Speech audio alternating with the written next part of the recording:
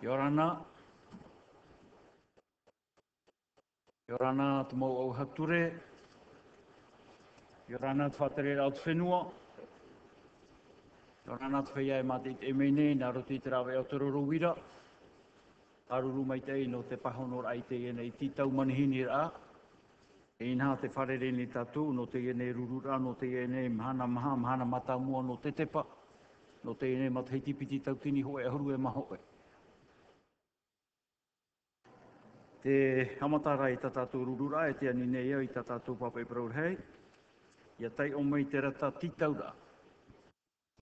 Monsieur le Président, cette séance a été convoquée par l'aide datée du 24 août 2011. Mesdames, Messieurs les représentants, j'ai l'honneur de vous informer que l'Assemblée de la Polynésie française tiendra la deuxième séance de la session extraordinaire le jeudi 1er septembre 2011. Je vous prie d'agréer, Mesdames, Messieurs les représentants, l'expression de ma considération distinguée signée par Monsieur le Président Jacques Hidroulé. Maruru mai te te ani nei au i. Ia tei o mai, te te. Madame Algoima, présent. Monsieur Alpha Teari, absent. Madame Birk Sabrina, présente. Madame Bob Dupont-Tamara, présent. Monsieur Bissou Jean-Christophe, présent. Madame Brodien Rosine, absente. Madame Chavé Daphné, absente. Madame Cross Valentina, présente. Monsieur Jacques Hidrolet, présent. Monsieur Floss Gaston, absent. Madame Frébeau Joël, absente. Monsieur Fritz Edouard, absent. Madame Galnon Minari, présente. Monsieur Anderson Georges, présent. Madame Hirschon Nonotea, absente. Madame Iriti Teura, absente. Madame Isal Heifara, absente. Madame Jennings Tétoni Patricia, présente. Monsieur Côté Benoît, présent. Monsieur Comitini René, absent. Monsieur Lison Marcelin, absent. Monsieur Mamato Yutapu Victor, présent. Madame Marie Teragi Maïtoto Liliane, présente. Madame Anouthei Lévi Agami Sandra, présente. Madame Maria Emma, absente.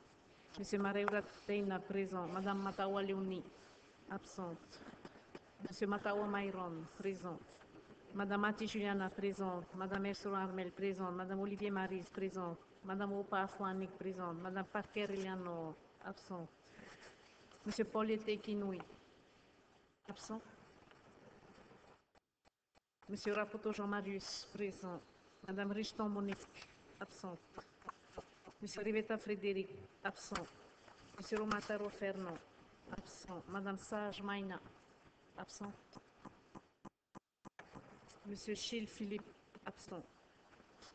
Madame Tama Françoise, présente. Madame Tani Thérèse, présente. Monsieur Tonso Robert, absent. Monsieur Tjungturoro, absent. Monsieur Tefarere Hiroiti, absent. Monsieur Temeharu René, absent. Monsieur Teremate Ruben, présent. Monsieur Teripa Yamita, absent. Madame Teruata Sylviane, absent. Madame Teton Ilana, absent. Madame Teura Justine, présente. Monsieur Tongson Gaston, absent. Monsieur Tou Ismaël, présent. Madame Touchobiar Catherine, absente. Monsieur Outia Damas, absent. Madame Vernodon Béatrice, absent. Monsieur Vernodon Clarence, absent. Et donc arrive entre-temps Monsieur Edouard Fritsch, Monsieur René Temeharo, Madame Lana Titonou.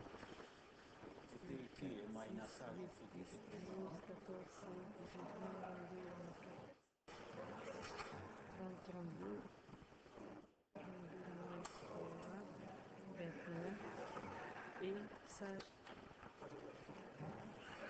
Maïna Sage, elle était là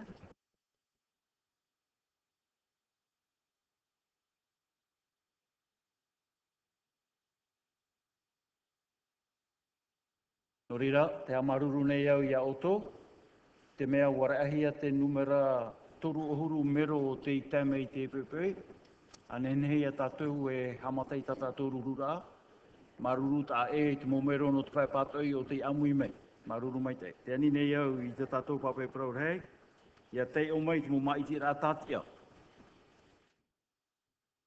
Alors, Monsieur le Président, nous avons reçu les procurations de Mme Irshan Nounoutea, M. Vito Mamatua, de M. Romataro Ferno, Mme Juliana Mati, de M. Tifareri Hiroitia, M. Georges Anderson, de Mme Tuchobia Catherine, Mme Marise Olivier, de M. Outia Damas à M. Ruben Teremate, de M. Venodo Clarence à M. Myron Matawa, de M. Alpha Tiari à Mme Chavi Daphne, de M. Tonso Robert à M. Chung Turoro, de, de M. Tong Songas à Mme Rosine Brodien, de Mme Iriti Teura à M. Frédéric Revita, de Mme Isali Fara à M. René Temeharu, de M. Komitini René Mme Monique Richton, de Mme Vernon Béatrice à M. Tekinui Porlier, de Mme Fribourg Jouel à M. Benoît Kauté, et enfin de Mme Parker Mme Liliane Meiruto.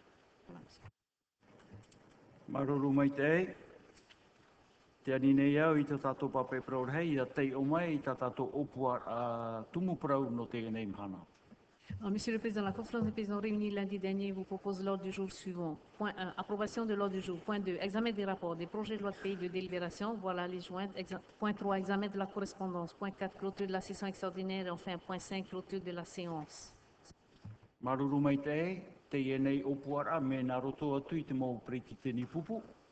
E apapat o hia tumu e o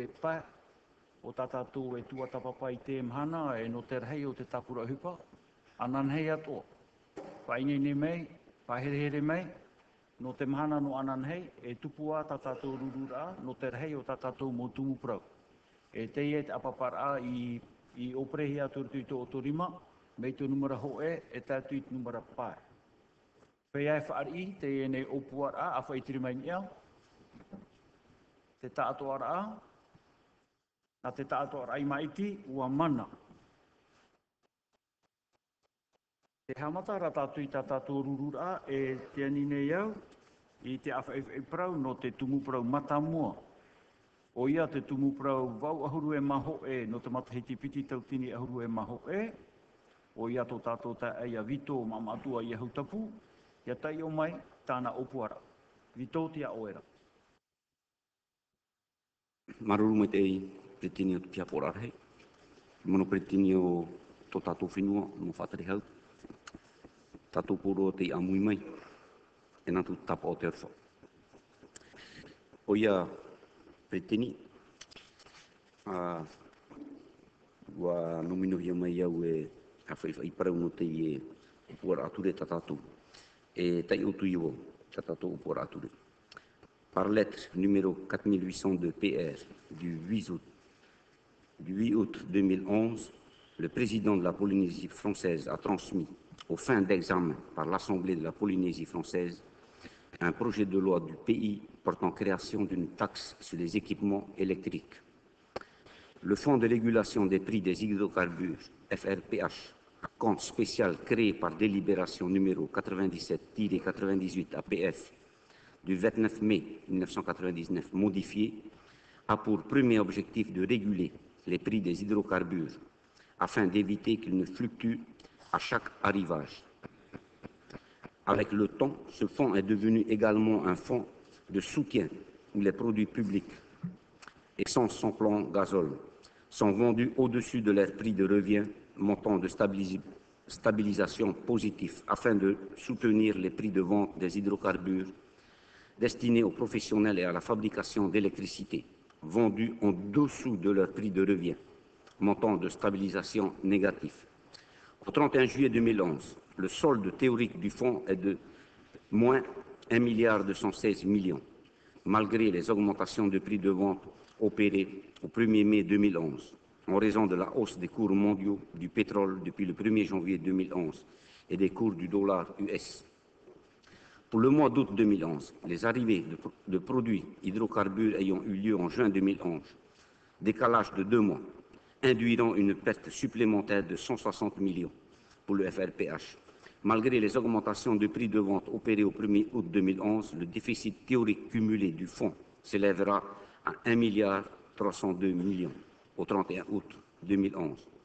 Parmi les produits entrant dans le FRPH, les hydrocarbures destinés à la fabrication d'électrici- d'électricité, fuel, gazole, gazole Tahiti, gazole destiné aux centrales thermiques des îles, représentent généralement entre 55 et 70% des dépenses du fonds, suivant les fluctuations des cours mondiaux. Pour le mois d'août 2011, il représente une dépense de 167 millions, soit en rythme annuel et à cours constant une dépense pour le fonds de 2 milliards 181 millions. Réduire à zéro les dépenses mensuelles du fonds pour ces carburants destinés à la fabrication d'électricité nécessiterait soit d'augmenter le prix de référence de l'électricité, soit d'augmenter fortement les prix de vente des produits publics à la pompe. De telles augmentations ne sont pas envisageables dans l'état actuel de l'économie polynésienne. Et il, ne semble pas juste de faire payer intégralement par les usagers utilisant du carburant destiné aux véhicules automobiles le soutien aux carburants destinés à la fabrication d'électricité. L'évolution de, des cours mondiaux du pétrole brut ne permet pas d'envisager de, résoudre ce déficit structurel du fonds vis-à-vis -vis des produits hydrocarbures destinés à la fabrication d'électricité. Des discussions sont en cours avec la SAEDT pour réduire ce déficit et revoir à la baisse le prix de l'électricité. Mais si la modification du contrat de concession, qui sera une étape longue, doit permettre de réduire la facture en hydrocarbures pour le pays, elle n'aura probablement pas pour effet de l'annuler. En fonction de ces éléments et afin de permettre à terme de trouver un, équilibre général sur les problèmes liés à l'électricité, il est proposé d'instaurer une taxe sur les équipements électriques importés, TEEI, qui sera affectée au FRPH afin de compenser pour partie les dépenses liées au carburant destiné à la fabrication de cette électricité. En tout état de cause, le produit généré par cette taxe financera ainsi les dépenses du FRPH, grevées principalement par celles liées à la production d'électricité. Le rendement attendu en année pleine sera de l'ordre de 300 millions. Au titre de l'exercice 2011, le, le produit attendu sera de l'ordre de 100 à 120 millions. Cette taxe sera perçue sous tous les équipements électriques importés, relevant des chapitres SH4 ou numéro de tarif SH6 du système harmonisé, SH de désignation et de codification des marchandises, dont la liste figure en annexe au présent projet de loi du pays. Ces équipements figurent principalement au chapitre 85, 85 et 90, qui répertorient tous les appareils électriques du tarif des douanes. Il est proposé cependant d'exclure du champ d'application de la taxe les équipements électriques importés dans le cadre du régime de régimes fiscaux privilégiés existants, pour lesquels l'exonération totale de droits et taxes est prévue par ailleurs par une disposition fiscale particulière. Sont notamment concernés de manière non exhaustive les équipements importés au titre de la loi du pays numéro 2009-3 du 11 février 2009 portant aménagement d'un régime fiscal et douanier privilégié en matière d'énergie et de développement durable, ou les équipements bénéficiant de dispositifs d'exonération communément appelés franchises douanières, pour lesquels il n'y a pas, lieu d'appliquer une taxation, eu égard aux conditions particulières d'importation. Marchandises dépourvues de tout caractère commercial, importation répondant à des objectifs philanthropiques ou sociaux, dont par exemple les équipements utilisés à des fins spécifiquement militaires, dont l'importation est régie par les dispositions de la loi de pays numéro 2007-4 du 24 août 2007 portant aménagement d'un régime fiscal privilégié applicable aux importations réalisées par ou pour le compte des forces, services ou organismes relevant du ministère de la Défense, ainsi que ceux importés au titre de conventions ou accords internationaux dans lesquels le principe d'une franchise de droit à l'importation est prévu.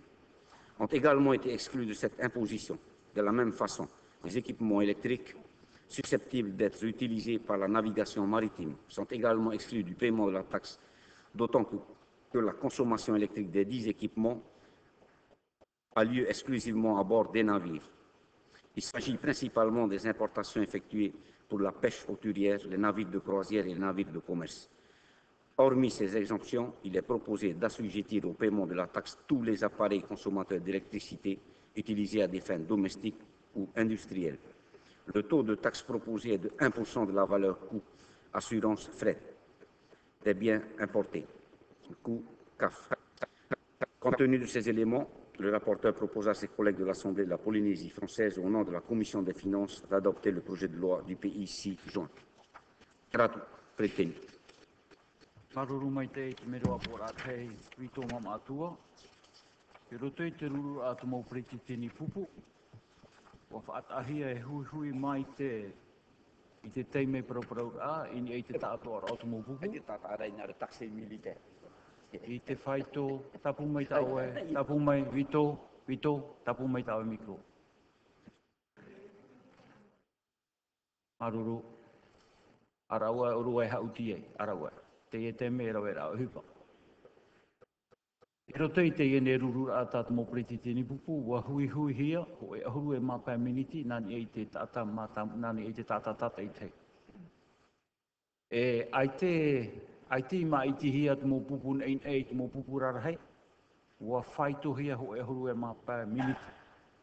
A hairi hare hia e te whanhora o tata tō ture roto, rahi rua ia te teime prapraura nā te pā rahei, e iti me ia tātou pē patoi. Ai te matohi nā roi te rira, wa hui hui mai te hia te whai tō te muni. E no te te o i te e miniti, te e tāwa, te e tāwa. Te ani nei au ia oto, iha oto i te o i ta oto hora. Ai te, ai ta te rira hora e mana. Te e noa te mana. O rira, tamar, te ani nei au ia tātou, hare tātou i rira, e no te e nei mō tau o parau a. Ani nei au i te pupu mata mua, whai ai tata rātou pupu. Nā roa ane rātou proprau, e piti mero i te e te mea i tata rātou e pupu, nā roa ane o proprau, i e te e tumu prau, sondara tia oera te mana o mata mua. Maruru Pretetini, bonjour Monsieur le Vice-président, les ministres présents, à mes collègues présents également, tous ceux qui sont présents dans l'hémicycle et qui nous regardent, Yorana.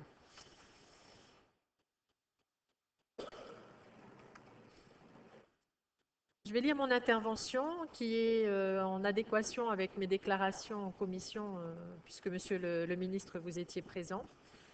Alors que le plan de redressement des finances de la Polynésie française nous proposait de travailler à terme sur une réforme de la fiscalité locale, aujourd'hui il nous est proposé de rajouter à l'imbroglio des textes fiscaux en créant une taxe supplémentaire portant spécifiquement sur les appareils électriques.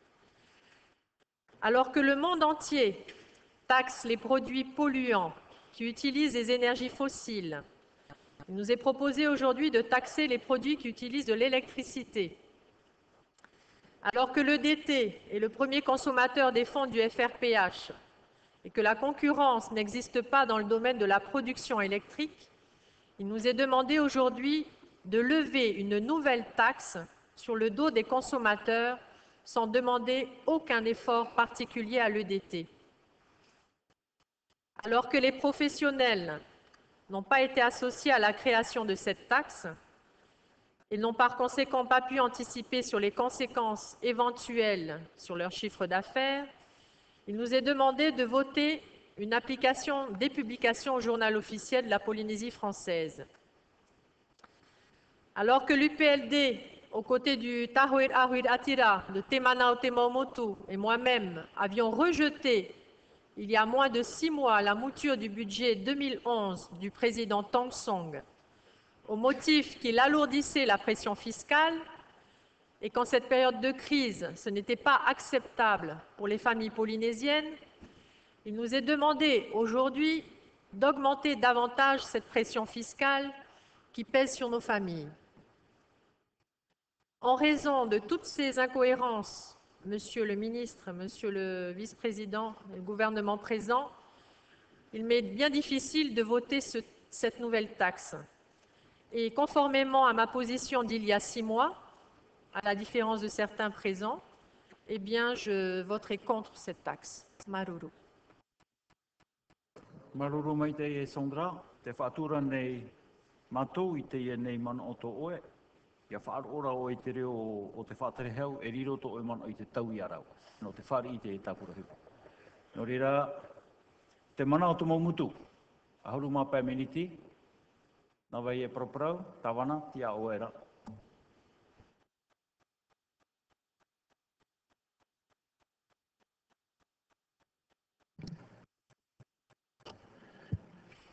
E pereteni e tātou pōro i ora nei te e mana. O ia no e te e tute, te whāri i nei, te pupu te mana o te momutu i arawahi e te e tute, no te mea, te e to o tute, te tauturu nei a mātou i te momutu, no te tūra ai te moni mōri i raro. E te e te me ua pau te moni rato i te e awhata e praumau. Te hārera tā tātou hi orai ni e a o te te. Nā wai te e mo ohipa i rawa e nā mua a. Te mana e te nen he tātou o toe wa hai muri te e hipa. E te wahai mai te ta au e mana oro no te e tute. Me maramarama mai te e me tu te e tute no te tauturu i te muri, roto i tō tātou whenua. Te parau no te kāsau lei, no te mbra mori. No te mea te whanau tō ara te mo oide. Te tauturu no roto i te e awhata. Te mo oide i te e mhane roto i te mo mutu. Ai ta tā rātou konsesio ia ÖDT, tini atu o tā rātou muni. Mā ni ai te tauturu o te FAPH. No rira no mātou, tā mātou pupu, e turu mātou i te e whaanhora, i e wainoa te tauturu roto i tō mātou mōmutu, māruru. maruru. Maruru mai te e te preti tini, maruru mai te no te ama- hapotora a te o, te pupu i ora te whenua, uh, Armel Berseron, tia oera. Merci, Monsieur le Président, et bonjour à chacun d'entre nous. Monsieur le Président, nous serons deux à intervenir, donc je vais essayer de rester dans les sept minutes que, j'ai. Alors, une nouvelle fois, aujourd'hui, euh, on nous demande de mettre une nouvelle perfusion sur le FRPH. On se demande pourquoi, euh, une fois de plus. On pourrait dire que le malade est toujours malade, et aujourd'hui, vous n'allez pas le guérir. Le FRPH avait sa raison d'être lorsque nous étions dans une situation où les hydrocarbures oscillaient à la hausse puis à la baisse autour d'une tendance générale à la hausse inéluctable. Aujourd'hui, le rapport dit avec raison qu'il ne s'agit plus de réguler, mais de soutenir le prix de certains hydrocarbures à usage professionnel. Et je dirais de soutenir de façon complètement artificielle, quitte à perdre tout notre sang, hein, puisqu'il s'agit de milliards qui sont engloutis pour maintenir un système. Jusqu'à quand pourra-t-on le faire Jusqu'à quand ne, euh, pourra-t-on continuer à faire l'autruche sans définir une vraie politique énergétique de long terme et de développement durable Une politique euh, qui puisse intervenir néanmoins, mais d'une façon extrêmement ciblée pour pallier l'impact du coût de l'énergie pour certaines professions et certains usages. Aujourd'hui, les gouvernements, et je ne dis pas que le vôtre, mais vous, vous ne faites que rajouter quelque chose, et c'est cela qui est grave. Les gouvernements réagissent à court terme. Ils ne gouvernent pas. Ils n'ont pas de politique énergétique. On augmente un peu, on puise dans le pot commun pour alimenter la perfusion du FRPH. A-t-on calculé combien de milliards, combien de milliards du budget général a-t-on englouti dans le FRPH depuis 2005, date à laquelle on a vu ce- cette tendance générale euh, à la hausse? Aujourd'hui, ce sont les automobilistes, les particuliers les entreprises qui soutiennent les professionnels. On continue à acheter des véhicules qui consomment beaucoup, des véhicules surpuissants. Et on ne cherche pas à faire des économies parce qu'on n'explique pas suffisamment les choses aux familles. Et les professionnels, faut-il continuer à soutenir le prix du fioul des boulangers pour contenir le prix de la baguette? Jusqu'à quand? C'est ça qui est grave. Plus on attend et plus à un moment donné le choc sera difficile. Euh, et vous savez très bien qu'en matière de baguette, euh, en fait, c'est devenu un produit dévalorisé, gaspillé, parce qu'il est si peu cher que les gens ne se rendent pas compte. Je l'ai déjà dit, et c'est à titre personnel, je préférerais que l'argent que l'on met pour soutenir de plusieurs façons la baguette, on le redistribue de façon ciblée vers des familles qui en ont vraiment besoin. Nous, on n'a pas besoin de subventionner notre prix de baguette. On peut le payer au vrai prix, Monsieur le Président. Pourquoi ne pas transférer donc ce coût vers des aides ciblées aux familles? Aujourd'hui, vous nous demandez, monsieur le, ministre, de voter une nouvelle taxe, mais vous ne faites que continuer dans la politique de l'autruche. Et on peut se demander pourquoi 1% 1% sur tous les produits électriques, depuis le petit diffuseur euh, de produits anti-moustiques jusqu'aux gros produits. Monsieur le ministre du Développement durable, comment vous pouvez accepter que l'on mette en place une taxe de 1% sur tous les équipements électriques, quelle que soit leur consommation électrique? J'espère que vous avez quand même défendu les positions que l'on a dans tous les pays modernes. Donc,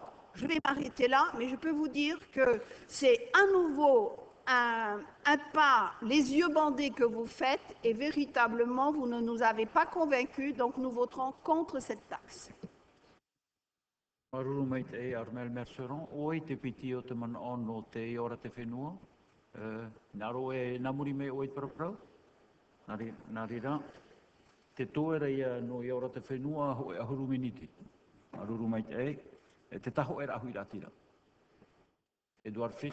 era. Bonjour, euh, Monsieur le Vice-président, Mesdames et Messieurs les ministres. Je salue les journalistes qui sont présents, le personnel de la- l'Assemblée. Et Tatum. Monsieur le Président de l'Assemblée, chers collègues, euh, voilà ce qu'il convient d'appeler une idée lumineuse. Cher Pierre, pour autant, elle est caractéristique d'un manque total d'imagination de notre gouvernement confronté à l'augmentation du prix du pétrole qui va d'ailleurs tomber, euh, qui va baisser au mois de septembre prochain, c'est ce qui est annoncé, et qui plombe durablement le fonds de régulation des prix des hydrocarbures, le FRPH. Mais c'est aussi la démonstration de toute votre hypocrisie et de la morgue du gouvernement et plus particulièrement du président Temarou à l'égard de notre population.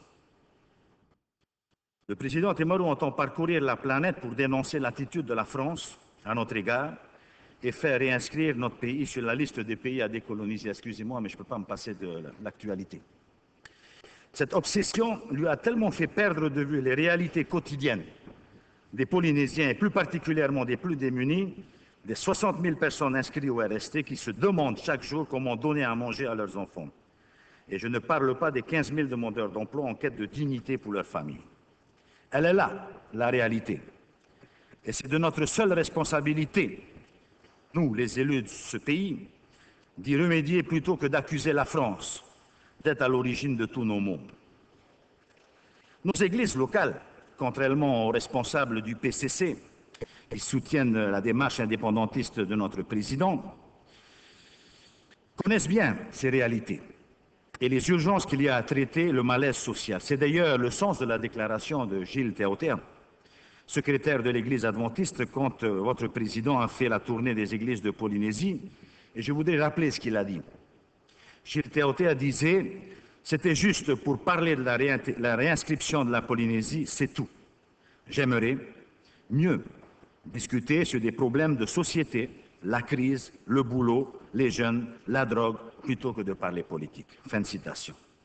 Là voilà la réalité telle que la perçoivent ceux qui vivent la souffrance au quotidien. Ce n'est pas celle que voit Oscar Temaru, pas plus que les organisations extérieures. À propos d'organisations extérieures, il faut dire que l'image de notre pays, transmise par notre président nomade, est triste et pitoyable. Écoutez plutôt, et je voudrais là citer un extrait du communiqué du PCC, du Pacific Church Council. Et je cite, Mon pays était libre et mon peuple était seul responsable de son destin. Cela a changé au XIXe siècle après que le navigateur européen ait atteint nos rivages. Là, on ne parle pas des navigateurs euh, français, religieux, européens, anglais. C'est ce que dit euh, ce communiqué. M. Temaru a présenté l'oppression historique et continue du peuple indigène maori aux mains des autorités françaises. Cette oppression remonte à 1880, mais surtout continue toujours aujourd'hui. Fin de citation. Rien que ça. Parole d'un président responsable et métois de ses enfants. Que des mensonges et encore des mensonges face à un parterre de représentants religieux de toute notre zone pacifique. Et pourtant, et pourtant, le PCC est passé par là. Ils ont tenu un council ici. Ils savent ce que c'est que la Polynésie française. J'aimerais demander à l'État de les réinviter à venir nous visiter à nouveau pour réellement connaître la situation de notre pays. Mes chers collègues, ce n'est pas non plus la réalité telle qu'elle est perçue par le président de notre Assemblée, qui vient d'augmenter sa dotation en carburant au prétexte qu'il habite loin de son lieu de travail. Quelle honte face aux difficultés quotidiennes que rencontrent tous les travailleurs qui doivent faire autant ou plus de kilomètres pour aller travailler. Mais le président de notre Assemblée s'en fiche, puisque lui, il dit qu'il est élu et qu'il a le droit à ce privilège. À ce sujet, mes chers collègues, Monsieur le Président, je voudrais quand même rappeler le montant des crédits mis à disposition de votre groupe, l'UPLD, qui se chiffre à près de 24 millions, alors qu'un groupe comme le Tahouera Huiratira est aux alentours de 2 millions 9, 3 millions, y compris les, les crédits de collaborateurs, crédits de groupe, des présidents de commission, des vice-présidents à l'Assemblée de Polynésie. 24 millions et demi de francs. Quelle honte quand on sait la répartition des crédits que vous faites au sein de cette Assemblée. Mais ce n'est pas pour autant que nous n'avons rien à dire, malgré le peu de crédits dont nous disposons. Mes chers collègues, vous qui êtes aussi des élus, je vous demande de vous désolidariser vigoureusement de cette attitude méprisante à l'égard de la population. Pendant que certains se font payer leur carburant face à la hausse des cours du pétrole qui reste inéluctable, malgré les fluctuations à la baisse, le gouvernement nous demande donc aujourd'hui, au travers de la modification des budgets des comptes spéciaux que nous étudierons plus tard, d'abonder le FRPH à hauteur d'un milliard en mettant à contribution le budget du pays. Mais ce milliard ne sera pas suffisant pour boucher le trou, à estimé à 1,3 milliard à la fin août. Il ne sera pas suffisant d'après les chiffres qui nous sont transmis. Et ce, malgré les augmentations des prix de vente à la pompe. Je vous rappelle quand même que la Polynésie a vu deux fois de suite une augmentation du fioul à la pompe. Le premier au mois de mai dernier et le second au mois d'août. J'y reviendrai dans l'autre discussion. D'où cette, idée lumineuse d'instaurer une nouvelle taxe de 1% sur tous les appareils électriques, tout, partant du principe évident que ces appareils sont consommateurs d'énergie et donc d'hydrocarbures. Je dois, je dois vous dire qu'il fallait y penser. Venir soutenir le prix des hydrocarbures à partir de la consommation des Polynésiens de l'énergie électrique. C'est extraordinaire. On ne parle aucunement de l'été, naturellement. L'instauration de, de, cette taxe, comme je le disais, relève de la pure hypocrisie, d'une part, et d'un manque évident de volonté de réformer le système du FRPH. L'hypocrisie d'abord, plutôt que d'augmenter le prix à la pompe pour dégager les 120 millions espérés, le gouvernement a donc inventé cette taxe qui apparaît anodine dans son pourcentage, 1%. J'entendais M. Myron, mon cher collègue, Myron Matawa, à la radio dire mais 1% c'est rien du tout. 1%, c'est 1 franc sur 100 francs ou 10 francs sur 1000 francs. Je vois que vous avez manqué de pédagogie, mon cher ami Frébeau, parce que c'est 1% à la source. Vous avez compris ce que ça devient les 1% lorsqu'on va à l'étal, n'est-ce pas? Lorsque tout le monde aura pris sa marge et que tout le circuit se sera mis en place. Mais enfin, anodine dans son pourcentage et qui a l'avantage de peser sur l'ensemble des consommateurs et pas seulement sur les conducteurs. Une manière comme une autre de tenter de noyer le poisson et en fin de compte de sanctionner tout le monde en même temps. Mais la taxe n'est pas si anodine. D'abord, parce qu'elle est totalement contraire aux engagements de l'UPLD, je le rappelle uniquement, qui avait refusé toute création de taxes ou d'impôts nouveaux au moment du vote du budget 2011. Ma collègue derrière l'a rappelé. Rappelez-vous, mes chers amis, le Tahouera était à vos côtés pour faire renoncer le président Tong Song à toutes ces taxes. Aujourd'hui, vous vous êtes installé à la place du gouvernement de M. Tong Song, mais vous mettez en œuvre les pratiques que vous rejetiez fermement hier. La population n'est pas dupe et sait désormais que vous ne tenez jamais vos engagements et surtout quand il s'agit d'épargner le portefeuille. Vos préoccupations sont bien éloignées de la lutte contre la cherté de la vie et vos décisions récentes, comme par exemple celle d'augmenter le loyer du parc ancien de l'OPH, montrent au contraire que vous n'avez que des solutions de facilité. Puisez toujours plus dans la poche du contribuable. À cet égard, permettez-moi, puisque c'est aussi d'actualité, de paraphraser un de vos grands, un de vos grands amis politiques, M. François Hollande, peut-être le futur même président de la colonie. À propos du plan d'austérité présenté par le Premier ministre, il disait ceci, les recettes de poche finissent par nous faire les poches.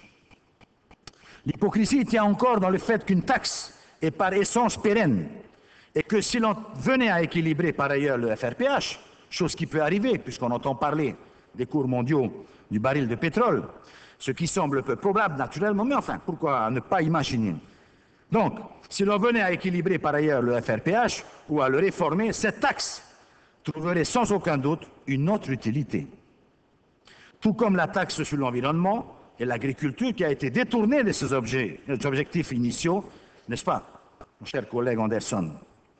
Je m'étonne donc que les élus PLD accompagnent la création de cette taxe, même s'ils ont montré certaines réticences en commission, avant en fin de compte de se résoudre à voter favorablement. Je m'étonne encore plus que notre ami Hirote Farere, président de la commission sur les marges et les prix, profondeur de la cherté de la vie, qui s'est adjoint un collaborateur de l'association Tetiara, vous suivent dans cette voie qui vient en contradiction totale avec les conclusions de son rapport. Mais il est vrai que son rapport, vous l'avez aussi enterré. Je m'étonne donc également que le gouvernement veuille faire peser cette taxe sur l'ensemble de la population quand, dans les rangs même de l'UPLD, certaines voix, et je pense naturellement à mon ami Vito Mamatoua, se sont élevées pour faire entendre qu'il y avait d'autres solutions, à commencer par la suppression partielle des avantages exorbitants octroyés aux pêcheurs en matière de carburant. J'ai entendu dire. Mais s'il est vrai encore que sa proposition s'est heurtée en l'absence de cohésion gouvernementale, le ministre des Finances déclarant en commission qu'il aurait été sans doute d'accord, mais que le ministre en charge de la mer y était opposé. N'y a-t-il pas au sein du gouvernement un président capable d'arbitrer? C'est vrai qu'il n'est jamais là, mais enfin, n'y a-t-il pas un président capable d'arbitrer? N'y pensons pas. Taxons, c'est plus facile et on verra bien ce qui arrivera. D'ailleurs, pour reprendre une phrase fétiche d'une de vos adorées, Madame Ségolène Royal, votre ancienne championne, elle disait ceci, il vaut mieux taxer les plus pauvres parce qu'ils sont plus nombreux. Des concepts socialistes euh, bien fondés. Elle faisait de l'ironie, elle, mais j'ai l'impression que ce n'est pas votre cas, vous. Votre solution n'en est pas une. Et bien sûr, nous ne voterons pas votre proposition, votre projet. Nous ne voterons pas et nous voterons contre l'instauration de cette taxe. Nous voterons contre pour une autre raison également, parce que nous ne sentons pas chez vous l'amorce de la moindre réforme du FRPH. À cet égard, je voudrais faire d'autres situations, pardonnez-moi, mais celles-ci émanent de personnes siégeant ici même. Première citation. J'espère que nous arriverons vers un système où la vérité des prix sera la norme, car je pense que nous n'avons malheureusement pas beaucoup d'autres choix. Le pays ne pourra indéfiniment subventionner le carburant. Il est donc bien temps de procéder à cette réforme qui s'impose d'elle-même et nous verrons à ce que cela soit fait. Fin de citation. De qui est-elle? Non, je n'ai pas dit qui a écrit. C'était Mme Tamara Bob Dupont le 15 décembre 2005 à propos du FRPH. Je n'ai pas dit qui a écrit. Je suis désolé, Tamara mais vous n'avez pas du bien veillé à ce que cette réforme soit faite, puisque près de six ans plus tard, nous n'avons pas avancé d'un pouce. Autre citation, là vous le reconnaîtrez, moi, je peux vous affirmer que le FRPH, tel qu'on l'a connu, a vécu. Il faut le réformer. Je crois qu'il faut, et la réflexion y concourt, faire en sorte que ce fonds devienne un fonds dédié à l'énergie ne plus rester sur les hydrocarbures tels qu'on les connaît, parce qu'à chaque fois qu'on a le coût du baril du pétrole qui augmente, il impacte sur tous les hydrocarbures. Fin de citation. Celle-là, vous vous êtes reconnu, monsieur le ministre. C'était bien Pierre Frébault, alors ministre de l'économie, qui répondait, tenez-vous bien, aux attentes de Madame Tamara Bob Dupont. Mieux, mieux. Il nous assurait alors que c'était la dernière ponction sur le budget général pour alimenter le FRPH et éviter l'augmentation à la pompe avant la réforme. Et je le cite encore, ça a été la décision du gouvernement de maintenir ce prix, d'équilibrer le compte pour que la réforme puisse se faire. Fin de citation. Voilà mon ami. Je serais tenté de paraphraser cette taxe. Ça a été la volonté du gouvernement pour équilibrer le compte pour que la réforme puisse se faire. Une façon de dire. Alors, bien sûr, le ministre, et on le connaît bien, va venir nous redire, comme à son habitude, c'est la faute de la convention EDT, parce qu'on en parle beaucoup en fin de compte. Dans les coulisses, dans les restaurants, mais jamais dans nos rapports. Mais vous allez nous le dire, j'en suis sûr. Au passage, je rappelle que parce que vous n'avez pas voulu vous asseoir sur cette convention en 2005, sans chercher à pousser le dialogue, nous avons été condamnés à payer 1,8 milliard à l'EDT, somme que vous avez dû débourser, je termine, Monsieur le Président, il y a quelques semaines. Vous nous l'avez dit en commission. Cet argent aurait sans doute été mieux utilisé à soulager le prix de la facture pour nos concitoyens plutôt qu'à engraisser Suez, qui n'a pas besoin de cela. La question est posée. Mais au fait, Monsieur le ministre, j'aimerais que vous nous rappeliez ici quel acte aujourd'hui nous autorise encore à continuer à soutenir le fioul lourd livré par Shell à l'EDT. Comprenons-nous bien, pour terminer, Monsieur le Président, nous ne sommes pas là pour refaire l'histoire. Nous attendons de vous de véritables réformes. Nous les attendons d'autant plus qu'elles sont nécessaires et que vous n'avez pas eu de cesse, eu de cesse de dire que le modèle économique était à bout de course et qu'il fallait en changer. Mais vous n'avez pas le courage, en fin de compte, de ces réformes, et l'on voit bien en cela la fragilité de votre majorité pour mener à bien ce chantier d'envergure, dès lors qu'un ministre peut seul mettre son veto sur une proposition formulée par le président du groupe UPLD. C'est vrai. Pour l'heure, et pour conclure, vous restez bien accrochés à vos vieilles recettes, celles de l'accroissement des prélèvements fiscaux. Comme quoi, une bonne recette ne fait pas toujours un bon cuisinier, Monsieur le ministre. Ce qui pouvait passer encore en période de croissance est devenu franchement intolérable quand nous sommes en période de récession. Je le répète pour conclure pour de bon, Monsieur le Président, et nous n'avons pas varié sur ce point depuis que vous aviez voulu mettre de nouvelles taxes au budget 2010, le Tahawera Huidatira s'opposera à toute augmentation de la pression fiscale, surtout quand elle ne l'est pas justifiée. Je vous remercie. Excusez-moi d'avoir été un petit peu long. D'une ai minute. ta, no te au ta oe praprau ai tō i tapu i te reo. Tapu ora ora i te reo e tapu o. No rira i te teme, te anine iau i te pupu tō tato aia, eh, roro tia oera. E, pete tini maruru mai te i arana. Mono pete tini tau whenua, mo pra whatere heu. I arana ta pāto tato, mo te a mai te hirme tunun a i arana. Ha mai te pāto he tato i te pepe api. Bonjour à tous. Ka mua e houtu e o te utu e te mātou mono, ne aro e tātara tu ti tei, ti tei mono o tō mātou. I roto ti tei rururu a tātātou i tupu i te mō hana me renani. Whahiti reo tō tātou hoa vito, mono mai te ro. E me te i whai tātou i te paari no te tura i tātātou mō tāpuro e hepa. Tāpe no e rio, te pahanga ro e ana pere te tini tō mhanara. Me te hoa i whai i te paari, iara e ana paari. E, tamana ora o. Tēnei, i tō mana o topo i te mō hipa i tupu mai rurura. E oi oi ti ha pāri, e oi ti ha pāri, no te wha i wahau, no te wha pāri wahau tua. Te ria, tō mana o tō tō o. Alors, pour n'être guère partisan des campements, manifestations, mon drôle et expression grégaire de ma colère, force est de con- reconnaître que malgré tout, je partage avec certains indignés scandalisés par ce projet nombre de constats. Je les partage en tant que Polynésien. Alors, dans un contexte déjà très électrique, vous semez le doute, l'anxiété et le désespoir au sein des familles qui, même si elles ne ressentiront que très peu ces taxes, selon vos termes, ne sont pas moins inquiètes par votre façon de gérer un problème de taille. En définitive, vous n'avez de pouvoir que sur les petits, ceux-là même qui se sont soumis à la démocratie et qui découvrent avec stupeur des intérêts qui auraient dû être les leurs, devenir les privilèges pour d'autres. Ce sont ces mêmes intérêts, ces mêmes privilèges qui vous ligotent aujourd'hui, vous aliènent, vous rendent définitivement impuissants, incapables de lutter efficacement. Patriote, Monsieur le ministre. Et pourtant, qu'est-ce qu'on a reçu comme critique de votre part lorsque nous étions au gouvernement? Aujourd'hui, je me poserai les questions suivantes. Où sont donc vos mesures incroyables et sans taxe que vous nous promettiez à cette époque-là? Faut-il que notre sens moral, notre conception de la politique soit à ce point dépravé pour tolérer de tels abus.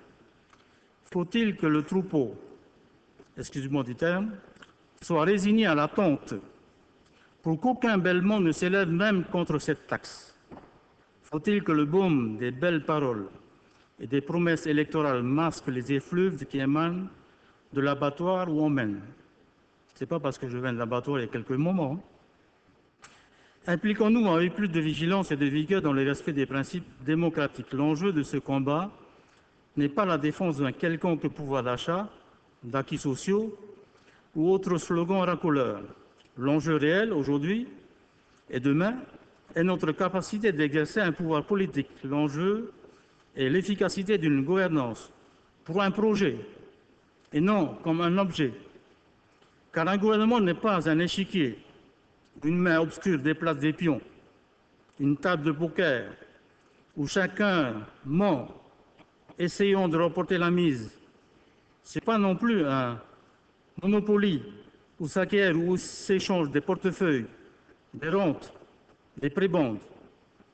Gouverner, c'est étymologiquement tenir le gouvernail du navire, être capable de barrer en cas de tempête, d'amener ou de donner de la voile, tenir un cap et non se laisser balloter par les flots pétroliers.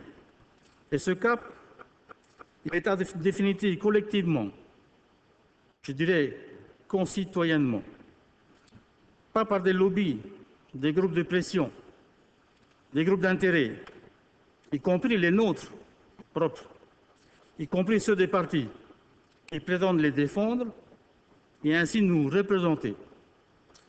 Je n'ai pas de baguette magique, Monsieur le ministre. Néanmoins, contre toutes ces paroles qu'on nous dit être performantes, et en particulier celle des taxes, je m'accroche encore à une chose, notre capacité d'invoquer contre le malheur, le mal, l'esprit critique.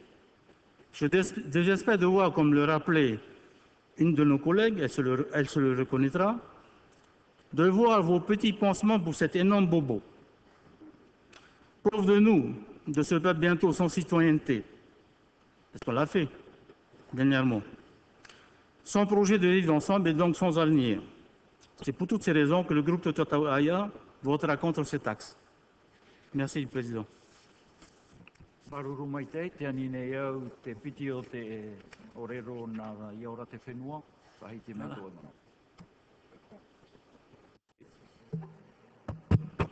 Monsieur le Président, Monsieur le Vice-président du gouvernement, Madame la Ministre, Messieurs les ministres, Mesdames et Messieurs euh, les représentants, chers collègues, Monsieur le Sénateur, Mesdames et Messieurs, euh, dans euh, les bancs du public et de même que nos amis journalistes, Yorana Totato Farei Haïti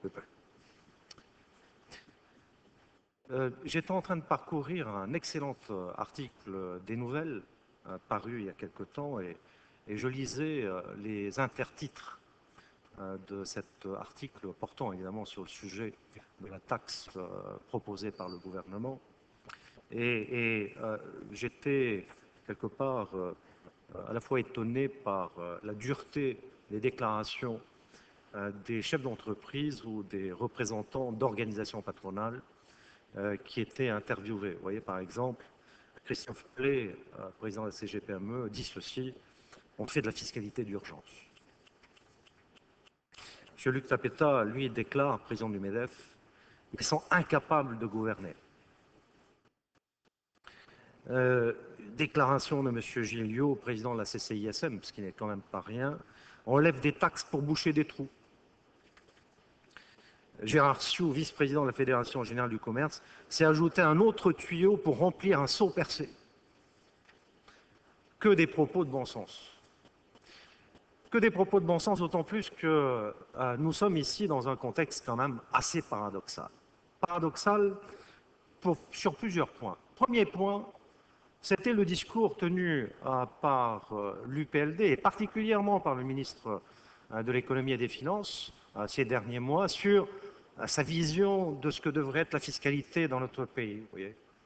Justice fiscale, justice sociale, rééquilibrage de l'impôt, quitter ce monde de l'imposition indirecte pour euh, chercher directement euh, la manne nécessaire au budget du pays, euh, là où se trouve l'argent, et notamment au niveau de ceux qui ont vis-à-vis de ceux qui n'ont pas.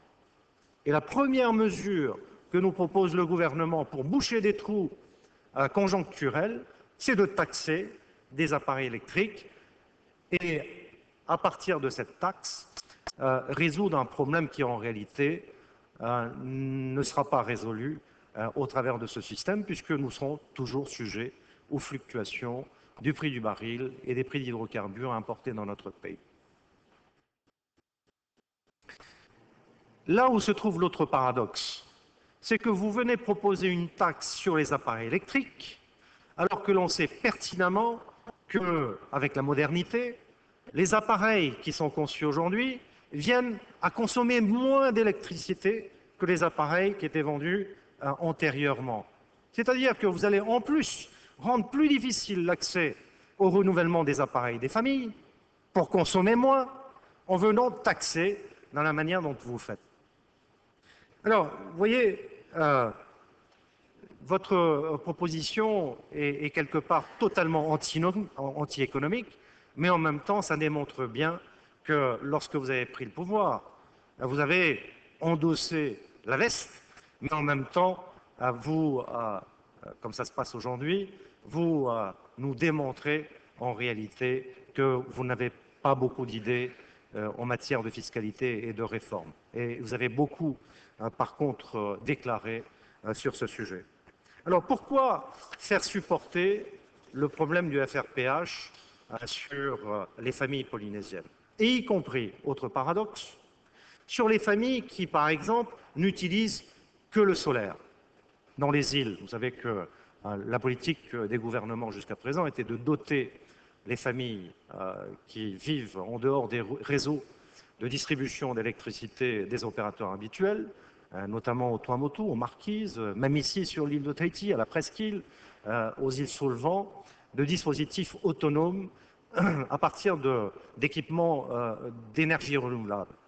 Et vous allez même taxer ces familles qui devront demain acheter des appareils, alors que ces familles n'utilisent pas le système du réseau électrique d'EDT euh, qui a besoin effectivement de fuel euh, pour fonctionner. Vous trouvez ça normal?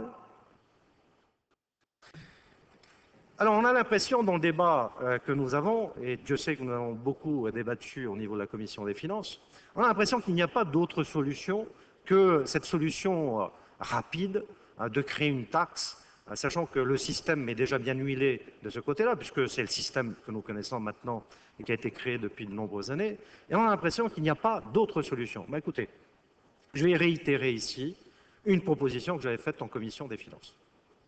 J'ai proposé en commission des finances de renégocier la convention de concession de Marmanoui, avec les partenaires de Marmanoui, notamment le DT, sur le fait d'enlever les provisionnements en matière de caducité.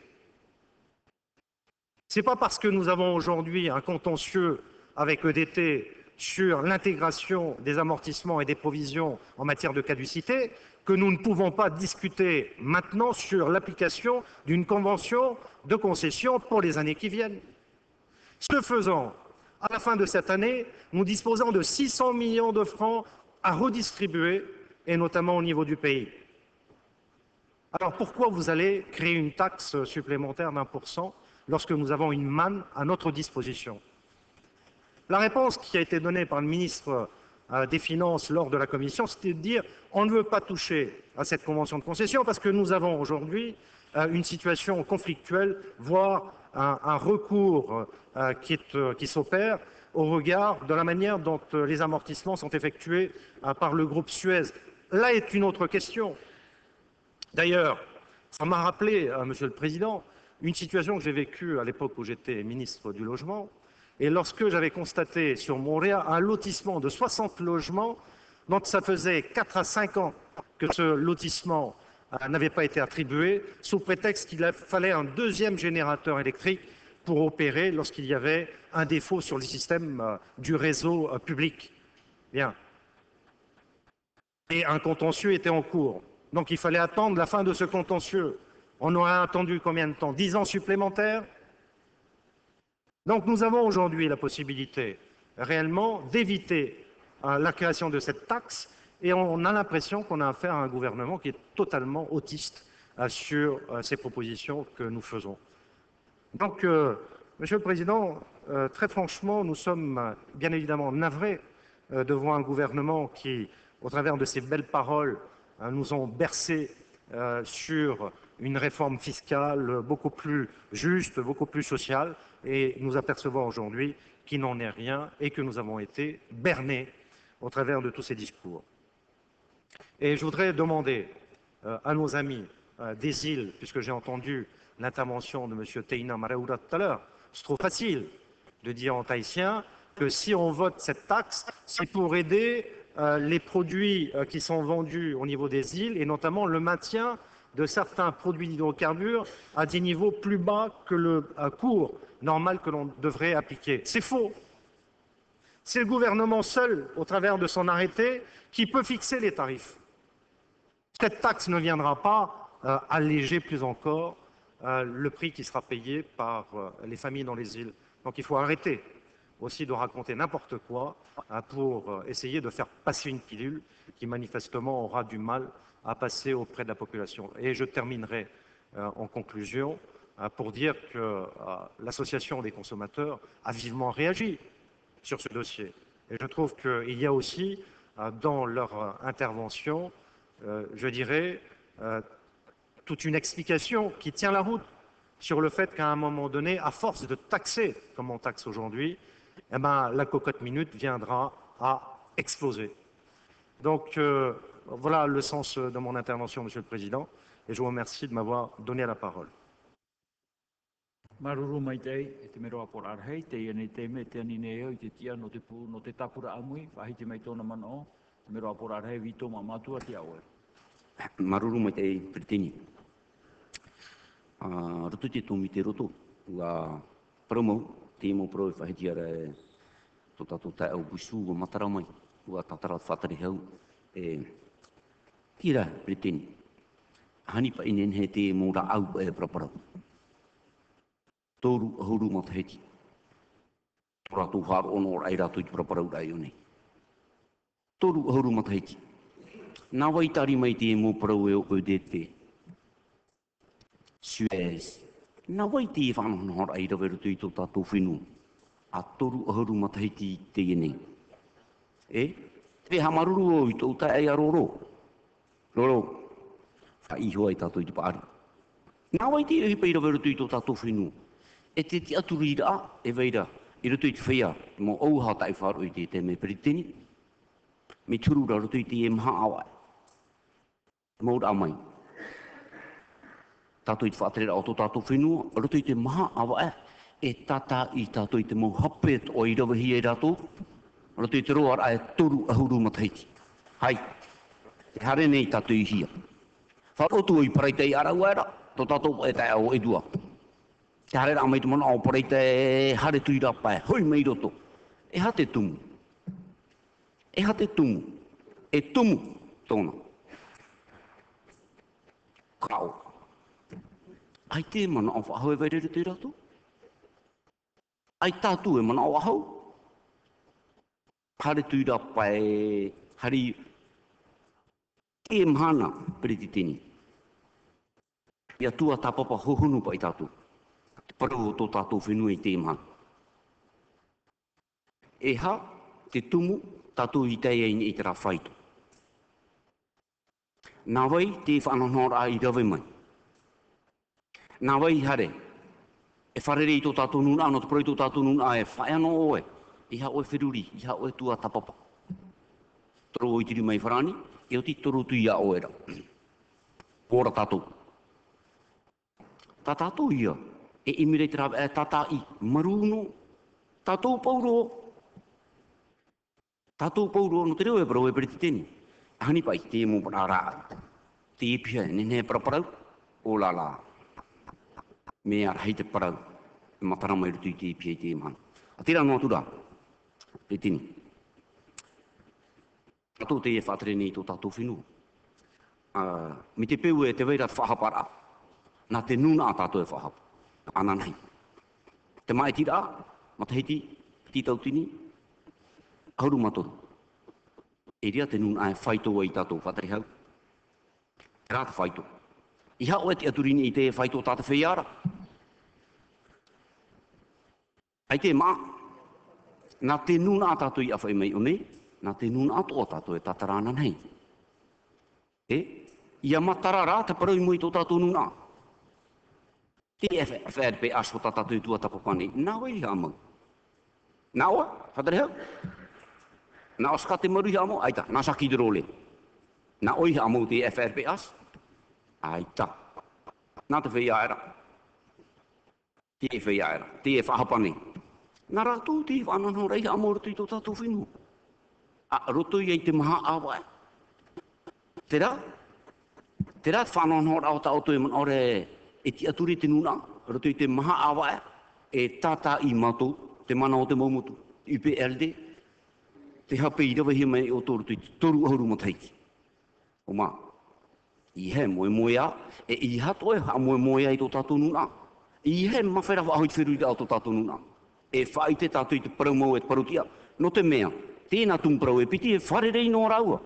Paraumau e te parutia, paurua te pepe e wharerei rau. Ai te rate. Ei te rate. Tō ia mana, e pro ia, e parau tatu i tīm hana. Whatere hau, e ere te e te whaitu i uni. 2003, na te nun a tatu e whaitu. E mea mea heito o tō tatu mana, a here whaiti i tō tātou nuna. I e te mō wharapura. I te mō hepei tupura tu i tō tatu whenua. E rawhare atua. E? E teni. E ita te mana e roa. A, te hopera te mana. E te ani roa ia e pere whaatei mera. He whaatei me ta tātou tro Trora ahuru miniti. E mi te pētia iao. Maruhu. Maruru mai te heit me rapora arhei, ia i te whanhora au te apapahia, e ani e i te whatere rau tō tātou whenua, te verane te mana oro tui ana, no te pahonor ai e te mō mana i tuhia mai, i o ti whatei me tu e tato. Maruru, kia oera e te hau.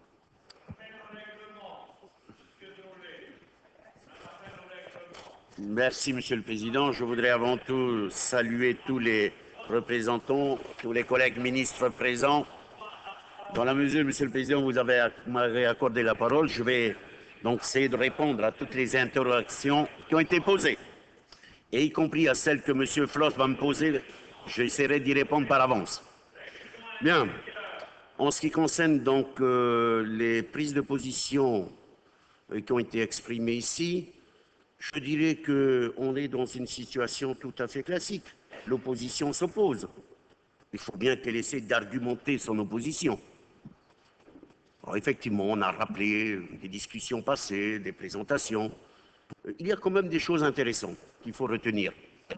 Madame même Lassuron a posé le débat de peut-on continuer à soutenir certains carburants destinés à certains professionnels Elle va même très loin dans sa réflexion en disant mais le prix de la baguette, il faut le libérer de cette contrainte du soutien. Bien, ben pourquoi pas? Mais dès lors que la baguette va augmenter, ce sont les mêmes qui vont se mettre à hurler, bien entendu. Ensuite, alors j'ai tout entendu. On va parler de- d'hypocrisie, on me fait prendre des déclarations à une période donnée, ou à l'époque j'ai occupé momentanément le poste de ministre de l'économie. Ah, c'est vrai, je me rappelle de cette déclaration.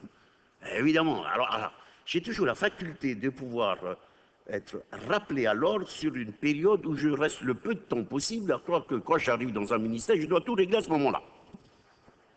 Les choses s'organisent. Alors pour l'histoire, le FRPH a eu sa première application en 1991. À l'époque, le carburant de l'EDT n'y figurait pas. C'est depuis l'introduction du carburant de l'EDT que cela pèse lourdement sur les finances publiques et sur les automobilistes. Qui a introduit le carburant de l'EDT dans le FRPH ah, Voilà la question. Parce qu'à l'époque, l'EDT était traité à part par un appel d'offres spécifique. Donc n'impactait pas le FRPH. C'est cela qui a complètement dérouté la construction du FRPH. Et tous les gouvernements qui sont succédés, il y a eu belle, belle déclaration. Comment sortir le carburant de l'EDT du FRPH Parce que c'est ça la question posée. Une fois qu'on aura réussi cela, eh bien, on pourra mieux gérer ce FRPH, quitte à rediscuter les aides attribuées à tel secteur, les pêcheurs, les boulangers, les chauffeurs de truck, la desserte maritime. Mais d'abord, résoudre la question. J'ai eu une prise de position intéressante de M. Bussou. Régler la question de Maramanoui avec l'amortissement de caducité. Vous allez récupérer 600 millions. Qu'on y prenne garde. Qu'on y prenne garde. Il y a un contentieux fiscal. Je vais m'expliquer. Je vais m'expliquer. Dans la mesure où il y a un contentieux fiscal, notre code fiscal ne reconnaît pas l'amortissement de caducité. Cela correspond à quoi? Ça veut dire que c'est du bénéfice. Donc, ce n'est pas une charge à intégrer dans la dépense. Si je règle la question de Maramanouye, c'est le souhait de l'EDT, la reconnaissance de l'amortissement de caducité. L'EDT me dit merci, on est en droit fiscal. Si je règle pour Maramanoui, l'EDT me dit merci, monsieur le ministre, pour avoir reconnu mes 20 milliards d'amortissement de caducité sur l'EDT. L'enjeu est énorme. J'attends de purger la question fiscale. Si effectivement l'amortissement de caducité n'est pas prévu par le Code des impôts, ce n'est pas une charge à mettre sur les particuliers. Ça veut dire quoi? Ça veut dire qu'on devra impacter à l'inverse le tarif. Est-ce qu'on se rend compte? On ne peut pas traiter l'amortissement de caducité uniquement pour Madame Anoui parce que le DT aussi, dans ses inscriptions de compte depuis le temps, il y en a pour 20 milliards. Ça veut dire quoi? Ben, c'est toute l'usine de la Bounarou qui est déjà payée. Car le DT a utilisé dans sa formule l'amortissement normal plus l'amortissement de caducité. Vous savez, tous les ministres, tous les membres du gouvernement le savaient. Mais comment attaquer le sujet? C'est par ce contentieux fiscal. En tant que ministre des Finances, je ne vais pas me mêler d'un contentieux fiscal. On me le reprocherait d'ailleurs. Laissons purger la question. Mais une fois que la question aura été traitée en disant qu'il n'y a pas dans le code des impôts polynésiens la reconnaissance de l'amortissement de caducité, j'en conclus que ce n'était pas une charge. Et dans ces conditions-là, on n'a pas à mettre sur le coût de la facturation. C'est facile aujourd'hui, mais si je traite Madame Anoui, je dois reconnaître. Or, pour bien informer les membres, dans la formule de l'EDT, ce qu'on appelle la pétasse, ben, figurez-vous que l'amortissement de caducité existe. Qui l'a mis en place? Qui l'a mis en place? Alors qu'on a un contentieux sur Madame si le code des impôts, la juridiction nous dit c'est pas reconnu, forcément ça impactera la formule de l'EDT. Et là, on aura un véritable débat. Ça, la réalité. Au moins que M. Buisseau ait une disposition fiscale plus importante. Je, me refuse de traiter la fiscalité société par société. Je vous dis pourquoi.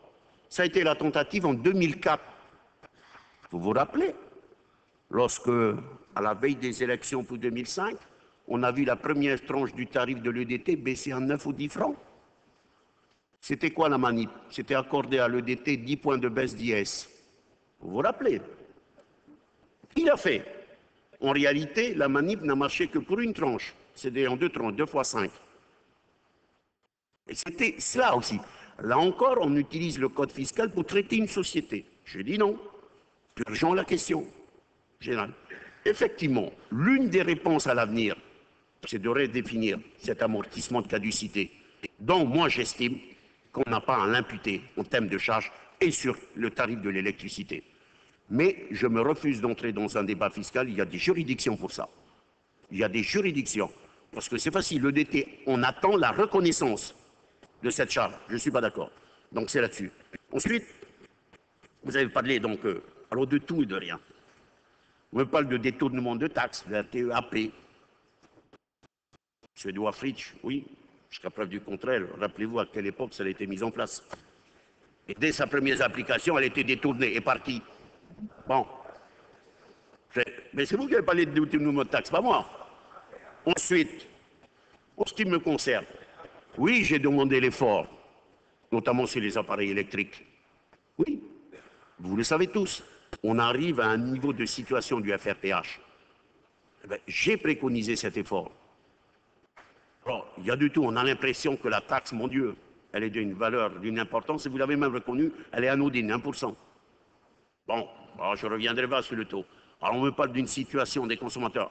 J'adore quand vous citez vos amis, M. Buissou. Alors là, tu joues les mêmes d'ailleurs. Tu joues les mêmes. On les connaît par cœur, hein On les connaît par cœur. De toute façon, dès qu'on touche à leur situation, hop, hop, hop, c'est pas nous. C'est pas nous. Il faut pas. C'est toujours les mêmes. Au moins, on connaît où sont ses amis. En ce qui me concerne, je souhaite, moi, régler une situation. Et comme je l'ai indiqué dans le rapport, parce que nous nous préparons à ouvrir des discussions avec le DT. Et à partir de là, tous les gouvernements ont essayé. Tous. La dernière action qui a été menée là-dessus, c'était l'histoire de l'impôt sur les sociétés dont on sait que le bénéfice est revenu à l'EDT, ce qui a permis d'ailleurs à l'EDT de dégager plus d'un milliard de bénéfices et de rapatrier ses fonds à Paris. De grâce, euh, je ne vous demande pas votre confiance, c'est normal. Vous devez vous opposer. Mais argumentez davantage, ne me sortez pas des arguments qui ne tiennent pas la route. C'est ça la réalité. Alors effectivement, je demande aux Polynésiens de participer à cet effort afin de nous permettre, le but étant de sortir le DT de cette situation du FRPH, sans pour autant ne pas rediscuter, revoir les positions des carburants soutenus, comme l'a rappelé M. Vito Momatoa, dans des secteurs différents. Le choix que j'ai fait, le choix que j'ai fait de ne pas augmenter le tarif d'électricité parce que l'impact est plus terrible. C'est toute l'économie, c'est les entreprises, c'est les particuliers.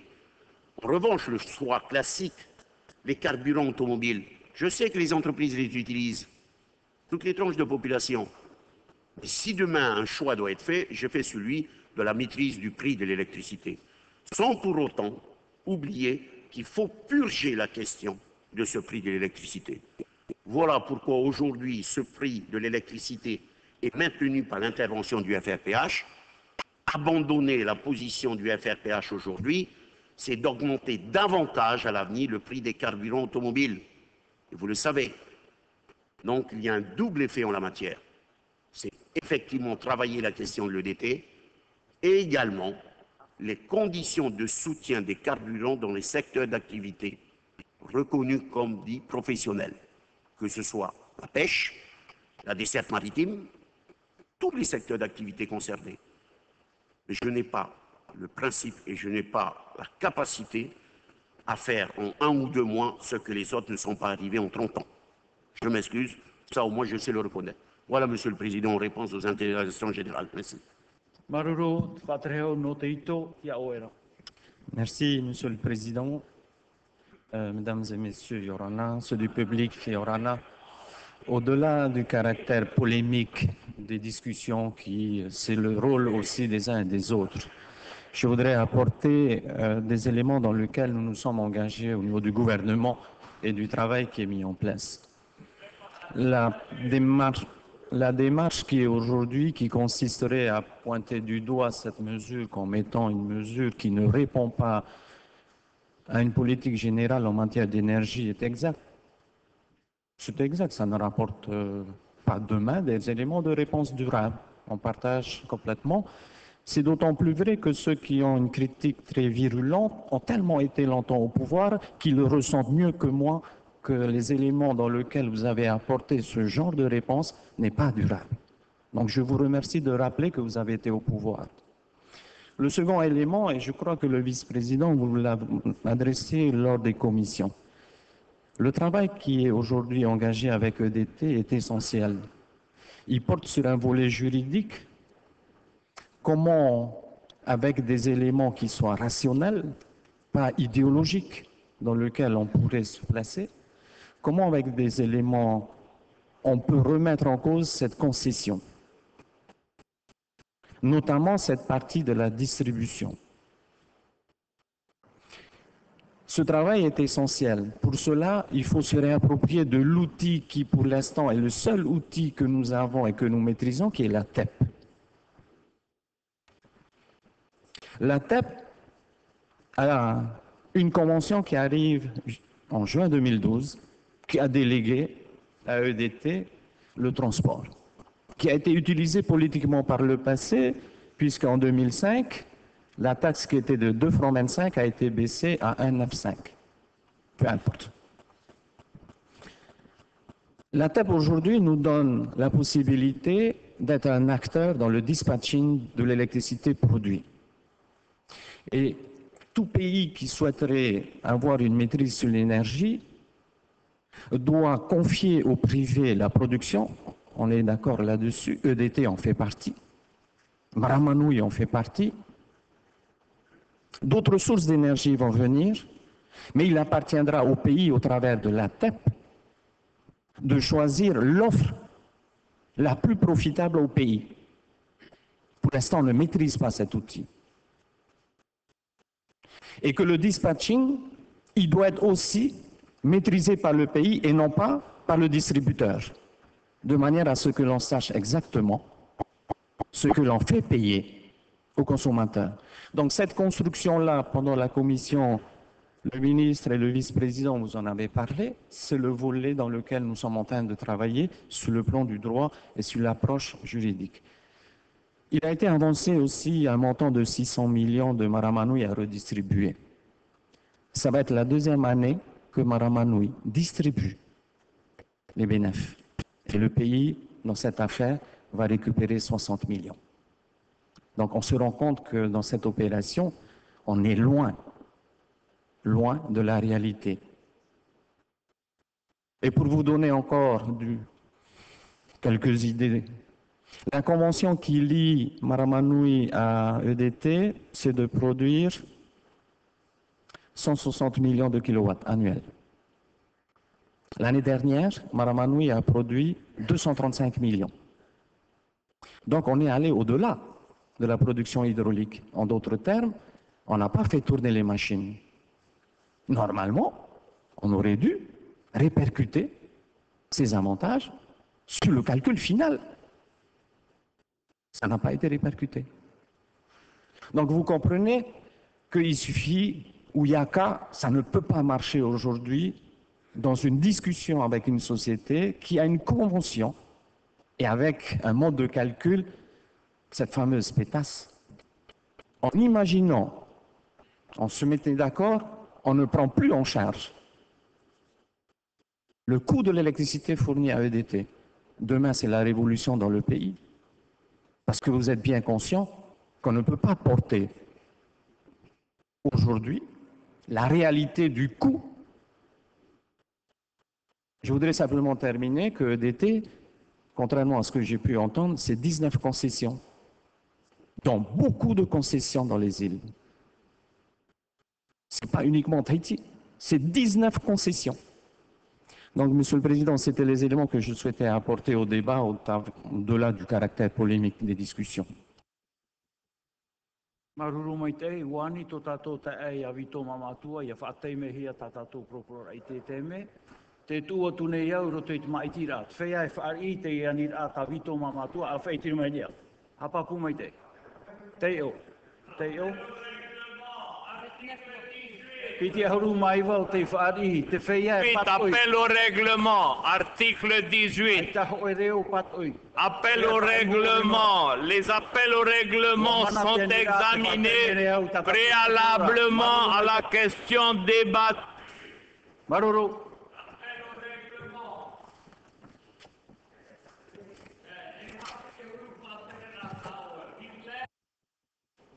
Te ani nei au i te awhaiwhai parau, ia tei o mai te o.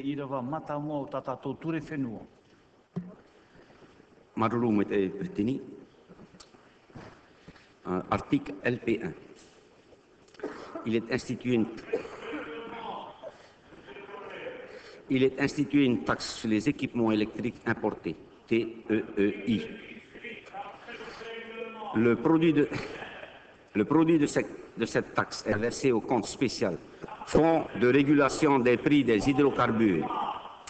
Deux, on entend par équipement électrique les appareils, instruments, machines et combinaisons d'appareils, d'instruments et ou de machines interconnectés entre eux aux fins d'accomplir une ou plusieurs fonctions, alternatives ou complémentaires, dans un domaine donné relevant des numéros de chapitre au numéro de tarif SH de la nomenclature du tarif des douanes, mentionné en annexe et utilisant l'énergie électrique pour fonctionner, même de manière accessoire ou combinée à d'autres formes de restitution d'énergie, piles ou accumulateurs par exemple.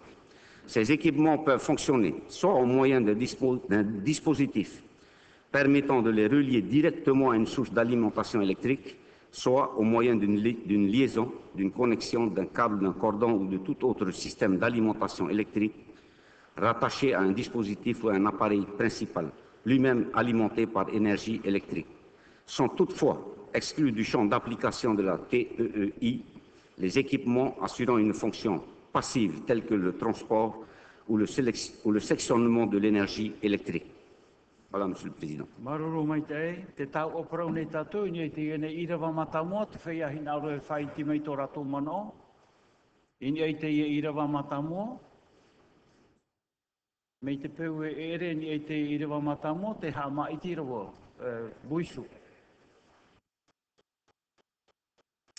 Monsieur le, le, Président, vous m'accordez la parole, donc euh, je présume que depuis ce matin, vous avez des problèmes avec notre sénateur. Je ne crois pas que notre sénateur, qui est aussi représentant, soit un représentant de deuxième classe. Il a fait un rappel au règlement sur la base de notre règlement intérieur. Vous devez lui donner la parole. Comment se fait-il que depuis notre débat de tout à l'heure, vous n'ayez pas encore consenti la parole à celui qui demande à ce que l'on respecte le règlement intérieur? Alors, donnez-lui la parole et ensuite revenons dans le débat.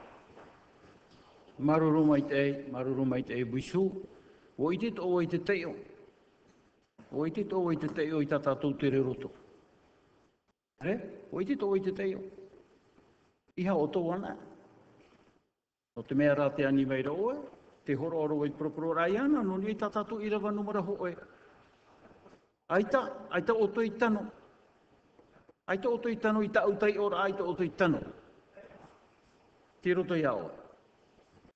Eh, Drolé. Article 18, réclamation, il s'agit d'un rappel au règlement. Et ce rappel au règlement est examiné préalablement à la question débattue elle-même suspend le débat. Pour quelle raison? Parce que à l'article, euh, parce que M. Vito Mamatoua euh, nous a attaqué euh, personnellement. Or, toute attaque personnelle est interdite.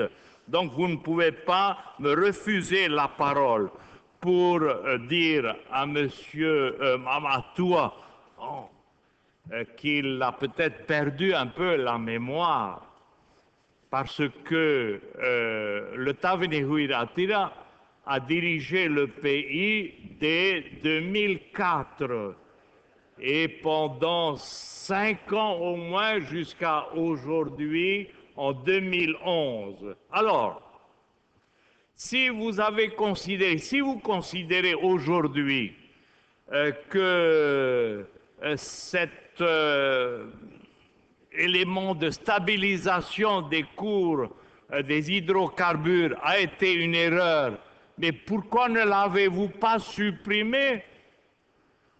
Vous l'avez maintenu, vous l'avez gardé jusqu'à ce jour. Et même vous venez l'abonder d'un certain nombre de millions.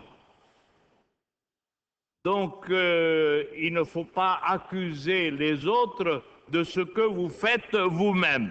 Ceci étant, pour en revenir à cet article premier, je voudrais euh, poser au moins deux questions euh, au ministre de l'économie. Vous avez, il y a à peine euh, quelques jours, voté votre plan de redressement, dans lequel plan de redressement vous avez claironné partout euh, que vous arriveriez et que vous avez réalisé une économie de 53 milliards. Ayant réalisé une économie de 53 milliards dans notre budget, vous venez encore imposer la population pour 120 millions? Quelle honte À moins que vos 53 milliards soient du bidon.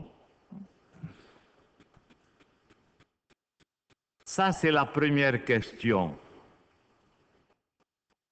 Si vraiment vous avez fait 53 milliards d'économies, vous n'avez pas besoin de taxer la population. Deuxième question. Ce plan de redressement a été euh, voté par votre majorité, puis voté euh, pour vous permettre euh, de débloquer les 2 milliards restants sur l'emprunt des 5 milliards que vous avez demandé à l'AFD. Première question, est-ce que vous avez obtenu le déblocage de cette deuxième tranche euh, des 2 milliards?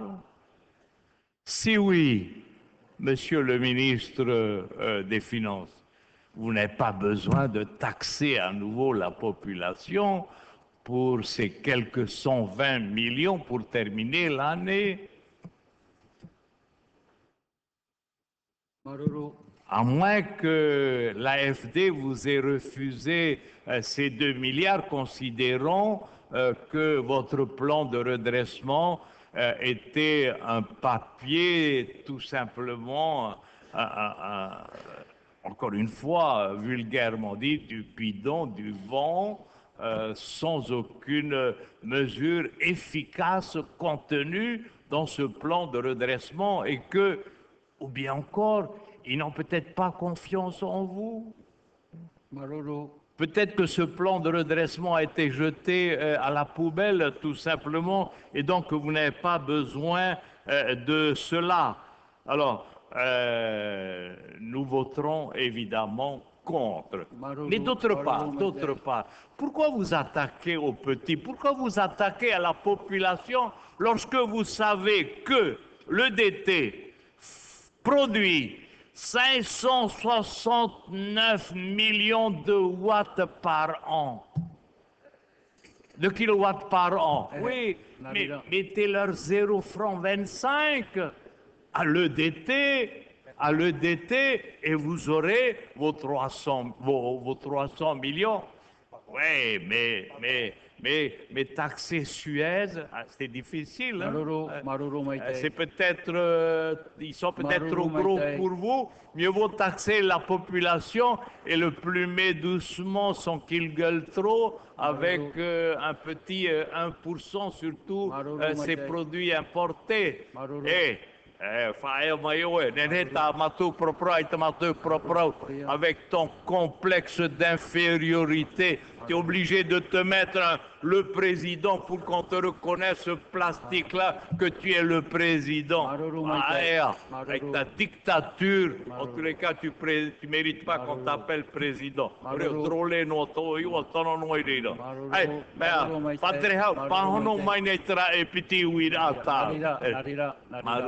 Te.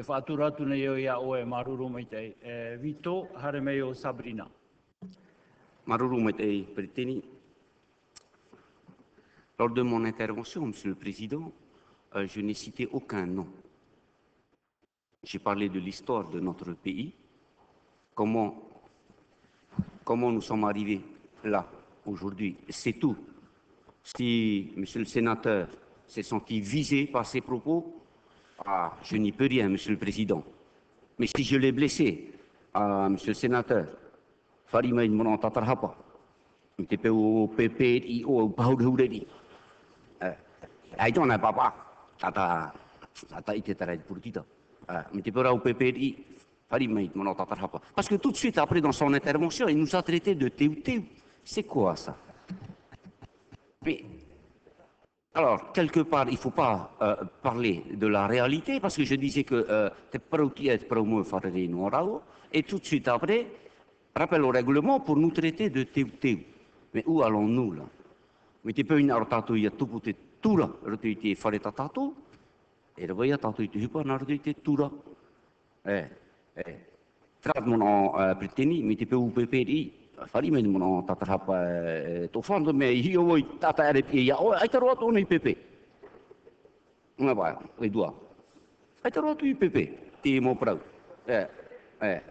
Hare me neo nā manu te o ça n'intéresse que le vieux, ce que tu dis. Eh. Tra. Mais euh, je n'ai cité aucun nom dans mon intervention.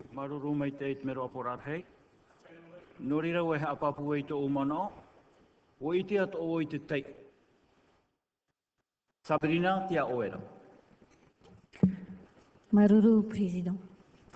Tout d'abord, avant d'intervenir, je voudrais remercier notre ministre Tony Giros pour euh, avoir retiré euh, le dossier sur le domaine public pour euh, donner du temps euh, pour qu'on puisse bien se concerter et que ce dossier puisse avoir une âme qui nous ressemble. Maintenant, sur euh, sur euh, le sujet, notamment l'article premier, notamment à la nouvelle taxation que le gouvernement souhaite mettre en place, je souhaiterais faire quelques remarques. Tout d'abord, à l'intention de M. Floss qui vient d'intervenir, je voudrais lui rappeler que c'est avec sa bénédiction que la société euh, qui produit l'électricité est devenue une société française. C'était sous sa gouvernance que cette société, qui était une société polynésienne, est devenue une société française. Et que de ce fait, l'argent, les bénéfices sortent du pays. Plusieurs milliards. Et donc, pour nous donner des leçons, je ne pense pas vous êtes qualifiés. Maintenant, je voudrais revenir sur quelque chose qui m'a profondément touchée ces dernières années. Et là, je m'adresse à l'ancien président, M. Tongson. Effectivement, mais vous pouvez l'écouter pour lui, hein, écoutez ce que je vais dire pour lui. Parce que je suis une habitante des îles sous le, de la presqu'île. Euh, en 2009, EDT était venu nous voir, nous les élus, en juillet 2009, par rapport à sa volonté d'avoir la concession sur Vaisha, qui est la Papeisha, la Vaiha, vous la connaissez, c'est à Faoné. C'est l'endroit le plus pluvieux de notre île. Donc, pour faire de l'hydroélectricité, c'est l'endroit idéal. Ce que je voudrais rappeler là-dessus, c'est que quand, à l'époque, c'était James Salmon, le ministre, euh, nous avons eu des réunions dessus parce que M. Salmon était contre, en raison des tarifs très élevés que proposait EDT. Et en tant qu'habitant de la presqu'île, je m'étais associée parce que nous souhaitions imposer un cahier des charges à EDT sur cette concession, notamment de demander à EDT de ne plus couper l'électricité. Parce que vous savez, pour une facture de 2000 francs non honorée, lorsqu'on vous la coupe, vous êtes obligé de payer 5000 francs d'abord et puis après 2000 francs. Et à la presqu'île, vous savez, beaucoup de familles aujourd'hui vivent sans électricité depuis des mois et des mois à cause de ces problèmes de facture. Et donc, étant, donné que nous avons estimé, nous de la presqu'île, que ce patrimoine hydroélectrique faisait partie de notre patrimoine, nous avons souhaité que soit inclus dans le cahier des charges l'obligation pour EDT d'assurer un service minimum gratuit. C'est-à-dire qu'au lieu de couper l'électricité, on impose à EDT de baisser le régime. C'est-à-dire quand vous n'arrivez plus à honorer les factures, l'électricité ne soit pas coupée entièrement, mais qu'on vous laisse la possibilité d'allumer une lumière et de conserver votre frigidaire pour pouvoir conserver les aliments, les médicaments et de permettre aux enfants de faire leurs devoirs le soir. Et donc, c'était dans l'intérêt de la population.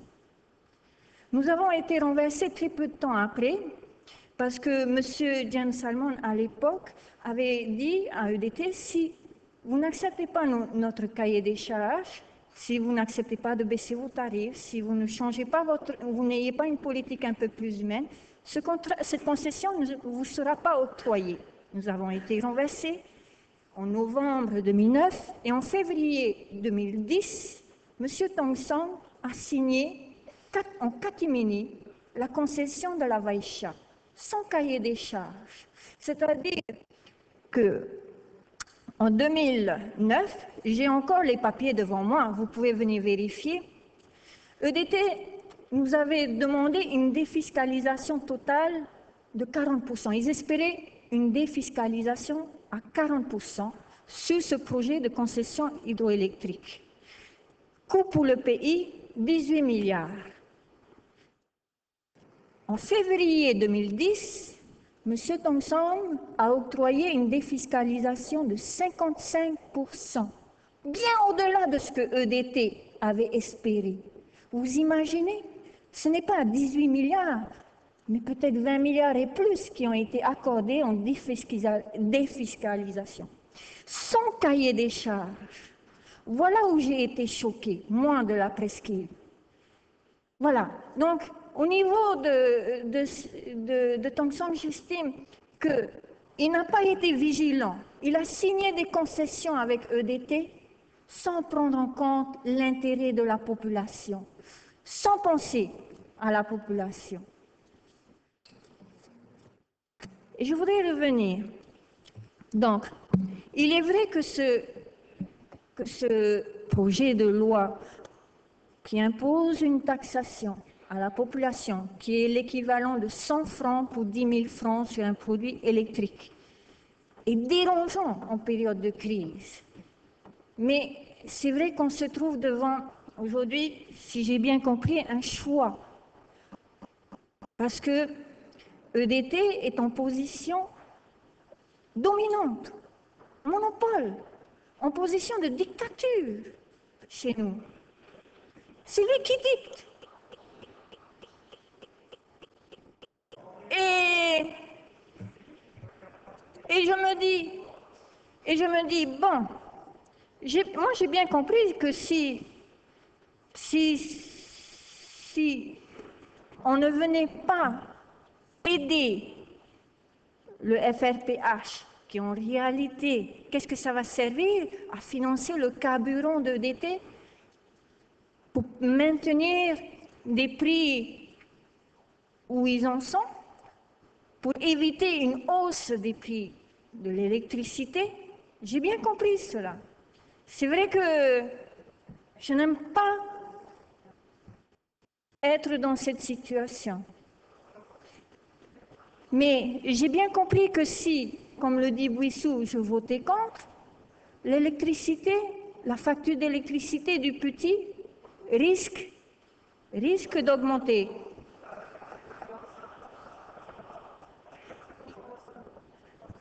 J'ai bien écouté les réponses qu'on me donne.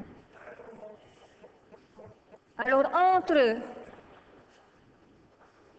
entre voir la facture d'électricité augmenter du petit et, on- et voir 100 francs sur 10 000 francs, alors, E hau, e hau, e hau. alors tane, heru, heru. Je, vais, je vais écouter encore les réponses. Vous pourrez poser, mais j'ai encore une dernière chose. Oui. Alors, sur l'article premier toujours, je voudrais juste dire. Et si on me laissait parler? Et si on me laissait parler? Parce que, vous savez, la vaïcha, je ne l'ai pas digérée. La vaïcha, je ne l'ai pas digérée. Le fait que la société EDT soit devenue une société française, je ne l'ai pas digéré non plus. Alors,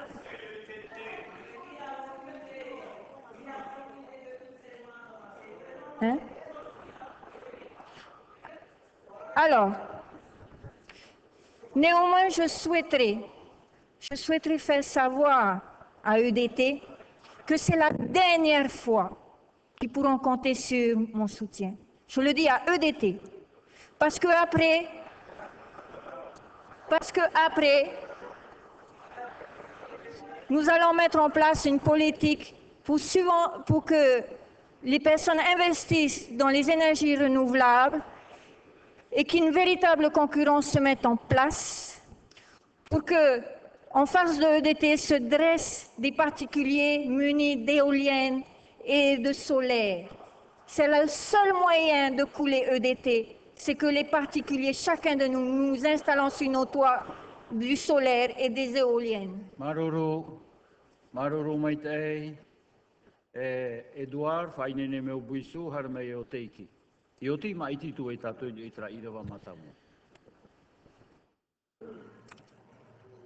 faut peut-être qu'on arrête de parler de l'EDT. On va finir par se mordre la queue. Parce que j'ai l'impression que ça nous fait tourner en rond.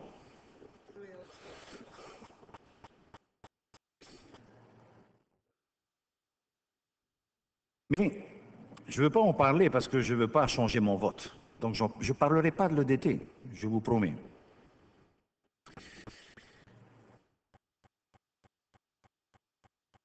L'article LPA définit le champ d'action de la taxe, champ d'application.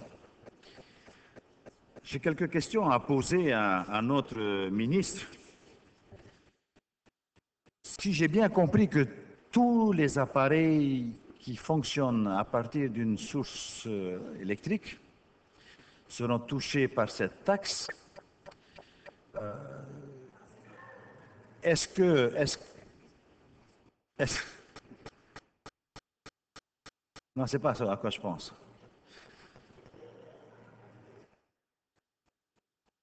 C'est, c'est pas parce qu'une femme se tourne vers moi pour que je pose la question à sa place que vous pensez à, ce- à cette chose. Apoto mai te oi mano.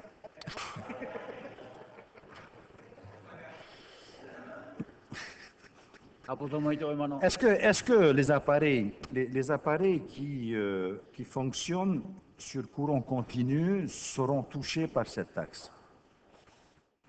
Est-ce que les appareils qui, seront, qui fonctionnent sur courant continu seront taxés, seront touchés par cette taxe? Dans les courants continus, vous avez ceux qui sont en effet autonomes. Je veux parler des, des matériels qui fonctionnent avec des piles. Euh, et, naturellement, tout ce qui est lié,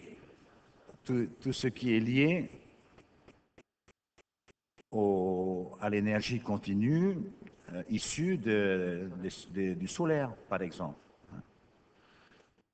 Ces produits sont-ils touchés par cette taxe?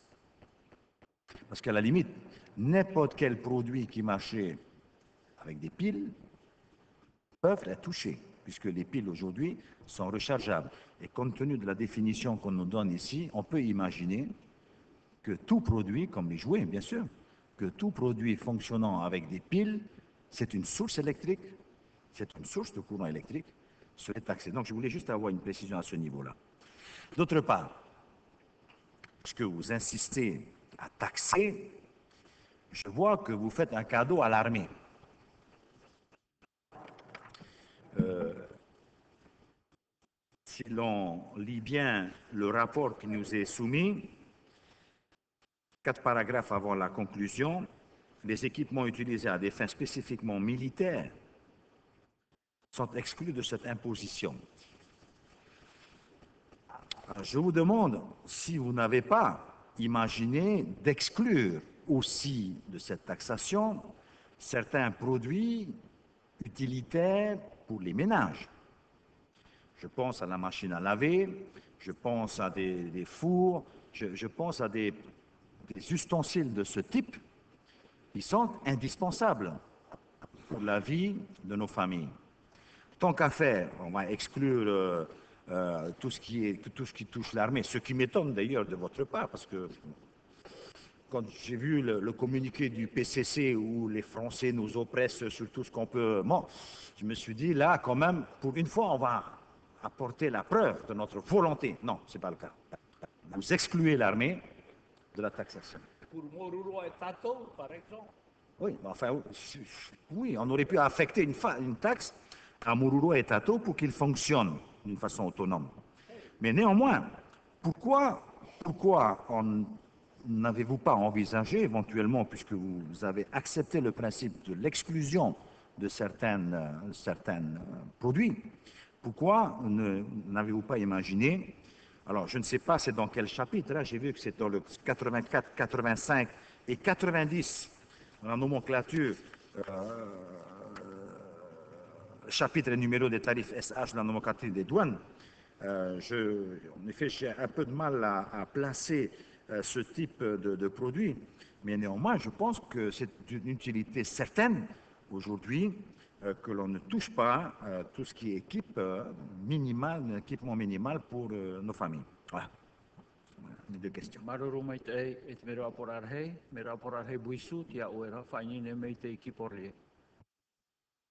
E. Euh, merci, Monsieur le Président. Mais c'était euh, le même sens euh, que de- de- des questions que je souhaitais euh, poser au, au gouvernement sur euh, l'application de l'article 1er, notamment sur les appareils électriques euh, achetés par euh, les foyers qui bénéficient d'une électricité à partir d'énergie renouvelable. C'était une question que j'avais posée tout à l'heure. Je n'avais pas reçu de, réponse d'ailleurs.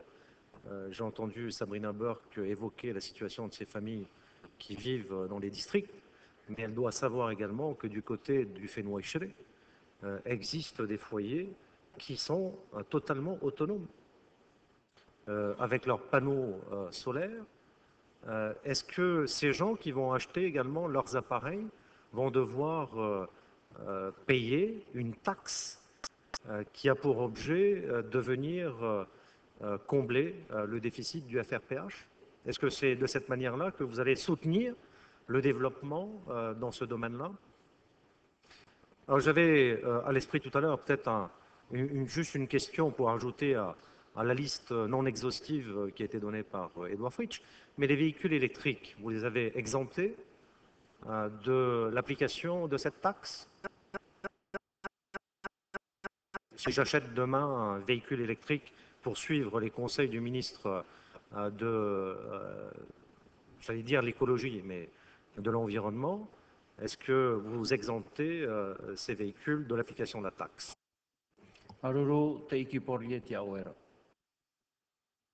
Merci, Monsieur le Président. Bonjour tout le monde.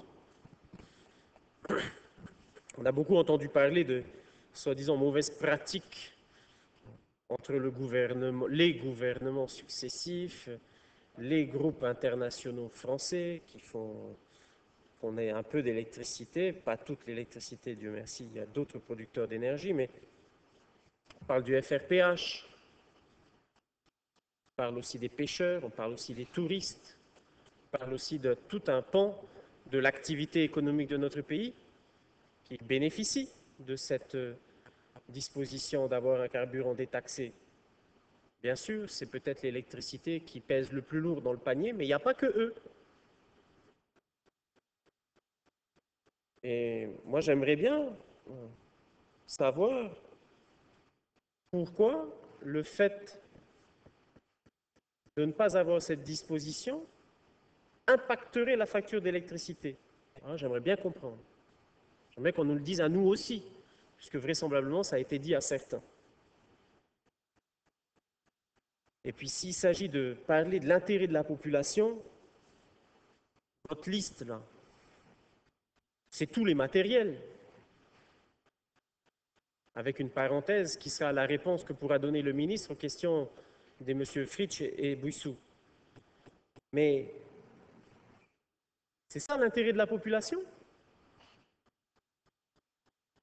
On ne peut pas faire la distinction entre des appareils électriques qui consomment beaucoup et des appareils électriques qui ne consomment pas beaucoup?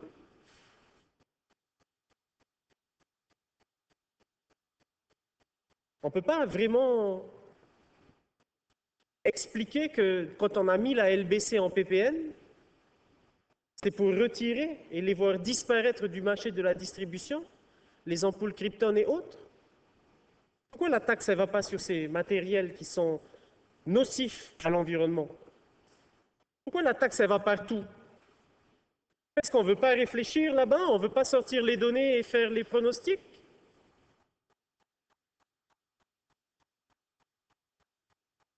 120 millions.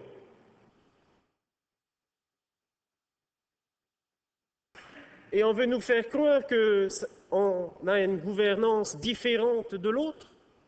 Où Où c'est différent?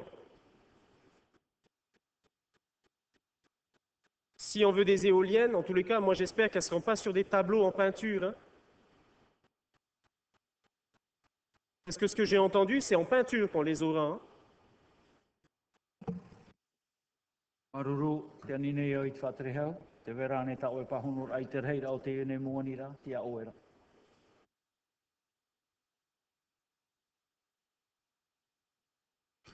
Maruru, j'ai écouté avec attention. D'abord, euh, bien entendu, euh, l'intervention remarquable de Monsieur le Sénateur, qui sait d'ailleurs utiliser le rappel au règlement, en lui rappelant que quand même, il faudrait peut-être euh, lui rappeler l'histoire. Aujourd'hui, vous me dites, allez, allez-y, prélevez une taxe sur le DT. Je venais de rappeler qu'en 2004, vous aviez accordé une exonération, une diminution de fiscalité à l'EDT. Ça, c'est connu de tous. Ensuite, euh, vous me dites, mais votre plan de redressement, 53 milliards d'économies. Nous étions le même jour dans la même séance? Jamais parlé d'économie. D'ailleurs, M. Edouard Fritsch, qui lui a bien suivi, a rappelé qu'il y avait des recettes des économies d'environ 5 milliards. Vous n'avez pas les mêmes chiffres. Alors des fois, on me fait dire ce que je n'ai pas dit. Et quand ça convient à tout le monde, vous le dites. Je n'ai jamais parlé de 53 milliards d'économies. Si c'était effectivement le cas, bien entendu, vous aviez raison, on n'a pas besoin de faire tout cela. Ce n'était pas le cas. Le plan qui a été présenté, je n'ai jamais parlé. Monsieur Frisch, d'ailleurs, m'a rappelé qu'effectivement, à ce niveau-là. Donc, c'était pour vous mettre d'accord.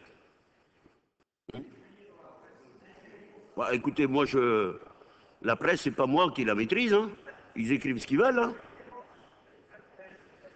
Mais je ne fais pas de démenti devant la presse, je la fais devant vous. Écoutez, maintenant, si la presse veut publier ce qu'elle veut, elle publie ce qu'elle veut. Je n'ai jamais parlé de 53 milliards d'économies. Mon Dieu, si les journalistes n'ont pas aligné les colonnes de chaque côté, hein, c'est très clair. Même le débat a porté sur le fait que même M. Thompson pensait que le budget 2011, je dis pas du tout, relisez bien le contexte. Je vois. Non, le mensonge est porté surtout pas celui qui répercute la même situation, qui l'amplifie. Alors à un moment donné, il faut arrêter. Hein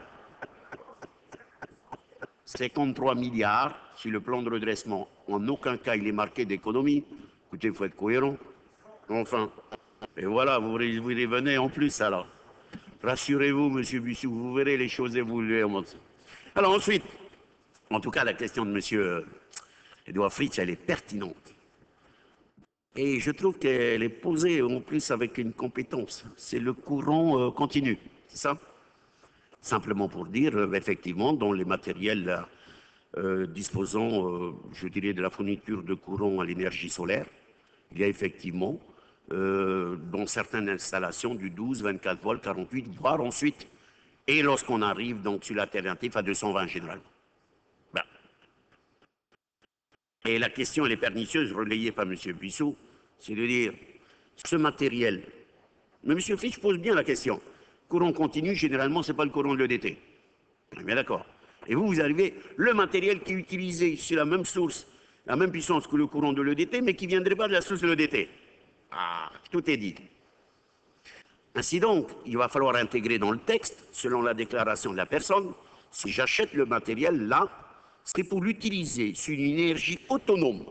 J'enverrai donc le contrôleur douanier pour aller vérifier et s'il sort de cette énergie autonome qui branche sur les réseaux publics, je dis, t'as pas droit, t'as pas payé la taxe. À un moment donné, il faut être réaliste. Vous savez bien. Vous savez bien, il faut être réaliste. Il faut être réaliste. Et, et ensuite, alors là, allez, la totale, c'est pourquoi ne pas exonérer le réfrigérateur, le clipin, ainsi de suite. Qu'est-ce que vous voulez taxer? Le seul qui a eu l'intelligence, c'est celui qui est derrière vous, M. Bussou. Comment? Ah oui, t'es qui toi? Il dit, mais pourquoi ne pas taxer les produits qui consomment le plus d'énergie? On y va alors Non mais on y va. Tu as raison, on y va. On va moduler alors. Tu es d'accord alors pour mettre une taxe? Ou alors tu vas te faire rappeler par le groupe, allez, n'y va pas là, attention. Hein. Tu es bien d'accord Hein? Non, mais attendez, je pose la question parce qu'on m'a posé la question. Alors j'essaie de comprendre moi aussi. Chacun navigue de son côté pour savoir où on arrive. Mais je sais bien que vous n'en voulez pas de Texas. Très bien. Et alors Moi, je l'ai posé. On l'a débattu. Mais la réalité, la réalité, vous savez bien que si je, soumets la taxe à la condition de la destination de l'usage de l'appareil, encore faut-il avoir les compétences pour aller vérifier jusqu'où c'est utilisé. je ne veux pas favoriser en plus un système de fraude. C'est très clair. La déclaration va être là et après, ça va être utilisé ailleurs. Donc, donc voilà pourquoi les limites du texte et la situation. C'est tout. Vous le savez bien. C'est la distinction. Voilà, Monsieur le Président, les réponses que je puis apporter sur les interrogations qui sont soulevées. Mais je suis... Alors la voiture n'est pas concernée, ça ne figure pas dans le chapitre, rassurez-vous, c'est dans le PV. Hein? En ce qui concerne le milliard de la LD, je ne vois pas où se trouve cela dans l'article premier. Ah oui, je sais pas. Alors rappelez-moi à quel niveau de l'article premier que je trouve ce dispositif. C'est pas là-dedans. Bon, très bien, merci. Merci, Monsieur le Président. Merci, Monsieur le Président. La demande concernant les voitures électriques aujourd'hui pose la réflexion en matière de gestion des énergies. Les développements des véhicules électriques aujourd'hui, vous faites le tour de l'ensemble des constructeurs. Aucun n'est capable aujourd'hui de proposer un produit qui nous permet d'avoir, en matière d'investissement, le retour attendu. Donc on n'est pas encore prêt technologiquement à ce niveau-là. Le second élément, si on reste sur une logique en disant ça fait écolo d'avoir des voitures écologiques, il faut savoir que le temps de charge que vous avez et que vous devez avoir nécessite une consommation. Sauf, effectivement, à basculer sur une gestion de l'électricité où tout un chacun installe chez soi des panneaux solaires en autoconsommation. Là, effectivement, c'est intéressant. Encore faut-il savoir qu'un véhicule qui va au-delà de 100 km a quelques difficultés de revenir en arrière.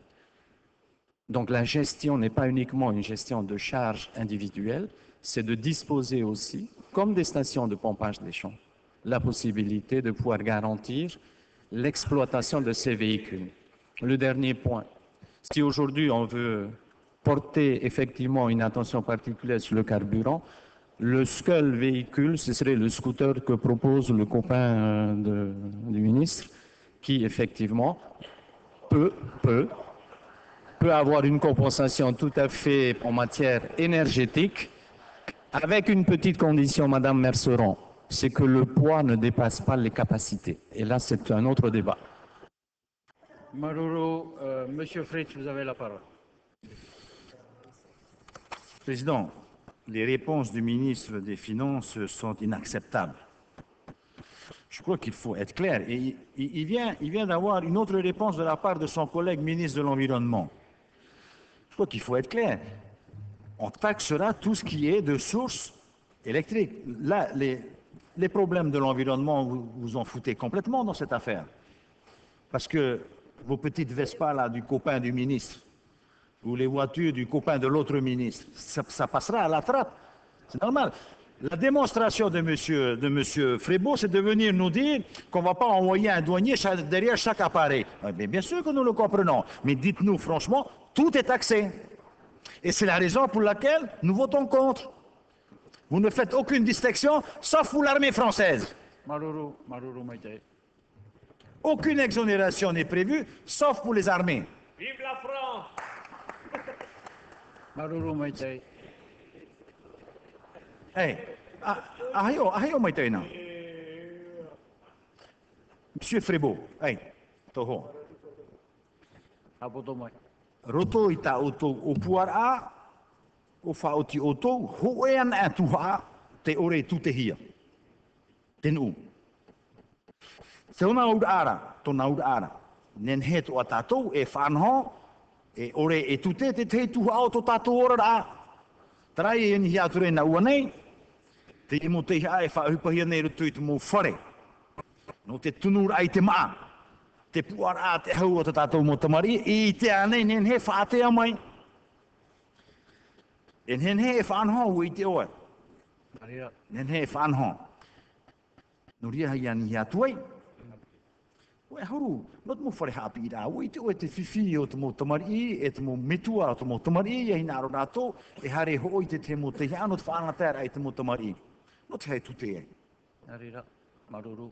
No te hei tu te, no te mei te imhana ua i te oe, e i te te mō metua e nen he whaahau e, e horo ai tā rātou tuha, e te i e tātou harature a te imha tua. Nā roto i te i e tu tera. Tara anō, Maruru. me, mai hia rātou e te tumitera teitei. Maruru. Maruru mai tei.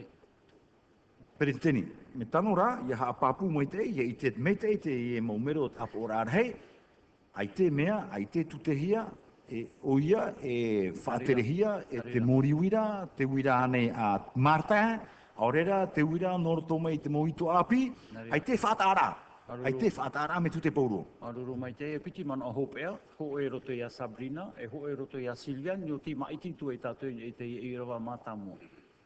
Eh, Sabrina tia oera. Merci. Si on les écoutait, on serait complètement embrouillé. hein. Bon. Je voudrais juste revenir sur quelques points, notamment sur la taxe. hein. Il est vrai que pour ma part, elle n'est pas parfaite, mais dans la situation actuelle, j'ai écouté les, arguments des uns et des autres. hein. C'est vrai, je suis dans la majorité, c'est vrai que j'ai un accès privilégié aux réponses euh, des ministres. Et, et donc, ben, vous n'avez qu'à venir dans la majorité. Hein? Ne vous plaignez pas. Si vous voulez avoir des réponses, vous savez où. Je suis dans la majorité, je suis non inscrite. Eh, je n'ai pas de compte à vous rendre. Ma position est claire. Hau, e hau, e hau. Quand, Maru, maru, maru, maru. quand on veut des réponses, il faut savoir comment faire. Hein? Hauti mai toi e mana. Hauti mai. Hauti mai. Attends, toi tu m'as répondu pourquoi tu as, tu as donné ta bénédiction pour que EDT devienne une société française Hein? Tu as répondu? Non. Maruru Sabrina. Alors, Hop. vous me laissez parler? Un peu de respect, je vous ai laissé parler.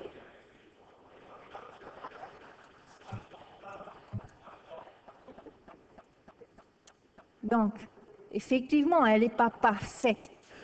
Mais je reconnais, ça fait que quatre mois qu'on est là. Je reconnais le travail que notre ministre Jacques Brion est en train de faire. C'est vrai, j'ai fait des reproches à notre ministre Frébeau parce que pour ma part, je ne t'ai pas demandé de parler. Hein?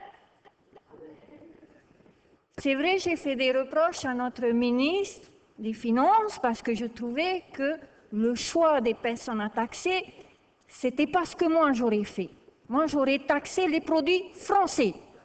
Hein Vu que c'est une société française, eh ben, pour financer cette société française, j'aurais dit taxer le fromage, la charcuterie, le vin. Voilà comment j'aurais fait. Mais je ne suis pas ministre. Néanmoins, j'ai l'espoir, parce que je fais confiance, sinon je ne serai pas dans la majorité, que ce que je dis sera entendu et qu'on mettra rapidement en place une politique où on va subventionner une politique d'énergie renouvelable pour faire la guerre à EDT, parce que c'est le seul moyen de subventionner les produits photovoltaïques, les produits électriques, comme les voitures, les moteurs hors bord pour aller dans les îles qu'on ne trouve pas ici, mais pourtant qui existent depuis 10 ans ailleurs, ces petits moteurs qu'on branche sur les panneaux solaires et qu'on peut aller avec sa pirogue à la pêche. Euh, de mettre ces produits en place, ça, et s'il si, faut le faire, ben, moi je dis, ben, taxons les produits français qu'on importe parce que c'est une clientèle française qui consomme et qu'il faut qu'ils nous aident aussi. Maroro, Maroro. Alors l'armée, hein, l'armée, j'ai une petite remarque là-dessus. Alors, laisse-moi parler et tu auras ma réponse. Alors, pour l'armée, il faut savoir que euh, l'armée assure la protection de nos eaux contre les pêcheurs chinois, indonésiens, coréens. OK? Hello. Hello. Eh, laisse-moi terminer. Laisse-moi terminer. E e. L'océan, la ZEE, c'est notre garde-manger. C'est ce qui permet à des pêcheurs de manger. Mais il est vrai que l'État a procédé à une baisse sur le budget carburant. Hein? Et ce qui fait que le harafénois ne peut pas bien protéger notre, notre ZEE. Et que de plus en plus, il y a des, des entrées dans notre ZEE que je qualifierais de pirates. Et donc, je suggère à notre ministre, puisque il ne veut pas taxer les produits électriques français, eh bien, qu'il leur impose à augmenter le budget carburant du patrouilleur arafénois pour protéger notre patrimoine. Maruru. Maruru mai te, uh, tawana uturua te aoerat mana hopea. Pretini maruru, whatrehau, whatrehau heine, yarana,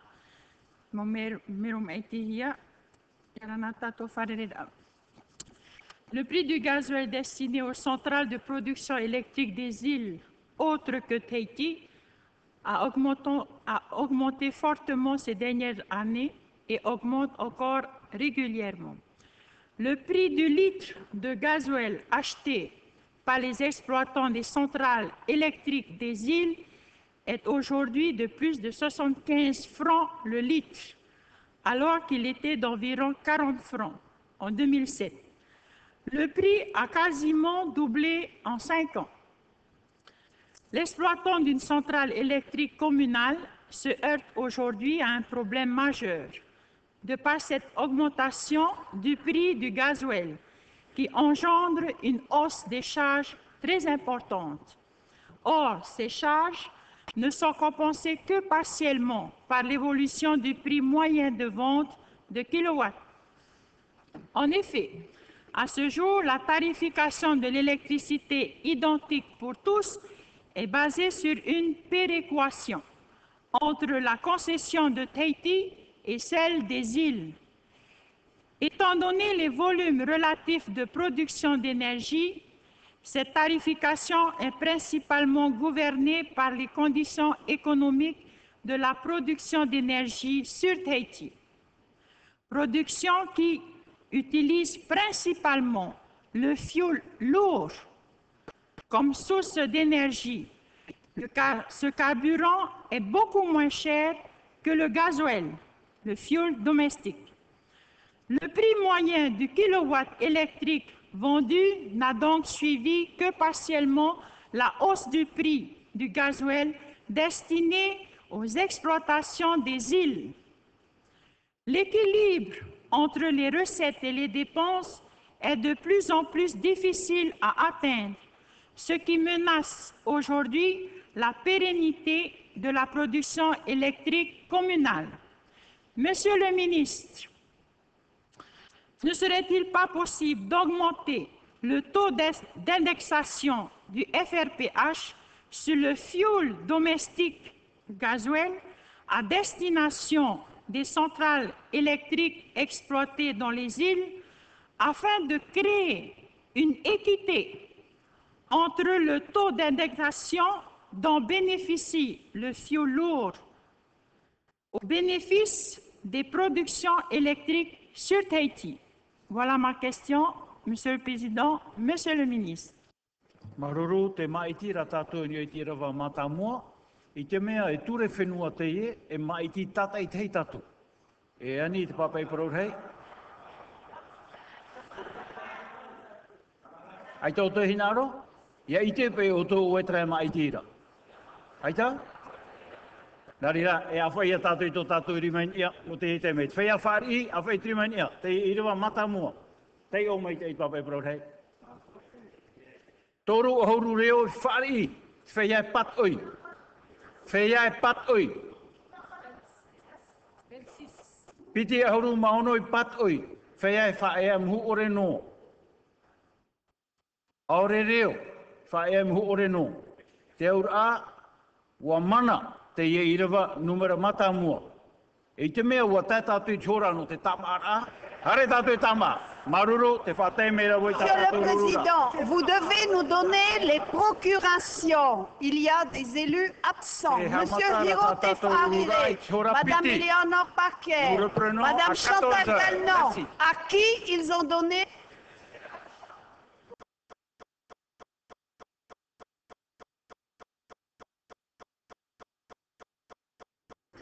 Te hamatara tātou.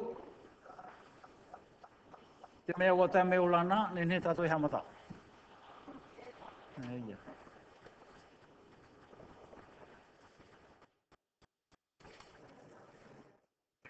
Me te pai ai te ani e rapelo reglement wha hiti he tō i oa, na o e pahono mai, ai ia o tiohu tātou. E, te mero aporar he vito mamatua, te o mai tā tātou i rawa numara piti, i rawa o te e ture Ferdinand, whenua. Ferdinand, te te ine, ine. Ferdinand, mono ia maruru. No na o ho o ia hari tu e mo, na ro mato e marama mato atu e fan ho mai tira e tupu hone. E hia te i maiti, o e mā te mutia o te maiti ni procuracion. Maruru. Nā rira i te mea mea ni maru mai te horo ahi atura te, ro- te numera i roa mai te epepe. e tara te numera hare roi tiopea. Eh? Hare roi ni chopea, maruru mai te. Alors, 30 ont voté pour et il y a 26 contre. Pour les procurations, alors, procuration, nous avons, nous avons les procurations de Mme Bobtimon, de Tamara, Mme Jennings, Patricia, de Mme Ishonouté à M. Vito Mamadoua, de M. Rapporteur Jean-Marie Mme Françoise Tamar, de M. Romataro Fernand, Mme Juliana Mati, de M. Tefarere Hirohita à M. Georges Anderson, de Mme Tuchobia Catherine à Mme Marise Olivier, de M. Outia Damas à, ma- à M. Ruben Terematé, de M. Vernodon Clarence à M. Myron Matawa, de M. Alpha Teari à Mme Chavi Daphné, de M. Lisan Marcelin à M. Mita Tripaya, de Mme Marie à Mme Sylviane Teruater, de M. Robert Tonso à M. Tchunturoro, de M. Tongson Gaston à Mme Rosine Brodien, de Mme Irti Teura à M. Frédéric Rebeta, de M- Isal Hefer à M. Flos Gaston, de M. Comitini René à Mme Monique Richton, de M. Temeharu René à M. Edouard Fritsch, de Mme Venodon Béatrice à Mme Teiki, à M. Teiki Porlier, de Mme Fribourg-Jouel à M. Benoît Coutey, de Mme Atoaliuni à à M. Teina Mareura, de Mme Parker Eleanor à Mme Liliane Meiroto, de Mme Galnon Minari à M. Jacques Droulet. Maruru mai te e, ua maramarama mai te e oto, ua maramarama mai te e oto, ai to o te horo i te e mai tira ai tawara, ni piti,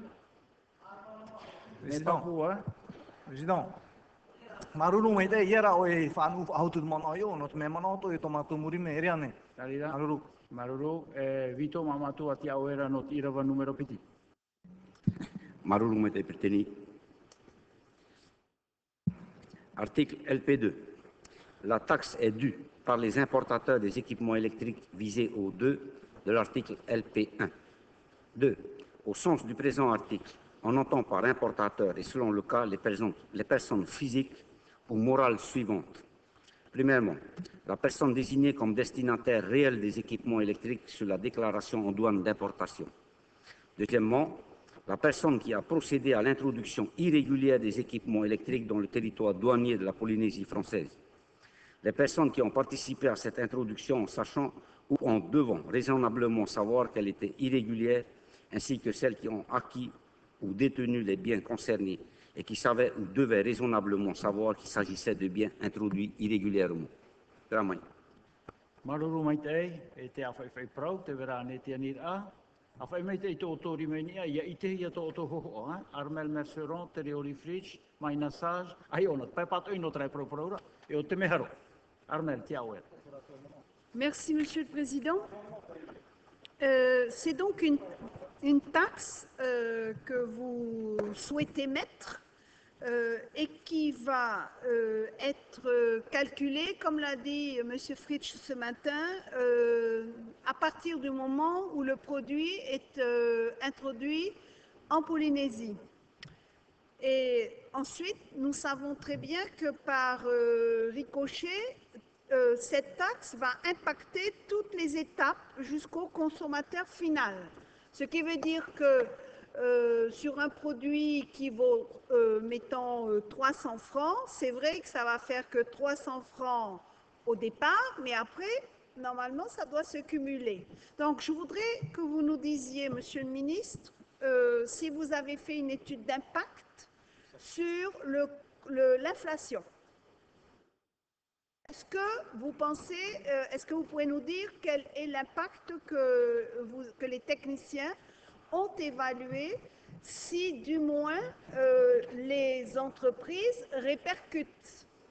Parce que je pense que dans votre calcul, en n'ayant mis que 1%, ce que je me suis demandé, mais comment ça se fait que M. Pierre Frébault fait, fait ce texte uniquement pour une taxe de 1% qui va rapporter que 300 millions? Vraiment, je trouve que c'est lancer loin son filet pour un tout petit poisson. hein.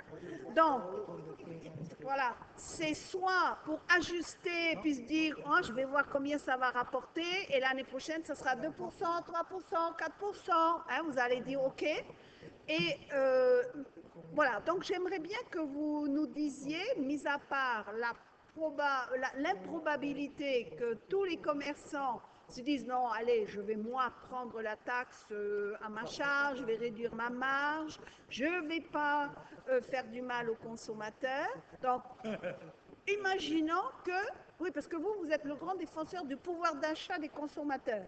Donc là, j'arrive pas à comprendre, parce que là, c'est tout le contraire que vous êtes en train de faire. Alors, racontez plus des histoires sur ce sujet, euh, sur le pouvoir d'achat, parce que vous faites tout le contraire. Donc, j'aimerais que vous nous disiez quel est l'impact si mécaniquement les, euh, tous les stades de distribution répercutent cette taxe de 1%. Maruru mai te e Armel, e Edward Fritsch, me roa porarahi Fritsch, ti au era. Non, c'était un petit peu le sens euh, de la question que je voulais poser, euh, à savoir quelle était euh, la répercussion, puisque après la démonstration de Myron Matawa ce matin à la radio, je me pose des questions en effet. Euh, il faut intégrer en effet enfin, tout le reste de la chaîne. Ceci dit, Monsieur le Président, je ne sais pas si mes collègues de, la majorité se rendent bien compte de la portée de cette loi. Euh, ce matin, on a parlé en effet de... On nous a précisé que tout, matériel euh, marchant euh, sur une source électrique était euh, touché euh, par, euh, euh, par cette mesure. Mais euh, je voudrais que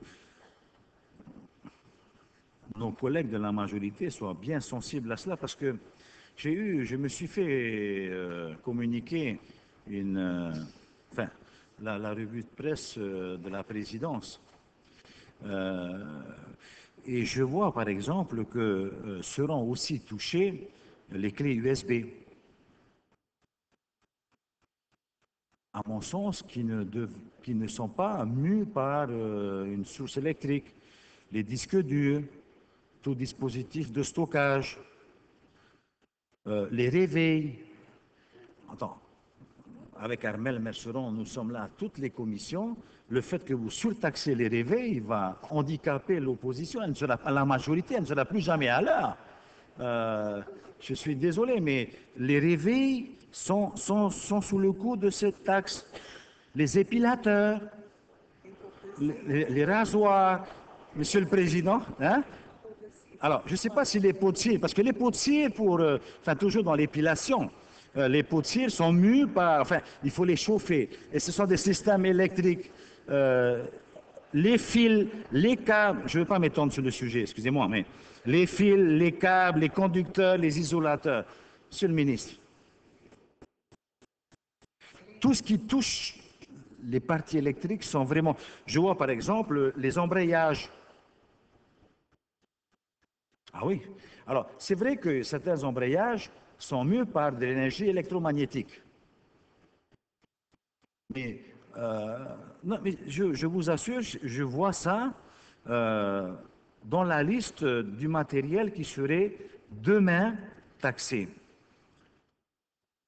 Alors, est-ce que vous pouvez nous rassurer? Parce que, bon, les épilateurs, les rasoirs, bon, Monsieur le Président, je sais que vous n'en utilisez pas, mais enfin, euh, vous savez, il y a des services aujourd'hui qui coûtent très cher. Et certains sont obligés de s'équiper d'épilateurs et de rasoirs. Mais enfin, euh, voilà. Je ne sais pas si, je ne sais pas, Monsieur le Ministre, nous avons besoin d'être rassurés sur le champ d'application. Je suis désolé, je fais peut-être appel encore au- à l'article 1, mais néanmoins, je crois que c'est c'est normal que l'Assemblée demande à être complètement informée là-dessus. Eh. Oui, merci. Monsieur le ministre, euh, avant, de venir plus en détail sur cet article, je voulais vous demander euh, si vous aviez au préalable euh, de la préparation de ce texte essayé de négocier avec EDT, discuter, est-ce que vous avez discuté avec EDT pour une éventuelle prise en charge d'une augmentation du coût des hydrocarbures ce, que je regrette par rapport à ce texte, c'est qu'il n'y a, a eu aucune concertation, il n'y a même pas d'avis du, du CESC, vous n'avez pas engagé de discussion avec le DT euh, pour justement une réflexion à long terme sur une modification du fonctionnement du FRPH pour tendre vers une vérité des prix. Ce qui m'inquiète d'autant plus, c'est qu'on apprend dans les couloirs, alors Bon, pour l'instant, ce sont des rumeurs, qu'il y a d'autres textes en préparation. Tout le monde s'étonne de pourquoi ce 1% sur la taxe, mais je vous rappelle, chers collègues, qu'il y a 2-3 ans, on avait déjà reçu une proposition de loi d'un des élus de la majorité actuelle qui prévoyait un 1% de taxe sur du matériel, sur du matériel euh, électrique, électronique, audiovisuel, qui, était, qui normalement devait être destiné à aider le secteur de l'audiovisuel. Donc moi, j'ai l'impression, Monsieur le ministre, que face à vos problèmes de trésorerie, vous avez ressorti euh, des archives de ce qui traîne dans les dossiers qui ne sont jamais passés à l'Assemblée, une proposition d'une taxe de 1% qui est là depuis 2-3 ans, et vous avez dit, ah, ben tiens, pas mal, et puis vous l'avez détourné au profit du FRPH, et le pire dans tout ça, c'est que vous aviez un moyen beaucoup plus simple pour combler ce déficit, c'est en ayant le courage d'augmenter les prix. Mais ça, vous ne vouliez pas le faire. Donc vous êtes dit, la pilule passera mieux en inventant une taxe de 1%. Parce que la réalité, c'est qu'aujourd'hui, votre FRPH, vous venez le financer parce qu'on maintient des prix à un certain niveau. Alors vous, vous nous dites que vous avez augmenté dernièrement au mois de mai, au mois de juin. D'accord? Mais si c'est pour monter une nouvelle taxe qui demande une loi de pays pour venir financer à un moment un problème conjoncturel, parce qu'il nous manque un milliard d'eux, et vous, balancez une taxe qui va nous rapporter 300 millions, on a l'impression que c'est un peu tiré par les cheveux quand même. Alors ça, c'est un point. Deuxième point, c'est qu'on apprend aussi, donc comme je disais, qu'il va peut-être y avoir de nouvelles taxes. On entend parler d'une taxe de 2% sur l'électroménager qui servirait un peu sous forme de caution à amortir le coût du recyclage de ces produits, qui seraient en cours peut-être dans le secteur de l'environnement? Eh oui, alors c'est peut-être moi qui vous l'apprends, mais je vous assure que c'est en cours de gestation chez vous. On apprend qu'il y a une autre taxe sur l'audiovisuel, parce que comme vous avez piqué ce texte-là, celui de 1%, alors apparemment il y a un autre, un autre texte en préparation pour soutenir l'audiovisuel. Donc euh, on fait du coup par coup avec des petits montants de 1%, se disant que ça va être indolore, mais un, je pense qu'il y a un, un manque de transparence sur l'ensemble des projets de texte de taxes que vous avez en cours. Et deux, il y a quelque part aussi euh, un, sentiment qui est en train de, germer au sein de la population que, vraiment vous êtes en train de, de clairement euh, essayer de détourner l'attention, alors que la vérité, c'est que vous avez d'autres moyens, vous avez d'autres leviers pour faire face à ces dépenses. Donc là, on va, on va, on va venir taxer de 1% tous, les maté- tous- tous- tous ces petits matériels de tous les jours, euh, alors que vous pouviez très bien euh, jouer sur les, aujourd'hui les prix que vous fixez. Maruru mai te maina. Donc, euh, expliquez-nous, en tout cas, pourquoi vous n'avez pas consulté le DT, vous n'avez pas essayé par tous les moyens, avant de proposer une taxe, par tous les moyens, de voir comment négocier peut-être même un- un- une prise en charge partielle de cette augmentation par notre partenaire qui est le DT. Merci.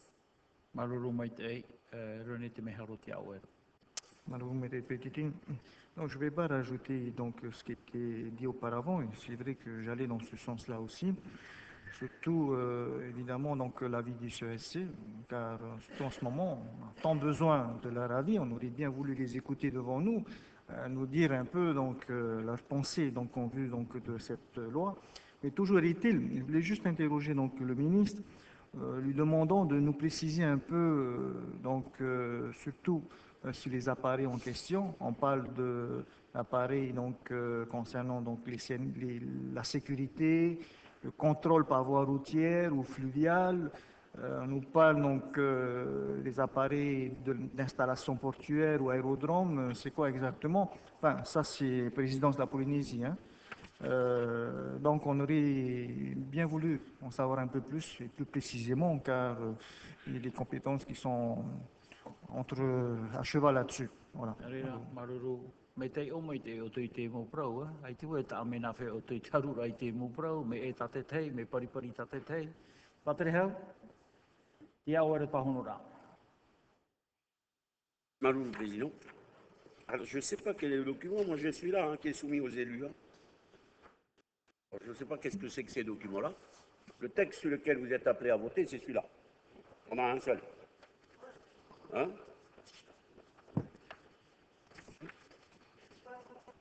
Ben si, vous allez annexes les chapitres. Les annexes sur les chapitres. Vous Voilà. C'est toutes les positions concernées dans les annexes. Alors maintenant, vous allez me rechercher des produits ailleurs. C'est dans la liste. Hein? Ensuite, Madame Merceron, euh, vous nous faites l'exposé, la vision des choses, et vous me mettez en garde les élus sur ce que je vais vous répondre, que vous répondez déjà.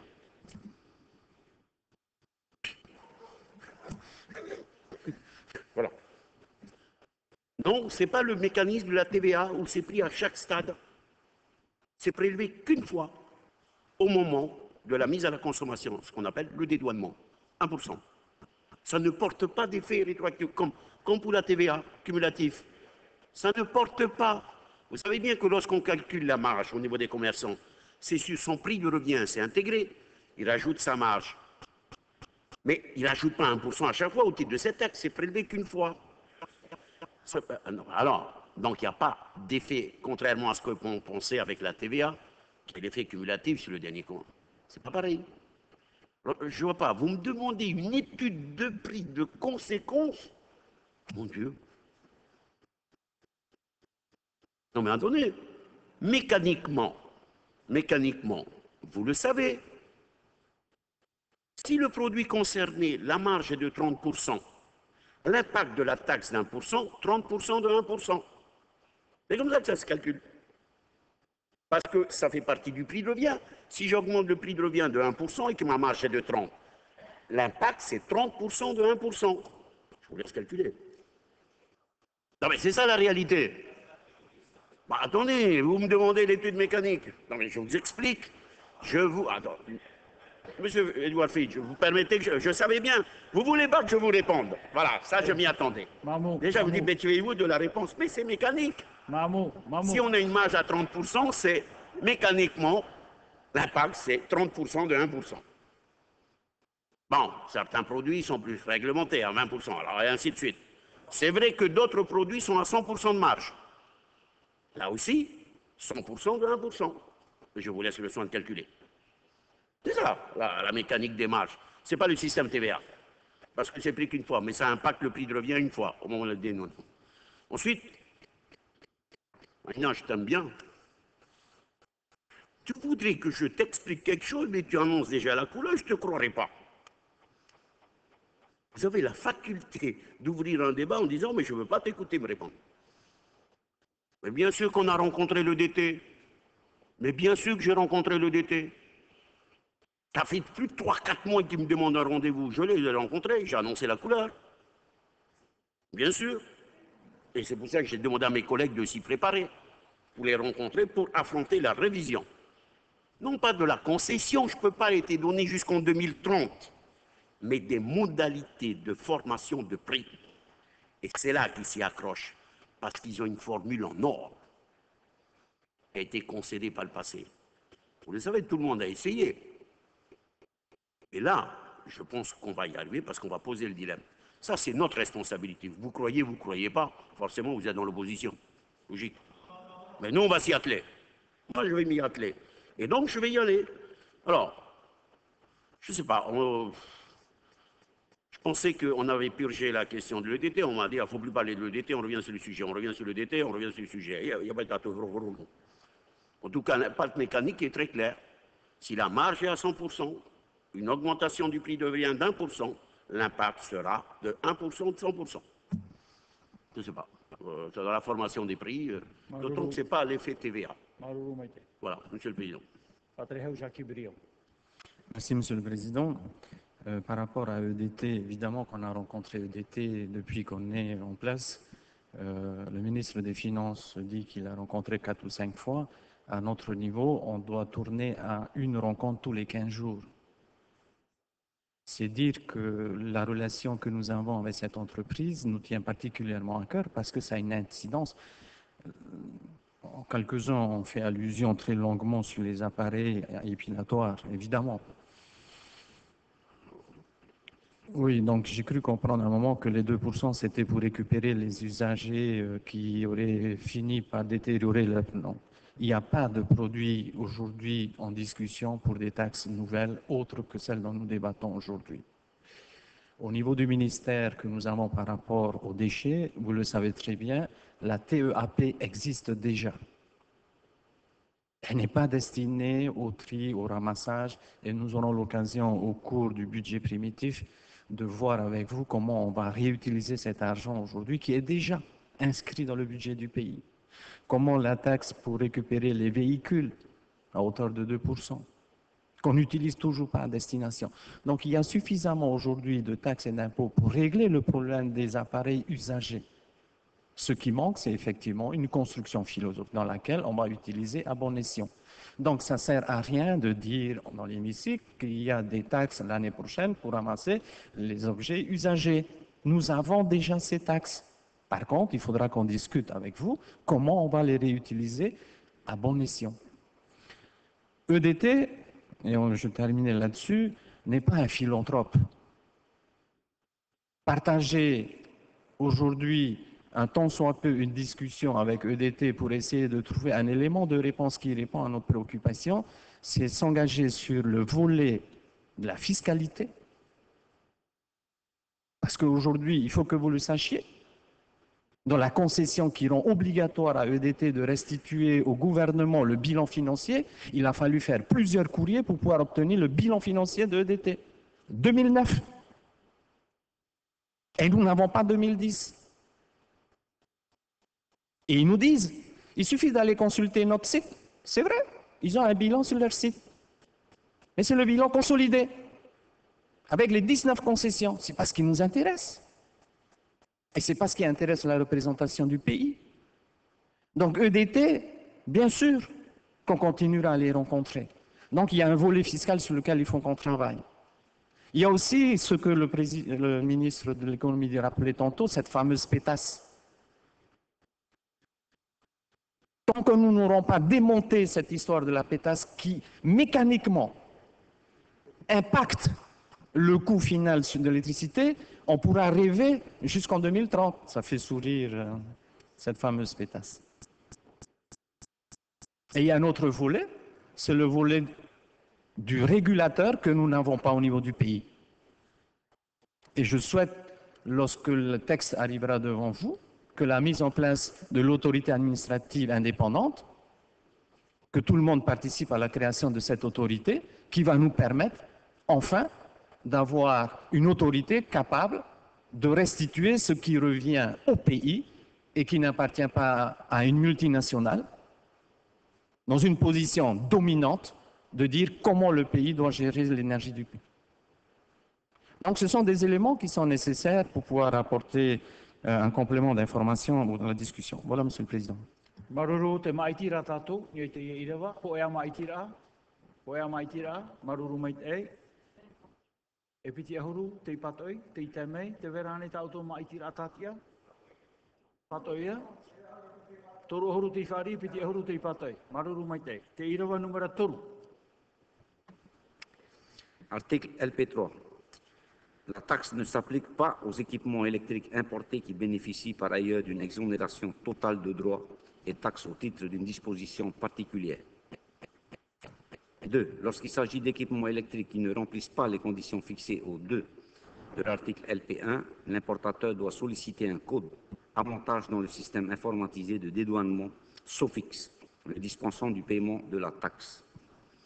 Il lui appartient toutefois de justifier de cette exemption à la première réquisition du service par tout moyen, notice, prospectus, documentation technique, fiches descriptives, etc., décrivant l'équipement, son usage et ses caractéristiques techniques et fonctionnelles.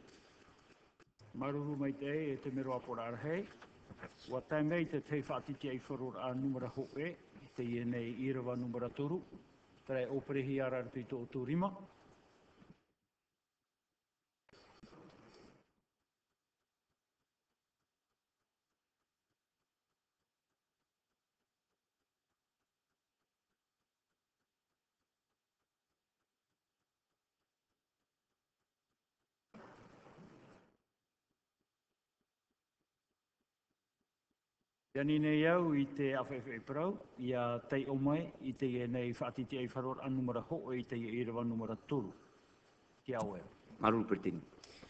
Il est proposé de, ré de réécrire le 1 de l'article LP3 du projet de loi du pays comme suit. 1. La taxe ne s'applique pas aux équipements électriques importés qui bénéficient par, par ailleurs d'une exonération totale de droits et taxes au titre d'une disposition particulière.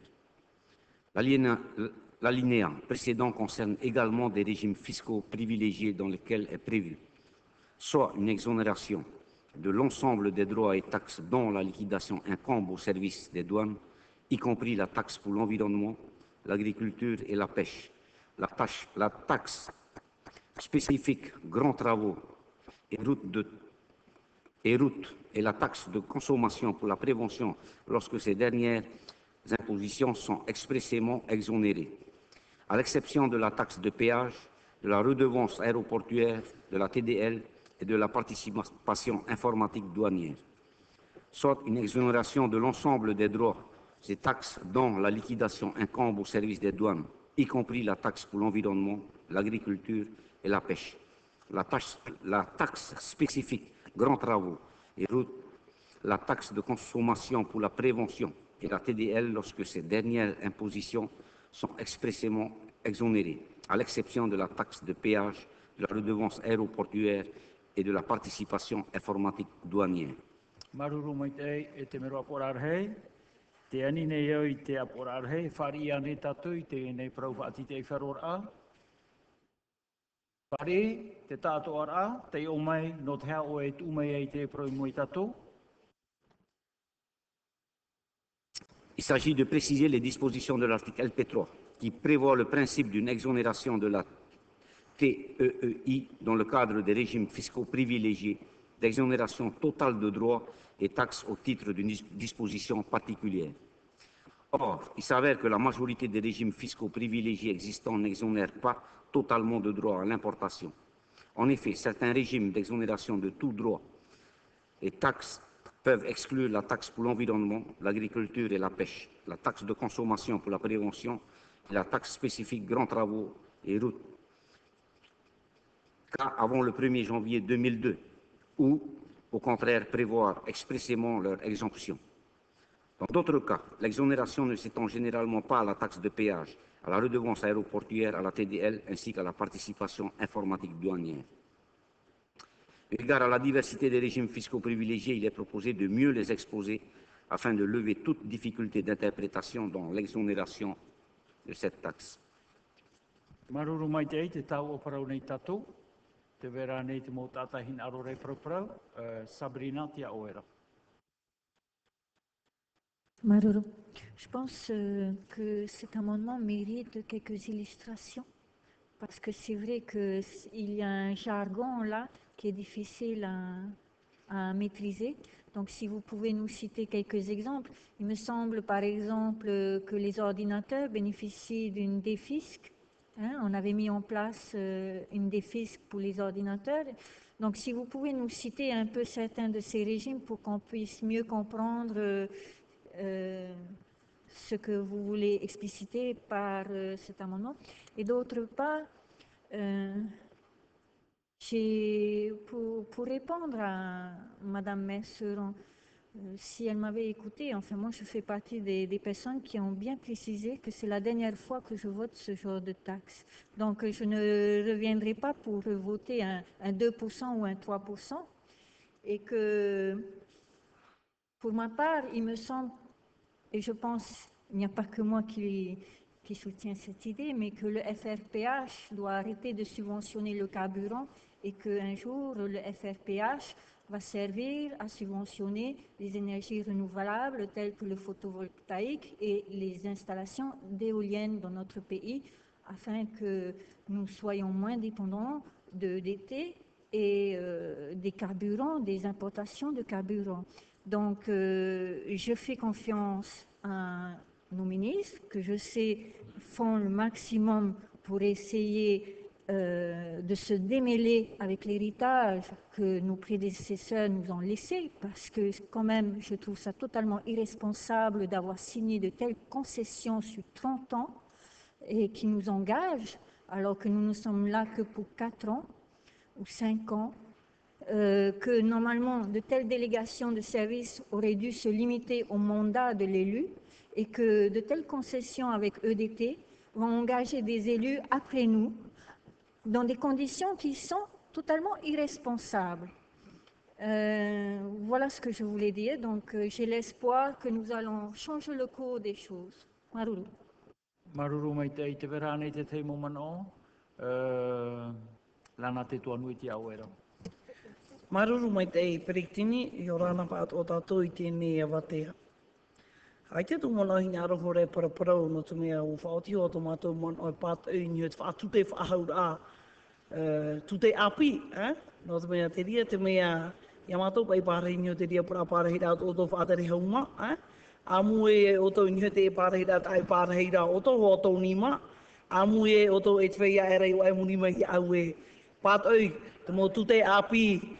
I te te mei parahi e mātou rūt whaatare ahau whenua, me papu mai te tūmana o te mahana, ai te o mana o te mahana i o mai ti e tu te api. Hauru atu e tūmana o nora, no te mea karampu rātahi a i tāpa ohu ia roto te parapi paro, o ti tō te e te pia i te e pēpau. Te mō tehi aho a tātou tātou mprawhai a i, hare nei kārwhore mai, i te si te hare roto nātou tāpura whare tō. Ha?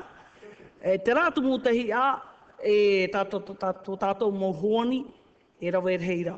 Mi pōra whaoti o tō e tātou pērei te mana, e whaatu te inhio tātou maho e nio chanere. ti autoura, whaoti rai te mahana wharo, mai te rau te parau awito i te pēpē. nā ki nguna e whaito, i a tae te mahana whaito ra.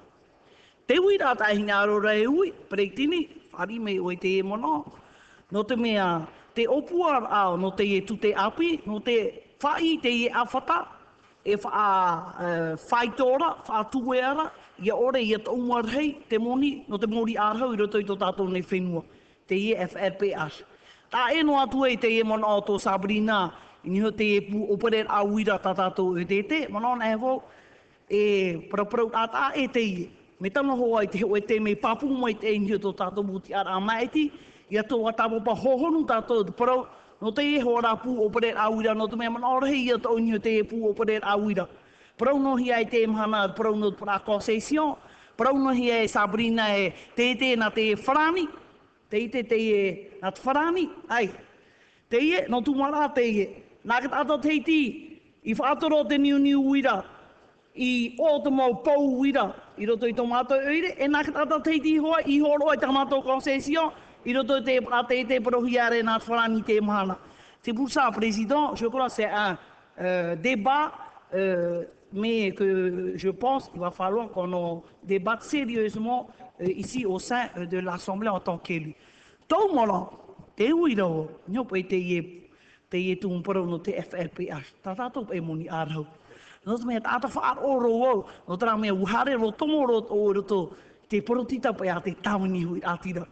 Te mau mateiti o hare hia mai roto, mō tau paro ti tātoa.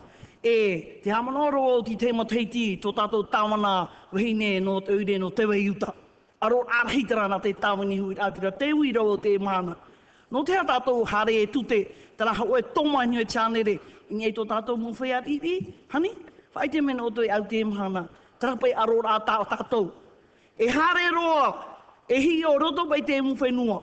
Tā te e pai mpura ona mori ārhau roto i tō tātou whenua, poroira tā tātou mori ārhau, Nō te e ho mai rātou, ohoru tā rātou mōni ārhau, i roto whenua tā rātou harere he o mai, e ia tā mai o tātou, i roto i tā tātou mu hei tito rā, o tātei ahuru, o tātei hanere te moni, o te ritera mōri ārhau, tā tātou e o whaure te mana.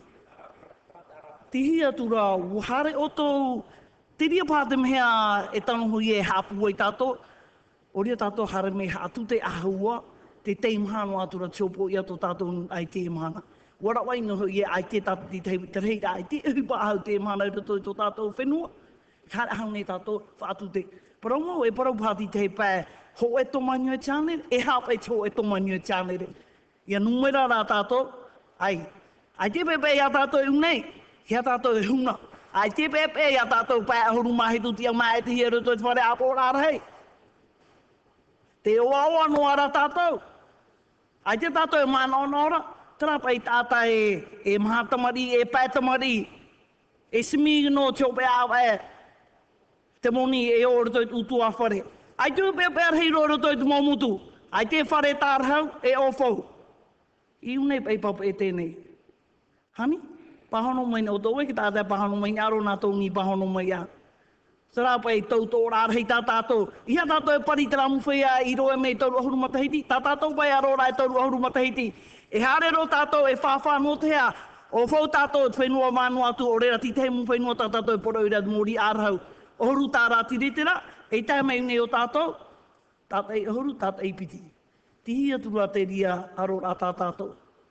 Te ui ro i te mana. Tāno berikini maru. Maruru mai te, ai tō e ririra, ai tā me praumo, te reo ri fristi au e. Oui, Président. euh, je crois que pour euh, tenter de justifier nos positions, il faut que quelque part on arrête de traiter les autres d'irresponsables.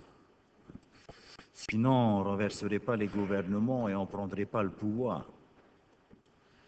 Euh, à chaque fois, c'est la même rengaine. Si le DT est là, c'est parce que nous avons euh, pactisé avec le DT euh, et c'est donc un geste irresponsable. À l'époque où Martin s'est installé dans ce pays à distribuer de l'électricité, Gaston Floss n'était pas né. Le Tahoeira n'existait pas. Mais on continue à dire que c'est le Tahoeira qui a donné la concession. et que c'est irresponsable. Et on continue comme ça. Et derrière, on continue à pactiser avec le DT puisqu'on vient de lui payer un milliard huit. Mais c'est de la faute des autres. Ah, ça devient fatigant. Si c'est pour justifier un vote, qu'on le dise clairement. Qu'on le dise clairement. Vous faites une bonne chose, messieurs de la majorité. Vous exonérez les produits de l'armée, c'est une très bonne chose et vous continuez à taxer le Polynésien, c'est très bien. Et pire, par cet amendement, ceux qui sont déjà exonérés vont encore être exonérés. C'est l'objet de l'amendement. Vous qui avez déjà eu des avantages, on va vous redonner cet avantage. Vous ne paierez pas les 1%. Mais le Tétouanoui qui est à Toumara et qui habite au fond de la vallée, lui paiera. Je ne comprends pas quelle est, quelle est votre philosophie dans cette affaire. Si vous voulez taxer tout le monde, vous venez de le dire. Taxer tout le monde, pourquoi exonérer certains et pas d'autres? Dans ces cas-là, je, je, reformule ma demande. Ne taxons pas ce qui sert à la ménagère à la maison. Ne taxons pas. Pourquoi voulez-vous? Alors, à l'exception de la taxe de péage pour ceux qui, ont bénéficié déjà de l'exonération sur la taxe pour l'environnement, l'agriculture, la pêche, la taxe spécifique des grands travaux. Et ces taxes-là aujourd'hui n'ont plus aucun sens puisqu'ils sont reversés au budget du pays. Et le ministre de l'Environnement nous dit, on va ici décider de faire autrement. On veut bien, mais votre ministre des Finances a besoin d'argent. Et c'est pour ça qu'on a enlevé les papes, on s'en fout de tout parce qu'on a besoin de l'argent. Aujourd'hui, on va taxer parce qu'on a besoin de l'argent. Comprenez pourquoi nous ne pouvons pas accepter la méthode que vous nous imposez aujourd'hui? Et bien sûr, et bien sûr, vous avez une vue très sélective des choses. Comme Ségolène Royal, n'est-ce pas? Taxons le petit peuple, ils sont plus nombreux que les riches. Merci.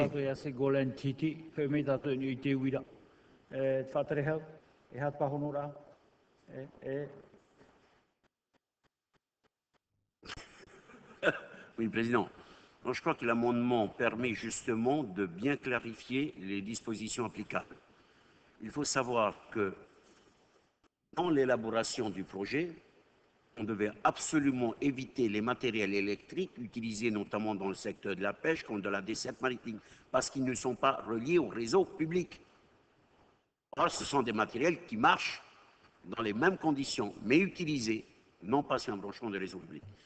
Et dans la rédaction qui a été proposée, il faut bénéficier d'une exonération totale. Ça ne pouvait concerner que les matériels nécessaires à la production d'énergie renouvelable, texte qui a été voté en 2009.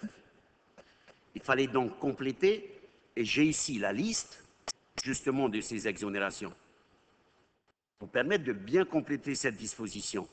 Il est vrai que dans les systèmes d'exonération, on en trouve de tout, soit l'exonération totale, soit l'exonération des taxes principales, des droits principaux, à l'exception, comme on le rappelle, de la taxe de péage, à 25%, de la redevance aéroportuaire, alors 50 100 francs du quintal, si on ne le précisait pas, dès lors qu'ils ne sont pas totalement exonérés, ils seraient taxés. Les matériels utilisés par les pêcheurs pour la pêche hauturière, par l'armement maritime pour les navires, parce qu'ils n'ont pas l'exonération totale, seraient touchés. Or, ce n'était pas le but, parce que justement, ils n'utilisent pas le réseau public. Mais il est vrai que, vu l'insistance de M. Edouard Frisch sur les matériels militaires de l'armée, je me pose la question, est-ce qu'on va taxer ces matériels? Mais j'ai découvert de manière magnifique que cette loi de pays avait été adoptée, présentée par un gouvernement d'alors, le 24 août 2007. Il me semble que nous étions jusqu'en décembre 2006. Nous avions été balayés et nous sommes revenus en septembre 2007. Alors, mon Dieu, mon Dieu, je vois cette loi de pays de ceux qui ont fait bénéficier à l'armée d'une exonération totale et ils me réclament aujourd'hui, il faut les taxer. Alors qu'est-ce que je fais? Mais si je devais le faire aujourd'hui, j'ai qu'un article à mettre. La LP 2007-4 du 24 août 2007 portant aménagement d'un régime fiscal privilégié applicable aux importations réalisées par et pour le compte des forces, services ou organismes relevant du ministère de la Défense est abrogé. C'est ça?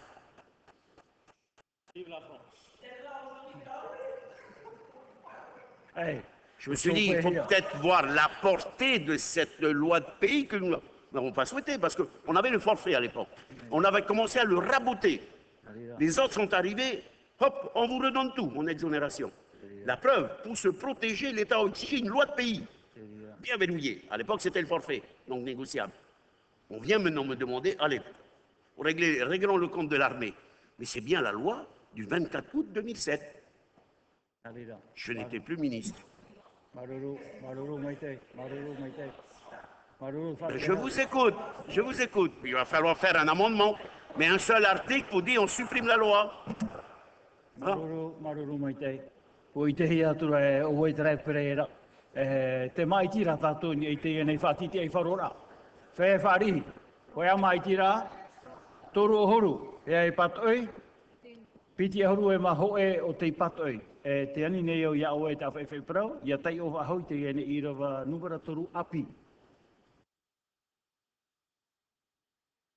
Article LP3 amendé.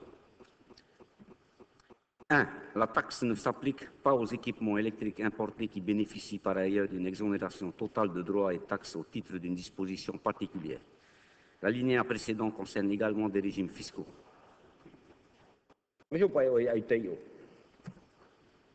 Privilégiés dans lesquels est prévue soit une exonération de l'ensemble des droits et taxes dont la liquidation incombe au service des douanes, y compris la taxe pour l'environnement, l'agriculture et la pêche, la taxe spécifique grands travaux et routes et la taxe de consommation pour la prévention lorsque ces dernières impositions sont expressément exonérées, à l'exception de la taxe de péage, de la redevance aéroportuaire, de la TDL, de la participation informatique douanière, soit une exonération de l'ensemble des droits et taxes dont la liquidation incombe au service des douanes, y compris la taxe pour l'environnement, l'agriculture et la pêche, la taxe spécifique grands travaux et routes, la taxe de consommation pour la prévention et la TDL lorsque ces dernières impositions sont expressément exonérées, à l'exception de la taxe de péage, de la redevance aéroportuaire et de la participation informatique douanière.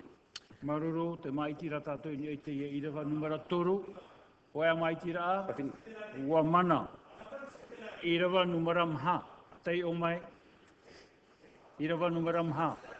Irawa numera mha. Amen. Article LP4. La taxe est assise sur la valeur en douane des marchandises importées définie à l'article 20 du Code des douanes, appréciée au moment de l'importation.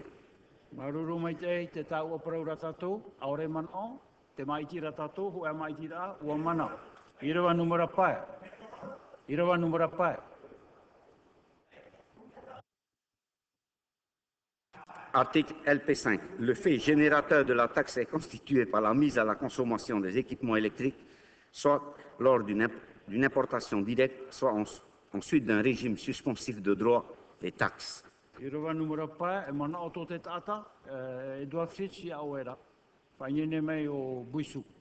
Ia o e mere horo no mato i tau tō mō whaotira, tara e tūru tau e whaatare rā. Ai te tātu i tua tapa pai i rewa numera toru. Ani mai. Ani Ai te pai tātu i tua tapa pai i rewa numera toru. E, ani mai. No te hina aro e haa māmu i mātou? Ani mai. Ani mai. Tini a tātou i numera pa. Te ani rewa i tātou. Ia haa pa e tātou i te ia mai tira. E ti e ia hu meu Oscar te maru. Anira. No te mea, ai e pāpūra. I roto i tau hi ora. Ai tu e papureu marmara mane ona te ia ture ta oto. E tu te oto i te nun a māhoi. Ai te oto e tu te i te nun a te nua te haufrani i unei. Tara haufrani o te whaatiti i tātou. Tāna i e parau, tāna i e parau i te whenua hāmoa. L'oppression française. Nā tara nui ha titi o tō e mea maa. E, e te iamhana, e whaari o tō i haona i a tutehia. Ai, ai tu e papu e whaari o skar te maru. Ia unei nā roa ue, ti e i mai ona. Narira, narira. E ani tōna mana, ia whātu ati te parau e te ohipa. Narira. No te mea i te iamhana, me e te parau, me e te ohipa tarai e tau te whaaro ora. Narira. Ai te tō e uri heido e parau e tāta haware te i tāta, me ti e hi ohi e tau tō ohipa, e tāta haware i hoa. Narira. Maruru, tahana no te parau. Vito, Vito, o tai o mai te o i te i hupa, te parau hiara. E ita te i tu te e wha o hupahia no te momui ha a tau whrani i o tātou nei. Arira, maruru mai te. E o e te nuna. Ta o e mea hahuta. E tu te hia te rira. Ta o e mo te hano, ta o e mo tamari, e tu te hia te rira rira. Ai tu i tia turi re tu, a ti mai te mana o Oscar te maru, e ni hoi te i hupata utu e rawe te imahan. Nā maruru, te tahana no rata. E o plus, ai, peritene, e hi o oi tera i rewa numara toru. Te whātere hau. Premier paragraf, deuxième paragraf, troisième paragraf.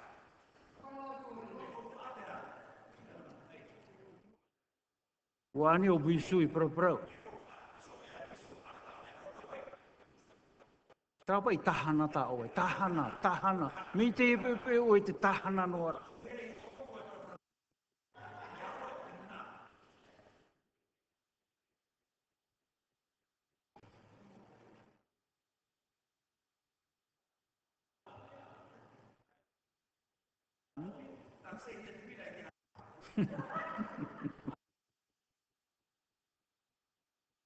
Monsieur le ministre, sur le troisième paragraphe de l'article LP 3.1, franchement, c'est la première fois que je vois apparaître cela dans une loi de pays, où l'on essaie d'être rigoureux, d'établir des règles qui soient précises. Il lui appartient toutefois de justifier de cette exemption à la première réquisition du service par tout moyen, notice, prospectus, documentation technique, fiche descriptive, etc. C'est quoi le etc. Non, je m'inquiète, je demande, je pose la question parce que tout à l'heure j'ai entendu qu'il y a des amis, des copains à vous qui font venir des machins électriques, des scooters ou je ne sais pas quoi. Mais le etc., vous savez très bien qu'au travers d'une loi, ça ouvre la porte à tout. Tout est possible, surtout pour les copains. Alors, je vous demande, est-ce que vous ne pouvez pas virer ce etc. ou rajouter les documents nécessaires et suffisants pour justifier le justifiable que vous cherchez Mais le etc., à mon avis, dans une loi de pays, en tous les cas, moi je ne l'ai jamais vu. Le etc., c'est dangereux. C'est dangereux, non pas pour celui qui fera l'objet du contrôle, mais pour le contrôleur. Comment va-t-il comment va-t-il donner quitus d'un document alors que la personne en face qui est poursuivie va lui dire mais attendez, je suis dans le etc. Je vous fournis un document qui est le mien, qui est le mien. Et si vous continuez comme ça, monsieur, je vais voir mon ministre. Vous voyez ce que je veux dire? Je pense, franchement, je pense que ce n'est pas, ce n'est pas normal que l'on laisse une porte aussi largement ouverte ici.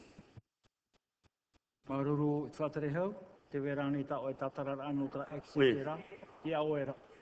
Merci, Monsieur le Président. Euh, j'ai bien écouté depuis ce matin, on me fait dire que j'ai des copains qui seraient... euh, Oui, mais vous vous cherchez de l'amplifier aussi, hein, et à votre manière. hein. Je ne me connaissais pas aussi de bons copains comme ça dans ce secteur économique, et plutôt, c'était l'inverse. Ça, oui, surtout que j'ai rappelé à certains qu'on connaît les copains qui sont, parce que quoi, ils viennent se plaindre auprès de vous, pour toute évolution du cadre économique, on retrouve toujours les mêmes. Enfin, la règle étant, par tout moyen, question, définition en droit, c'est tous les moyens pouvant être portés. Alors effectivement, on s'est dit, quels seraient les moyens? Il y a une telle évolution technologique, alors on essaie de tout viser. Mais c'est une loi qui portera son effet dans l'avenir. Je ne vois pas où, en quoi le etc. C'est bien le, le terme de phrase par tout moyen. Il lui appartient de justifier. De justifier. Là, vous vous offusquez sur ce terme qui est entre parenthèses, entre nous. S'il n'y avait pas cette disposition, quand bien même il apporterait un prospectus ou un document, il serait rejeté. Il serait rejeté. On est dans un système où l'évolution technologique va très vite. Je vois, il faut aussi avoir une capacité à s'adapter. Je, je, moi, j'ai posé la question aux douanes. euh, non, ils m'ont dit, faut y aller comme ça. Au moins, c'est plus clair. À charge à l'importateur d'apporter les éléments qui lui permettent de dire, je peux bénéficier de l'exonération. Quand il s'agit de bénéficier de l'exonération, parce qu'on ne ressortirait pas de la- de du point 2 de la définition d'équipement électrique. Donc, on a bien cadré ça avec le service des douanes. Je ne me serais pas amusé à rédiger ça comme ça. C'est bien un cadrage avec le service des douanes. Et compte tenu du fait que les évolutions technologiques sont très rapides, qu'ils m'ont proposé, il vaut mieux le rédiger comme ça. Je pense qu'ils connaissent quand même leur métier. Vous croyez que je vais inventer une disposition pour ensuite m'opposer aux douanes? Jamais je prendrai cette situation de cette manière. Mais parce que des documents, ça évolue tellement, ça peut évoluer dans tous les sens. C'est pour ça que le thème juridique qu'il faut retenir, c'est par tout moyen. Et on a mis entre parenthèses, on a cité quelques-uns, sans pour autant être limitatif. Si on était limitatif, il manque un, et si à l'avenir il y a un moyen d'apporter la preuve que ça ne rentre pas dedans, eh bien il ne serait pas recevable. C'est ça la notion du thème juridique par tout moyen, afin de se permettre une évolution. Sinon, il faudrait écrire le texte à chaque fois qu'il y a de l'innovation technologique. Et on s'est mis d'accord avec Laurent pour dire non, vaut mieux le procéder ainsi. C'est tout. Merci, Monsieur le Président. Aujourd'hui, la technologie, à partir d'un prospectus, vous pouvez le dématérialiser. Donc, en faire un document virtuel. Est-ce que le fait d'avoir dématérialisé, que la personne se présente avec sa tablette, dans laquelle on va trouver le document dématérialisé, au seul motif qu'on a dématérialisé, il ne peut plus être utilisé. Vous allez donc rendre de plus en plus l'évolution de la société confrontée à des pratiques pour lesquelles seul un document matérialisé est encore d'actualité. On est bien obligé de faire admettre à un moment ou à un autre que la technologie aujourd'hui est arrivée à un tel niveau de complexité qu'il faut intégrer la possibilité de virtualiser, de dématérialiser un support papier ce qui n'enlève en rien le caractère d'engagement de la personne qui se présente. Regardez aujourd'hui à l'Assemblée le nombre de personnes qui utilisent les ordinateurs. Demain, les tablettes iPad vont devenir la règle de fonctionnement. Et certainement que le papier va finir par disparaître. Mais ce n'est pas pour autant que le fait d'avoir dématérialisé, vous allez retirer la qualité des décisions, la qualité des débats qui va avoir lieu. Donc cette construction et d'acceptation d'un document qui ne puisse pas être identifié comme un support papier ou un support matérialisé doit être admise.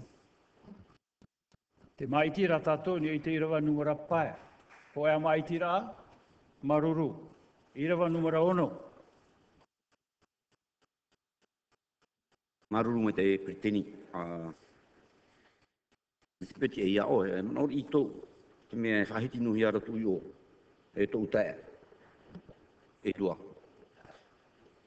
Na tō pai ta tātou, matutu ara tui i tātou tō mite. Wani o nono heu i tātou e, e whaatu te hia te hauwhrani. O tō boro i pato i rā. Ai tēne hara me o tō ne, pero e, hao e vito e, e ti whaatu te i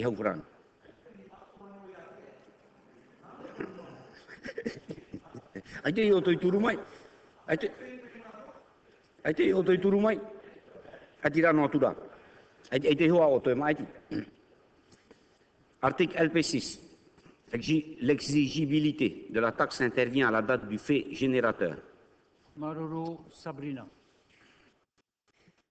Merci, Président. Juste pour préciser que sur l'article dont a cité M. Fritsch, euh, une preuve par tout moyen, il suffisait d'écrire cela.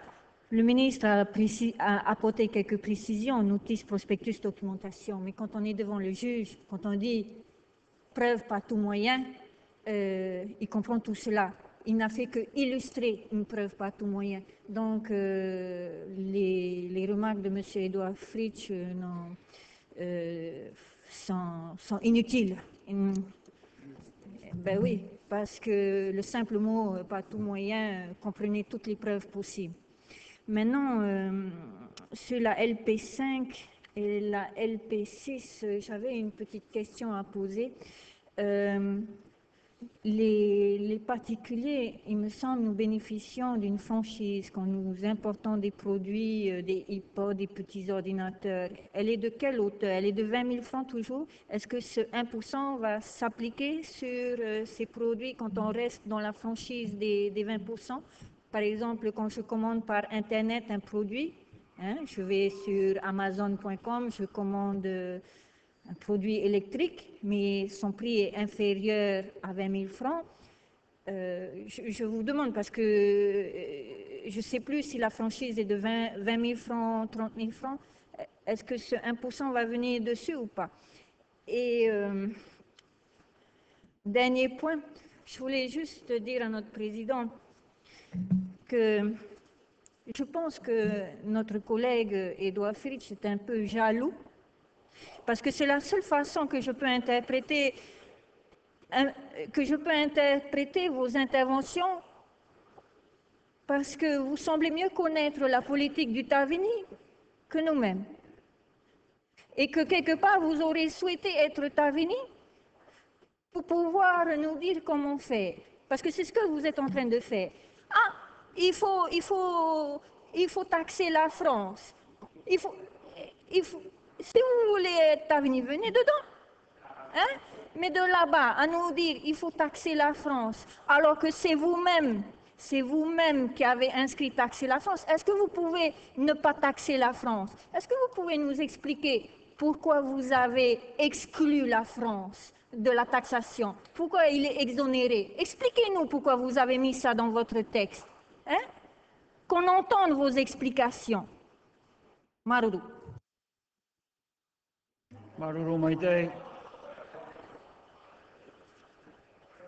Mademoiselle Sabrina Burke, quand vous utilisez le monde de phrases, les remarques de M. Fritsch sont inutiles, c'est un pléonasme.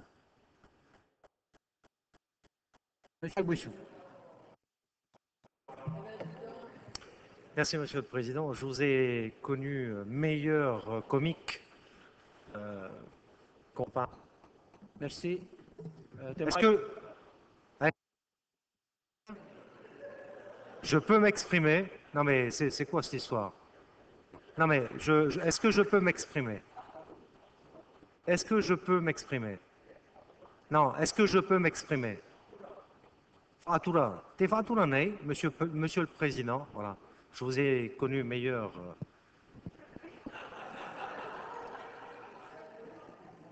Non, il faut quand même avouer que vous avez été meilleur dans l'opposition. Maintenant que vous êtes euh, installé, euh, dernière remarque euh, n'a pas tellement fait rire. Bref, c'est pas grave. Euh, je, passe sur tout ce que je viens d'entendre. Très franchement, on nous fait perdre du temps. hein. Donc, on laisse à, celle qui vient de s'exprimer le choix de ses réflexions et de la paternité de ce qu'elle peut nous sortir de temps en temps ici et qui nous étonne euh, très fortement. Euh, voilà, j'ai une question à poser à notre rapporteur, parce que généralement, euh, dans nos assemblées républicaines et, et démocratiques, un rapporteur est celui qui vraiment aura suivi le dossier depuis le début jusqu'à la fin, c'est-à-dire jusque sur nos tables. Et, je présume qu'il s'est employé depuis euh, des semaines, voire des mois, à vraiment travailler en étroite collaboration avec le gouvernement pour répondre aux questions qu'on peut également lui poser. Parce que je l'ai écouté tout à l'heure et il a une verve euh, très forte euh, pour, euh, je dirais, pointer du doigt l'opposition. Pour arriver à 300 millions de francs de produits de cette taxe, est-ce qu'il peut nous dire quel est le montant de l'assiette? Je ne pose pas la question au ministre, je pose la question à notre rapporteur. Attendez, attendez, je n'ai pas terminé. Ah, j'ai- l'impression que... Non, non, mais vous allez répondre. Euh, deuxième question, j'ai entendu le ministre de l'Énergie euh, ce matin, ou cet après-midi, peut-être en début d'après-midi, dire qu'il n'a pas la transmission des bilans euh, de notre opérateur EDT. Alors, ça m'amène à poser une question au gouvernement. Est-ce qu'il y a un représentant du gouvernement au sein du conseil d'administration de l'EDT Ou alors, ça a changé, peut-être, depuis notre époque? Est-ce qu'il y a toujours un représentant du gouvernement au sein du conseil d'administration de l'EDT Parce que moi, j'ai entendu tout à l'heure qu'il n'y avait pas accès sur les bilans. Qu'on nous dise la vérité maintenant.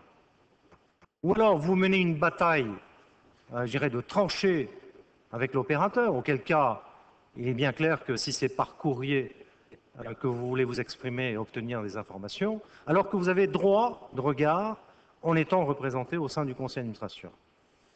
Troisième question que je voudrais euh, poser à notre ministre des Finances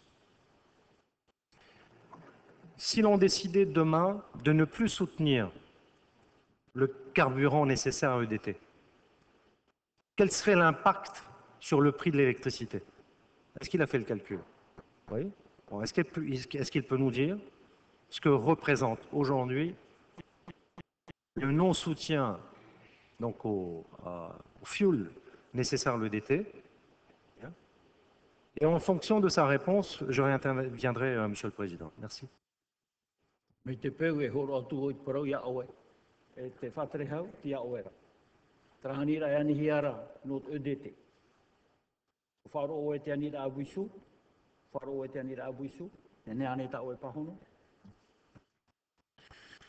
Oui, Président. La question posée, si le pays retirait le soutien au prix des hydrocarbures nécessaires à la production d'électricité, quel serait l'impact sur le prix public de l'électricité? Donc, on mettrait le prix de l'électricité, enfin, le, prix du carburant d'été au même prix que le prix public. Ça. On retirait tout le soutien. Bah oui. Plus de FRPH. On aurait pratiquement, pratiquement un doublement du prix de l'électricité. Voilà. Merci.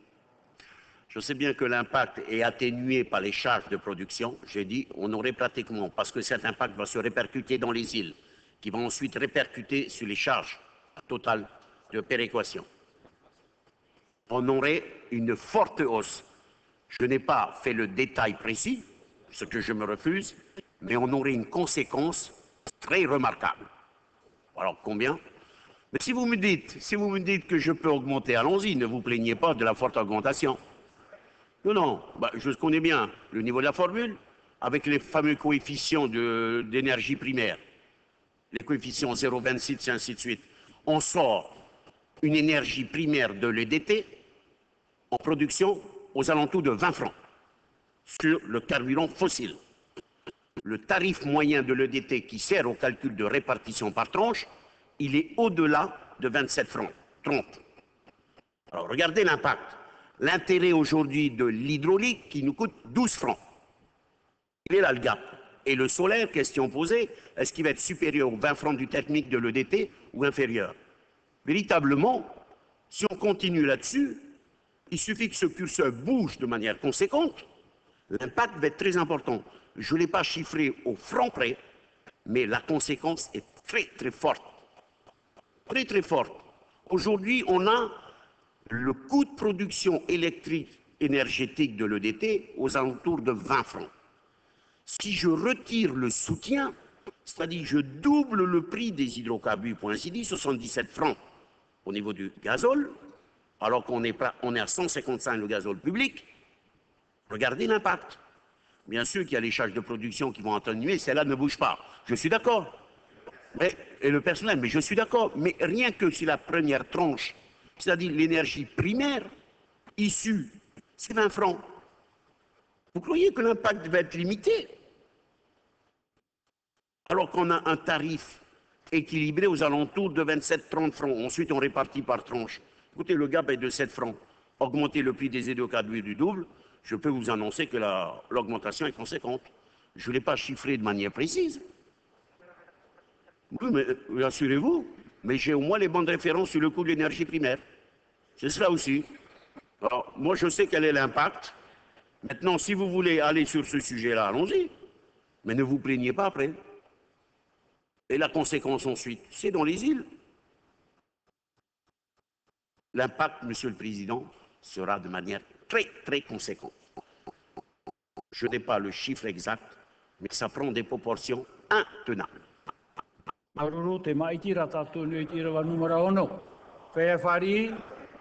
Ho ea mai tira. Te anine iau, te anine iau i te whaiwhai prau, mi te pau hina aro, nei pahono i te ani rā a buisu, a pahono. Ai tāra, tei o mai te rawa numura hitu. Maruru mai te pritini. Uh, ai tu e ti tauhi e pahono i tāna uira. Uh, mi te peura, uh, e, ina aro, e tomu mai rito i tātou pupu, E nenhe ia, nenhe tātou e whoro. E numera amu i tātou, ke le lasiet. Uh, me mara mara mo mai te te papahi e to tātou whatare hei one, e te mea ta i tai o. E tai o autu au.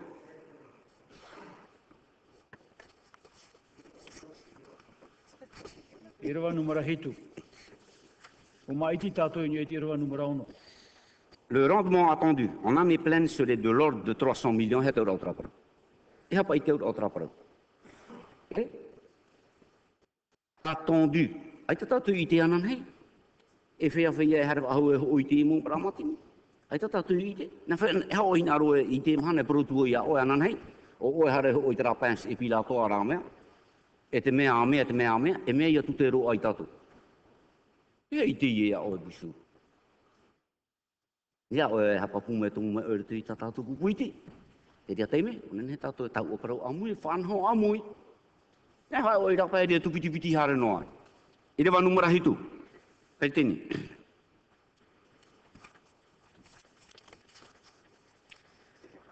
Article LP7. Son taux est fixé à 1%. Maruru te prau prau ra tātou, Edouard Fritsch. Non, peut pas avoir l'assiette là.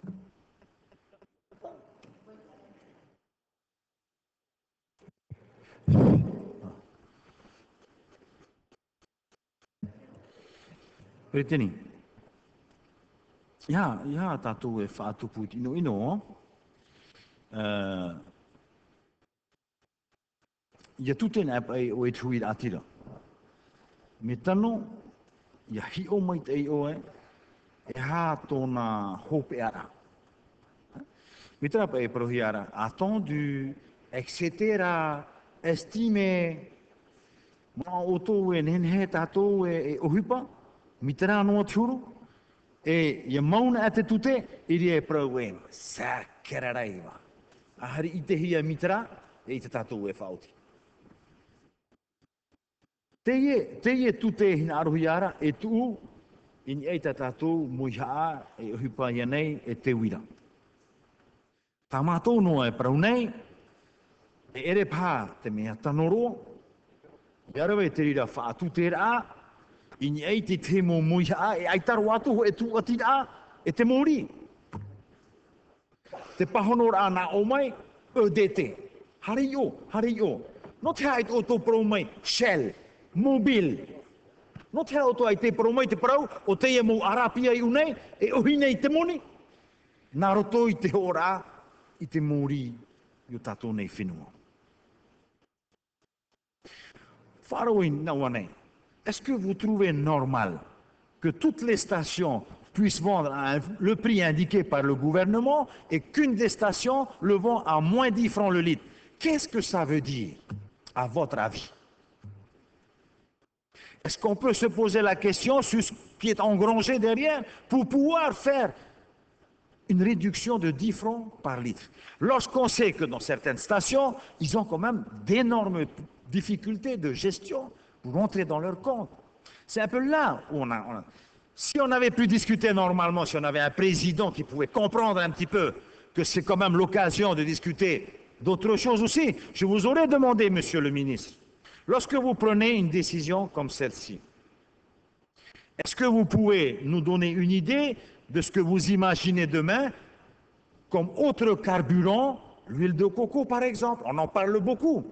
On en parle beaucoup. Vous avez même nommé un ministre spécialisé dans cette affaire-là. Mais c'est vous qui avez la compétence.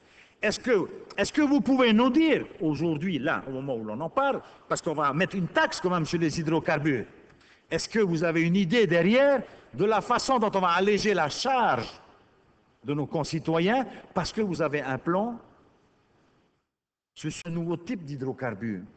L'huile de coco, par exemple est-ce que vous avez un plan là qui puisse nous rassurer que demain, ce trou ne va pas continuer à être béant et béant et béant et béant? Parce que je suis quand même étonné, Monsieur le ministre.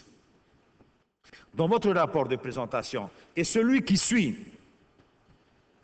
sur le FRPH, ce que l'on peut observer, mais tout normalement, c'est qu'à chaque augmentation, vous nous avez augmenté le fioul de 10 francs au mois de mai dernier rebelote derrière, 7 francs au mois d'août. D'après les chiffres que vous nous donnez, à chaque fois que vous augmentez le prix des hydrocarbures, la perte devient plus importante. Le FRPH perd plus d'argent. C'est les chiffres que j'ai alignés les uns derrière les autres. Alors, je me demande, mais attendez, puisqu'on parle beaucoup d'agriculture, d'huile de coco, de milliards de coco, est-ce que vous avez là, monsieur le ministre, ne serait-ce qu'une lueur d'espoir à nous faire entrevoir sur l'évolution de notre consommation en matière d'hydrocarbures. C'est peut-être rigolo, mais n'empêche que euh, lorsqu'on subit les taxes comme vous l'allez nous faire subir, moi je ne pense pas que le commun des mortels puisse, puisse trouver là de quoi se marrer.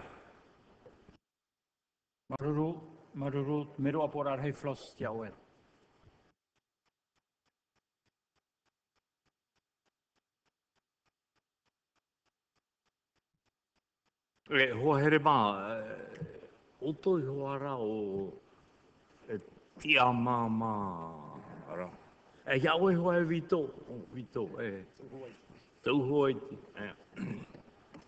Oi te oi te tei mo teme, ia whaar o tua i o turu tui tau tu mau ore ror a e tei o oi tau tu mau parau no te titau ai ke tia māra a e te tei te me e whiwhir i tō te whirurin ai e te mai o e e e e e e e. E i prono to ai au i ruto i au a morira pao no te me huru tano to ta utu mō parau no te tito rapai hare ra pai ki tia ha e pro ro i te te te me no rire hoa pao te ina mahare to ai ai te tia mara ai te ie mana no tara mau paraura i ar. Te rā hoi, ia tēn ai te teibo te me e tua tapawahia te mau parau mai te e tūru. e, e, e, e winoa i e wauru tu i au, e. O i mau ane o te tia māra ai ho tarato e ti taura, ore rā e, e, e parainoa te ie, e moi hapori titano te ie, e e ainu no te ie no te ume, ume mai te reo o te hui atira. No te mea, ai te tu atira te parau e te ohipa. Ai ro orto i te ie uh, tumu parau, uh, tauto e hina aro nei, e tu te i te hui atira e rea. Ia nei hoa auto ni e te whātere rā, tu te i te hui atira. Hai e tu te i te hui atira. Te ie te ie te, e whaatere nei te ie de te tatatou, maramaramo mai te tatou, te ie ia te ie te, Suez e EDF. Ha? Nā rau, o rau atu whatu, rau ana atu whatu te ie uh, a whatapiru. Hmm. Oi te anei oe, e te ho nei rāua, i te rarheira, hitu hanere hoe ahuru miria watu uira i tamataiti 710 mil miliarde wata. Ia muhia, tō taiti e tēnu atu ai i tō te momotu. Ai, mera hei tera. Wito, i te ane ue, e te moni e roahia i te i e te i e piri atu i te piti ahuru mā pē miri ai te mataiti, men 5 miliari te mataiti. E te hia taratou api. E re re wātura i whrāne. Ruto pa i e tramu te i te tautou pro. E atara multinacional mi te rira, tautou e tairi noa nei. Tara te teme mai te i e tairi, a tairi pa ia. E i tara, i o tau e o toi ai. Ai, ai te moara ripope. E, e whaherehere ia o tō i a Suez e EDF, tairi mai ia ni ei tuhuira atira. Na, na whē tu atia, na whē nen he e awhoro tua ia i reira. Are hoi tu mau tā, e ke tā maiti tu atu ia tu te aho ia tu tuhuira atira. Ai te pai o tō, no tō o tō i te rea, twhai aturo pai. Hmm? Eh, Vito, mana oe, ai tira wai te rā moni tā EDF, e tā te sued, horo au a a hautua, nā rato i te ia whata tā tātou, e nā tuira atire au whau i te rā tauturu. Piti ahuru huru mā pē miri ai te mataiti. E te mau api pōru, hae rā re wā ture wharani, e re hare ture wharani, hare no, mi tā rato hina arora. Ai. Ai tu i te hea miria api, me e tere papa hia ruto i te puta, trapa i ruto i te puta a Pierre Ferebo. Me e ia te ria, te mea nararono te harera, me e tu aia. Hmm? E hare no, hare no. Ai un matapo hia o i te rira teime. Nori e me huru whiwhi to i te te pe tu i te rira huru whana. Ai te tua tira. Ai te tau tu pra tua tira i te uhipau tau te roe. Ai ni rau tu pra mai. Tara afata, tara apor tu i tara afata, a fer peas. Nā te Suez, nā tara teia te Suez. E te au iau fau. Ai te e mahari uma te i e pe tu hare i hare nā. Paurua tata e e pe tu mata. I hara e ni e te nuna, wara mai tāna hopo ia. Maruru. Maruru mai te hei, buisu, mero aporar hei buisu tia oera. E maruru mai te i peretini. Ai te pāno he mai trau i ai i tau i ui tu i te whatere o te whenua i Arauera. I ni ai te pro no te tia me roto mai te apura hau whenua. O te tia nei i roto i ki tomi te whatere a te pu e dete. En hea nei, te mono peretini, e horo mai te i o te whatere hau. O te tia atu no o tau, i roto i te whatere a au e dete. O te mea wharo tura tātou i Arauera e, e o e aita mō mo puta fauwha a maura a, e a pupuhia nei i roto i tō rima. Para mō anei tra i prohia e whātara heo. Para rā te imine o tō i mō rā e ape, e te mō wira e ni hea matu. Maruru. Uh, te mene te te wira a tāu hina aro e ui i te whātara heo, uh, no te pā, no te, uh, te ito e tānu atu, no tā tātou uh, imira fōwha. Ini ai pro no te e mō whari i e veinei i tui te uahu no popete. Ere? Pro hi pa e whare i, tramoutura. Tramoutura. Nō te mea, nā ruto i te e moutura. E poro i mei e i tātou mei rāpā mai, te mori ārahau. E rea ne? E hatura i te prono te e moutura i te e mahana. A, te vene i tō tātou whātere hau, no te whā, no te uahu no papete. Tano mai tei. E rewa hau? Te hiro atura tura te i whātere heo tō tātou. Ani mei, ani mei tō i mano, ani mei. Mea pari tēni, nen he oe vei shumai au e tatara i tō mō mano? E hi oe hare mai e... Ani mei, ani mei. Rote mea, whārona hi, tāna atu oe te mei, tā mei tō e reo i roto. E re nā oe papro i te mei, vei mai oe te mei, i rato i mou aho. Te mou aho. Tēnia tātou i tīrawa numara hiti. Tēria, tēria, tēnia hoa tātou i tātou tō mō prao. Aita, o pātore roa tā oe Te uira te hia turai te pranote ia mō turai te emhana. Mhana. Aita, aita uto i te. Nā uto e whātane nei te whenua. Aita uto i te e hata prono te ia mautura i te e mhana. Ai, e, e, mea, pereteni. He o e tapu mai tā au Na pro. o e te anira, na o e tahonura. Te anira o e te pororo ai te ratu i te O i tō e pereteni, e tā cho e te me e whiwhi tātou. Eh? E, ia tā cho e te me. Tini Re- tātou i te E tō mara- e mono nei e te hana nei tātou i nei tra o tia. Tini a O tātou te ria, i tira whātura wa mai o numera e hitu. mātou, Hitu. whātura mai o e mātou, whātura mai o e mātou, i nei tō mātou mō rā. Whātura E ere mai nā o- o e maiti mai mātou. E rea nei? Whātura mai weho te mai o e proper ai te mātou. Te ui mai rā e te tēnei. irawa numera hitu. Te ui ne o i tēnei tātou. E te parau no te e mautura i te e mahana. Tatara mai o tau, i tau tau momona, e tuata papatua i tatu. Maruru. Te maitira tātou ni o te numera hitu. Te whai ai whari, po e maitira, o mana, i rawa numera vau. Maruru Pretini, e ko te o te i te pere Pretini, kia oi nui no mai, ki me whahiti nohi ana pa i tō i o. O mpoti aturi au e ti tei teime, e hare roa mai ti e mi tua pa ari tō tātou e hare roa mai, hare roa mai e hapapu, iana i rene roa te tau ara parau. Papu, nā whea tātou i arata i tō tātou whenua i tui whātere ati ama. O hare mai me tito tito nora, uh, tito tito, a o te uwhatea. Tito tito e uwhatea. O whatea e tumu ia. Te tumu, ai tōna e whaare ira. I rata hia te whinuri tui whatere ati amana ratu i te rata i ramana hune. Tai a tāna e paraura. Taeri. Taeri a mea. Taeri a mea. Ai tā tātou i rira. Parau te ti amara atu e whenua, e parau tūra te rā. Whanhora mai. O rātou, tēnei te hapapura o tō tātou whenua e toru ahuru matahiri. Ai tīta ta eri assurance. Ai tīta eri mbra assurance. Ano te mea pai whatu assurance tō ona. Te more a tātou tāna assurance. Ai tīta eri. Ai tīta eri mō whare moni.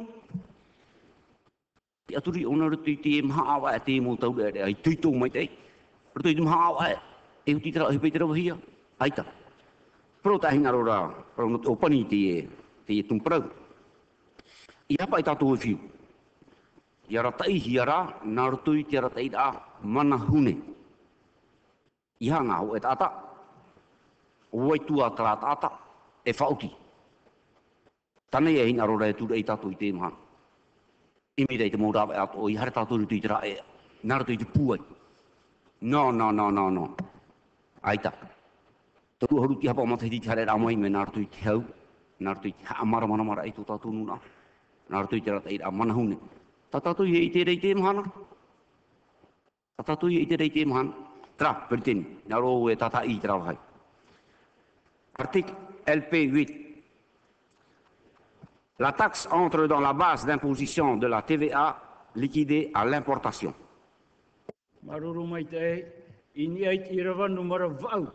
me te peu e hahi te parau, e mai ti mato.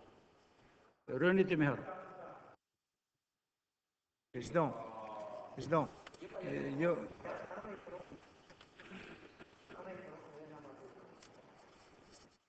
Président, yo ai nei no mai. O pro e no ia o e te e mana ai pro tuni a nei roto ta e pia toro. Voi pro pro tuni ia o e ne o Jean Christophe Buissou e ne to o Vito. Hein? Yo ia e pro pro. Ia o e whahe pō mai a mi tā o patara o mi ti tempura. E tere anō hoina, e nene o nene e tō atu. E tini. Tēne tātou e tērawa numara au. Tere rā.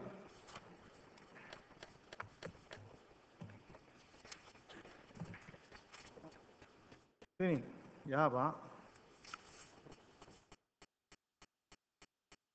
Nāro nō wau e pāhono ri nō tāman o, whahi o rā, tā vito. Nen he, whai mūno. Tamato manono nō rā i tēm hana. Iau, tā reni purtita o te arat ehi me uto a tau mapheti tēnei. Tamato i e whātura nei. Tamato re pe a pera tēm hana. Aita pai te parau, e tuatira nui te whaohi para. Da e, no te mea nā utu i whātere rai te mana. Tamatu i e mano ora.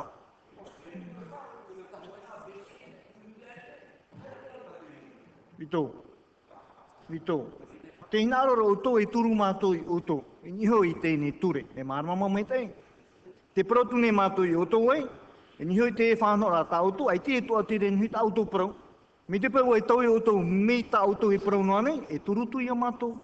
Te rira no. Me mārmama mai tei. Nā hea mātou nen he e turu te e ne whautara atu te api niho te inuna. Te re nei te hupa. Te whiwhi nei tarato ki ara ohipa, torato ora ka, ai te men pe et frao. Paro tu o mana o mai rona to ta ta Radio TPP, eh, eh, mille- c'est quoi, 1000 francs noirs et 100 000 francs de dépenses, 1% Eh, te te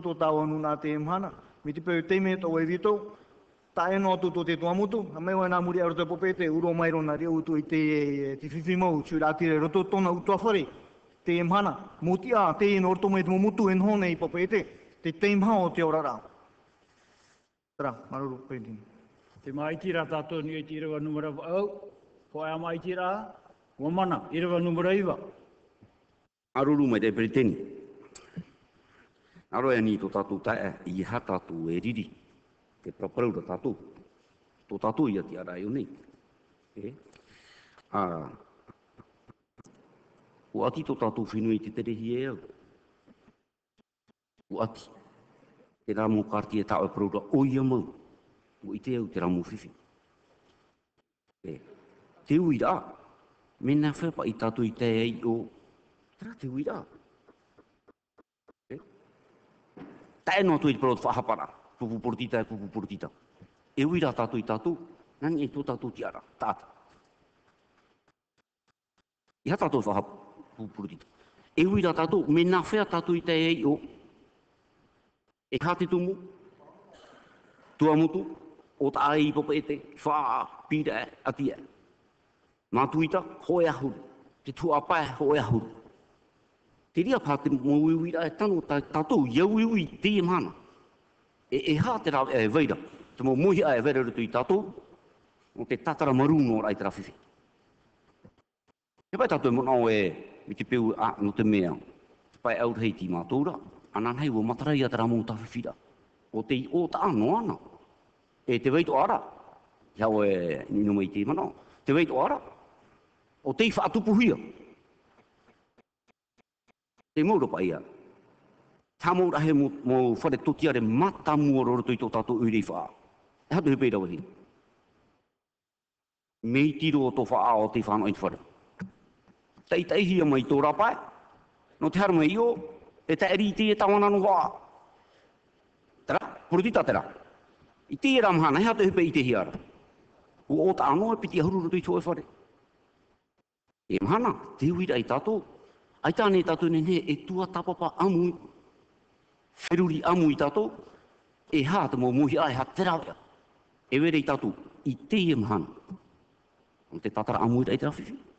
Whao i ane rito i te mōmutu, o i te oito mana, te mō mana i tita. Hei tara tātou e wharere rei tita. Ia tua tapapa tātou mitera, me taura parau. E? Me mei tei tātou e wharere i o, tua tapapa mai tei. Iai te mana, tō tātou tō whai ara uara. E? Ah, plan. Me te peu e nā mātou no, pato i mai oto. Mi te peu e nā oto no, pato i tu mātou. Ai ta tātou i hari mua. Me, utai pahaji teime, no tātou, i aua whaati, kei rā maa, tua tapapahu honu, e hā te mai, o te inuna, o te whino tō tātou, e hā. Tō rāwe ea, no tātou i te mahana no tarapa au i te rā mai. Tā, peritini, tare rei mua. Article LP9. La taxe est liquidée et contrôlée par le service des douanes selon les règles prévues par le Code des douanes et ses dispositions d'application. Elle est perçue et recouvrée par le Trésor public selon les règles, garanties et privilèges prévus par le même Code.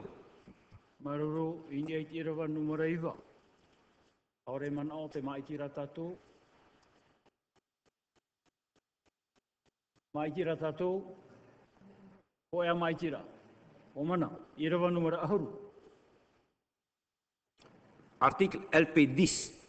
Le service des douanes communique à la Direction générale des affaires économiques chargée de la gestion du fonds de régulation des prix des hydrocarbures le montant de la taxe liquidée à, à la fin de chaque mois et au plus tard le 5 du mois suivant. Maruru,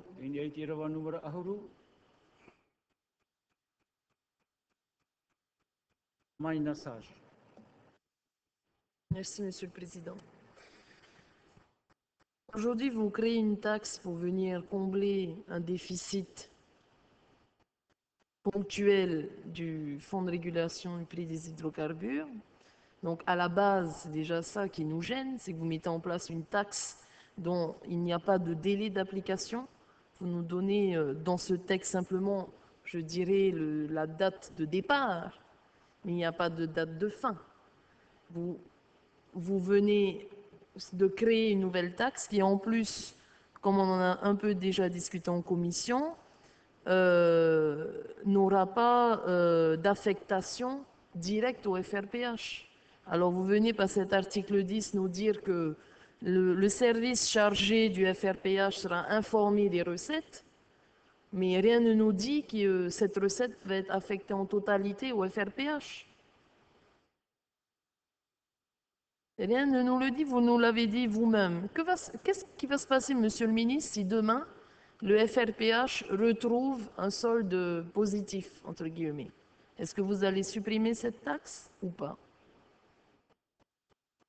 C'est ma question. C'est pour ça que tout à l'heure, je vous demandais qu'est-ce qui a motivé le choix du gouvernement à créer une taxe plutôt qu'à simplement venir relever temporairement les prix publics sur l'ensemble du prix des hydrocarbures, que ce soit les prix publics, les prix professionnels, les prix sur l'électricité, pour compenser, euh, je dirais, cette perte de 300 millions. Pourquoi n'être pas venu simplement rehausser, en étant plus proche de la vérité des prix, rehausser les prix temporairement, en attendant peut-être que demain, le, coût des hydrocarbures baisse pour pouvoir ensuite le réajuster comme on le fait régulièrement d'année en année, au lieu de venir mettre en place une taxe qui va s'appliquer à vie et qui en plus n'est même pas affectée directement au FRPH, ce qui ne nous garantit pas que dans la continuité, ce pourquoi on l'a créé aujourd'hui serve réellement à compenser euh, le prix des hydrocarbures. Merci.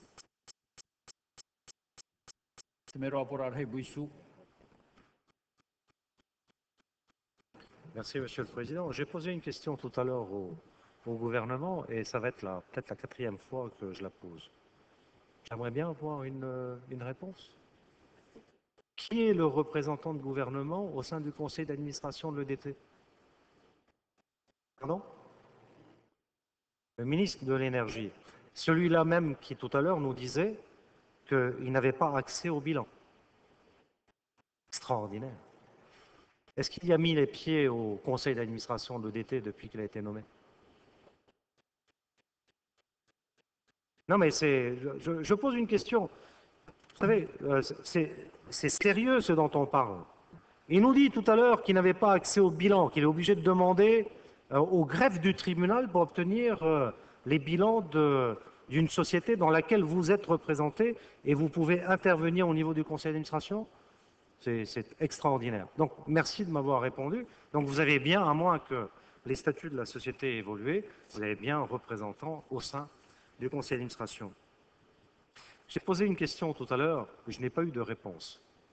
Euh, à défaut d'avoir euh, le ministre ici, le ministre de l'équipement, j'ai demandé à ce qu'on nous euh, parle de la situation des dépôts d'hydrocarbures du port autonome de Papeete. Pourquoi je vous en parle? Pourquoi j'aborde cette question d'après vous? Parce que c'est un passage obligé de stockage des produits hydrocarbures, y compris des produits d'EDT, n'est-ce pas? Parce que lorsqu'on commence à gratter pour aller un peu plus loin dans ce sujet, il est intéressant de regarder le cheminement.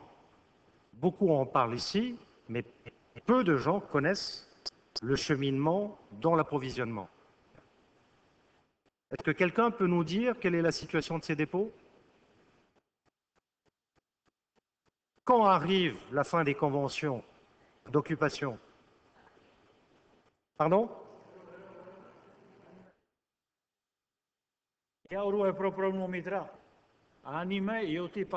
Monsieur le Président, pouvez vous taire de temps en temps? Ok, vous intervenez.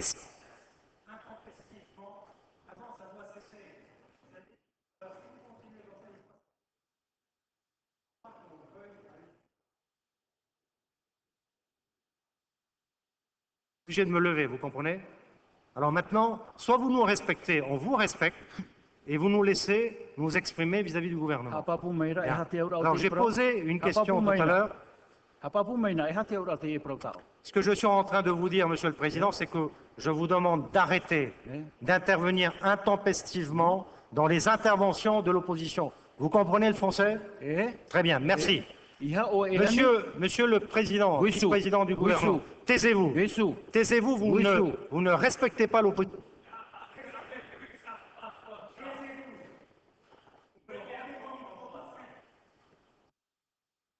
Oera. Rendez-moi. Voilà. Moi, je re- je-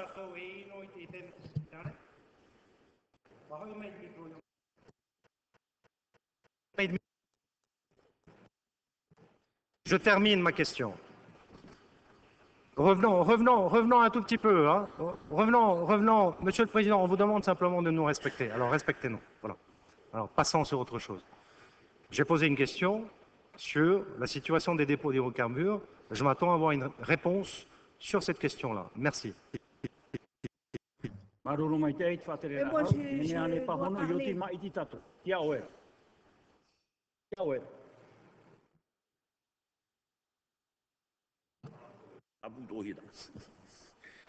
Je- répondrai donc à l'interrogation de Maïna. Je lui demanderai de se reporter à l'article LP1. Hmm Bon. Tout est dit.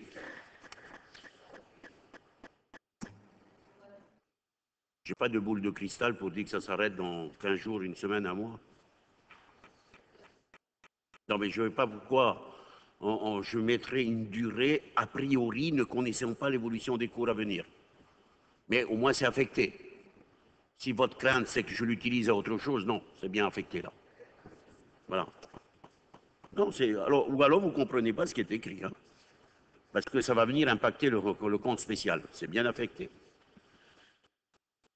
En ce qui concerne la question posée par M. Buissou, euh, je ferai donner la réponse par le ministre en charge de ce secteur. Ultérieurement. Mais vous l'aurez. Maruru, te Moi, je veux parler.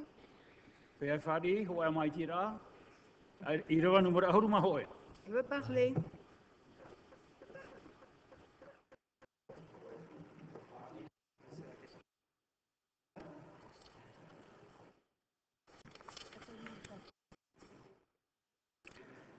Article LP11. Les dispositions de la présente loi du pays entrent en vigueur le premier jour du mois suivant celui de sa publication au journal officiel, officiel de la Polynésie française. Maruru mai te ei Sabrina. Merci. J'avais posé des questions à notre ministre. J'attends toujours les réponses. Je souhaiterais les avoir. Pour répondre à Bouissou, euh, il s'agit d'avril 2012 que le contrat arrive à terme. Maruru mai te ei te mai tira tato i ni eit te rewa ahuru ma hoe. Ho e mana. I te mea e ture whenua te ie, e mai ti a tata i te hei te ie ni eit te ie nei ture. E te ani nei au, i to tato pape praur hei. I ap i te o atu momero, mai ti atu ei tatu. Pape praur hei, tia oera. Madame Algon Emma. Hello. Patere hau. Euh, Monsieur le Président, je m'excuse, mais c'est vrai que monsieur, Madame Sabrina m'a posé une question depuis tout à l'heure. Alors, le débat s'est focalisé là-bas. Qu'à tout du moins, je puisse lui répondre? Notamment si la situation de la franchise postale, qui est donc à 30 000 francs, ça c'est la règle d'exonération. Et bien entendu, dans la marge de la règle de la franchise postale, la taxe ne s'applique pas.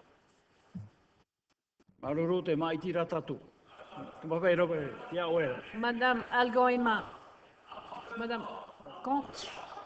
Avant le vote, avant le Monsieur vote, avant le vote, la réponse du ministre, mon vote dépendra de la réponse du ministre. Sabrina. Avant le vote. Pour. Madame Bob Dupont-Amara, absente pour Christian Madame Jennings Patricia. Pour.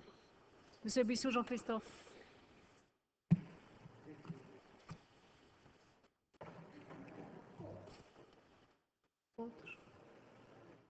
Euh, Monsieur le Président, vous allez arrêter de- d'éteindre les boutons derrière votre bureau, là? Vous pensez que vous êtes payé pour euh, appuyer euh, sur les boutons derrière Madame Brodier Contre. Contre. Madame Chavez Daphné. Madame Cross Valentina. Monsieur Jacques Hidrolet. Monsieur Floss Gaston. Contre.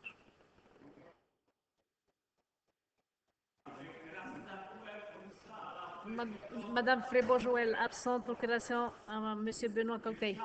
Monsieur Benoît Coquet pour Joël Frébo. Joël. Pour. Monsieur Friche-Édouard. Contre. Madame Galnon Minari, absente. Procuration à Monsieur Jacques Hidrolet. Pour. Galnon Minari. Pour. Monsieur Anderson Georges. Pour. Madame Irchon Ounouté, absente. Procuration à Monsieur Vito Mamatois. Pour. Madame Iriti Teoura, absente. Procuration à Monsieur Frédéric Rivetta. Contre. Madame Isal Ifara, absente. Procuration à Monsieur Temeharo René. Temeharo, contre. Isal, pour Isal, contre. Madame Jennings Sedone Patricia, pour. Monsieur Coctet Benoît. Monsieur Comitini René, absent. Procuration à Madame Monique Richton. Monsieur Lison Marcelin, absent. Monsieur Mamato Victor, pour. Madame Manouté Lévia Gami Sandra, contre. Madame Maria Emma, absente. Monsieur Maria Urateina. Madame Marie Teragi Mairuto Liliane. Madame Matawa Leoni, pour. Monsieur Matawa Mayron. Madame Mati Juliana. Madame Ersoron Armel. Madame Olivier Marise. Madame Opa Fouanik, absente, procuration à Madame Cross Valentina. Pour. Madame Cross Valentina pour Opa Fouanik. Madame Parker Eleanor, absente, procuration à Madame Mayruto Liliane. Monsieur Paulier Kinoui. Pas tous les jours au micro, mais contre. Contre. Monsieur Rapoto Jean-Marius, absent, procuration à Madame Françoise Pama. Madame Richton Monique. Rivetta Frédéric. Contre. Monsieur Romataro Fernand, absent, procuration Madame Juliana Mati. Madame Sage Maïna. Monsieur Gilles Philippe, absent. Madame Tama Françoise. Madame Tani Thérèse. Monsieur Tonso Robert, absent, procuration Monsieur Juntururu. Monsieur Juntururu, contre. Monsieur Tefarere Hiroiti, absent, procuration Monsieur Georges Anderson. Monsieur Temeharo René. Contre. Monsieur Terimate Ruben. Monsieur Teripayamita, absent. Madame Teruate Sylviane, absent. Madame Tetone Lana. Contre. Madame Théora Justine. Monsieur Tongson Gaston, absent. Procuration à Madame Rosine Brotien. Monsieur Tohou Ismaël, absent. Procuration à Madame Justine Théoura. Pour Madame Catherine, absente. Procuration à Madame Marise Olivier. Monsieur Outia Damas, absent. Procuration à Monsieur Ruben Térématé. Madame Béatrice Vernondon, absente. Procuration à Monsieur Tekinou Paulier. Contre. Madame- Monsieur Vernondon Clarence, absent. Procuration à Monsieur Myron Matawa.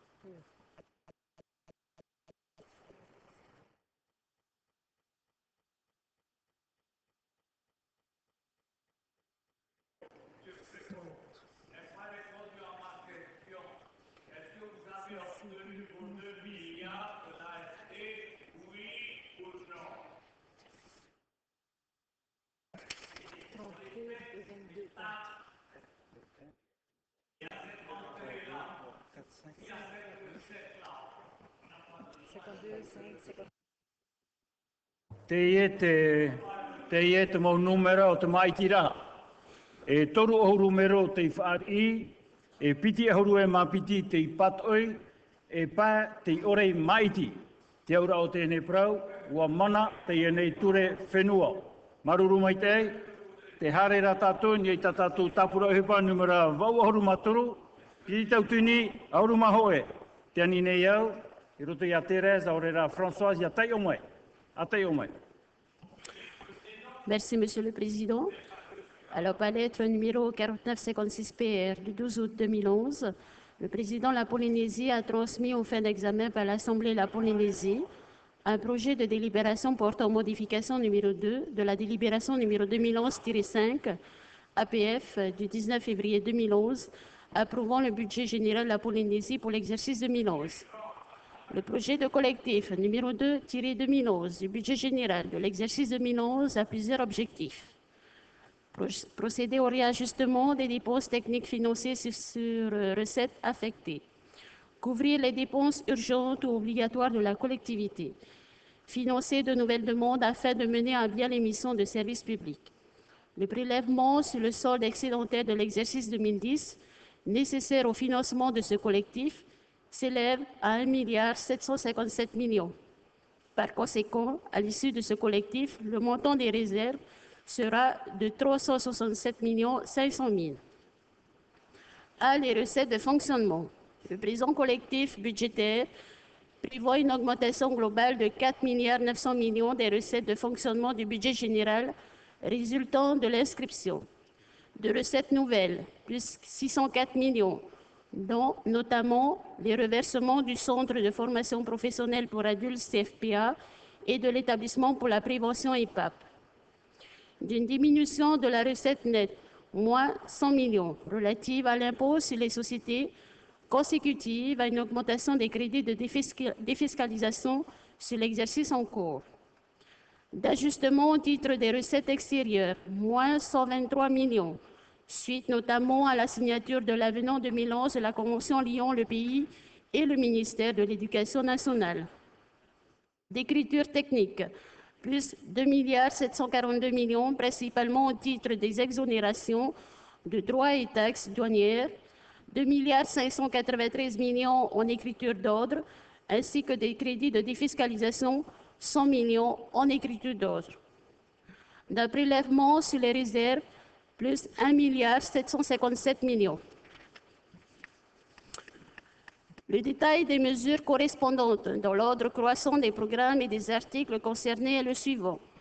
Moins 59 400 000 à l'article 74-78 du programme 960.05, Administration générale, suite au réajustement des loyers mensuels de l'immeuble du boulevard Saint-Germain à Paris pour ATN, la CPS, le GUETT Tourisme et le locataire privé.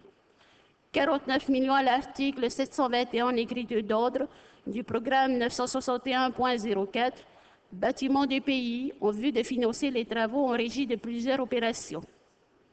2 300 000 à l'article 74 711 du programme 962.02, rémunération et charges, suite au réajustement de la dotation globale de compensation pour l'éducation mise au titre de l'avenant numéro 107-11 du 29 mars 2011 à la Convention entre l'État et la Polynésie, numéro HC 56-07 du 4 avril 2007 relative à l'éducation. 375 millions à l'article 778 du programme 967.03, formation professionnelle, suite au reversement du résultat excédentaire de l'exercice 2010 du CFPA au budget général, conformément à la délibération numéro 0611 CFPA du 13 juillet 2011, entérinée par l'arrêté numéro 1060 CM du 22 juillet 2011 moins 36 500 000 sur la mission 969 enseignement, programme enseignement secondaire et enseignement professionnel, suite à la diminution de la dotation de compensation globale pour l'éducation au titre de l'avenant numéro 107-11 du 29 mars 2011 à la Convention État-Pays numéro HC 56-07.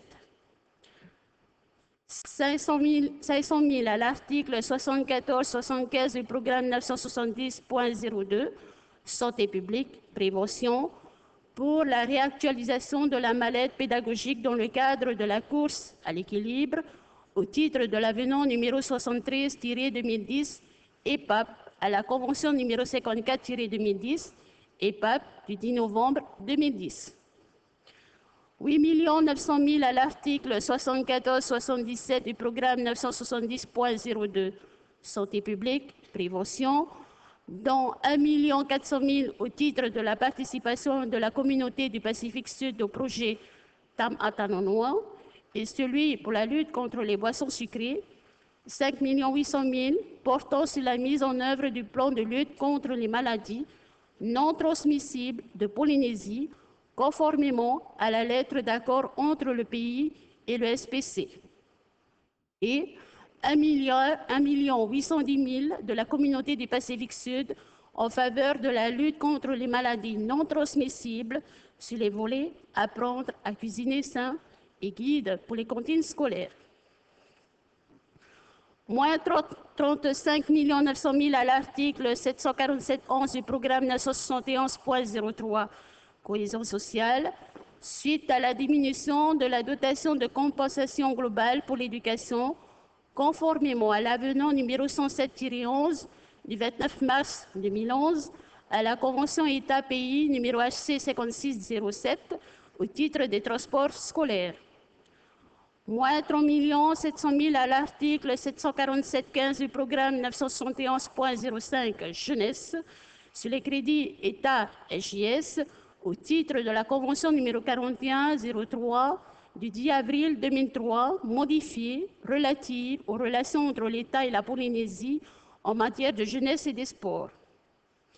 10 300 000 à l'article 747.15 du programme 971.06 Sport au profit des crédits État et JS relatifs à la Convention numéro 41-03 du 10 avril 2003. 15 300 000 à l'article 747-18 du programme 973.02 Prévention et traitement des pollutions correspondant à la participation de l'État à l'opération validée par le dernier comité de pilotage du contrat de projet CDP afin de permettre le, rapatriement des déchets de l'île de Tupoé suite au passage du cyclone Oli. 4 millions à l'article 708.7 du programme 974.04 énergie au titre des frais de contrôle liés à la concession EDT pour l'exercice 2010.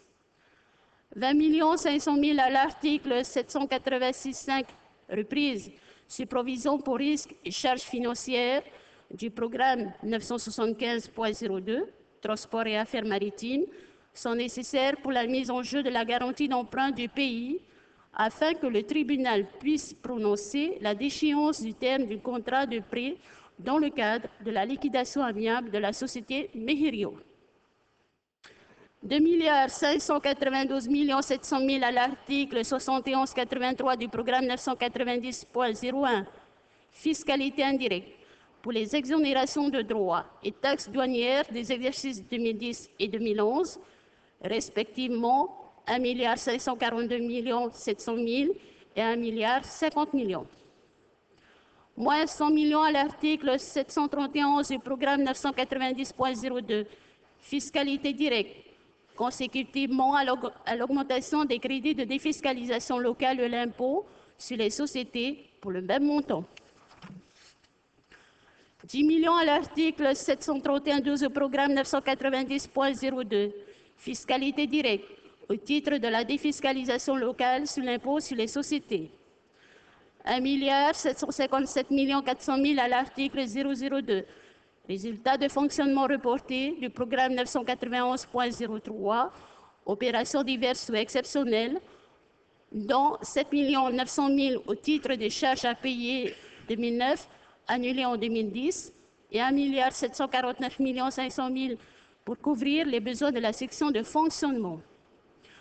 200 millions à l'article 778 du programme 991.03 suite au versement avant le prononcé de la clôture des comptes de l'EPAP des fonds disponibles qui ne seront pas utilisés. B. Les dépenses de fonctionnement. Au titre du présent collectif budgétaire, les dépenses de fonctionnement du budget général sont augmentées de 4 milliards 900 millions comme suit. Dépenses de personnel plus 412 millions. Afin de répondre aux objectifs de réduction des dépenses de personnel, le budget primitif 2011 a acté la suppression de tous les postes budgétaires vacants au 31 décembre 2010, ainsi que ceux qui viendraient à se libérer au cours de l'année 2011, du fait de départ à la retraite ou occupés par des agents non titulaires au lendemain du terme de leur engagement. Cependant, pour ne pas entraver le fonctionnement du service public, l'inspection générale de l'administration de la Polynésie ainsi que le service du personnel et de la fonction publique ont été chargés d'analyser les besoins prioritaires des différentes entités du pays.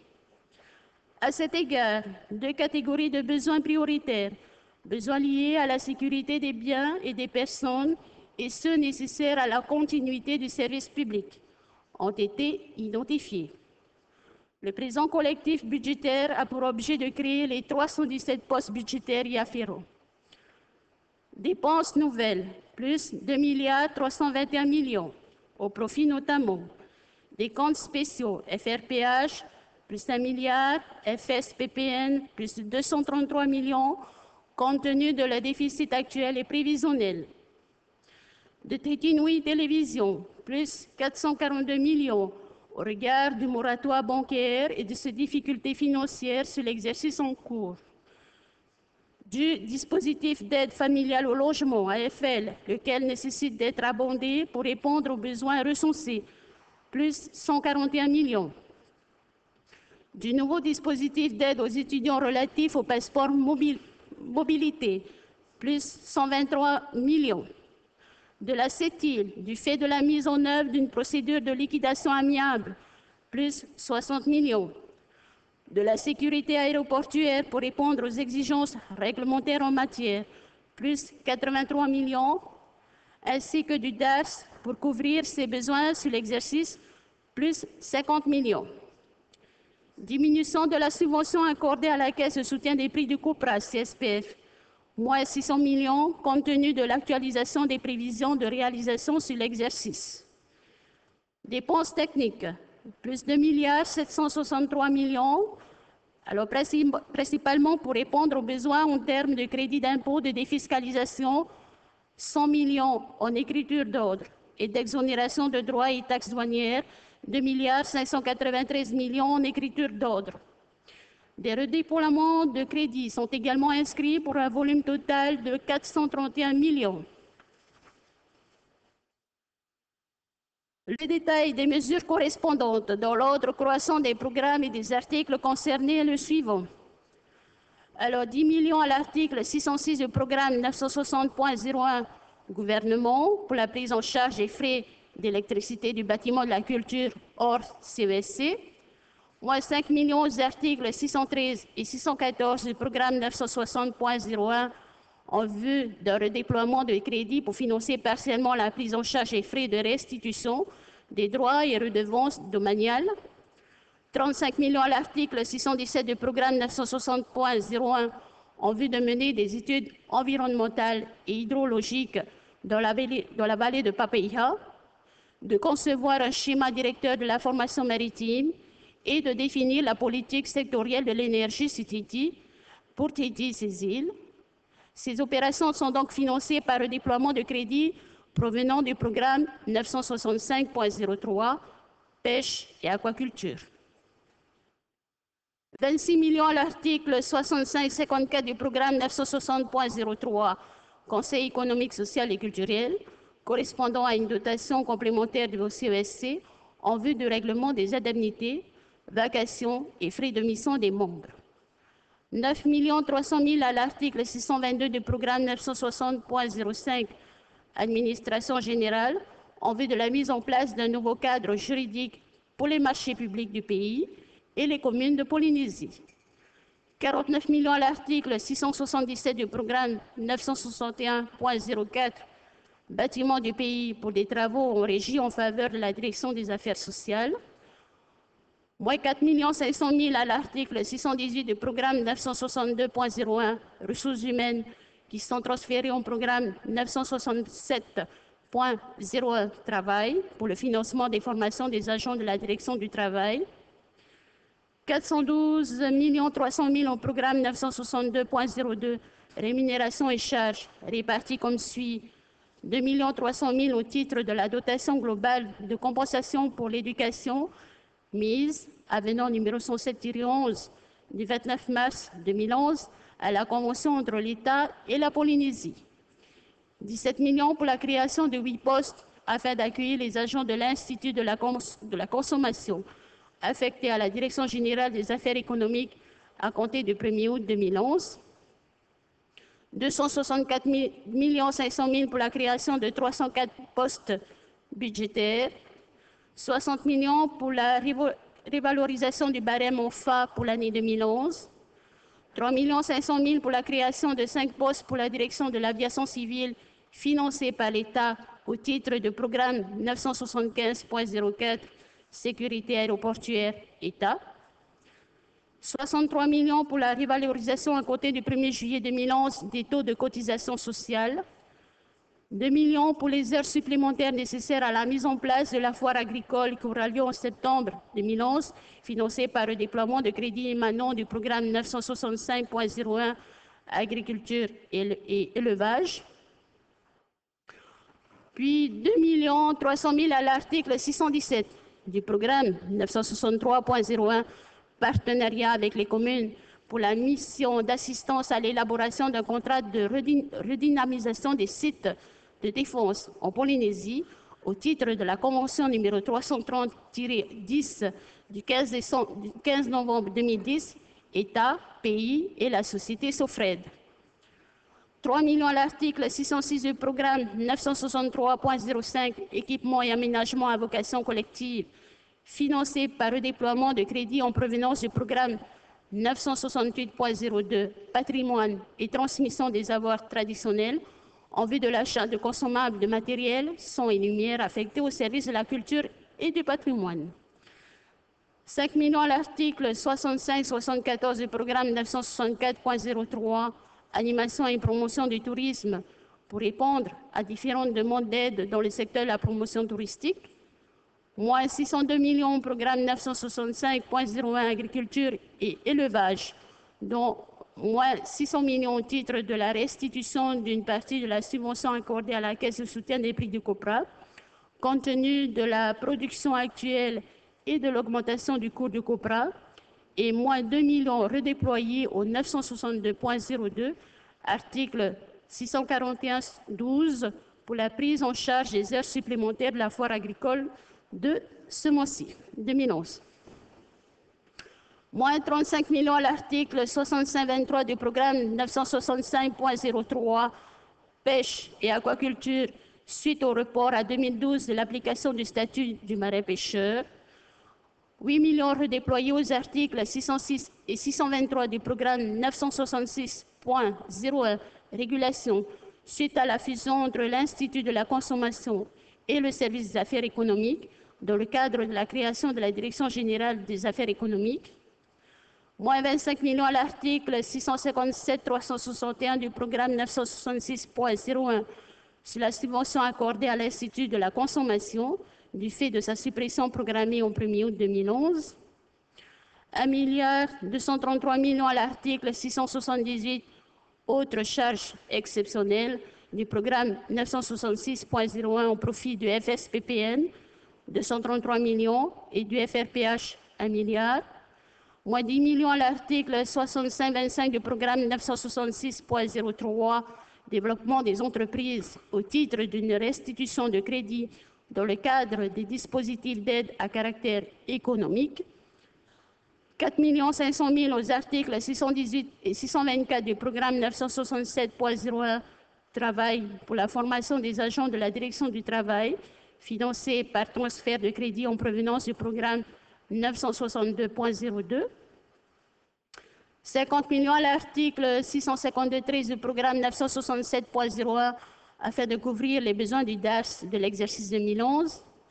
Moins 16 600 000 à l'article 657-311 du programme 967.03 Formation professionnelle suite à la fermeture de l'UNMPF à compter d'août 2011.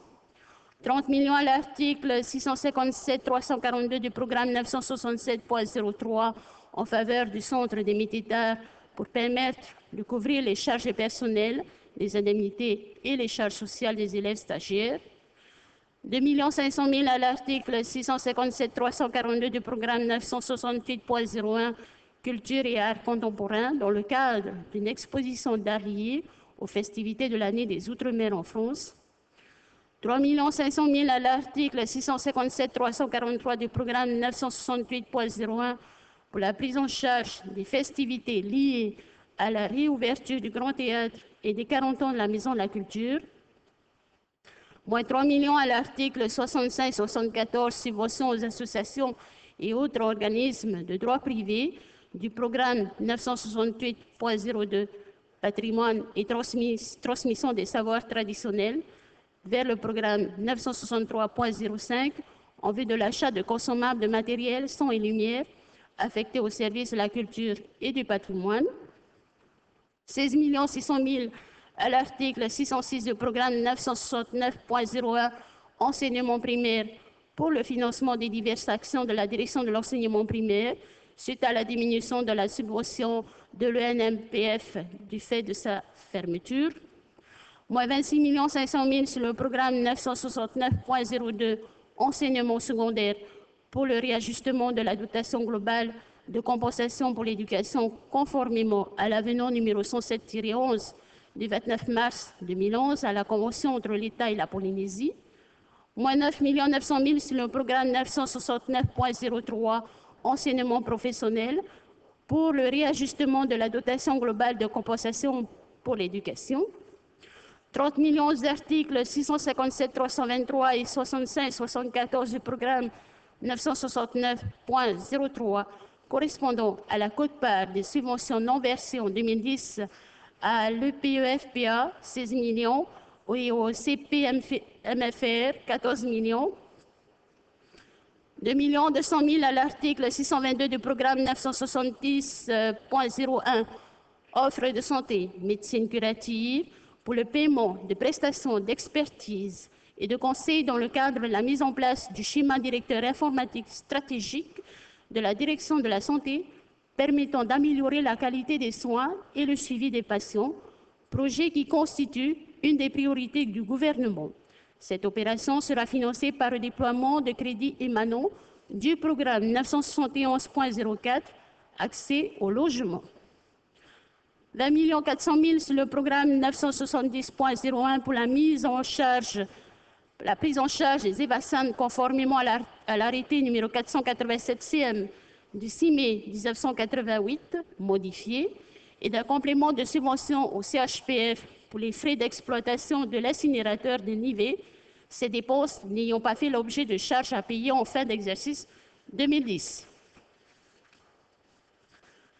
6 700 000 à l'article 622 du programme 970.02 Santé publique, prévention, au titre de la lutte contre les maladies non transmissibles, financée notamment par le SPC, 5 800 000, conformément à la lettre d'accord numéro 6055 du 25 août 2011 et la communauté du Pacifique Sud, 905 000 sur le volet Apprendre à cuisiner.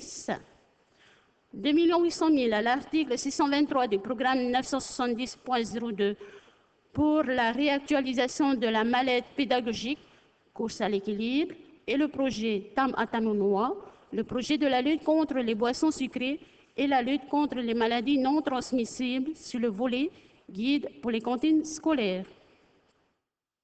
1 million à l'article 622 du programme 970.03 Veille et sécurité sanitaire pour permettre le contrôle des œufs ainsi que des résidus de pesticides sur les fruits et légumes frais. 2 millions à l'article 623 du programme 971.03 Cohésion sociale au profit de la délégation à la condition féminine pour la, pour la journée internationale sur la violence conjugale qui se déroulera le 25 novembre 2011. Moins 35 800 000 à l'article 624 du programme 971.03 suite à un ajustement de la dotation globale de compensation pour l'éducation en matière de transport scolaire. 122 700 000 à l'article 65.16 du programme 971.03 dans le cadre du dispositif, du nouveau dispositif de mobilité des étudiants polynésiens afin de pallier aux insuffisances du passeport mobilité. 4 800 000 à l'article 65-74 du programme 971.03 pour permettre l'engagement des avenants à passer avec l'État dans le cadre du dispositif de maîtrise d'œuvres urbaines et sociales, MOUS. 141 millions à l'article 65-18 du programme 971.04 accès au logement afin de régulariser les exercices 2005 et 2006 au titre de l'aide familiale au logement. Moins 2 200 000 à l'article 65-18 du programme 971.04 afin d'être transféré au programme 970.01 pour financer les prestations d'expertise et de conseil nécessaires à la mise en place du schéma directeur informatique stratégique de la direction de la santé. Moins 3 700 000 à l'article 65-74 du programme 971.05 jeunesse, conformément à la Convention État-JS numéro 41-03 du 10 avril 2003 modifiée. Euh, 20 000 à l'article 65-74 du programme 971.05 correspondant à des charges à payer de 2009 annulées en 2010. 10 300 000, soit 13 900 000 aux articles 606 et 65-74 et moins 3 700 000 aux articles 622 et 65-73 du programme 971.06 Sport au titre de la Convention État-JS numéro 41-03 du 10 avril 2003 modifié. 7 900 000 aux articles 624 et 65-74 du programme 971.06 correspondant à des charges à payer de 2009 annulées en 2010. 20 millions à l'article 65-74 du programme 971.06 pour la prise en charge de l'assurance collective des athlètes. 40 millions à l'article 65-74 du programme 971.06 pour le financement de grandes manifestations sportives. Moins 25 millions à l'article 628 du programme 973.01 gestion de la biodiversité et des ressources naturelles afin d'être transféré au programme 973.02 prévention et traitement des pollutions pour financer la part du pays au traitement des déchets ménagers de Titi Moria au titre de l'année 2011. 56 500 000 à l'article 611 du programme 973.02 pour compléter la participation financière du pays au traitement des déchets ménagers de Titi Moria au titre de l'année 2011, dont 49 millions redéployés en provenance des programmes 973.01 et 973.03, connaissance et éducation. Moins 24 millions à l'article 623 du programme 973.03, transféré vers le programme 973.02 pour la prise en charge de la part du pays au traitement des déchets ménagers de Titi Moria au titre de l'année 2011. 65 millions sur le programme 974.02 ports et aéroports, dont 5 millions pour l'entretien des aérodromes de Rohiné et Moria et 60 millions au profit de la CETIL en vue de sa liquidation. 4 millions à l'article 622 du programme 974.04 Énergie au titre d'un complément de crédit pour l'exercice 2010 dans le cadre de la concession EDT. 7 millions à l'article 674-342 du programme 974.06 Média au titre du plan social que connaît l'agence tahitienne de presse. 442 300 000 à l'article 6744 du programme 974.06 au profit de TED TV, dont 138 600 000 pour la seconde tranche du moratoire au titre de l'exercice 2010, 215 600 000 pour l'annualité du moratoire au titre de l'exercice 2011 et 88 millions en complément de la subvention d'exploitation 2011 de la chaîne de télévision. 5 millions à l'article 622 du programme 975.02 Transport et affaires maritimes pour la prise en charge du coût de publication de la vente des navires Tétinouille 2 et Tétinouille 3. 1 million au titre 624 et 625 du programme 975.02 en vue des visites de sécurité des navires dans les îles. 20 500 000 à l'article 678 du programme 975.02 pour la mise en jeu de la garantie d'emprunt du pays afin que le tribunal puisse prononcer la déchéance du terme d'un contrat de prêt dans le cadre de la liquidation amiable de la société Meherio. Cette dépense est financée via une reprise sur provision pour risques et charges financières. 6 millions aux articles 606, 624 et 625 du programme 975.03 Transport aérien et aviation civile au titre de la mission de maintenance des équipements de, navigation aérienne du balisage lumineux et des groupes électrogènes situés sur les pistes, des équipements de radiocommunication et des services AFIS. 6 500 000 à l'article 615 du programme 975.03 correspondant à un solde de facture suite à la réparation de l'avion ATR 42-500 du pays dans le cadre de son alignation. Moins 1 million l'article 622 du programme 975.03 pour financer partiellement la prise en charge des frais de restitution des droits et redevances domaniales. 83 800 000 sur le nouveau programme 975.04 Sécurité aéroportuaire État pour financer les dépenses liées à la lutte contre les incendies d'aéronefs et la prévention du péril animalier sur les aérodromes territoriaux. 17 millions à l'article 613 du programme 976.02 Gestion du domaine public pour la prise en charge des loyers de la gare maritime de Outourois. 2 milliards 603 millions sur le programme 990.01 Fiscalité indirecte, dont 120 millions pour les frais de mise en route du terminal de paiement électronique des douanes à l'aéroport de Titi, 10 millions 400 000 pour la prise en charge des restitutions de droits et redevances domaniales et 2 milliards 593 millions en écriture d'ordre au titre des exonérations de droits et taxes douanières des exercices 2010 et 2011. Enfin, 100 millions en écriture d'ordre à l'article 73-92 du programme 990.02, fiscalité directe, en crédit d'impôt de défiscalisation. C. Les recettes d'investissement. Au titre du contrat de projet État Polynésie, comme suite aux modifications de la programmation 2011, actée début juillet par le comité de pilotage, ainsi que des prévisions de réalisation des opérations en cours financées par ce dispositif, il est procédé au redéploiement suivant.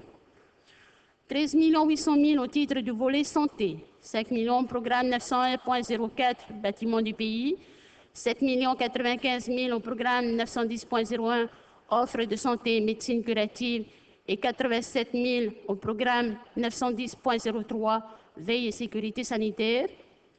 Moins 46 100 000 au titre du volet abri cyclonique, programme 903.05 équipement et aménagement à vocation collective. 32 300 000 au titre du volet enseignement supérieur recherche, programme 905.03 pêche et aquaculture. Est également inscrit un financement émanant de l'ADEME pour un montant de 21 500 000, programme 914.04 énergie. Enfin, une inscription en écriture d'ordre est prévue à hauteur de 5 700 millions au programme 916.03 Affaires foncières. D. Les dépenses d'investissement. Il est procédé à la création de 72 nouvelles opérations d'investissement, dont 24 au titre du contrat de projet, une financée par l'ADEME, étude SWAC du Taoné, et deux écritures d'ordre, crédit vendeur sur les ventes de biens du pays en écriture d'ordre et échange sans solte de la Polynésie et VAN en écriture d'ordre. Le président collectif du budgétaire fait en outre apparaître une augmentation globale des autorisations de programme de 7 milliards 156 millions, dont 5 milliards 498 millions d'opérations d'ordre et 1 milliard 658 millions correspondant à des opérations réelles se décomposant comme suit. 6 milliards 85 millions pour 70 créations d'autorisations de programme, 1 milliard 444 millions d'augmentation d'AP déjà, déjà existantes, 5 milliards 871 millions de diminution d'AP 20 abandons d'opérations, 42 opérations achevées et 21 diminutions de coûts d'objectifs. Pour ce qui concerne les crédits de paiement de la section d'investissement, il est procédé à une augmentation globale de 5 milliards 721 millions, dont 5 milliards 700 millions au titre des deux opérations d'ordre susvisées et 21 millions 500 000 relatifs au niveau financement de l'ADEME. Par ailleurs, des redéploiements de crédits de paiement entre chapitres sont opérés depuis certains chapitres excédentaires de façon à couvrir les besoins exprimés sur d'autres, principalement au titre du contrat de projet. Enfin, suite à la création de la taxe d'aéroport, il est prévu que toutes les dépenses liées à la sécurité incendie et au péril animalier des aérodromes dans le pays et l'exploitant soient inscrites sur le nouveau programme 915.04 Sécurité aéroportuaire État. Il est ainsi proposé de retirer les crédits de paiement des neuf opérations concernées inscrites aux missions 901, moyens internes, et 914, réseaux et équipements structurants, afin de les transférer sur la mission 915, transport. Compte tenu de ces éléments, les rapporteurs, nous proposons donc à nos chers collègues de l'Assemblée de la Polynésie, au nom de la Commission des finances, d'adopter le projet de délibération 6 juin. Maruru mai te e, te meroa por ar hei te restane. Mei te whaauhia ina wenei, ahuru mā pē miniti nā ni e puputa dei te. E inhai te e te me, te huri rao i te whanhora, te irawe hia i e te tumupura mata mua, norira. Te anine iau, te pupu tō tato aia. Ai te ti ano te pupu tō tato aia. Te anine iau i te pupu taho e rahui ratira. Ia whahiti mei tōna mano. Te preti tini, na wai e proprau. Na oe, atu mai, tia oera. Maruru mai te Président. Les collectifs budgétaires se suivent et finissent par se ressembler. Lors de l'étude du premier collectif, qui n'était qu'un collectif technique, le vice-président nous avait annoncé que le présent collectif, attendu depuis fin juillet, serait thématique. En fait, en fait de collectif thématique, nous nous trouvons une nouvelle fois face à un collectif technique, sorte de fourre-tout illustré de l'exposé des motifs. En dehors des jeux d'écriture d'ordre, il n'y a aucune ligne direct- directrice qui nous inciterait à reprendre espoir. Pour parapher encore une nouvelle fois François Hollande à propos du plan de rigueur du gouvernement central, je dirais, il n'y a pas de cap, il n'y a pas de stratégie, il n'y a que du bricolage. Mais pour une part, il faut bien noter que ce bricolage n'est que la traduction d'un autre bricolage, celui de votre plan de redressement des comptes publics. Ainsi, ce collectif vient mettre en pratique certaines dispositions de ce plan, mais par ailleurs confirme l'escroquerie que nous avons eu l'occasion de dénoncer. Ce plan devait ouvrir la voie de la restructuration de notre administration et en faire baisser les charges pour le budget. Au lieu de cela, que voyons-nous arriver? Une augmentation de 412 millions des dépenses de personnel avec la création de 317 postes budgétaires. Alors on vient nous expliquer que l'inspection générale de l'administration et le service du personnel ont estimé que ces postes étaient nécessaires pour assurer la continuité du service public. Alors même ces mêmes services qui avaient, au moment de l'élaboration du budget 2011, procédé à un examen minutieux de tous les postes vacants qu'il convenait de fermer. Donc il s'agit bien d'une décision politique de ce gouvernement. À bien regarder la liste des postes que vous comptez rouvrir, on se rend bien compte que nombre d'entre eux auraient sans doute pu être pourvus d'un redéploiement en interne des compétences au sein de notre administration. On nous fait croire, par exemple, que vous n'avez pas trouvé d'ouvriers, d'agents de service ou d'adjoints administratifs inoccupés dans les différents services pour les réaffecter là où des besoins se faisaient sentir. Non, nous avons une, administration obèse et vous voulez qu'elle grossisse encore plus. C'est bien là un signe de l'escroquerie de votre plan de dressement. Mais ce n'est pas fini, puisque nous nous attendons à ce que cette administration vienne encore grossir. Nous avons un texte pendant devant notre Assemblée pour intégrer dans le corps des fonctionnaires les marins de la flottille administrative. Nous avons aussi appris que vous avez promis également d'intégrer les salariés de la Cité. Et bien sûr, chaque fermeture ou fusion d'établissement se fera avec reprise du personnel. Même la fusion de vos services au sein d'une direction commence à coûter de l'argent, puisque vous inscrivez 18 millions pour la création de 8 postes afin d'accueillir les agents de l'Institut de la consommation au sein de la direction des affaires éco.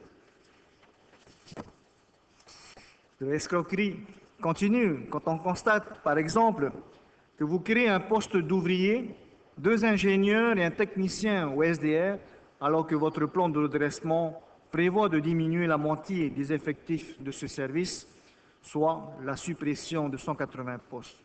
Avant de supprimer, on commence donc par créer de, de nouveaux postes. Le redimensionnement de notre administration passe encore, comme vous l'avez inscrit, par une revalorisation,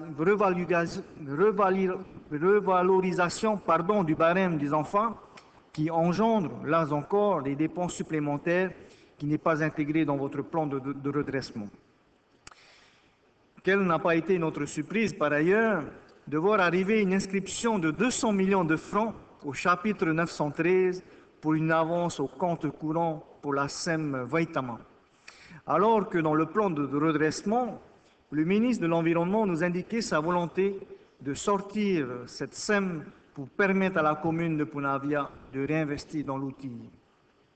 Au passage, nous serions également curieux de connaître la politique du ministre en matière de traitement des déchets, puisque nous voyons également arriver de nouvelles inscriptions pour le financement de la part du pays dans ce domaine. Nous avons aussi eu l'occasion de le dire, votre plan de redressement n'est qu'une vaste fumisterie qui s'était pour faire croire à la population et aux élus que nous allions économiser près de 53 milliards. Je répète ce qu'on a dit déjà dans cette assemblée. L'économie réelle sur les deux prochaines années ne sera que de 3 milliards 6, alors que nous inscrirons dans la colonne des charges 42 milliards supplémentaires. J'en viens maintenant à une autre inscription de dépenses pour le moins étonnante, avec l'article 662, une somme de 9 milliards 3, destinée, semble-t-il, à la rémunération d'un prestataire de service extérieur pour la rédaction du code du marché public. 9 millions 3, pardon. C'est le type de dépense parfaitement inutile quand on sait que nous disposons parfaitement des compétences en interne pour s'attacher à ce travail. Des compétences parfaitement faites des réalités locales. Faut-il encore voir donc à récompenser, comme ce fut le cas pour la prestation relative au schéma des transports interinsulaires. Nous aurons le temps, lors de la discussion sur les chapitres à soulever, les nombreuses incohérences de ce collectif budgétaire. Mais au niveau de cette discussion générale, nous ne pouvons constater que votre document est sans consistance. Une fois qu'on retire toutes les, écri les écritures d'ordre, il ne reste pratiquement rien, si ce n'est bien évidemment les dépenses nouvelles que vous inscrivez au niveau du personnel. Ce, ce document ne peut donc nous satisfaire car il démontre avant tout ce que vous engagez, vous ne vous engagez pas sur la voie des économies et de la restructuration, alors que le tissu économique a de plus en plus de tous les besoins que nous savons actuellement, que nous puissions donc dégager des marges de manœuvre sur le fonctionnement de notre administration pour les réinjecter dans l'économie réelle. Maruru. Maruru mai irene, te anine iau i te tiano te Armel Messeron. Merci, Monsieur le Président, de me donner la parole. Je suis étonnée. Voilà, alors je ne me suis pas concertée avec Monsieur Temeharo. Je n'emploierai pas les mêmes mots que lui, qui étaient quand même assez forts, mais finalement j'arrive au même résultat.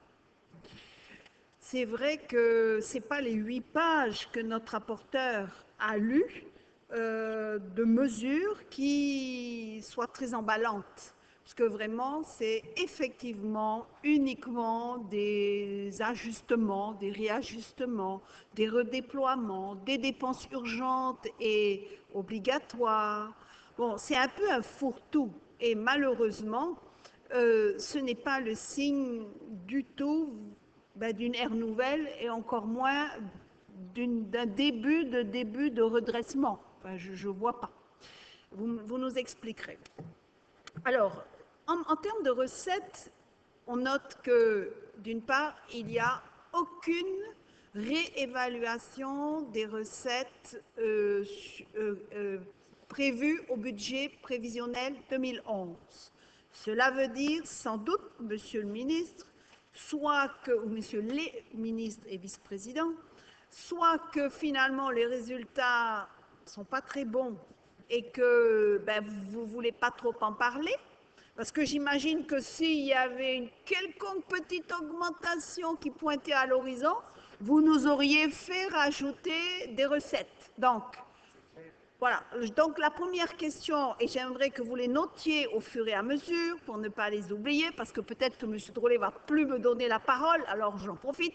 Notez, s'il vous plaît, je voudrais que vous nous fassiez une un point d'exécution du budget 2011. Ne me demandez pas quel budget 2011, je m'en fiche, celui que vous appliquez. Euh, où en êtes-vous du côté des recettes en particulier et des recettes fiscales? Puisque le ministre des Finances reçoit chaque mois un état de la direction qui lui, des impôts qui lui donne exactement où on en est. Ensuite, en termes de recettes, vous puisez dans les réserves. Il nous restera plus, sachez, nous, collectivités, qu'il nous restera plus que 357, euh, 367 millions de francs euh, après que vous ayez ponctionné 1 milliard 750, 1 million 700, oui, 1 milliard 757. Bon, donc vous utilisez ça.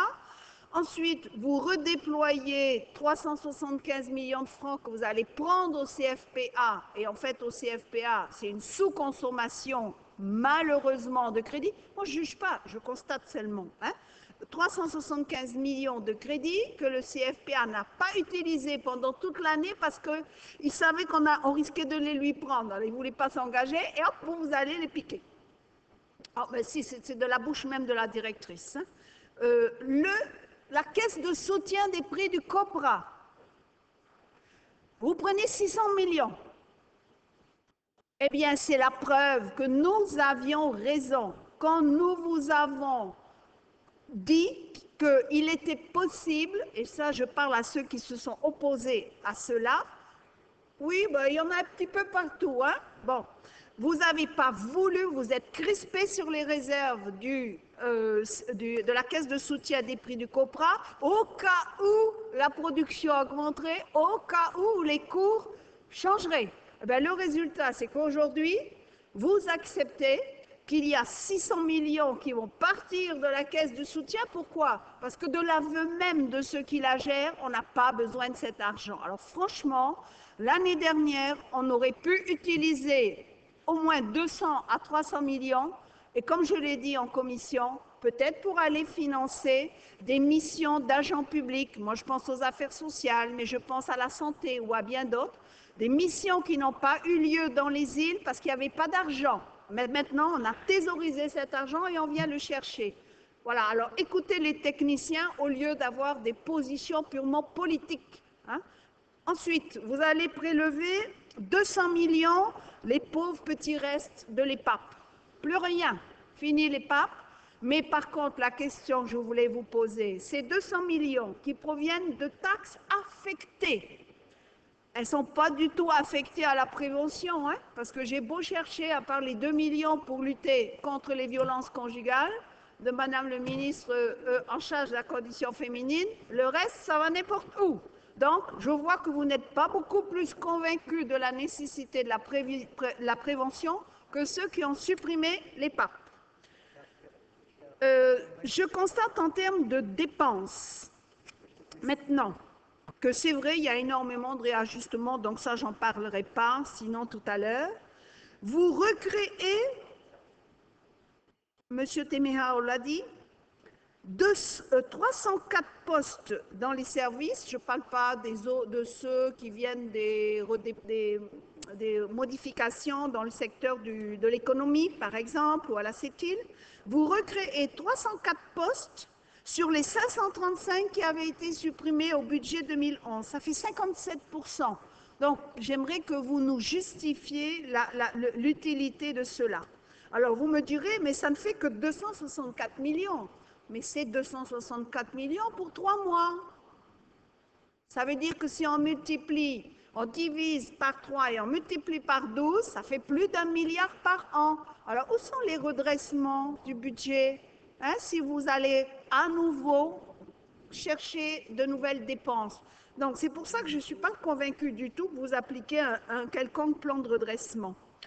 Euh, le FRPH, on en a parlé tout à l'heure, et je voudrais dire à tous ceux qui ont voté, qu'ils étaient présents ou pas, que les pauvres petits 300 millions que vous avez grattés sur la taxe, ben, qu'est-ce que c'est par rapport aux 1 milliard qu'on va chercher dans le pot commun pour aller mettre en plus dans le FRPH Et ça ne suffit pas encore, parce que j'ai fait le calcul, et je suis sûre que le ministre ne me contredira pas.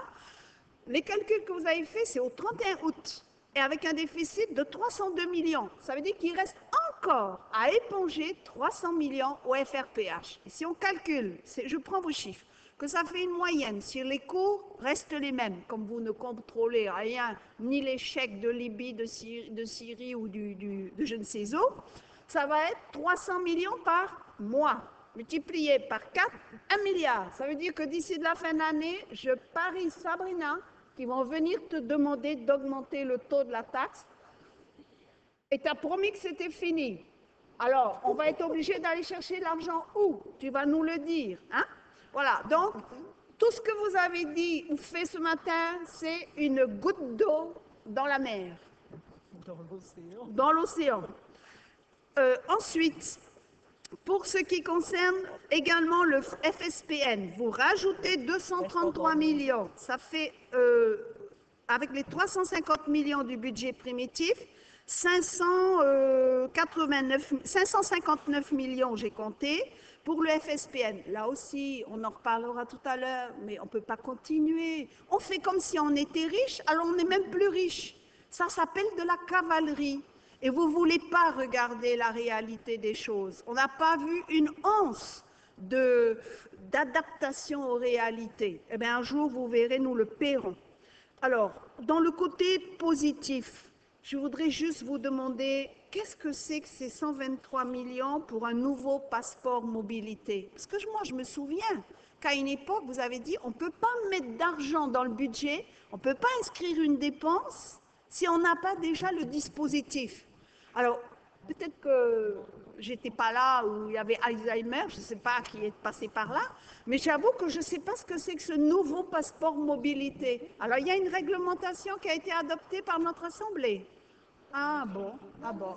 Eh bien alors, vous allez me le dire, hein, parce que franchement, j'essaye d'être présente aux, aux- aux travaux de l'Assemblée et bon, ben voilà, Alzheimer, tu vas dans ta caisse parce que franchement, euh, euh, tu t'es pas rendu compte de cela. Voilà, alors, euh, si c'est dans les bourses, je trouve que là, vous, pourriez nous le dire, hein, parce que vous travestissez la réalité des choses. Et puis, si le ministre de la Jeunesse avait été là, j'ai une dernière question que je lui aurais posée. Combien auront coûté les Jeux du Pacifique pour la collectivité polynésienne? Parce que c'est vrai, on a gagné plein de médailles au début, mais c'était le A. À mon avis, ça va être dur. hein. hein. Et puis, et puis, on m'a dit qu'il y avait 95 invités. Est-ce que c'est vrai? Alors, combien ça a coûté? J'aimerais bien savoir. Et Monsieur le Président, est-ce que l'Assemblée a déboursé un franc pour ça? Voilà, donc ils ont réussi à se faire inviter par d'autres. Donc il y a quelqu'un qui a payé. Alors, j'aimerais que vous nous disiez à peu près ce que ça a coûté. Euh, sinon, faites passer le message. Hey, Mamou Faites passer le message au ministre. dans l'opposition. Voilà, non, je rigole, mais franchement, dans le fond du cœur, je rigole pas, parce qu'il n'y a pas grand-chose pour être optimiste. Merci. Maruru mai te Armel, eh, te anine ia i te tia o te mana o te momutu me te pe mano ai te mano, te anine ia i te tia no te mo mero ai tata ratu e pupu, mano ane ai tatoa. Tō te tapura amui ai tatoa e mano, tia o era, ai ta, vai ho tātou? Periteni. Ou. A a hapanu ia na pai tatu i aru ere tatu no te propara. Ini a o ti tapura amui e wahiu na te pai au pato i e propara. Nari rā, nā roto i te ienei mana o mai tei, nā rone eo e ani tō tātou mono preti e te whatare hau no te pau te tere rā fōwha. Te vera anei te tei mo pahono ai te mo wira i ani hia mai, ia uruara. Maruru. Preti no tāpora hei, mau te e no tuahine, tuira ati rau te amui mai, nā rina toa te mo wea o te hui, tō rātou puha para, whare ino mai tapa no te arofa i tō tātou wharerit a, i te e mhana api. Te aro nei au nā muaro a maruru mai tei. Mō ti a maramarama no te e apor a iriti ture tā tātou, no te maitir a fofa a tātou i rawe. Rato te ture mata mua.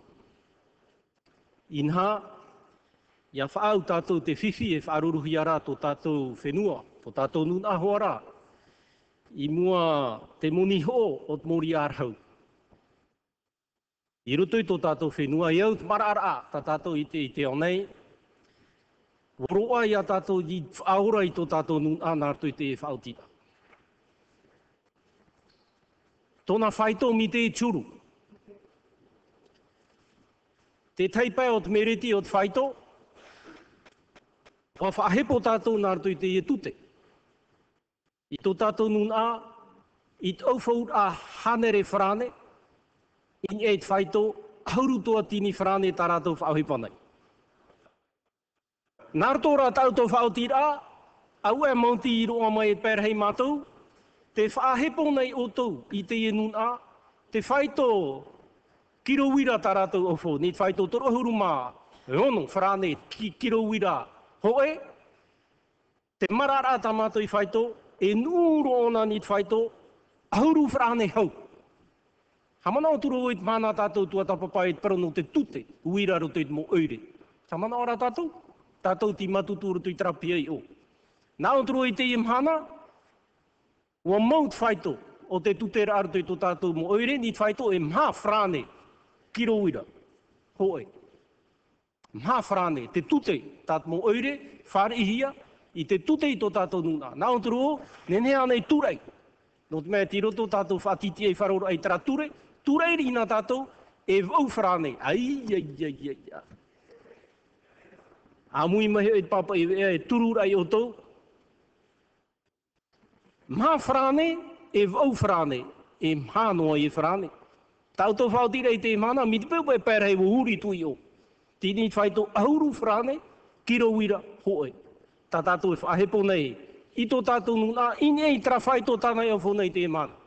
Toru hoe.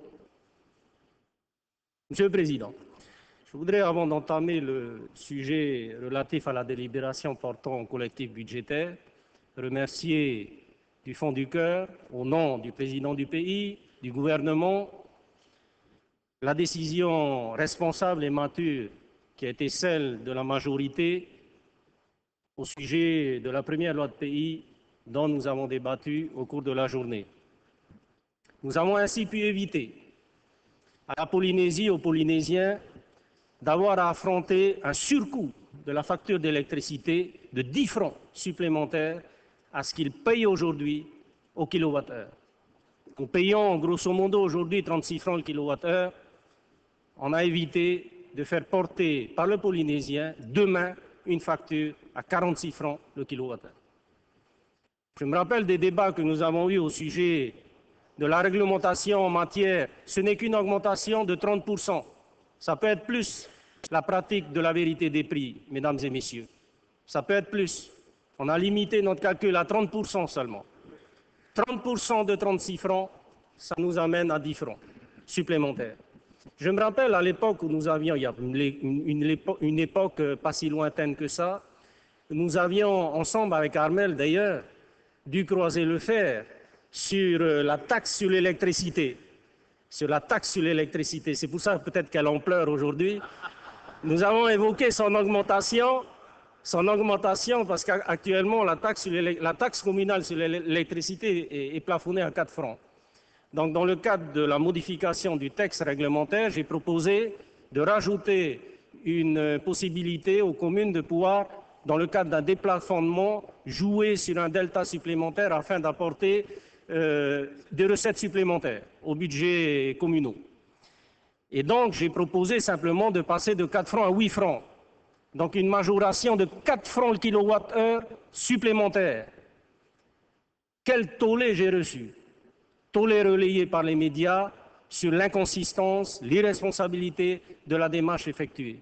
Eh bien aujourd'hui, si la majorité avait été celle de l'opposition aujourd'hui, eh bien on aurait dû faire supporter aux consommateurs, aux usagers de l'électricité aujourd'hui, une augmentation de plus 10 francs sur les 36 francs le kilowattheure qu'ils payent aujourd'hui. C'est pour ça que je dis, je remercie beaucoup l'ensemble des élus de la majorité d'avoir eu la responsabilité et l'audace, par leur vote, de pouvoir permettre aux usagers de Polynésie, à la population, d'éviter cette augmentation fatale qui malheureusement, et, là je rejoins certains intervenants de l'opposition, euh, risque à nouveau de se poser demain si si on se trouvait à nouveau confronté à une augmentation du cours du baril.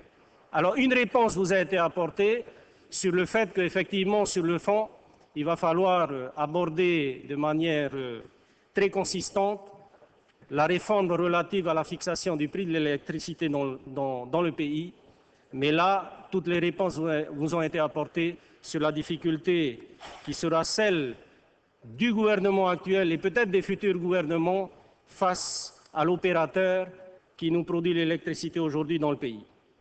Voilà, une petite parenthèse, Monsieur le Président, sur la première décision qui a été prise. Pour revenir à notre document, je dirais tout simplement d'abord que ce n'est qu'un simple collectif. N'attendez pas de ce collectif un budget ou deux budgets. Ce n'est qu'un simple collectif. effectivement, ce collectif est rattaché non pas au premier budget, mais au deuxième budget, celui que nous avons voté ensemble ici, d'une seule voix d'ailleurs à l'époque. Et c'est la raison pour laquelle euh, il n'a pas été difficile pour nous de pouvoir vous le présenter très rapidement. Rappelez-vous, nous sommes venus devant vous avec un premier collectif technique.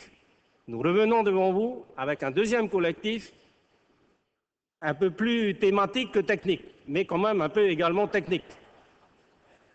Ah, il faut les deux. Dans la stratégie budgétaire, vous avez la technique et vous avez la thématique. Donc sur, sur ce point, et pour répondre à René Temeharo, donc le collectif qu'on vous propose a un cap. A un cap. C'est celui d'éviter de clôturer en déficit. C'est le propre de tout gouvernant qui décide de prendre la responsabilité de conduire les affaires d'un pays ou d'une collectivité. Et pour éviter de clôturer en déficit, ben, nous sommes obligés de rééquilibrer les pôles en fonction des événements qui se sont passés depuis les dernières décisions, c'est-à-dire depuis le premier collectif que nous avons voté. Alors, on me dit que c'est un collectif sans consistance, mais grâce à ce collectif, je vous ai apporté déjà une première réponse.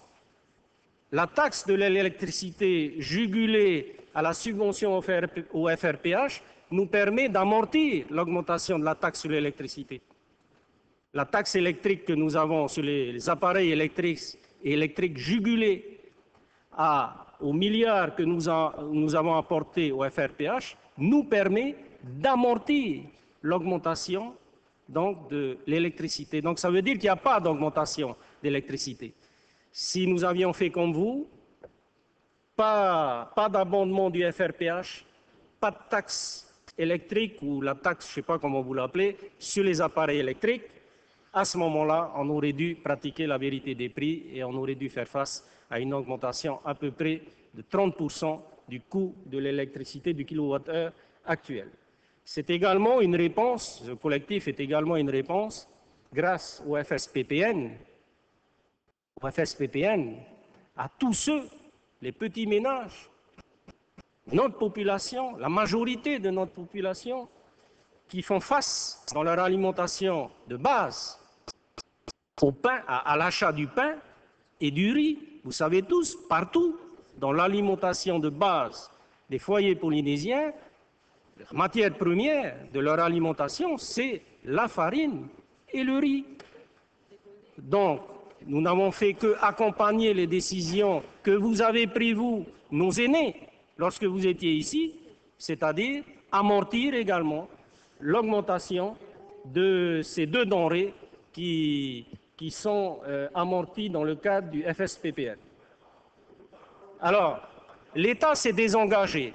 L'État s'est désengagé. L'État s'est désengagé dans les nouvelles conditionnalités, pas du prêt AFD, mais du passeport mobilité.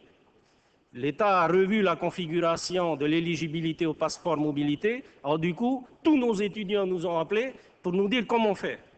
On ne rentre plus dans les critères de l'État. Et pourtant, nous voulons, nous voulons partir pour étudier. Et, demain, nous comptons l'avenir du pays sur l'expertise que vont acquérir ces étudiants, ces enfants, dans le cadre de leurs études. Alors nous avons dû, nous avons dû compenser à cette carence de l'État, volontaire ou involontaire, peu importe, chacun pensera qu'il veut, ce qu'il veut, mais nous avons dû compenser cette carence. Alors cette carence a été compensée par une adjonction donc, de 120 millions dans le cadre du collectif, qui va permettre ensuite à tous ces étudiants qui sont les laissés pour compte des critères d'éligibilité au passeport mobilité de l'État de venir au guichet du pays pour pouvoir trouver à être accompagnés dans leur démarche et dans leur effort de faire des études en France. Alors c'est un dispositif, ben, c'est une question de compétence qui qui nous a pas, qui, qui, nous a pas été utile de vous présenter parce que nous en avons la compétence. Je ne parlais pas de notre compétence, je parlais de la nôtre en tant que ministre, pour ne pas vous vexer. Donc ça fait qu'il y a eu un arrêté CM qui a été pris en charge et qui a construit le dispositif conformément aux compétences retenues, euh, détenues actuellement par le gouvernement et notamment le ministre de l'Éducation. Alors, on me parle également de la subvention TNTV. Mais écoutez, moi je vous ai entendu quand on a étudié le plan de redressement. Vous m'avez fait des pieds et des mains pour venir me montrer une pétition avec 4000 signatures. Il ne faut pas fermer TNTV. Eh ben ça, c'est le corollaire. Si vous ne voulez pas fermer, ben, il faut payer. Donc, on est obligé d'amender 442 millions de francs euh, le budget du pays grâce à ce collectif. Ça, c'est de la consistance. Alors, quand on vient me dire que notre collectif n'a pas de consistance, moi, ça me laisse pantois. Ceci étant, ceci étant, donc, bien entendu, on a rectifié, tout le monde a rectifié, ce n'est pas 9 milliards. Le Code des marchés publics, c'est 9 millions, ce n'est qu'une petite convention de prestation de services qui va, c'est deux en un, qui va permettre de faire deux choses avec un coût. C'est-à-dire qu'on a commandé, à, l'aide de, la possibilité que nous donnent les conventions de prestation de services, la mise en place d'un code des marchés publics autant applicable au pays qu'aux communes. Donc on fait deux en un. C'est pas beau ça? Donc grâce au collectif. Ensuite, alors on nous demande de dégager des marges de manœuvre sur nos finances pour les réintégrer dans notre, pays. On nous, demande de dégager des marges de manœuvre pour les réintégrer euh, dans la structure de financement de la commande publique. Je pense que ça doit être ça mais pour intégrer dans le, afin de soutenir l'économie du pays. Alors ça, ça me ramène à faire un peu le point de la situation de nos recettes, fiscales et non fiscales, comme l'a demandé euh, Armel. Donc, euh, pour vous dire tout simplement que donc, le pays ne semble pas se redresser de la crise. Malgré ça, on est à même de vous présenter quand même des comptes qui vont nous permettre d'équilibrer notre situation au 31 décembre. Nous espérons un effort accru devra être effectué au niveau du fonctionnement pour éviter que les dépenses de fonctionnement ne viennent obérer la marge de recettes que nous, nous avons prévue dans le collectif afin de clôturer l'exercice au moins en équilibre. Ceci étant, ce que l'on peut dire, c'est que depuis 2009, la situation du pays, effectivement, euh, continue à, baisser. Ceci est dû, bien entendu, euh, la presse en fait l'écho, les experts euh, l'ont évoqué, au fait de la crispation donc de la consommation en Polynésie, qui est liée à un réflexe humain. En situation de crise, mais on fait attention. Ça ne veut pas dire qu'on dépense plus, on dépense mieux. Et en dépensant mieux, bien entendu, on choisit le moins cher, et en choisissant le moins cher, ben, la structure de recettes que vous avez mise en place depuis plusieurs années aujourd'hui n'est plus efficient pour permettre de soutenir la viabilité de la construction budgétaire de ce pays. Donc ça fait que l'ensemble de la fiscalité qui est pratiquement euh, proportionnée en termes de fiscalité indirecte, donc la TVA principalement, ne produit plus les effets escomptés. C'est la raison pour laquelle, et là on revient à la politique, le Tavini a toujours prôné l'équité fiscale. L'équité fiscale, c'est de ramener les pôles en équilibre.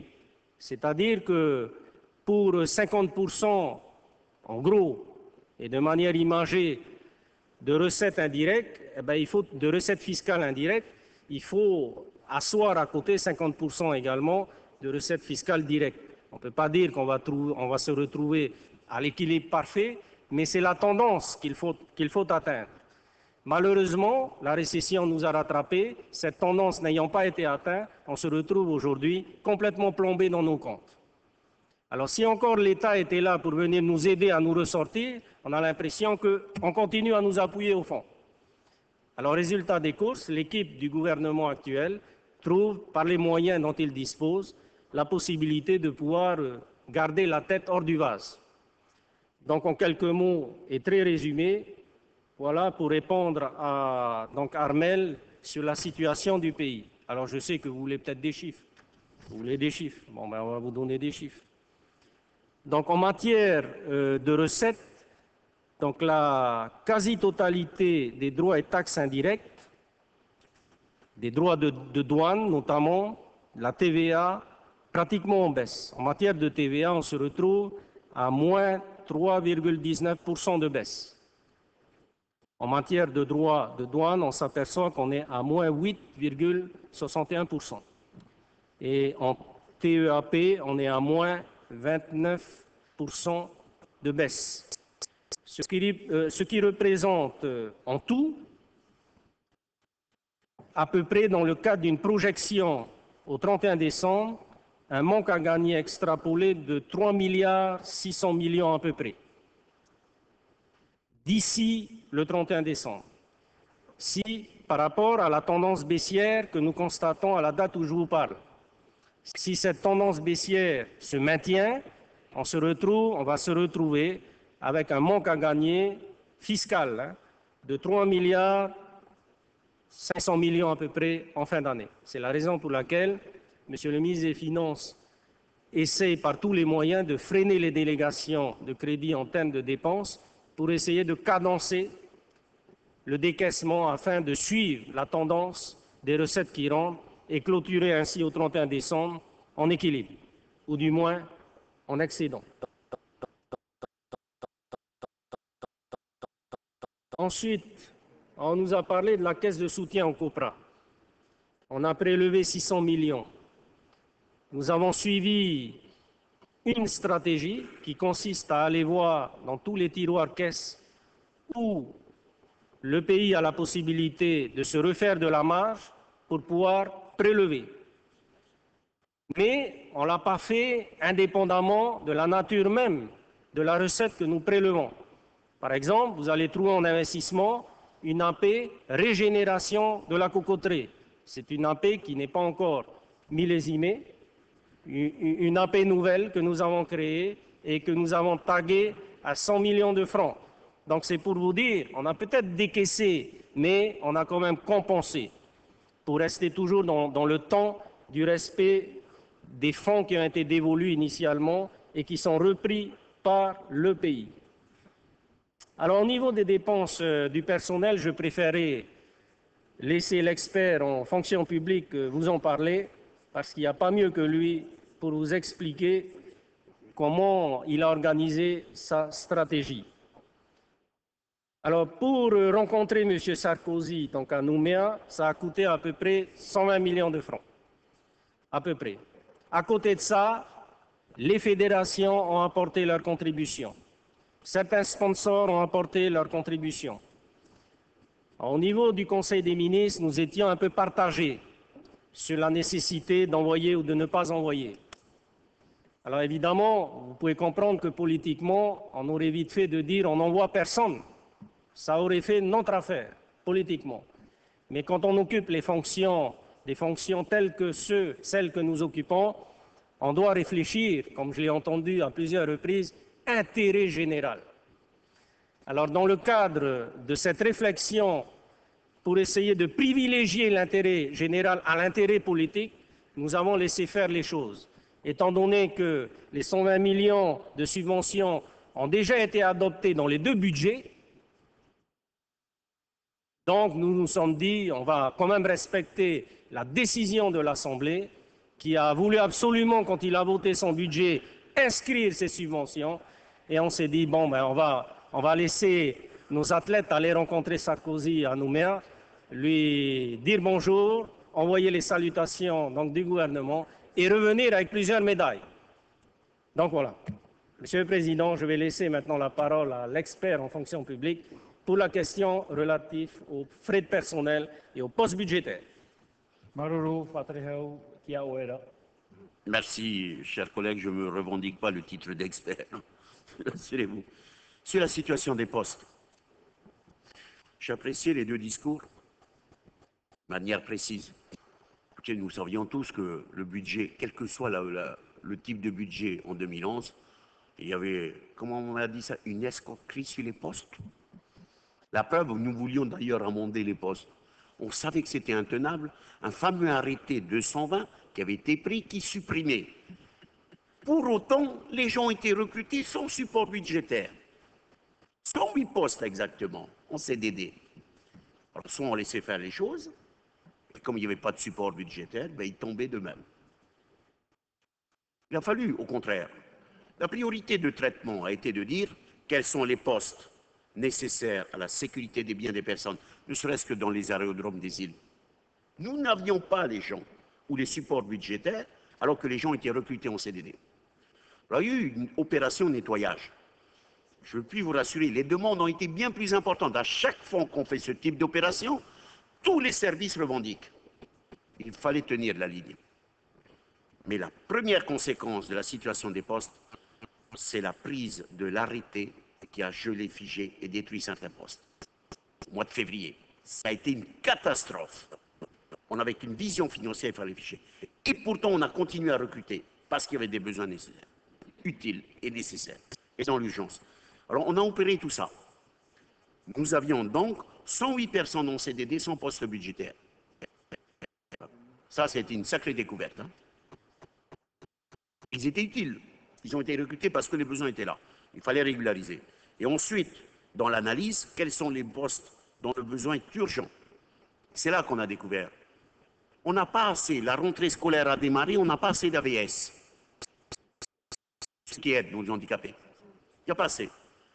Eh bien, le recrutement est bloqué par le collectif budgétaire parce qu'il fallait inscrire les postes. Sinon, on ne pouvait pas servir. Manque de surveillants dans certains établissements des îles. Bloqué parce que non prévu. Alors, effectivement, j'ai demandé les inscriptions en urgence. Oh, la rentrée a démarré. C'est pour ça, Monsieur le Président, que j'avais demandé qu'il y ait urgence de débat sur le collectif budgétaire, parce qu'on avait préparé ces documents pour affronter la, la rentrée scolaire. On a fait un balayage total des postes. Ce n'est pas pour le plaisir de réaugmenter les postes, mais c'est véritablement là où le besoin se fait sentir. Parce que sinon, on ne pouvait pas tenir nos engagements publics sur la situation des services publics. Alors, il y a eu un balayage terrible là-dessus. Les collègues qui m'ont demandé davantage de postes, on a dû refuser à un moment donné parce qu'on ne tenait pas. Alors, c'est vrai que Mme Merceron euh, dit attention à la projection sur l'avenir. Bien sûr que nous en sommes conscients. Effectivement, quand on projette sur une année, cette situation des postes, ils sont utiles, ça porterait sur un effet d'un milliard, bien calculé. Mais entre-temps, nous envisageons un départ volontaire massif de l'administration que nous avons chiffré à environ 2 milliards Et l'État nous répond, on pourrait vous accompagner dans le financement. Je souhaite réorganiser tout de suite, mettre ce départ volontaire et applicable dès 2012, pour justement porter les effets du coût moindre de la fonction publique.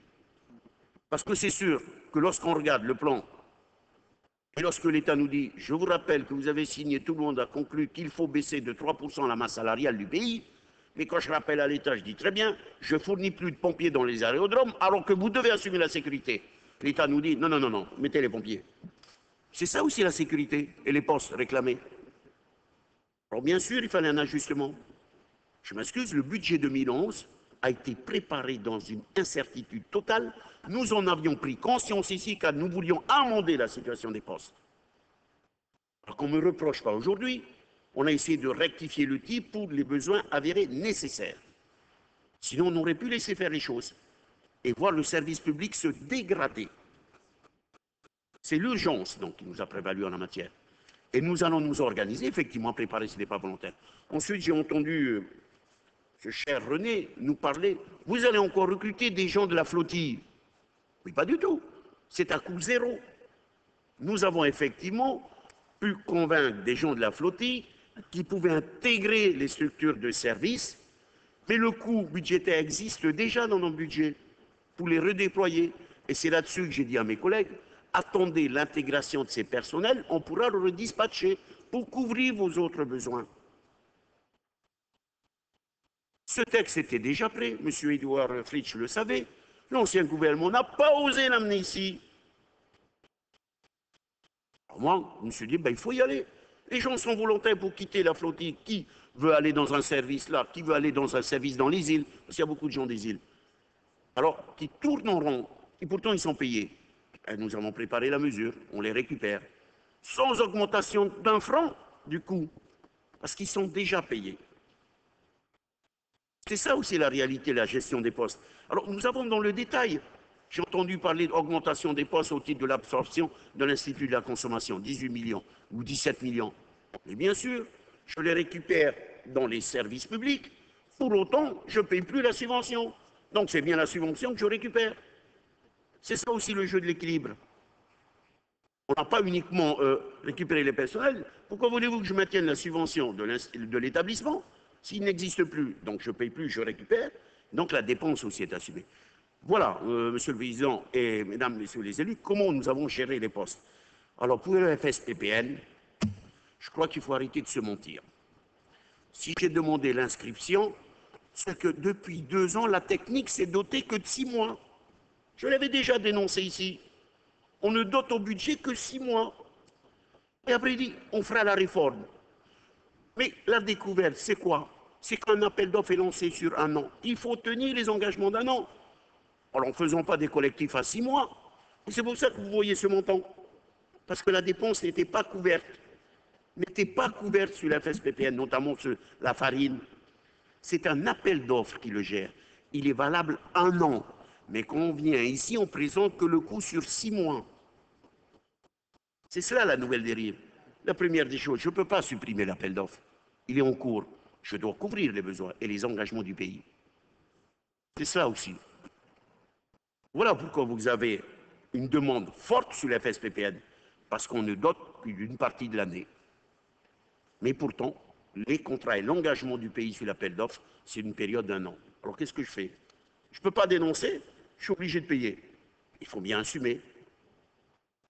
Dans ces conditions, il faut bien choisir. Lorsqu'on dote le primitif, si on a un appel d'offres qui couvre un an, il faut le couvrir pour un an. Et non pas uniquement pour six mois. C'est pour ça que vous voyez des montants bouger comme ça. C'est au constat de la réalité qu'il fallait redonner les moyens de tenir les engagements du pays. Voilà, Monsieur le Président.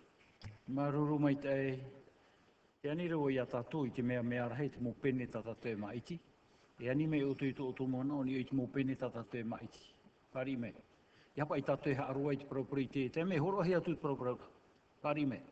Hare tātou ni i te irawa matamua. Tai o mai te irawa matamua e te pene eiva hanere e ono uhu. Article, les recettes ordinaires du budget général de la Polynésie pour l'exercice 2011 sont modifiées comme suit. Total au chapitre 960 en plus 0 et au moins 59 381 811.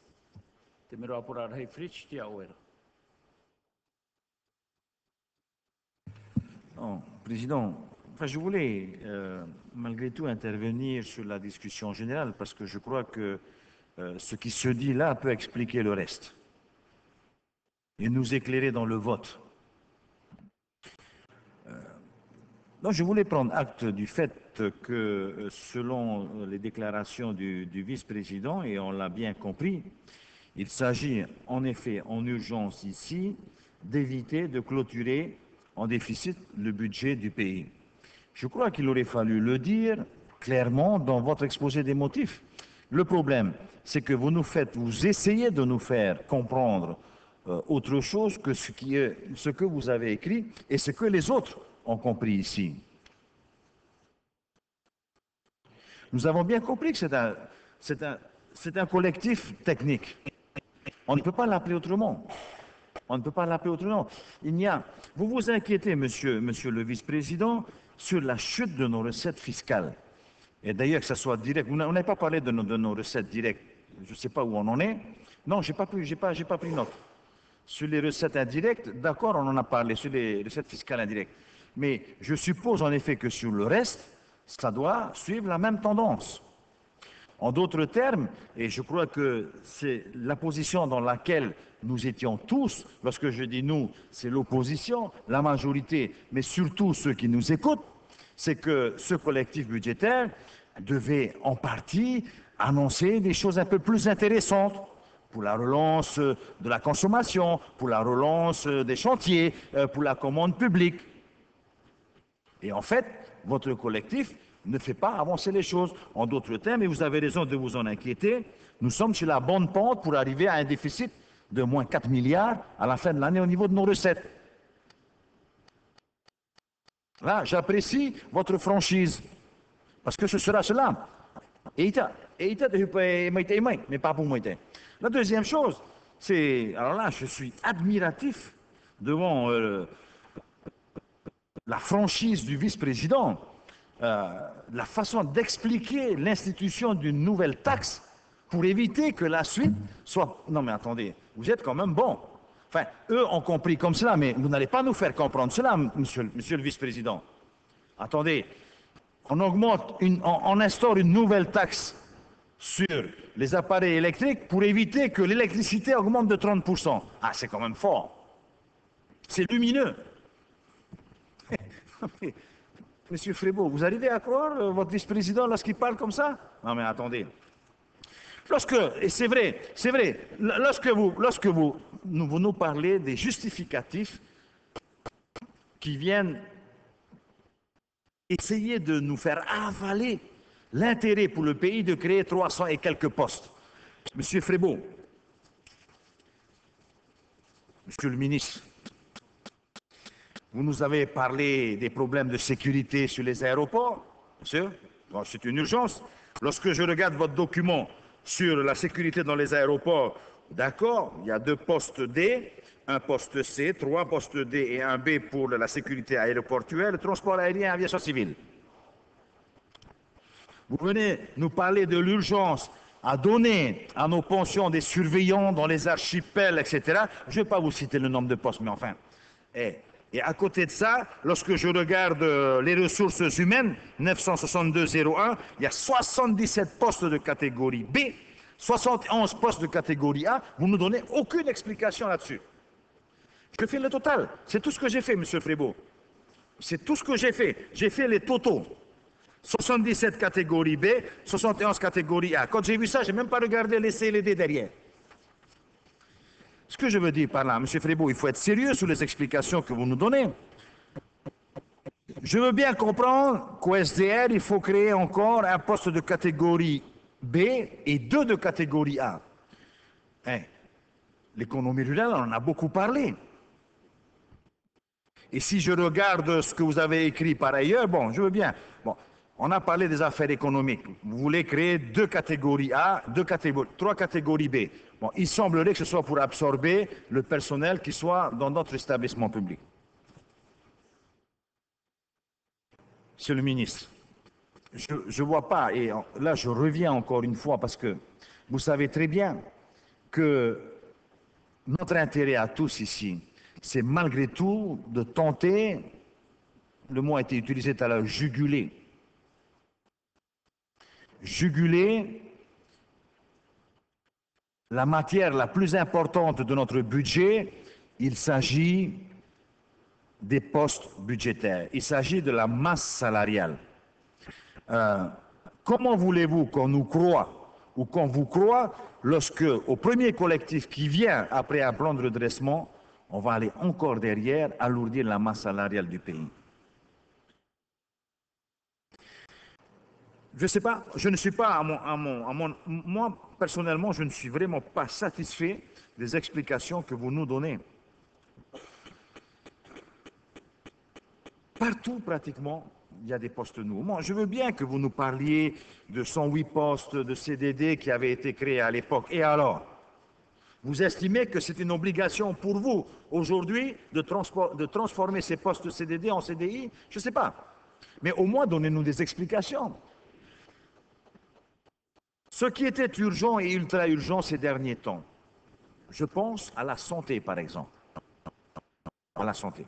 Vous imaginez naturellement que je regardais ce que vous créez au niveau de la santé. Ça peut à la limite être justifié. Dans la médecine curative, 14 postes de catégorie A, 8 postes de catégorie B. La santé publique, 5 postes de catégorie A, 2 postes de catégorie B. La veille sanitaire, la protection de l'enfance, la solidarité, le reste, bon, c'est pas important.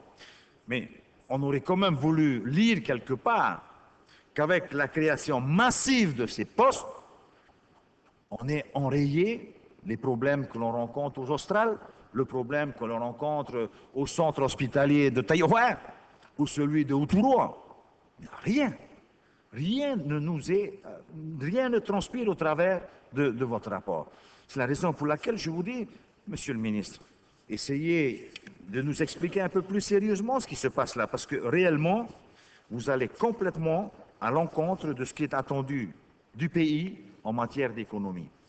Vous allez être obligé, encore une fois, de sucrer des crédits de fonctionnement à notre administration qui n'aura plus les moyens de travailler. Je ne sais pas combien de douzièmes vous allez leur retirer encore, je ne sais pas. Mais c'est là, c'est là que vous allez tomber dans les jours à venir. Et je ne crois pas que ce soit une politique saine que de résoudre nos gens à rester en place sans pouvoir travailler. Encore une fois, ce ne sera pas des économies.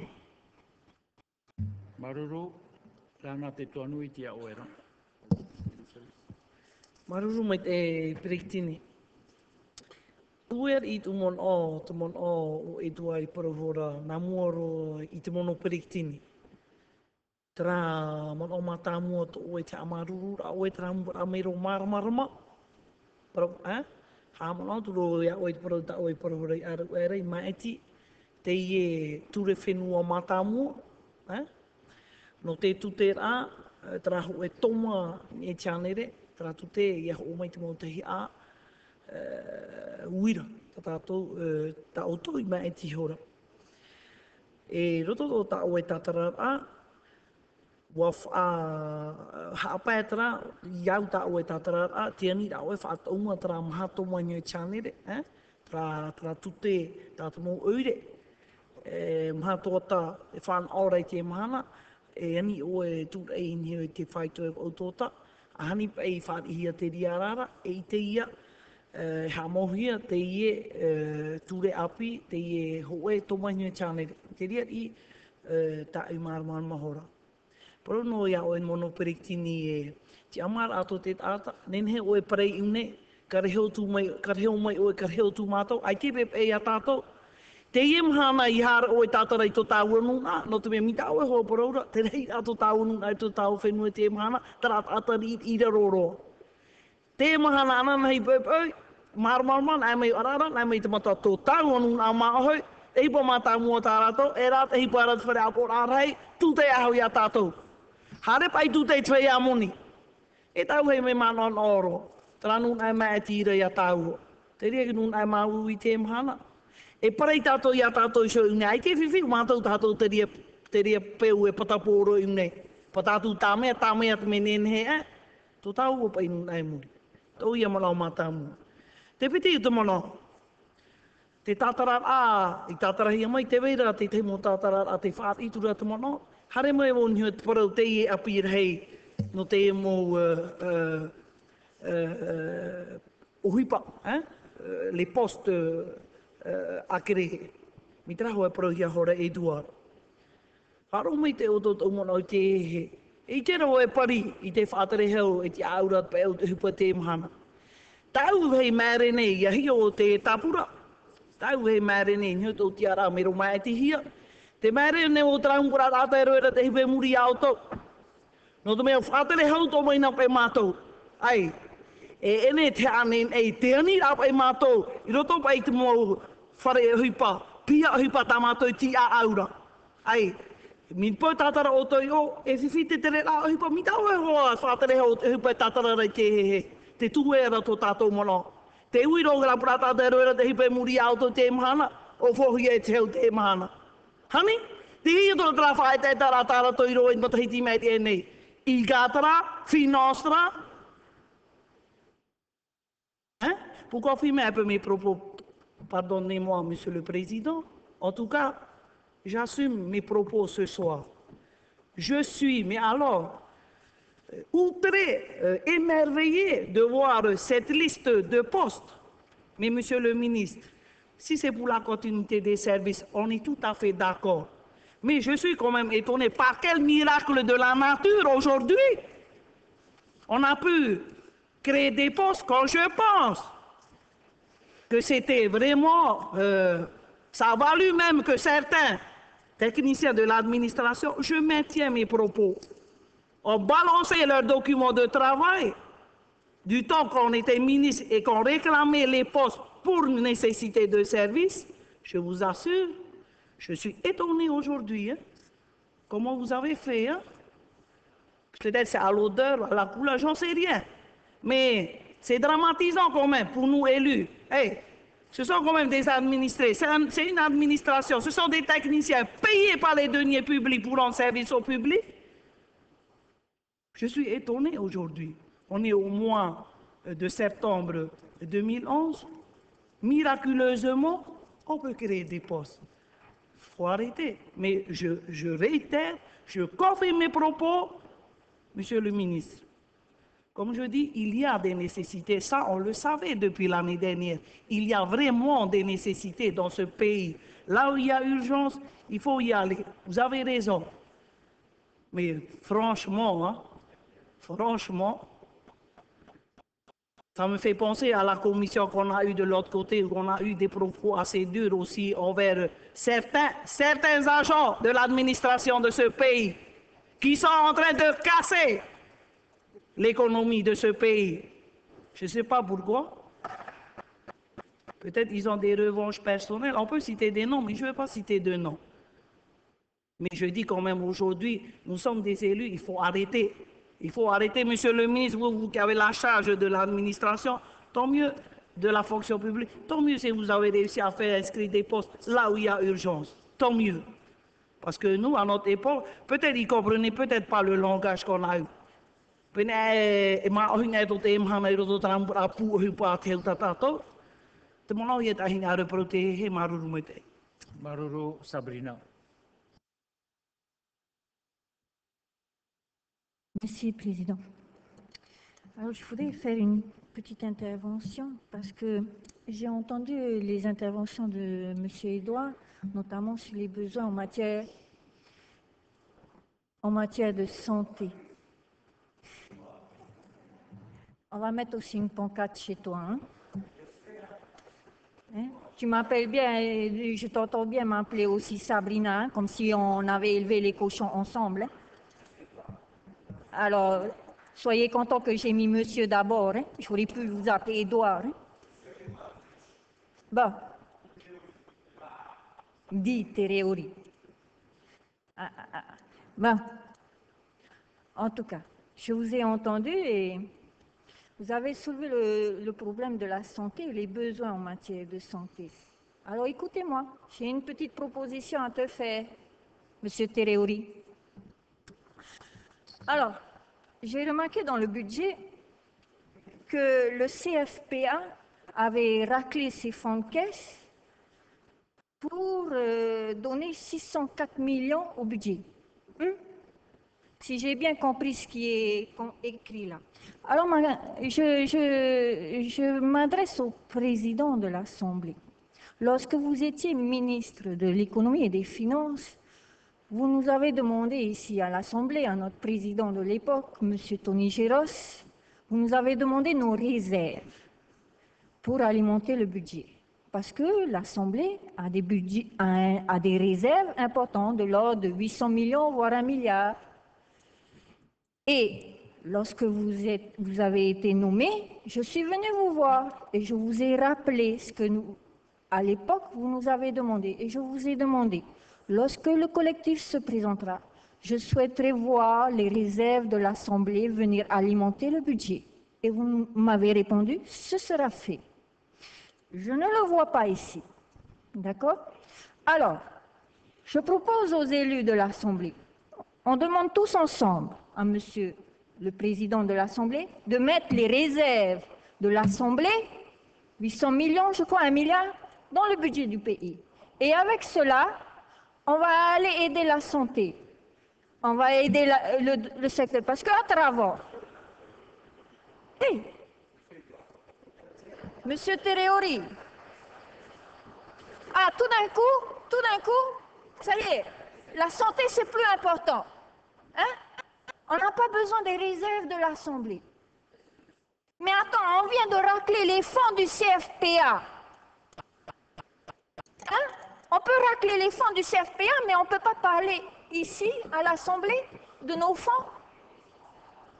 Les fonds de l'Assemblée, Monsieur Drollet, j'aimerais bien les voir dans le budget, parce que vous savez, à Tarava, à Tarava, nous avons des problèmes, notamment quand il y a des accidents de la route, notamment à notre hôpital, on ne peut pas faire face.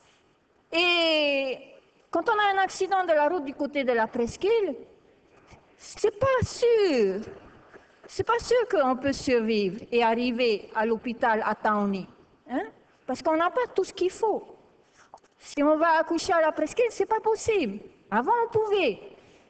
Donc, pour des raisons de santé, moi, je propose que vous, vous respectiez votre parole, Monsieur Droli, qu'on mette les réserves de l'Assemblée dans le budget du pays. Et, je veux voir jusqu'où ces messieurs-là à côté sont sincères dans ce qu'ils dénoncent. Si on aime vraiment notre Nouna, on doit être capable de racler les fonds de l'Assemblée pour le mettre dans le budget. Maruru.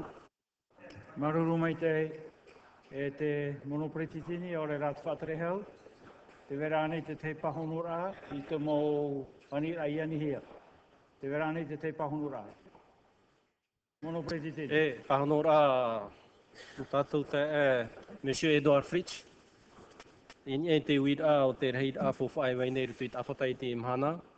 Te tapura hia rutu i tā tātou tapura whawhano te matahiti tini whaitu hanere ahuru mapa miria. Ti tapura hia. Te whawhapa e o mai rutu i tawhata timito ti mito hia no te roa rao te matahiti. Hanere ahuru mapa miria. I te tei o mhana no te ie mhana, Tēnei whaito, hanere ahuru mapiti miria.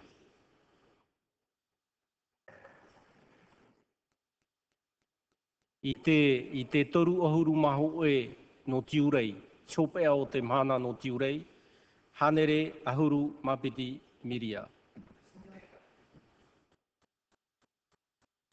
Te mitohi anei, te mitohi anei, Ia tapa e tātou i chope o te i mateiti, e ere tātou ni whaitō Torumiria. Maruru mai te, Sondra, Sondra whanine meo Eduard e Oreni. Sondra. Merci, Monsieur le Président. Je ne suis pas intervenue jusqu'à présent parce que j'étais fascinée par euh, les explications euh, du vice-président et du ministre euh, en charge de l'économie. Par rapport à ce collectif qui nous est proposé, j'avais l'impression qu'on était dans, vous savez, le livre de la jungle. Vous savez, le serpent car qui essaye avec ses douces paroles d'hypnotiser son adversaire et de lui faire faire euh, tout ce qu'il veut. Bravo pour la prestation, c'était merveilleux. Mais je crois qu'aujourd'hui, enfin là, à cette heure-ci, je crois qu'il y en a qui sont en train de se réveiller. Et c'est pas vraiment un rêve qu'on est en train de vivre, c'est plutôt un cauchemar. Pour ma part, il ne s'agit pas d'un collectif technique, il s'agit d'un collectif où il y a quand même des orientations importantes qui sont prises. Un collectif technique, ça voudrait dire on reprend les sommes, on les redistribue. Or là, vous allez beaucoup plus loin que ça. Il y a de grands axes qui ont été décidés à savoir euh, les 375 millions qui sont pris au niveau du CFPA, qui sont enlevés de ce CFPA, et en parallèle, vous, rajoutez 122 millions 700 000 pour le passeport mobilité. Est-ce à dire que un jeune adulte qui veut se former est moins important qu'un Polynésien qui part en métropole se former? Je vous pose la question. Euh, pour moi, la formation est tout aussi importante qu'on soit en difficulté euh, scolaire et qu'on ait une deuxième chance peut-être de, pouvoir être formé. Je suis là sur le site euh, du CFPA. On peut être formé dans différents domaines de l'industrie, du bâtiment, du tertiaire. Il y a une aide à l'accompagnement à la recherche d'emploi. Quid de tout ça? Ne me dites pas qu'ils avaient trop d'argent, ils n'arrivaient pas à s'en sortir pour le dépenser. On ne le croit pas une seule seconde, on connaît bien ce dossier. Mais c'est bien facile d'aller puiser là où finalement personne euh, n'ira regarder, parce qu'après tout, ce type de formation, ce n'est pas important a priori pour votre gouvernement. Donc oui, à l'accompagnement euh, aux jeunes pour qu'ils puissent se déplacer pour rentrer en métropole, il n'y a pas de souci là-dessus. Mais oui aussi à l'accompagnement à ceux qui ne sont peut-être pas dans les mêmes conditions euh, pour être formés à un aussi haut niveau, mais pour lesquels le pays doit, déployer des moyens, se doit de déployer des moyens afin de leur permettre d'accéder à une formation et de travailler demain dans les différents secteurs dont le pays a besoin. La deuxième incohérence, c'est cette pression fiscale qui est un peu amorcée dans ce collectif, mais pas vraiment, mais qui va être plus visible dans le prochain qu'on va étudier dans la foulée, euh, parallèlement à cette création de 300 postes. J'avoue que j'avais préparé une intervention dans ce sens en préambule de, la discussion, enfin, durant la discussion générale, mais bon, mes, collègues m'ont quelque part coupé l'herbe sous le pied, donc je n'avais pas l'intention de revenir encore sur ce sujet. Ceci étant dit, ce qu'on constate, c'est qu'il y a une annonce qui est faite, il faut absolument optimiser les services, on va travailler avec des directions, et au final, je me suis dit peut-être que les 300 postes, c'est pour de l'emploi, pour la santé, pour le social. Oui, alors c'est minime. Tout le reste, c'est que des postes administratifs. Et euh, il y a très peu de postes techniques.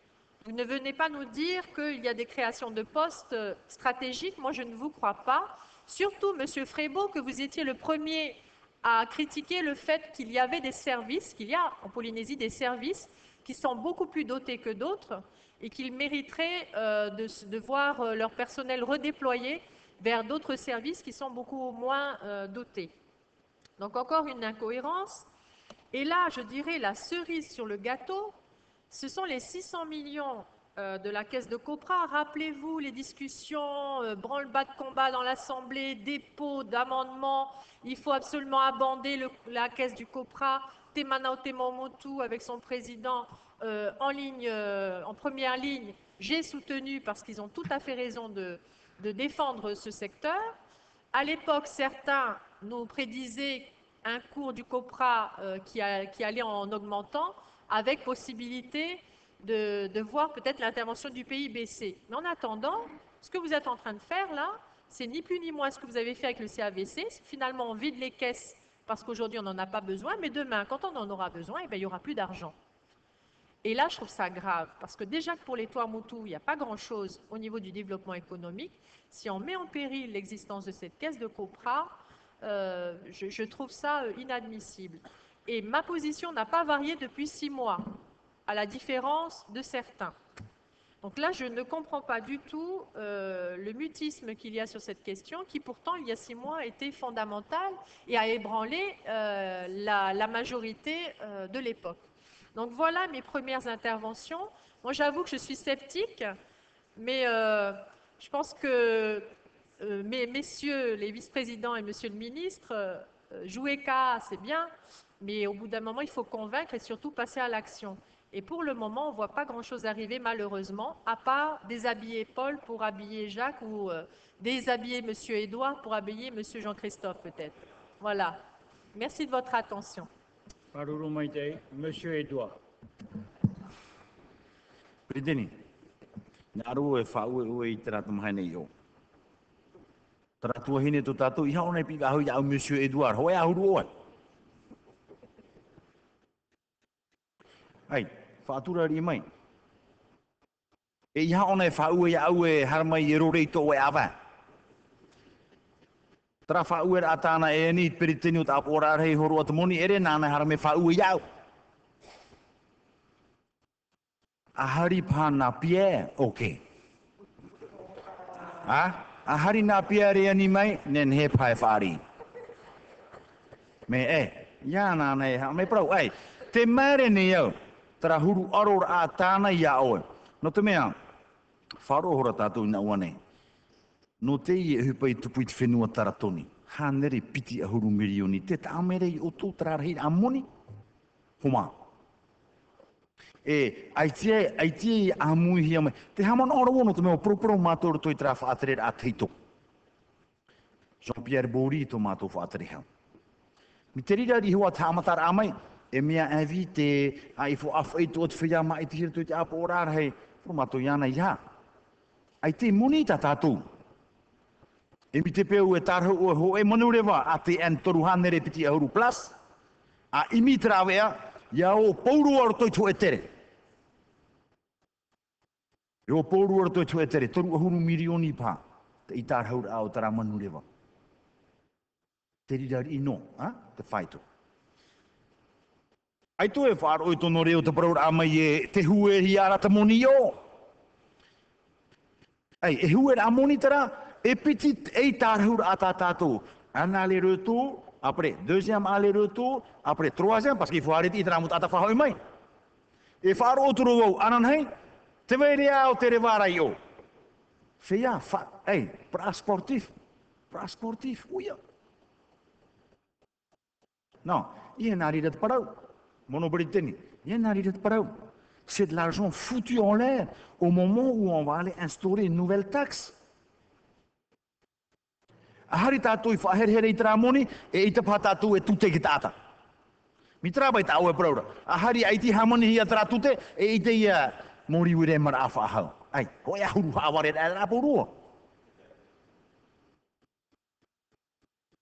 Non, c'est sérieux. Avant de demander à l'Assemblée de donner de l'argent, il faut peut-être que sur certaines dépenses, on puisse aussi faire des efforts, que le gouvernement fasse des efforts. C'est ce que je veux faire comprendre à notre collègue. Mais il y en a un qui ni au e a e hare te we te tau mato. Mais 120 millions pour des jeux, excusez-moi, mais ça fait beaucoup. D'autant que les médailles, on vient de les ramasser avec la pirogue. Ah, sur le reste, football, on est éliminé au deuxième tour. Tout le reste va être, va pas être beau à voir. Alors, quand on va faire le bilan derrière, tout et tout era. 120 millions, c'est quand même beaucoup.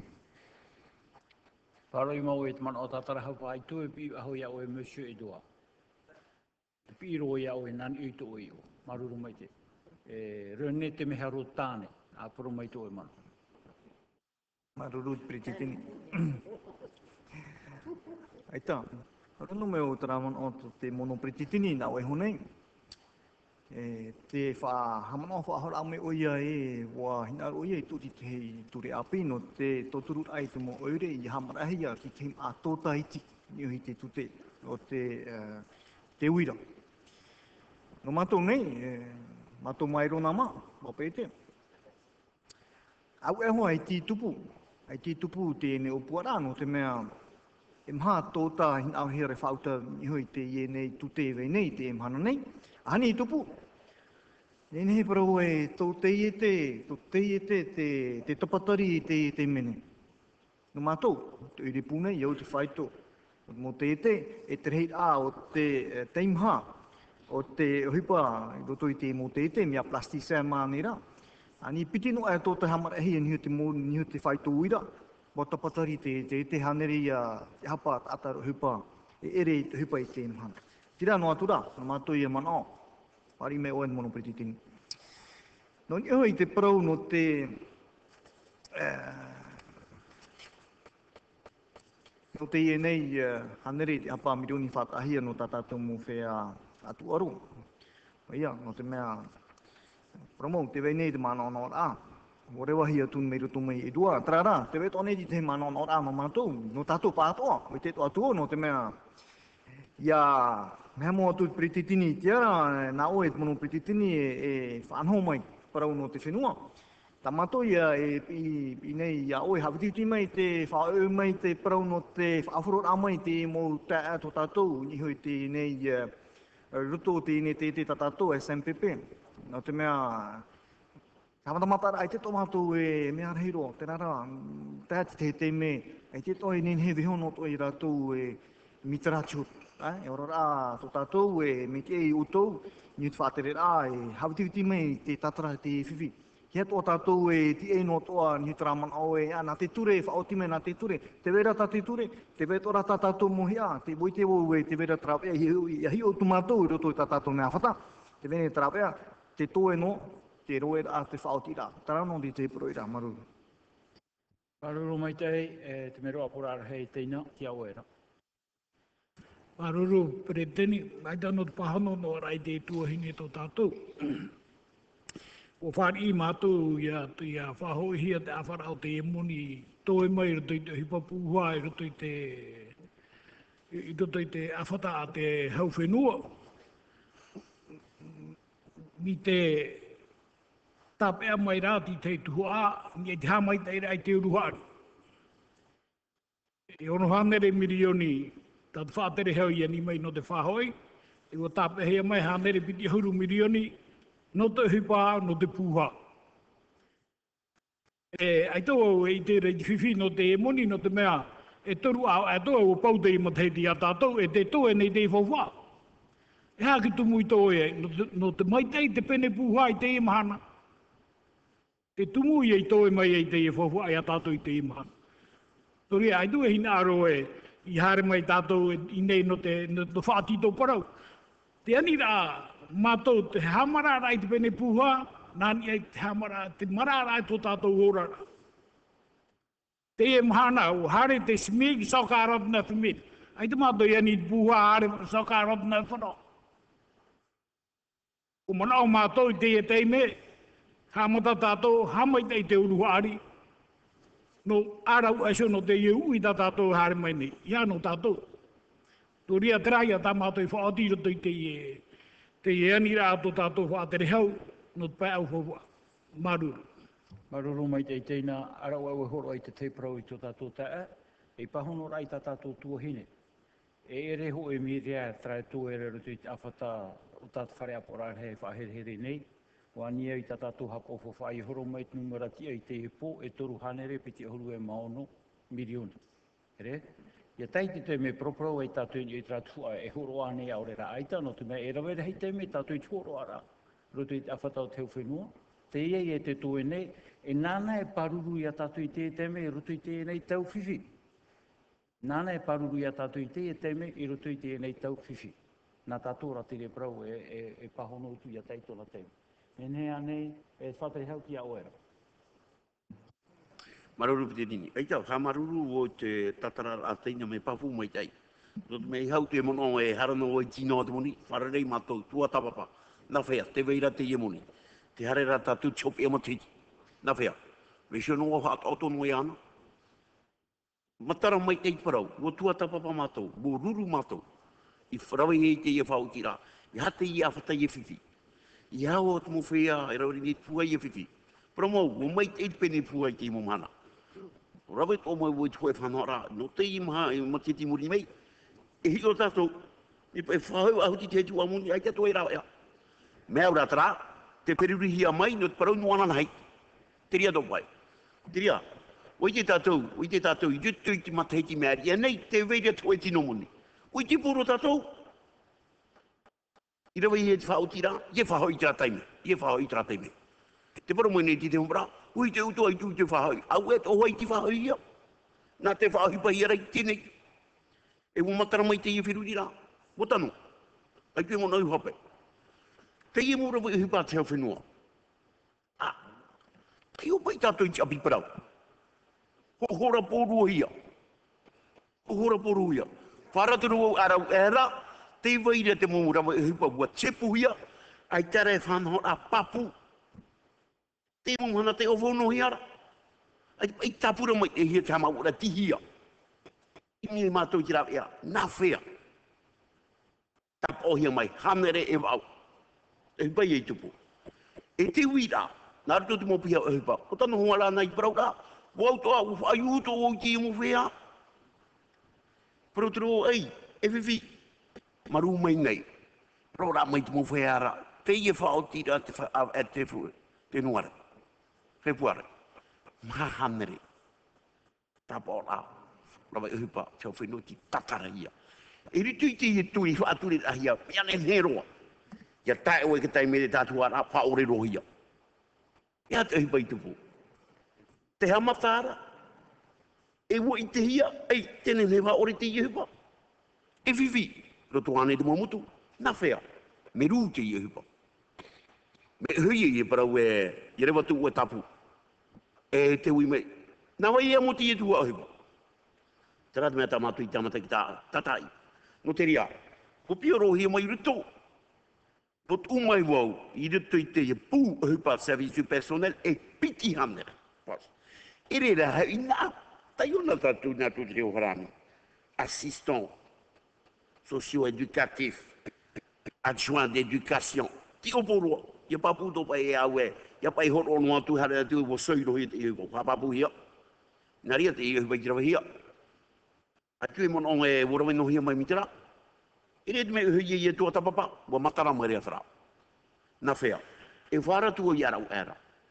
Te whiruri mato, na fea, te i mora e ani whahari mo ro e hupai ni tuk temi tatuara.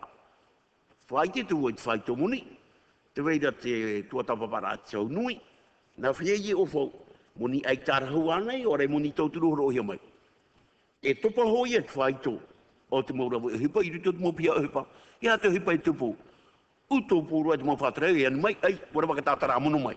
I ri e titi au ahau e e titi au ahau, Ya pai chama wa ra ye mara ahu tu. Tamatana tatu yo. Ia rei parau noa me uhi e tapu, e tia me i tu ti pia hapi la ia, a te no tapu te mo krata mari. trato e fifi i imi e mātou i te rawa, no tata na mai te. Te parau ti se FPA. Pero mau ora hiru te muni. E tatara i oit muni ritu ti se FPA mi pewe te whaahi para rato. O te a. E rawa uto tu e whao i uto i te mahope tomo i muri, i muri nei.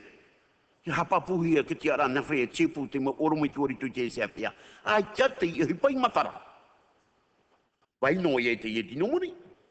E iru ti te ani au te i se hea tānai pero mai. Pate hau, ia wai hau di me te i e tino muri. No tuma e tipu ra mātou, te mo oro mai tua e tano. Nā utro e a rato e, te hia te e papaturi na te whaahoro te e tipu ra. Nā ue amu mai. Nā ria ia. Tai mai wo e wheruri mai e papa i te i ture. Awha i mai mo e kia woro tatu ni di cha te te pa atopa. Re ane e teima ia ya fa e te e papa o ta hauri ta pe ke mate di muri mai. E ai ta pe no mai te muni por tu te mate ti na pai pa te fri tā numara ta bu ane yo fa to no e te muni e ti i a fe e fa hu pa e che pura te ria tāna no rai do ye mai. Ya no tu a te e se fe ya roa mai te iemo uru mitu api koro oa hoa tuhai tō muni e tango, nō me tewe i te ie mau. Atai imi da te rāwea, e roa mai ki te motoro api. Ai tuara hi ngāro e parau e te waira pai te ie, i rute i tuwhi, ta tato mō pratamari, ta puhia kato turu ngā tau nui tēne nei hoi waha, rute i tapira tai tei whrana. Ta rato hi pai tupu, ta pūra hea nā whrana ai to tato ia nia mai. Whiruri e mātou, hau ui te ie parau, na whea. Moro oa mai rā tuai whanau rā, nā rato no te whauti a te whātere a hau te whenua. Mi pe, wo tā rō mai rutu i au tō whiriri mātou, mi pe har mai tu te apora rei, mona o au te awa e te ke mai kia te i e uti. Wara watu i e demokrata pratamari. Rawai mātou chua e rā. Oi, oi, ti tau hia rā, tapa o mai hoa tino moni, te i e hanere, pe te horu mirioni. Trato hi pai rui roa hia, me pāpū ia, mana te i e tapura fofā, pau pau i rahawa, e rā mai te i e mō pratamari, tu mō me tua e ani, whahau mai na ti teimoni, mātou i o fauti e ti te ti. Nō te mai te whiwhi tō ora rātou. Trātou hi pai rui rawa hia. Maruru. Maruru Frederic Riveta tia oero. Mai titu e tatu. Pretini Orana, no Pretini. mau whaatere hau i orana tatu, i orana te tu aro bro bro. I te upi mai ti mene tatu te parau no te tute, noni e hoi ta tatu parau no te wiro. Uru te mau bra materia no te wiro.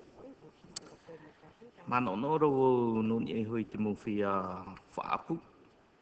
Mai te peu e, e tute hia te bra materia noni e hoi e tramo materia uira te wai tuara tit pai no Tramu Tramo para whare i o tatatu e i te parahuia deshumidificateur. Deshumidificateur. Tramo para materia e mara a te muni ni. Te ura a e mara atu oa ia te muni e ono ta tatatu mo hutu. I roto i te mo whi tatu e muni tatatu ma. E, e rena e te rā, te wei tura te te mura amateria e mara ato, no anoi, te mana ono oro no tatu hoa mo fia e amura i tatu mo ma. Iau te rā parau e whaahutu, e amu tatu i tatu ma. Hei tatu o mana e tu a non e hoi parau no te no tatu puhua. Mei te peu e tatarahiara e ono hanere mirioni frani. I rutu te e tatarahiara e ono hanere mirioni frani, i rutu i tauhi ora, te topara te moni o te pene, o te tane hinu e harerei rapaino. no me whaitohi o nei ni ehe. Whaitohi o nei ni ehe o te prauno te te wera pa i tera numerara. Ia mai ta ina te tane hinu puha, mai tei to ia te moni e ohiara i te puha e ohiara i rapa. I ata tatu moni puha i roto i apori nei tiani. A tiria tra formula ta maura mai pui te matai ti ap, e mai pui te av e ti unur e te mai te av e me.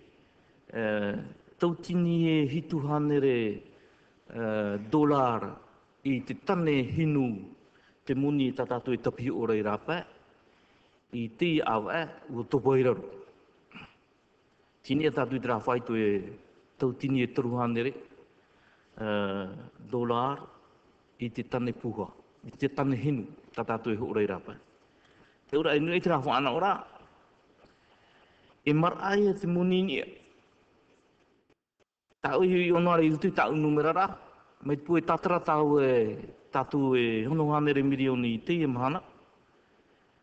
E toi a i te ope o te matahi te hare tune, no te whaira, no te ofura e rutu tatu wharehinu no te uh, ano pori ne tiane, piti hanere, aorere piti hanere milioni Uh, Tatara no bae mahanere milioni. E vaiso noa e, e piti hanere, in e hoi te afta. Not mea e ananai, mai te puai te muni e ofoia mai nartu tra awhata e turura i tatatu mpura apuha, e whiwhi, te whare whata era i tatatu hinu, i pua. Pai te muni. E mau whia e rawe to ara i te uhupai o. E whiwhi to rato, no te au whaura, i te pene puha tātou e ofo nei pori nei tia, te te mau mutu atu.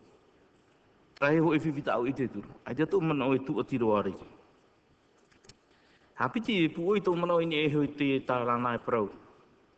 Noni apa e te mou post. I ti e pu. Ai te i te roho o mara ai tēne. I te rapu mō matai te tia matai te mei ane mātou i tāmaura a, I ta tatu tapura fofa. Te rā mō mō tātai muri mai a utou te parau mai i haro. E o imi hia te rawe e pauta mātou parau e e waira ti tei mō pūra wera au i pata teo. E paano ai te maa o atoroto, ko kiwi. E te mana i e parau mai a mātou e nā mātū tō pātia pei tā rāra tau. Ai tā, o te mea te wera tā mōwhi ai muri mai, rātū tō ti imit maurāwi atu a iha e i a tā a tā mō a posta i tā rāra tau. Tōru tō mai te ikata, tōru tō mai te finos, e tōru tō tō atu i budget. Pōru tā mōwhi a, rātū tā whiwi. Wariro e nā tā mō a pia tōru a e rohi rei rutu i te mōwhi a tōru te mōwhi a pia tōru nā rātū e atare e tō tātū whenua. Ai tira e pepea me tiri reho. Tau mana o pea i naro e paraparau mai no ni e parau no te whaapu. Te iti rau e rutu tia papa, tia tapura whauwha tātatu, tātatu, whaatu atira. No ni e hoi te parau hia nei e hanere mirioni, tatei nei parau nei hanere mirioni. Ia marmara mai te tatu. C'est en section de fonctionnement. E moni te e urtu section de fonctionnement. Not me urtu te tapura fo au te mate te ane, Te weira in e tra whaito e turu ahuru, turu ahuru mirioni o section de avetismo, no ni e prau no te whahotura i ta tatu turu ha ara. Pra materiane, no te tūreira, te weira. E te awa i tia tūre e u amuhia tra amuna. Ta ue pro i nei, i awharot whatrehe o te pai o te whaaku, e tra whatrehe o no te mea te tito nei a te tahi e o wai o wai e nawe whatere, prau no te a pira e tatatu mauru aru. Ti o wātuwhiwhi. A tei. Me nye tere hanere milioni e tuhi arang section fosion ma no tūra ira ai wha a e te uru aru. E hata te moi moi a e turu au e te hare mai ne. Te uru a. Me tuno e tra muni o wha e re tra muni o e no te aru wa e te indama. E te pau tra muni e sa milio. E te pau. ai tatu e moni tiri atu ovae, me trasa o minio. Ai teo ne pau da section function mo. Ia tāpai nai tatu i toru oru mātai, no te, ha? Toru oru mahu e no tite mo, pauro atara moni, para ui e tui o tui te awhata, no ta atu wara o budget genera. Maramana mo me te tatu iu. Marira. Nā roi e parabrau ni e hei te parau te tapi o i ta tatu mo hutu. No me te i te rau ti te tapu hoa, ai tō e e whanau rā no ni e te parau no tatu mō hutu o Porinitia ni taihoa rāno tāngo tua. I rato i te whaatarira a piti tautini e iwa, whaamau tātou, preditini. Ki rato tātou i te whaatarira, whaamau tātou tera opuara a kei hutura. E o tuati di mana o e tūra i tātou ini o i tera whaito e tūra i te prive, nā rātou i whaatarira. E o tau i te whaatarira, o hare mai wērti te i a whaatarira a e o te mana tira i te apurara. O ti tera opura, e tēmei te mana, wharere me ne au te mowhea i arau era, Rata pata mo raro mo fia. Nā raro mo fia are, whaoi mai ta rātou mo pra aksyon. E whaoi mai no te mea e, tō tātou whaatere heo hei te tuuro. E ere e am ara au te tuhi ara i mua i puru mua te emo whea, te uputo te emo whea. e baramin te i tuhi mai ni nā mua i ore te o bura e tupu i hei o mai ariweta. Ai o mai tatau o mōwhi a whaapu. Tō te mōmutu. E te mo a whaapu riri i tōu ni. Wai ni ni. Te tō e noa. Nōni e hoi te parau no te te weira te SDAP. Tra puto te SDAP. Ai te tātou pa o tōrto. Tra i o e te pairu i wai nō mai no. Kumana o i te rāratau e horo. E wharoturo tia tā te... Tate te pūrawe o hipa koro o tono tra sedi, tra pu poma freks pa te matamu. Ai te atupa ai horo o ohe. E maurawe ana e tira. E mano no oro iti mowhia whaapu no te mamutu. E mano o oto aro iti mowhia whaapu riri, e wai nei teiti. No ni e tapi ora i tara tumbo. Me ina aro tātou e whaamu ia puri nei tiani, tra pāho e rawe. Maruru. Naro e pahono mai tō tātou atare, i e tō poli ni kiro roto. Pahono mai, E te tō te hare ra tātou i he. Maruru mai te te mai ki ra tātou ni e te i e pene i wahane reo no ohuru, whea whaari i a whaitri mai nia. Toro ohuru te i whaari i whea pat oi, ai te hoa huru mai ki ra e pat oi, ai ta, whae am ore no. ahuru maturu e pat oi, ho e trai whae am ore noa. E te pene e wahanere on ohuru e maho e. Total du chapitre 961 en plus 49 millions. Maruru, uh, mai na sash, me te pe manoto e atu mai. Oui, merci. C'était une question liée à l'article précédent. Monsieur le Président, euh, en commission, on nous a dit que ces, ces recettes en moins correspondaient à une réévaluation en fait, des arriérés comptables 2010 des locations, euh, des loyers euh, de, notre, de notre bâtiment à, Paris. Euh, et que donc ça correspondait non pas à qu'une année, mais à plusieurs arriérés.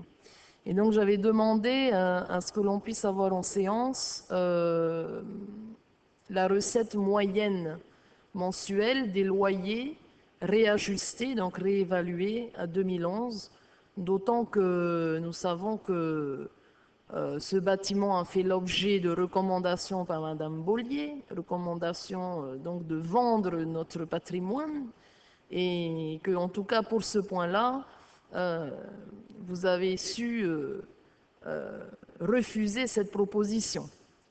Je tiens à le signaler parce que quand on entend à chaque fois que ah, Madame Bollier l'a dit, il faut le faire, voilà un exemple où euh, on a refusé de le faire.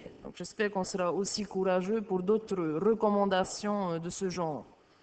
Donc, un, est-ce qu'on pourrait avoir la recette mensuelle moyenne de, des locations que nous touchons du bâtiment? Euh, J'avais une deuxième question en parlant de loyer, parce que là aussi, vous nous avez, à, votre arrivée au gouvernement, fait de grandes déclarations par rapport à, la présidence, où vous n'êtes plus, où le président en tout cas n'est plus. Est-ce que vous pouvez nous donner des nouvelles de votre projet de mise en location des locaux de la présidence? Parce que je ne vois rien apparaître en recette euh, ici au collectif. Donc, est-ce qu'on pourrait savoir ce que vous comptez faire? Et si ça va vraiment être mis en location, euh, combien euh, vous comptez escompter en recettes de ces, de ces locations. Merci. Maruru mai te e piti anira, nene ane pahono, mono preti teni te awera. E, maruru mai te e preti teni, nar totu o te reo a Mayana, Maina. Donc, euh, par rapport au boulevard Saint-Germain, l'estimation annuelle du, du coût que, de ce que représentent les loyers euh, perçus par le pays s'élève à 20 millions à peu près. Est-ce que ça, ça, fait un loyer mensuel d'un million cinq par mois? Donc c'est vrai que nous avons obtenu dans le cadre des conditionnalités du, du prêt un assouplissement du positionnement de l'État, de l'AFD notamment, qui a transformé la vente initiale en valorisation de l'immeuble. Mais nous ne nous arrêtons pas là, on va plus loin pour essayer de véritablement permettre au pays de garder ce bien. On viendra devant vous pour vous expliquer dans les jours qui viennent ou dans les semaines qui viennent comment on va faire.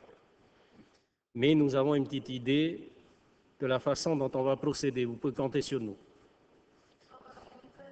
Le deuxième, le deuxième point concernant les locaux de la présidence.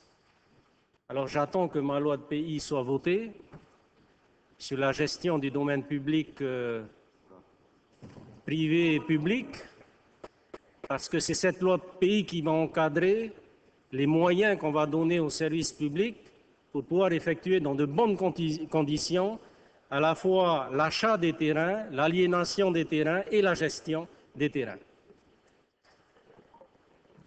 Ben c'est l'abusus, voilà. C'est l'abusus. Donc, euh, voilà, donc j'attends que cette loi de pays revienne devant vous pour qu'elle soit adoptée, pour éviter de nous retrouver devant l'impair qu'a été l'opération de vente du Rocklands. On a vendu beaucoup moins que ce qu'on a acheté. C'est inadmissible. Et c'est lié seulement à la procédure. Procédure encadrée qui ne nous permet pas de faire autre chose que ce que la procédure nous impose. Alors du coup, il faut absolument qu'on arrive à, à gérer ce, cette problématique et on l'a fait dans le cadre du projet de loi pays qui va vous être soumis. Ensuite, euh, Monsieur le Président, juste rapidement, pour euh, revenir sur deux questions qui ont été posées tout à l'heure mais qui n'ont pas reçu de, réponse, je veux parler de la problématique de SMPP. Comme ils sont là, c'est l'opportunité de permettre à tout le monde de savoir ce qu'on a fait jusqu'ici par rapport à, la problématique de SMPP. Donc, lorsque nous sommes arrivés aux affaires du pays, nous étions comme vous, armés, animés d'une volonté de pouvoir régler ce problème le plus rapidement possible. Nous avons été bien entendu confrontés, comme nos prédécesseurs, à une problématique de, de droit, de règles de droit qui ne nous permettait pas, dans le cadre de la gestion des finances publiques, de pouvoir, euh, de notre, de notre pleine autorité, régler ce problème comme on l'aurait souhaité et comme on l'a souhaité lorsque nous, nous étions à vos côtés au sein de cette Assemblée. Alors, devant cette problématique, on a essayé de nous orienter vers plusieurs voies possibles de règlement. La première voie de règlement a été de proposer donc aux chefs d'entreprise de revoir le montant de ses prétentions relatifs au deuxième recours en référé qu'il a déposé. Il avait fixé la barre à un milliard.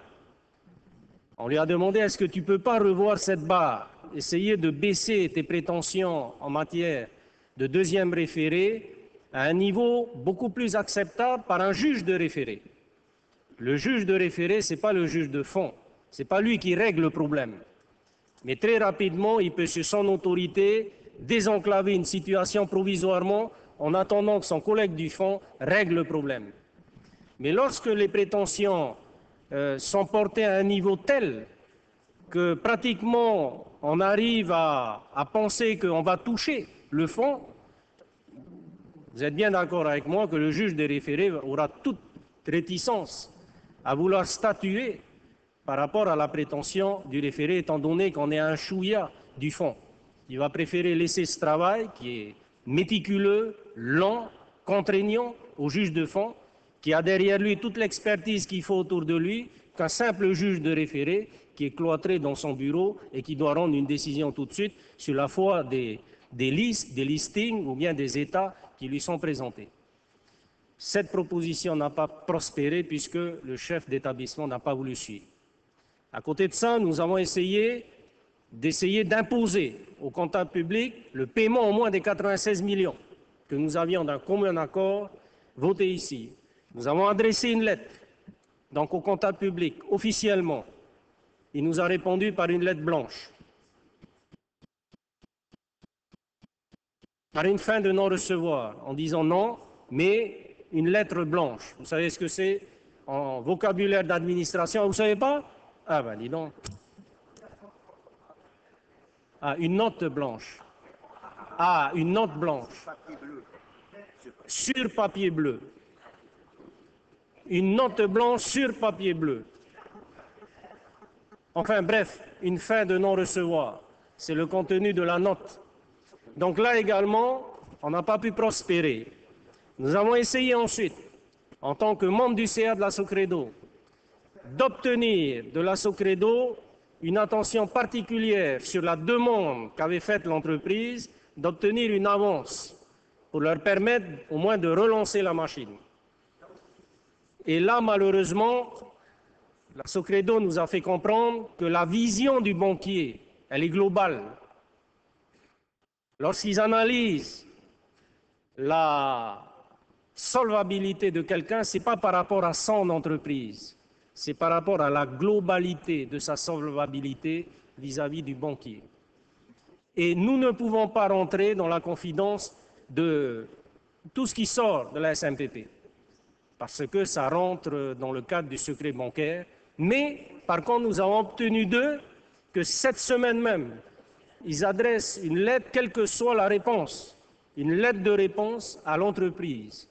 À la date d'aujourd'hui, je ne sais pas si la lettre a été adressée ou pas adressée, mais en tous les cas, nous avons fait l'effort, au début du CA et à la fin de la réunion du CA, d'essayer d'obtenir donc des dirigeants de la, de la Socredo, à savoir le président du CA et son directeur général, de faire diligence par rapport à la demande de la SMPP. Donc voilà ce que nous avons fait jusqu'à présent, laissant le soin au juge de fond qui doit statuer euh, incessamment sous peu, le au mois de septembre. Je crois qu'on m'a dit le 13 septembre, ça va être mis en lecture ou le 23 septembre. Et ensuite, en attendant la décision que va prendre un mois plus, tard ou quinze jours plus tard, le juge qui devra définitivement rendre sa décision de premier ressort sur cette affaire. Donc voilà, je voulais répondre à la problématique SMPP. Maruru te maitira ni te pene i huru e maho e, ho.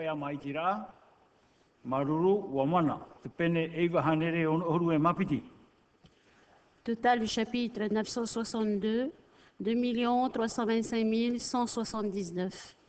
Maruru te maitira tātou, ho e a maitira, wa mana, pene e wahana reo no huru e mahitu.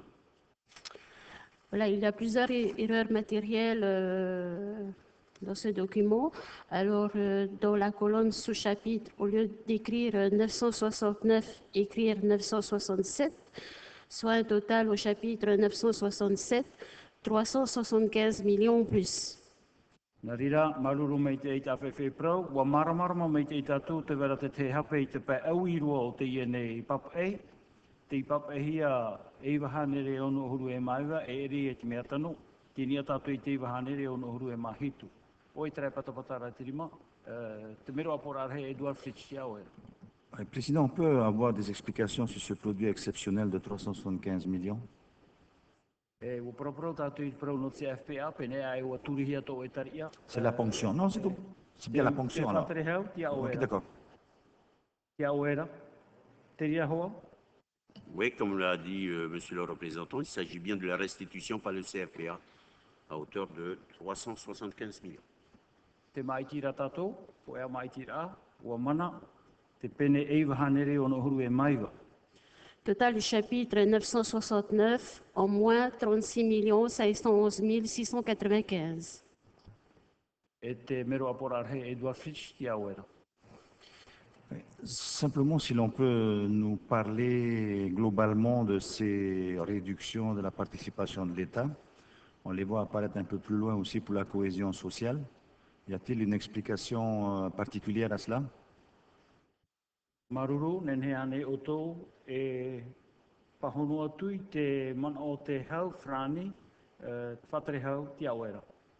Merci.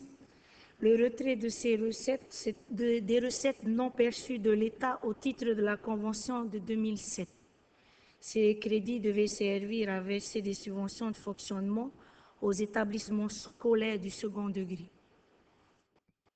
Maruru, te maitira tātou, e pene wahanere o no huru e maiwa, ua mana, pene wahanere hitu o huru.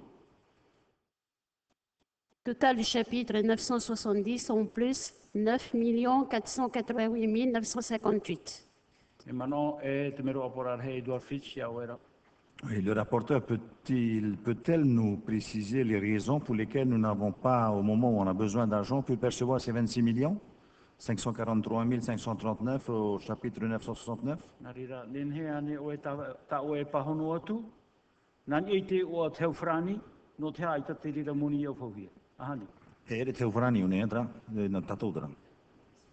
na te uwharani kete. Non, c'est l'État qui a diminué, euh, qui a diminué ses- ses- sa, sa participation au titre de ses crédits. Donc, euh, on est obligé de diminuer dans les recettes qui avaient Maruru. déjà été prévues dans le mai budget. te. Maruru mai te, te maramarama mai te ratatou, te ratatou ni e te pene iwa hanere hitu o huru, ho e maiti rā. Ua mana, te pene e iwa hanere hitu o huru e maho e. Total du chapitre 971, en plus 10 262 530 et en moins 39 613 365. Te maiti ratatou, ho e maiti rā, ua mana, te pene e iwa hanere hitu o huru e matoru, Pareillement, dans la colonne sous-chapitre, au lieu d'écrire 973-02, écrit tout simplement 973, soit un total au chapitre 973, 15 millions 300 000 en plus. Maruru, e. Président, je ne suis pas satisfait de la réponse qui a été donnée pour euh, la réduction de la participation de l'État. Il n'y a pas d'autre raison?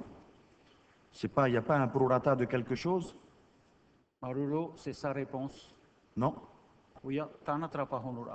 O maruru o e aito e maruru, tāna trapa hono rā. Ka whea to atu. Te maiti rā tātou inu e te iwa hanere hitu Ana, e ana. maitoro. O e maiti rā, o mana, e iwa hanere hitu o huru e mamaha. Total du chapitre 974, en plus 4 84 264. Te maiti rā tātou inu e te Petere. iwa hanere Te mero aporar he Edouard Fritz, tia o era. Président, il y a des explications. J'aimerais bien savoir, Monsieur le Vice-président, Nous sommes euh, à la croisée des chemins, en cours d'exercice. Il y a toujours des ajustements dans les dotations globales de l'État. Donc on utilise l'occasion que nous donne le collectif pour euh, ajuster, pour éviter que cette recette qu'on ne va pas recevoir vienne plomber le résultat d'équilibre le 31 décembre. Donc on réajuste parce qu'on sait qu'on ne va pas recevoir. Donc quand on va arriver au 31 décembre, on est équilibré. Si on ne réajuste pas, on est en déficit.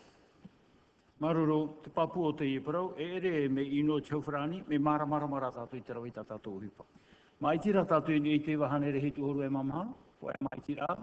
Maruru, e wahane re hitu horu e mapai. Pareillement pour la sous-chapitre, dans la colonne de sous-chapitre, au lieu d'écrire 974, écrire 975, soit un total de chapitre 975, en plus 20 500 000. Maruru, aore mana o te mai tira tātou, ko e mai tira, ma, e pene i wahane re i wahuru.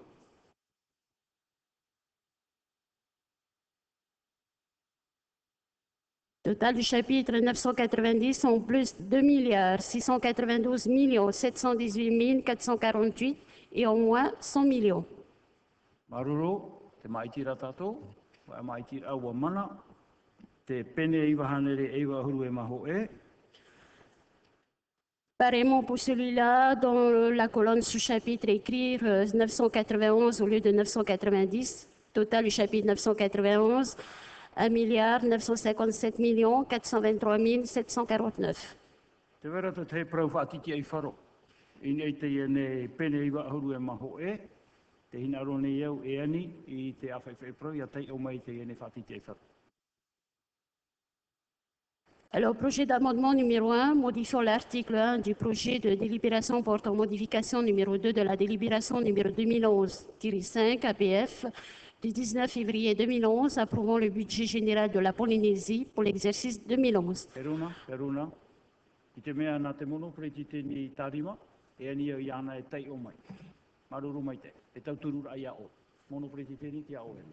Maruru, donc il s'agit du projet d'amendement numéro 1, modifiant l'article 1er du projet de délibération portant modification numéro 2 de la délibération 2011-5 APF du 19 février 2011, approuvant le budget général de la Polynésie française pour l'exercice 2011.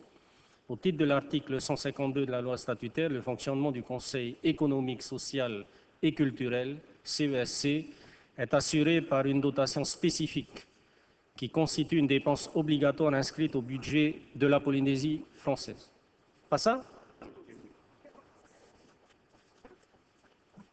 Tēnei tātou i whaatiti ei wharora i te pene iwa hanere e e wahuru e maho e. E te i oprehi atu rotu i tō tō rima. I rotu i tō tō rima. Te api matamua. Te api matamua. Te e atana e te i one.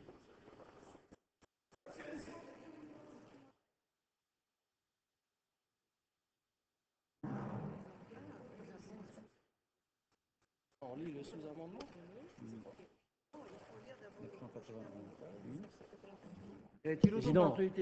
Président, e? E mai. Je crois que dans la pratique, on lit l'amendement d'abord, après on sous-amende l'amendement. Bah, eux, ils ont été directement au sous-amendement, je crois.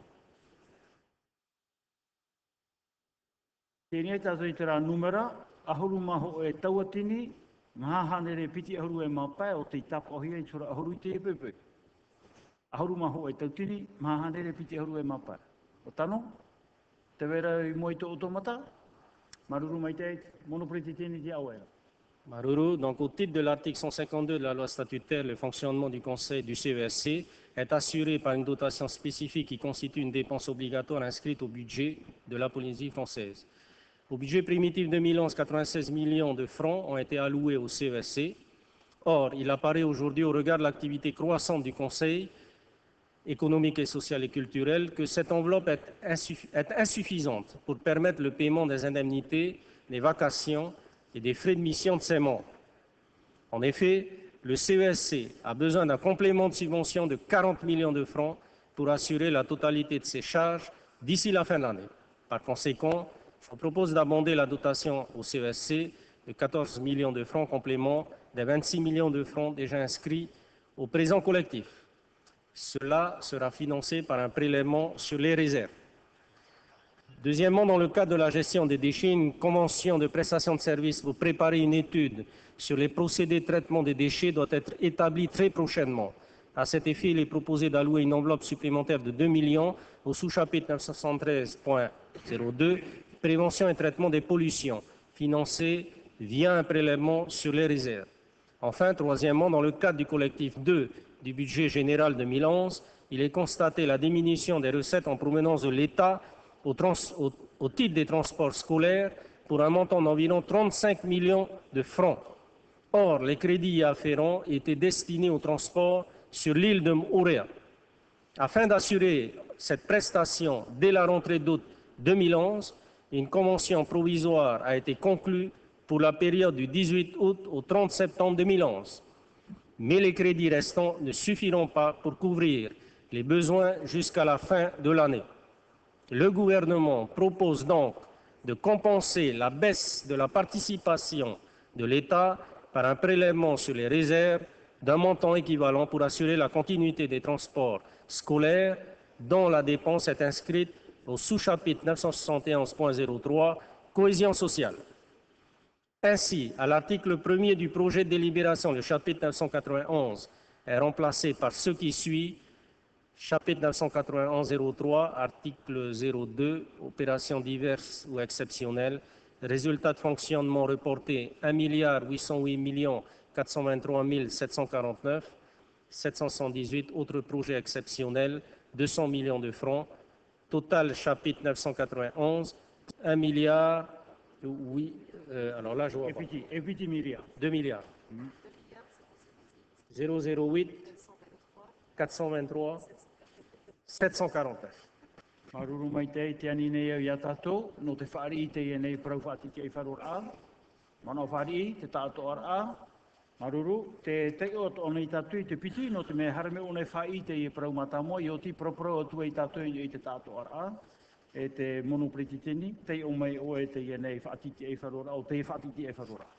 Voilà, Maruru donc il s'agit du sous-amendement de l'amendement.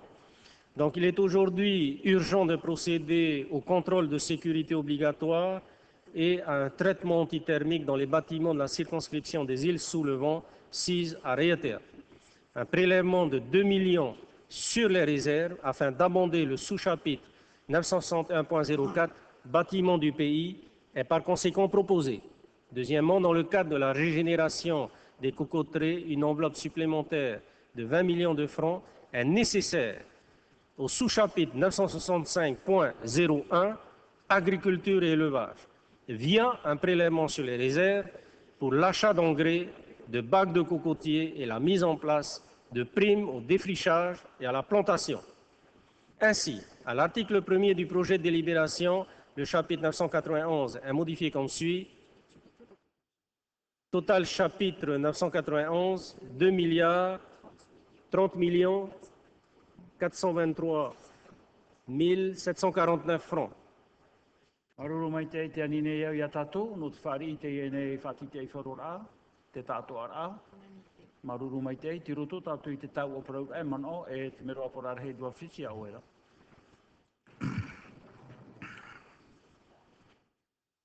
J'ai l'impression, Monsieur le Président, que nous sommes vraiment en train, de racler le, fond, hein, complètement.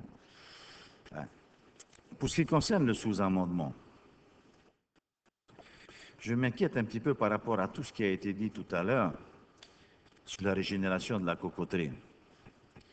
Si j'ai bien compris, pour pouvoir retirer donc 600 millions à la caisse de soutien au COPRA, nous avons prévu derrière, et ça va arriver dans la liste des opérations en autorisation de programme, d'ouvrir 100 millions pour la régénération de la cocoterie. Mais bon, on le sait tous, on est entre nous ici, on peut se parler librement. L'autorisation de programme, en tahitien, c'est vraiment Haïté Papou, hein? Haïté Papou. Là où je suis, où mon attention est attirée, c'est que, voilà. Mais si réellement vous voulez, comme euh, le ministre des Finances l'a clairement exprimé tout à l'heure, donner un coup de, pouce à la régénération de la cocoterie, euh, 20 millions, c'est pas grand-chose.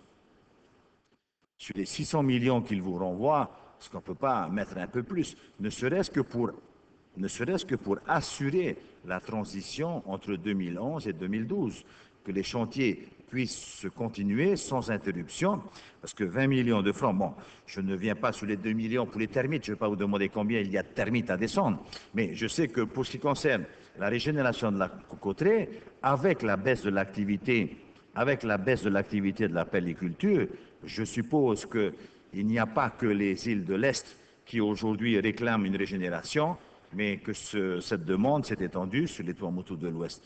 C'est la seule demande que j'ai, puisqu'on en est aujourd'hui, au moment présent, à réduire le résultat de fonctionnement reporté. Pensez-vous vraiment que 50 au lieu de 20 mettrait en péril la demeure?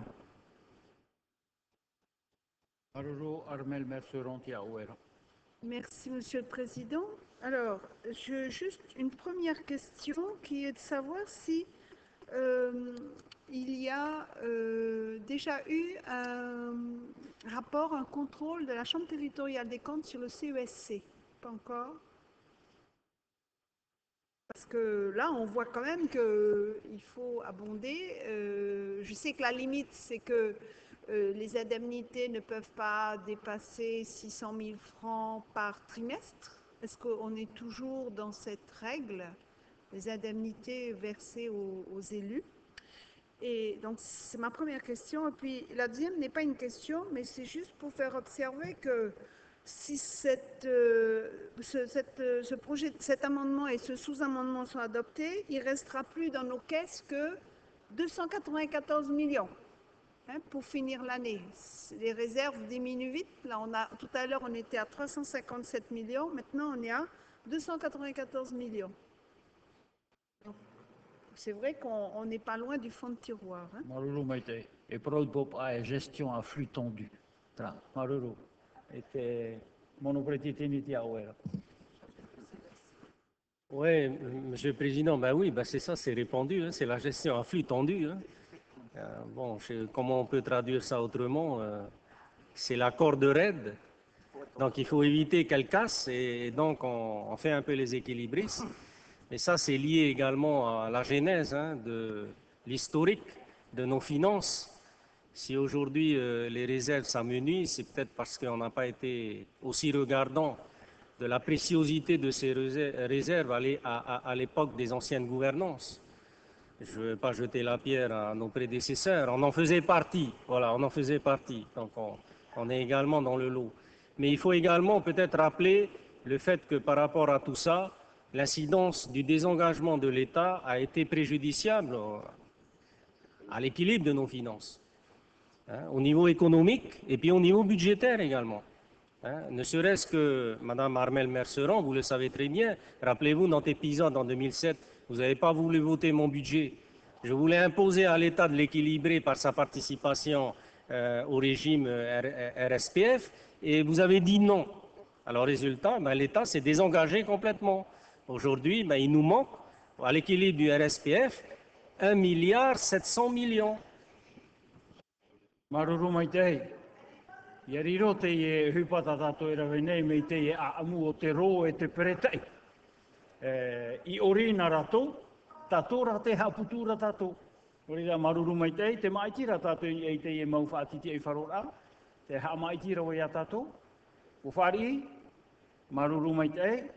e te ani nei au i te awhaiwhai parau. Ia tai o mai oe i te whaatiti e wharora ai ano te ia nei pene iwa hanere e iwa huru e maho e.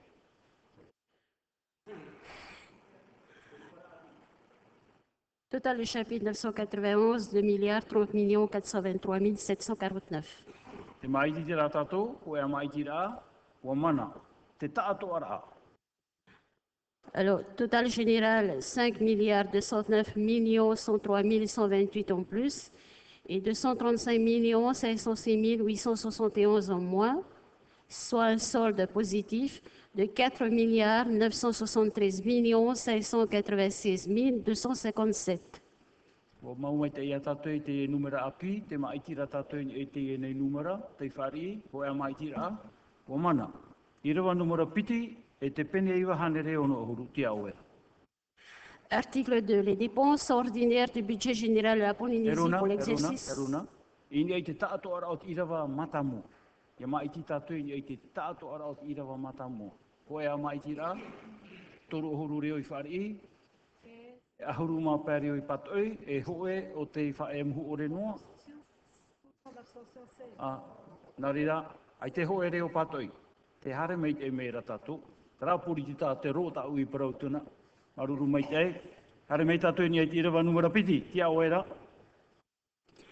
Article 2. Les dépenses ordinaires du budget général de la Polynésie pour l'exercice 2011 sont modifiées comme suit.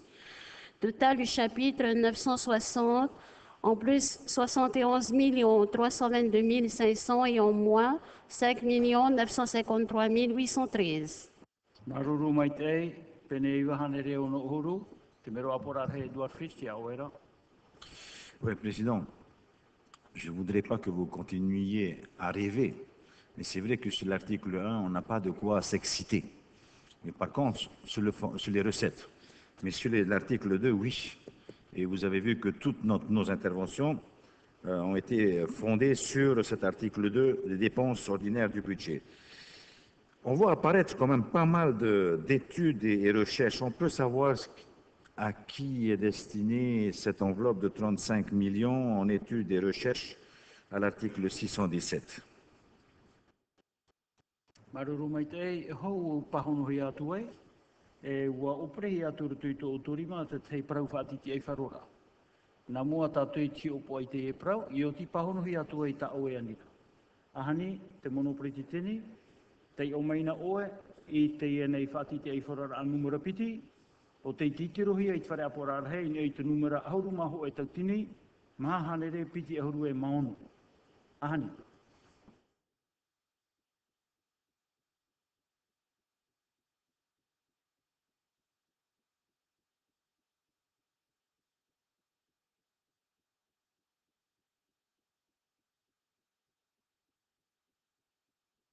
E uprehi atu te parautanu.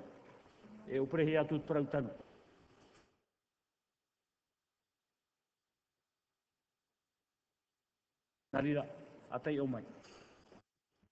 Bien. Donc je vais lire l'amendement, Monsieur le Président, hein, qui sera la réponse et l'explication à la question qui a été posée. Donc projet d'amendement numéro 2, modifiant l'article 2 donc, du projet de délibération que nous examinons. Au titre de l'article 152 de la loi statutaire, le fonctionnement du Conseil économique, social et culturel est assuré par une dotation spécifique qui constitue une dépense obligatoire inscrite au budget du pays.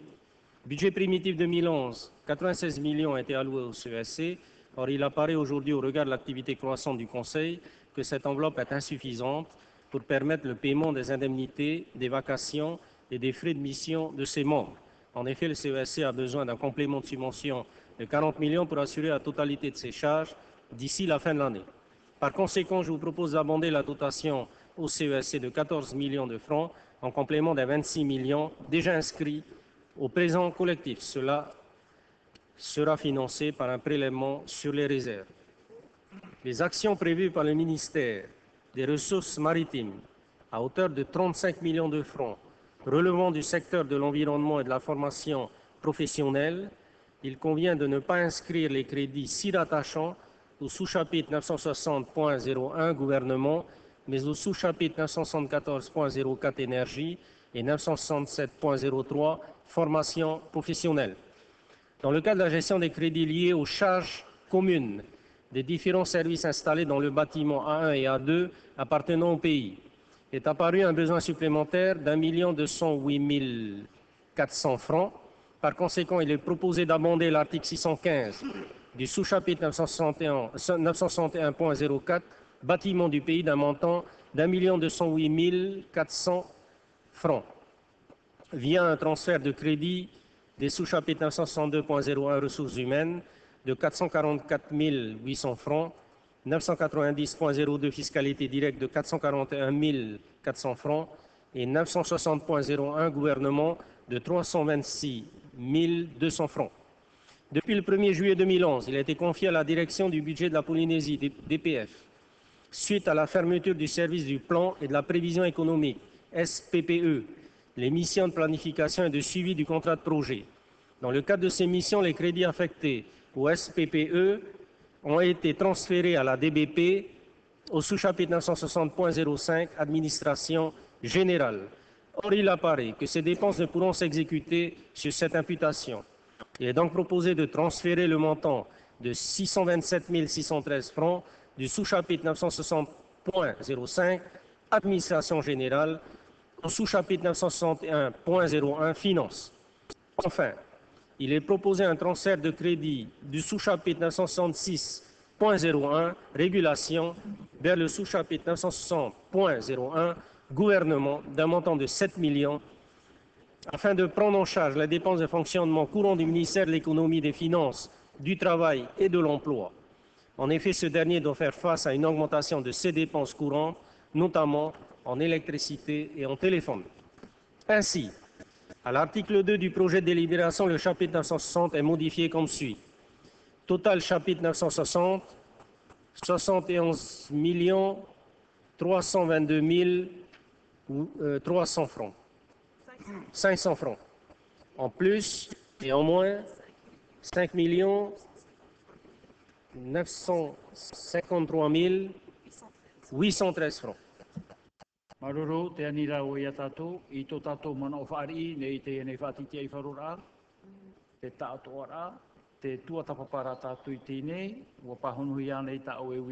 E e. Oui, Président, je voudrais dire que je ne soutiens pas l'amendement.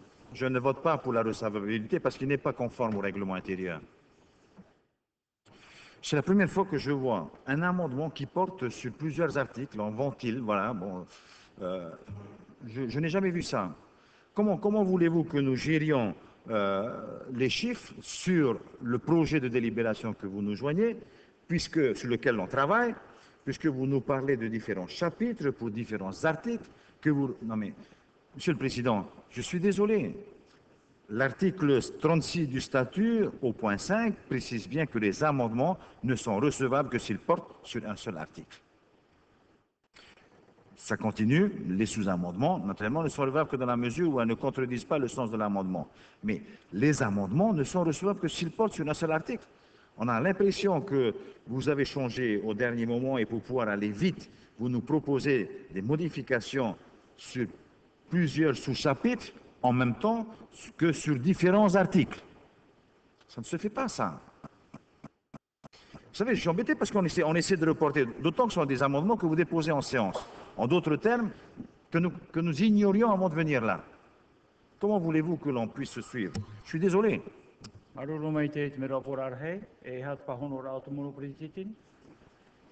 Monsieur le Président, euh, on soumet nos amendements à votre censure, vous qui êtes garant du respect du règlement intérieur. De ce qu'on sait, c'est que le vote se fait par chapitre. Donc nous venons de modifier le chapitre. Il y a un seul chapitre que nous avons modifié, c'est le chapitre 960.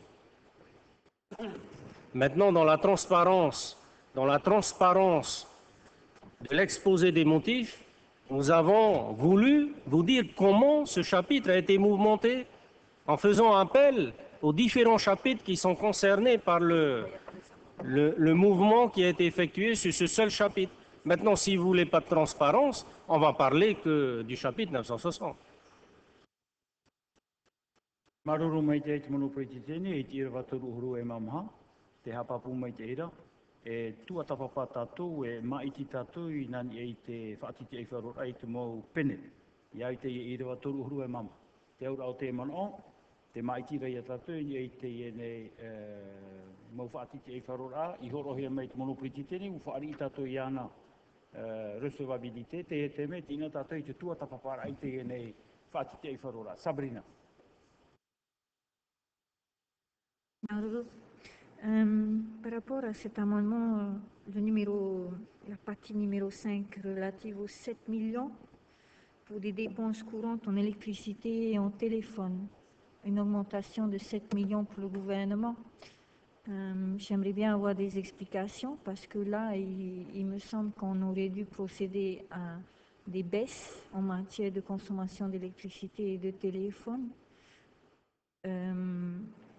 Je, je pense que euh, là-dessus, on, on- on est tous concernés et je, je- je- pour ma part, je fais très attention à ma consommation électrique et à ma consommation de téléphone. Et je ne peux pas tolérer qu'on puisse euh, accepter que d'autres ne soient pas aussi responsables.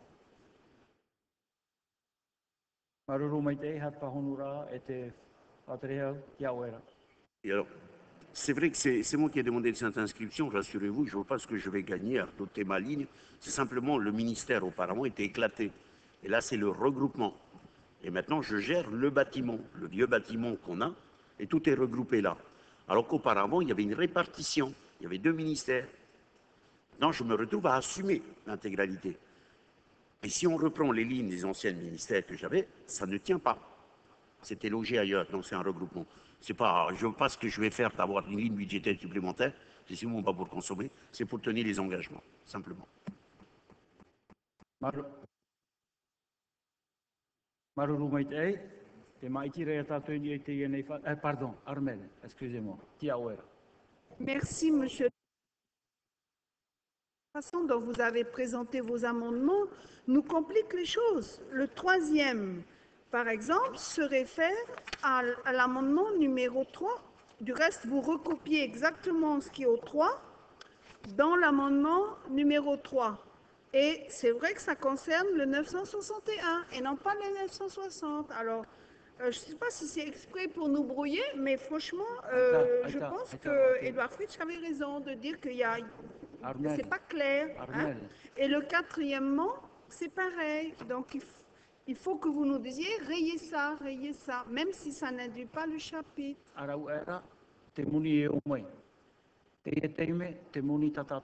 e.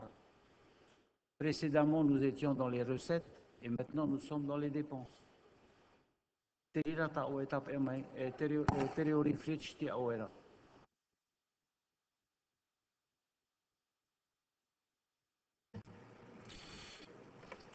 Monsieur le Président, je voudrais demander au vice-président, l'explication du grand 2 ne me suffit pas euh, sur la question de l'attribution des 35 millions en matière d'études. La précision que vous apportez, c'est que ce sera dépensé par un autre ministère, d'autres ministères, l'énergie et la formation professionnelle, Euh, mais à quoi servent ces 35 millions Ils viennent financer quel, quel type d'études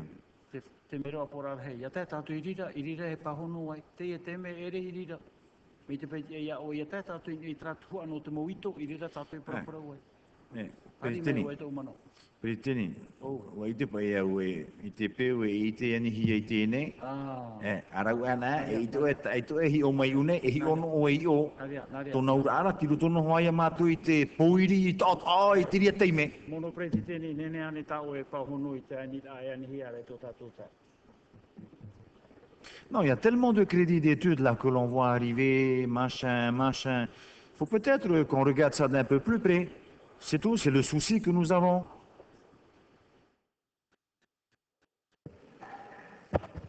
E, peretiteni. Me rā rā mai te hei papa i rā pōpā. E pēura hi nāro o e ia a toma mai te hi e chohonu rā mau o te ie mo tāpapa rā mi te ie. E rawe i au e te api mha. Te api mha, mua ia o e.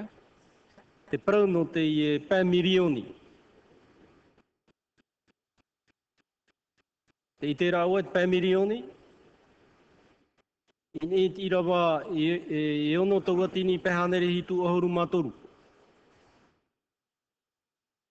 Article 657, on est toujours au chapitre 967. D'accord? À la page 4.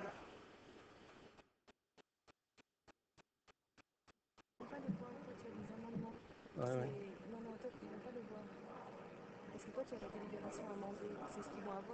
Bien, alors l'éclatement, l'éclatement, pour faire plus simple, l'éclatement des 35 millions correspond à 5 millions relatifs à la réalisation d'un schéma directeur de la formation maritime. D'accord? Il y a 5 millions là. Et puis ensuite, il y a 30 millions pour une étude relative à la définition de la politique sectorielle de l'énergie pour Tahiti et ses îles, plus une étude environnementale et hydraulique dans la vallée de Beisha. Et Papehia, la même chose. D'accord? C'est bon? Ça fait 35 C'est bien? J'ai répondu? Maruru mai te preti tēnei. E mai tira ia tātou i te ienei i rawa o te i whaatiti i wharuhia e o te i te i uhia. i rawa uh, te pene e i wahanere ono ohuru o tatato e whaatiti e wharo,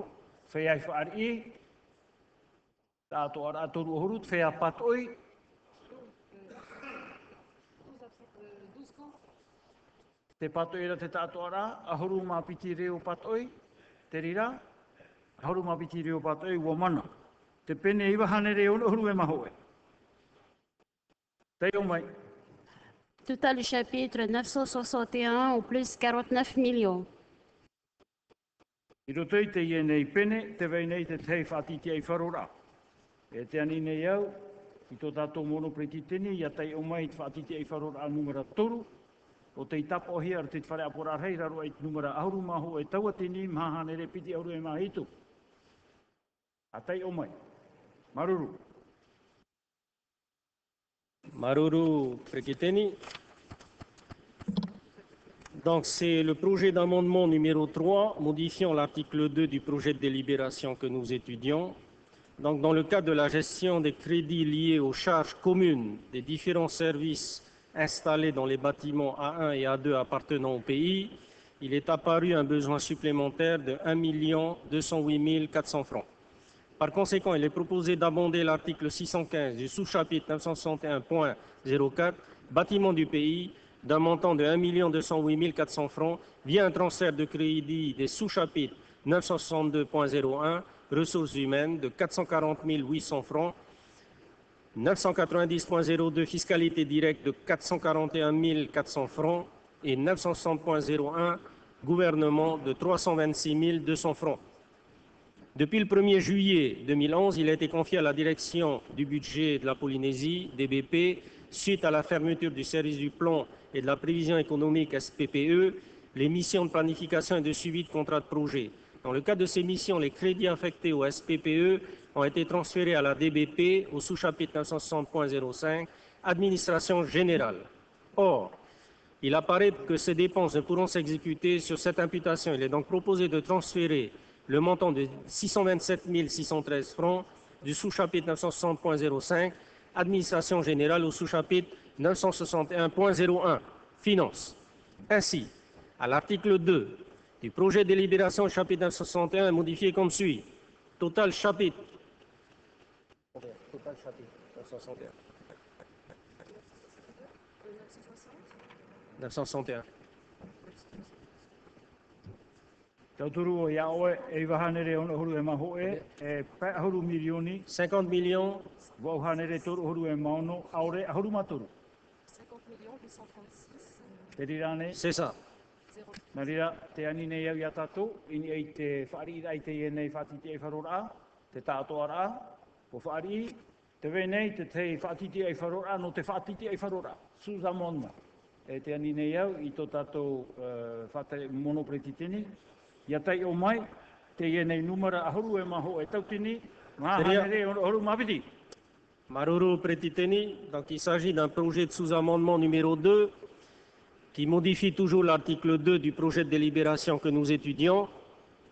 Donc il est aujourd'hui urgent de procéder au contrôle de sécurité obligatoire et à un traitement antithermique dans les bâtiments de la circonscription des îles sous le vent nécessite six arrières.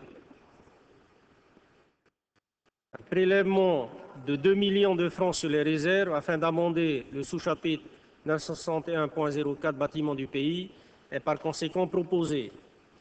Ainsi, à l'article 2 du projet de délibération, le chapitre 961 est modifié comme suit. Total chapitre 961, 52 836 013 francs. Le solde des dépenses ordinaires est changé en conséquence.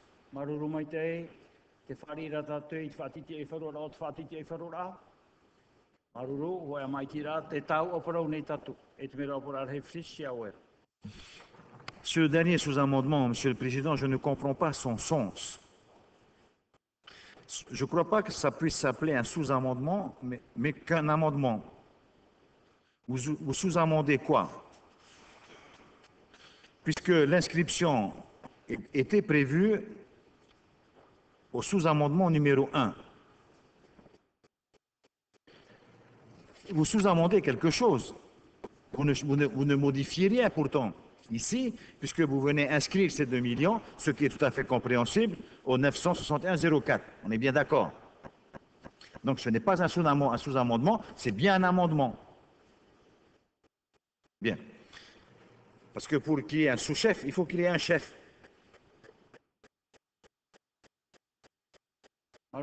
Et quand il n'y a que le sous-chef, c'est lui le chef. C'est exactement ça. Vous sous-amendez quelque chose, vous sous-amendez quelque chose qui est déjà amendé. La deuxième chose, Monsieur le Président, et c'est un, peu le, c'est un peu le problème de la présentation des amendements qu'on nous donne là. Je vous posais la question tout à l'heure sur le point 2 de l'amendement numéro 2.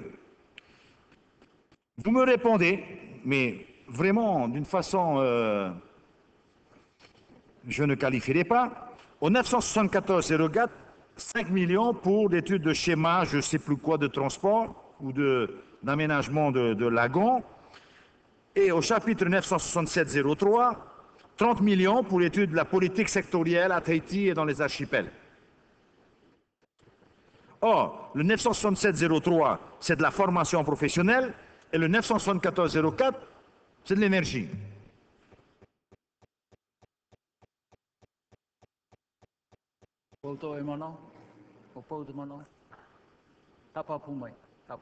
Oui.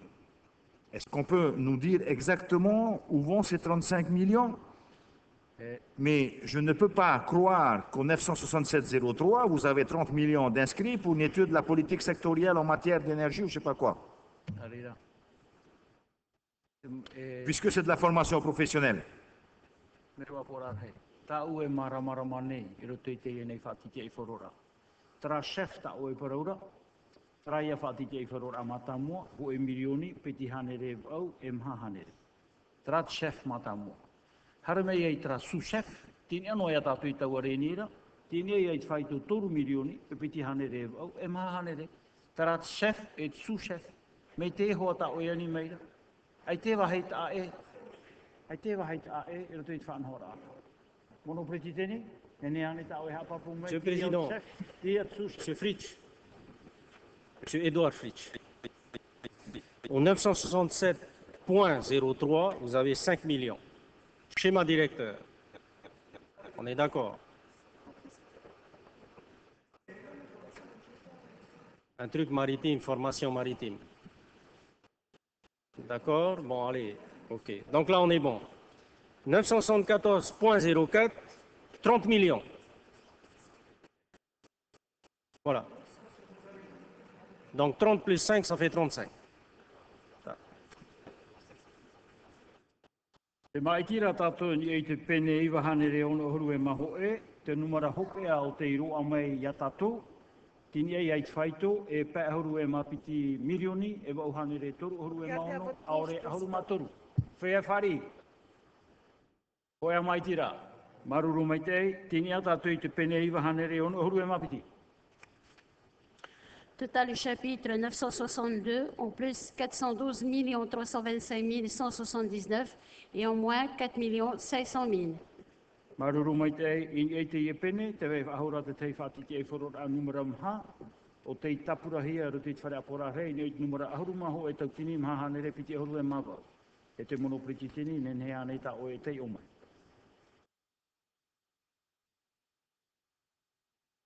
E te mono preti tini, ne ne ane o e tei o mai, tei nei whati te e whorora numara maha.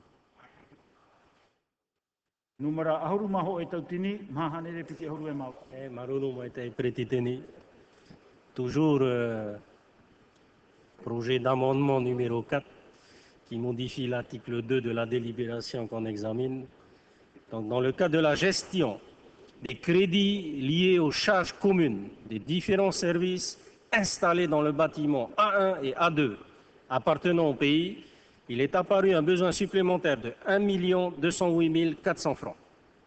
Par conséquent, par conséquent, il est proposé d'abonder l'article 615, 615 du sous-chapitre 961.04, bâtiment du pays, d'un montant de 1 208 400 francs via un transfert de crédit des sous-chapitres 962.01, ressources humaines de 440 800 francs, au chapitre 990.02, fiscalité directe de 441 400 francs, et au chapitre 960.01, gouvernement de 326 200 francs. Monsieur le Président, c'est clair, hein, je continue, je continue. Ainsi, à l'article...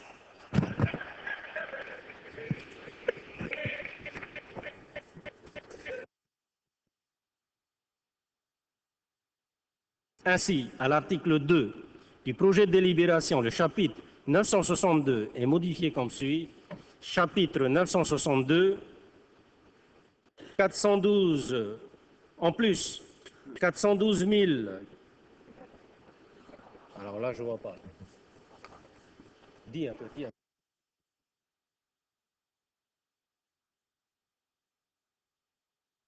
Plus.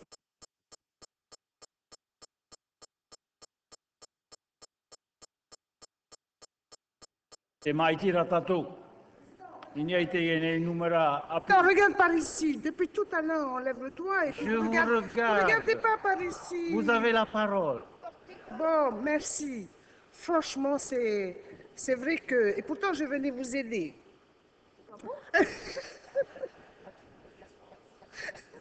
Dans les explications. Voilà. Euh, mais d'abord, sur, ce, sur ce- cet, amendement, on voit bien que le gouvernement racle les fonds de tiroir hein, pour euh, obtenir 1 208 400, 400 francs. Il faut aller soutirer dans trois sous-chapitres. Trois sous-chapitres pour obtenir un million. Incroyable. Donc le pays est véritablement en grande difficulté. Et à côté, on met 120 millions pour, euh, pour partir en Nouvelle-Calédonie. 125 millions. C'est complètement euh, déséquilibré. Euh, mais je voudrais... Bon, peut-être tout à l'heure, vous allez, hein, pendant l'article amendé, hein, le, cha- le chapitre amendé, parce que je veux parler du, du personnel. Tout à l'heure Je peux poser la question maintenant? Animé. animé. OK. Alors, je voudrais, euh, par rapport aux, aux créations de postes, et je dois dire que je regrette un- vraiment l'absence du ministre de la Santé et de la Solidarité. Parce qu'on on lit dans la presse qu'il est en balade. Il, navigue dans le Pacifique. Bon, je ne sais pas si c'est vraiment ça. Je regrette parce que lorsqu'on regarde le nombre de postes créés, euh, ça concerne véritablement ces deux secteurs. Mais là où on ne connaît pas, on ne, on- on ne sait rien d'autre, ce sont les affectations de ces postes-là. Il y a des postes en stock gardés au service du personnel, ça on a bien compris, c'est clé. Concerne plusieurs postes euh, en matière de santé. Et euh, par exemple, il y a 10 psychologues. J'aimerais bien savoir pour quelle affectation. Bon. Et, et puis à côté, euh, pour la santé, euh, oui, pour le chapitre santé, il y a 48 postes en plus du stock réservé, enfin, en plus du stock.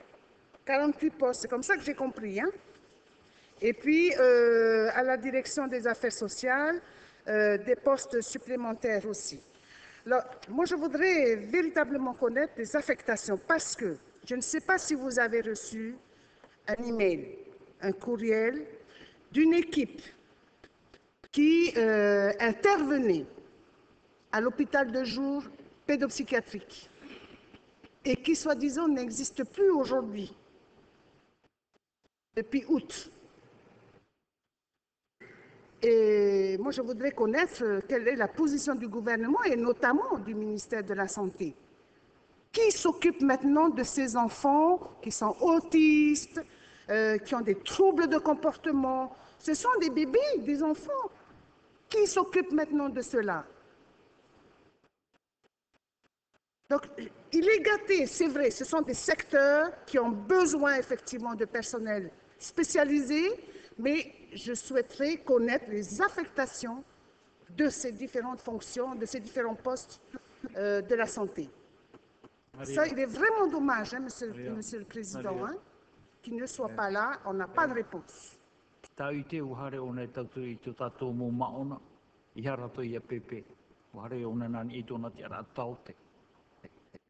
te te hare ra ia i te whenua taratoni no te tauturu i te mō maona, nani i tōna te ara taute i aroa o mei te piru i a tato. I a mei te nei hau, e pahonohi atu ta o anira. Aux bébés autistes E, qui ont besoin de soins très particuliers.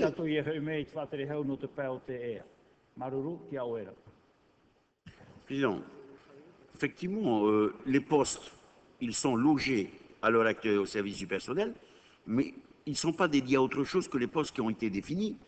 Ensuite, leur affectation. Vous avez dit ça une fois que le budget, mais ça, c'est avec la santé, en fonction de leurs besoins, parce que nous avons voulu être réactifs. On va les débloquer tout de suite dès que le besoin se fait. Ils ont trouvé quelqu'un. C'est ainsi qu'on a souhaité protéger.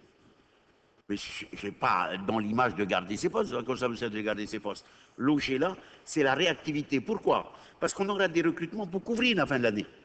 C'est donc dans l'urgence qu'il faut les traiter. Dans l'urgence. Dès que le, le besoin se fait ressentir, ils ont trouvé la personne, parce que ça va être du CDD. Ça va être du CDD pour occuper rapidement. Donc j'ai demandé à ce que le service du personnel soit très réactif. C'est pour ça que les postes ont été pour ne plus attendre du type on se plaint. Je connais la technique. La santé doit préparer le contrat, ça va au personnel, ça va au CDE, ça fait le tour, on met un mois, deux mois. J'ai demandé de la réactivité. Mais le drame, justement, au niveau de la santé, c'est combien même on connaît les besoins, M. Edouard Fritsch, c'est qu'il faut trouver le candidat. Trouver le candidat. Soit je loge le poste à la santé, il est figé, il n'y a personne dessus. Trouver le candidat, il est débloqué, le contrat est fait. C'est ça aussi la difficulté de recrutement dans la santé.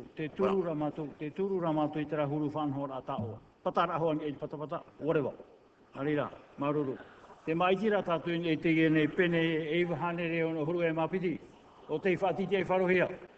E maitira, maruru. Te pene e iwa hane reo no huru e maturu.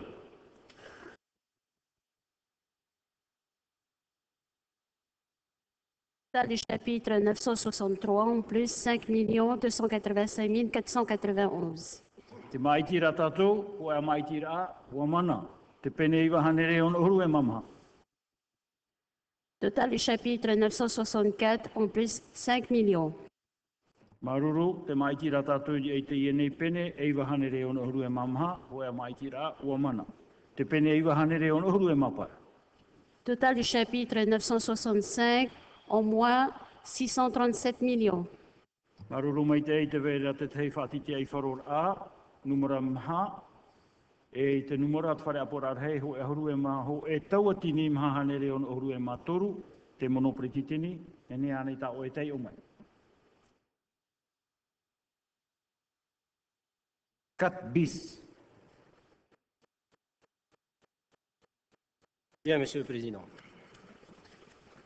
Donc, euh, projet d'amendement 4 bis modifiant l'article 2 de la délibération que nous examinons dans le cadre de la régénération de la cocoterie. Une enveloppe supplémentaire de 20 millions est nécessaire au sous-chapitre 965.01 Agriculture et élevage, via un prélèvement sur les réserves pour l'achat d'engrais, de bacs de cocotiers et la mise en place d'une prime au défrichage et à la plantation. Total chapitre 960.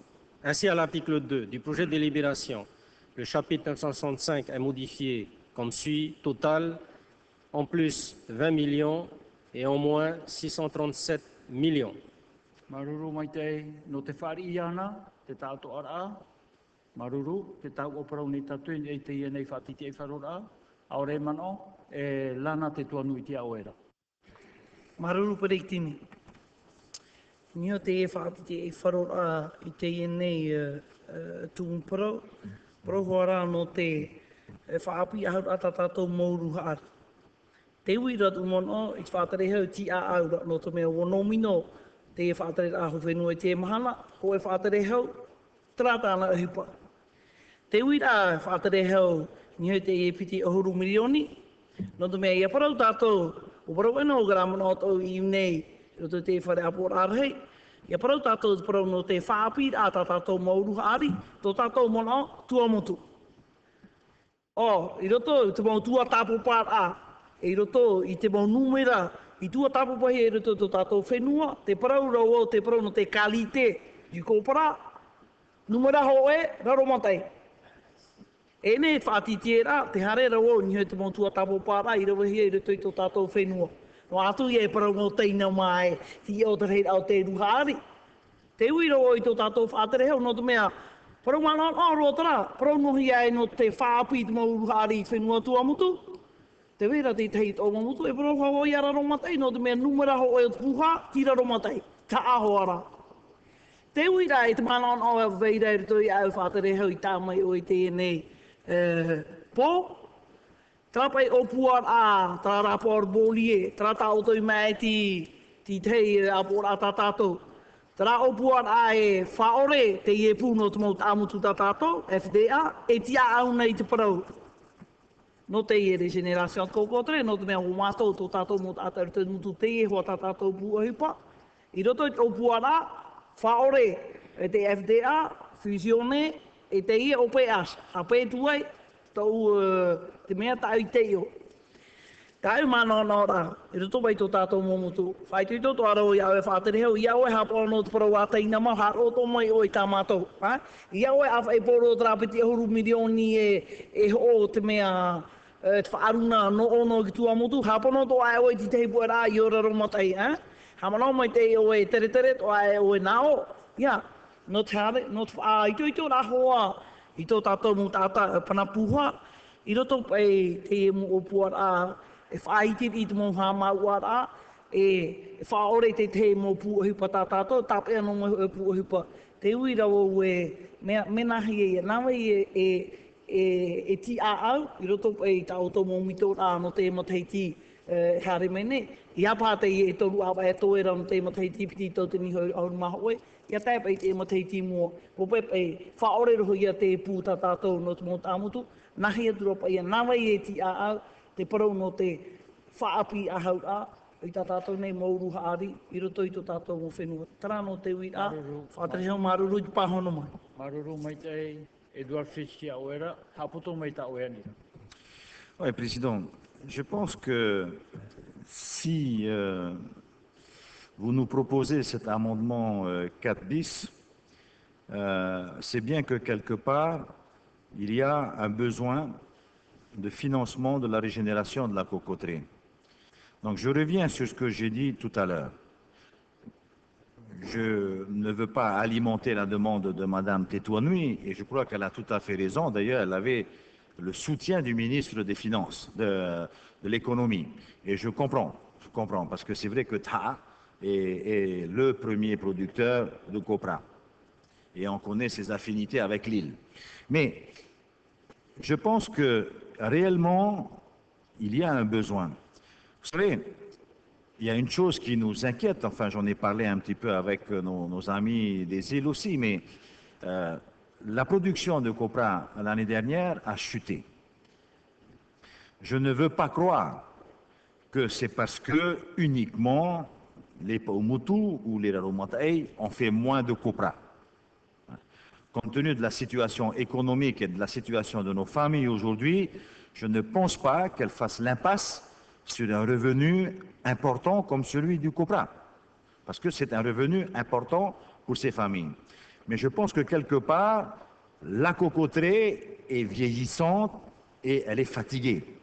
D'ailleurs, ce qui se dit, ce que demande l'ANA Tétouanoui pour les îles sous le vent, tient la route pratiquement pour toute la Polynésie, je pense aux marquises aussi. La cocoterie des marquises est vieille. Et vous savez que depuis les difficultés connues avec l'achat du noni, euh, plusieurs d'entre eux aujourd'hui sont en train de se reconvertir aussi vers la cocoterie, qui est notre ressource principale. Qui est notre ressource principale. Avant le phosphate, avant le CEP et encore maintenant. Donc je pense réellement, Monsieur le ministre, puisque nous estimons que l'on peut utiliser les 600 millions que l'on va ponctionner euh, au niveau euh, du fonds de soutien au prix du COPRA, est-ce que réellement, parce que je pense que non seulement ça va donner de l'emploi à la régénération, mais ça va aussi garantir un avenir à certains jeunes de ces archipels. Est-ce qu'on ne peut pas augmenter l'enveloppe qui est destinée aujourd'hui à la régénération de la cocoterie? D'autant qu'on a un ministère, vous avez un ministère dédié complètement à la régénération, au moins qu'on ait les moyens. Maintenant, euh, j'aimerais bien l'entendre. Quels sont les projets? Qu'est-ce qui fait qu'aujourd'hui, il n'est besoin qu'une rallonge que de 20 millions et non pas plus? Surtout lorsqu'on a fait l'effort de remettre 600 millions au pot commun. J'espère pour vous qu'il n'y ait pas de fluctuation négative du prix du copra sur le cours mondial. J'espère. Et qu'on ne se retrouve pas d'ici la fin de l'année avec un déficit au niveau du paiement pour ces copraculteurs. Voilà. Je reviens sur ce que je disais tout à l'heure. Je pense que vraiment, il faut mettre le paquet maintenant sur la copraculture. Président, merci. Je vais juste intervenir sur un problème de fond. Euh, je regarde un peu les 20 millions qui vont être attribués à l'opération régénération de cocoterie. Et si l'achat des engrais, dans le dispositif actuel, l'achat des engrais de bacs de cocotier est du ressort du, euh, ministère de l'Agriculture dans le dispositif qui existait. Euh, mais par contre, tout ce qui est de mise en place euh, de primes au défrichage euh, fait du ressort du FDA. Il me semble bien que c'est 300 000 francs qu'on avait voté dans une des délibérations au niveau du FDA pour faire des défrichements. Mais la question que je pose à notre ministre de, euh, du développement des archipels, c'est la prime à la plantation.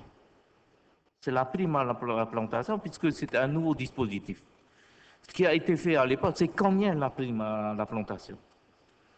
Euh, Il n'y aura pas assez avec ces 20, francs, 20 euh, millions. Il faudra certainement, peut-être pas au-delà des 100 millions qui, est, qui a été hein, dégagé, il faudra peut-être mettre 50 millions pour pouvoir boucler, parce que ça va aller vite. Hein.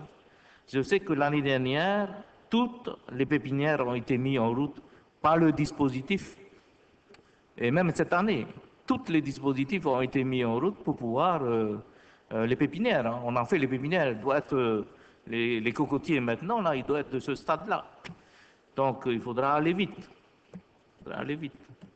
Sinon, ben, c'est du cocotier de, nos pépinières à, jeter en l'air. Voilà.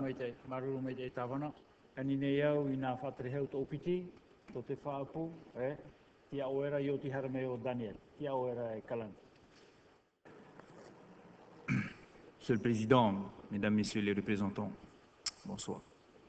Je voudrais euh, revenir un peu sur l'histoire des engrais. On en parle depuis tout à l'heure, alors qu'on part sur une voie plutôt organique, dit biologique. Est-ce que, je me pose la question, est-ce que mettre de l'engrais, je dirais, conventionnel, sur un atoll ne va pas être néfaste pour nous là-dedans? C'est ça la question qu'il faut se poser peut-être. Parce que j'ai vu les engrais. C'est de l'engrais conventionnel, même s'il y a du compost à l'intérieur. Est-ce qu'aujourd'hui, on va aller dans ce sens-là? Est-ce qu'il ne serait pas plus judicieux aujourd'hui de mettre une légumineuse qui va permettre de couvrir le sol et d'apporter euh, la nécessité en azote et le complément nutritif au cocotier pour une question beaucoup plus durable. Alors, ça nous coûterait beaucoup moins cher. Il y a aujourd'hui une légumineuse, bon, peut-être qu'on ne pourrait pas mettre dans tous les moutons, mais à Taha, c'est faisable, parce qu'il y a un mélange de terre avec le sable. Cette légumineuse, elle s'appelle le Mukuna bracteata. Alors moi, je suis prêt à donner à l'ANA un pochon de graines et puis de mettre en place des essais. Hein. pour éviter qu'on dépense euh, des sommes pharaoniques pour pouvoir nourrir tous nos cocotiers.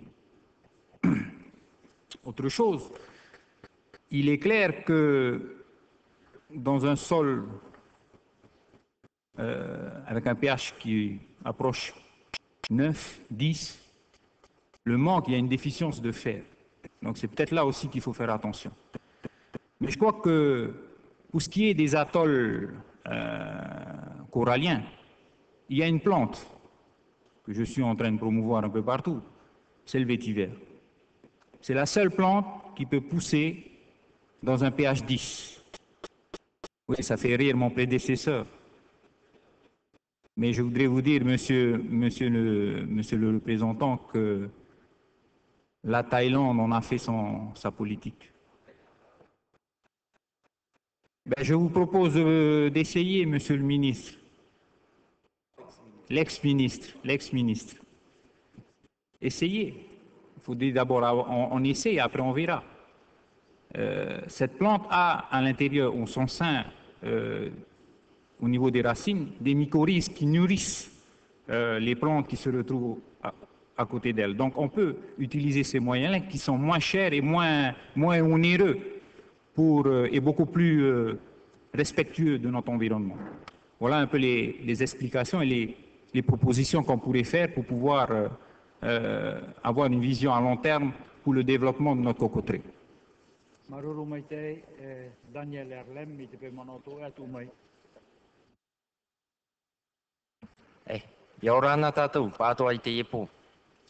Effectivement, vu l'ampleur du travail qui nous attend concernant la régénération de la cocoterie, il apparaît que 20 millions semble insuffisant.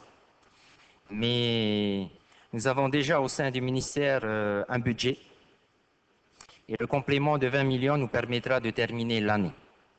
Par contre, dans le budget primitif 2012, nous prévo- prévoyons un budget pour l'année entière qui, tourne environ à 200 millions. Ça, c'est une chose. C'est vrai que quand on parle de COPRA, dans la tête de la plupart des personnes, on pense au Tuamotu. Et je confirme ici, selon les chiffres qui nous proviennent de l'huilerie, Tahaa est vraiment le premier producteur en termes de volume, de tonnage, hein, en Copra. Et je veux rassurer ici notre représentante Lana que le programme de la régénération ne concerne pas que les Tuamotu. Ça concerne toute la Polynésie, tous les archipels de notre pays.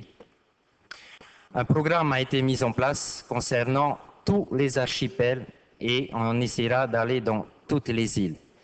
Effectivement, nous avons commencé par les Tuamotu parce que nous avons déjà des infrastructures en place et nous avons déjà commencé au niveau des Australes aussi. Et il est prévu très prochainement des, actions au niveau de Rarumatai. Ensuite, concernant les aides, effectivement, on parle de fusion du FDA avec l'OPH, mais les missions qui étaient euh, attribuées au FDA dans le cadre de la régénération des aides euh, seront maintenues. Actuellement, nous sommes en train d'harmoniser les textes avec euh, mon collègue Kalani pour pouvoir avoir plus d'efficacité dans ce domaine.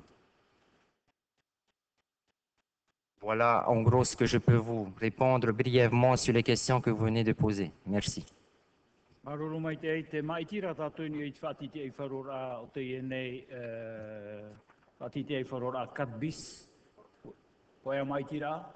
Pa mana, in ei te ie pene o te whatiti e wharora, whatiti e wharohia, o ahuru. Tēnea tātou i te pene e iwahanere e ono ohuru e mauno. Total du chapitre 966 en plus 1 milliard 241 millions et au moins 35 millions. Maruru, wa whātai at ohi mai te te whātiti ei wharora a numara pae.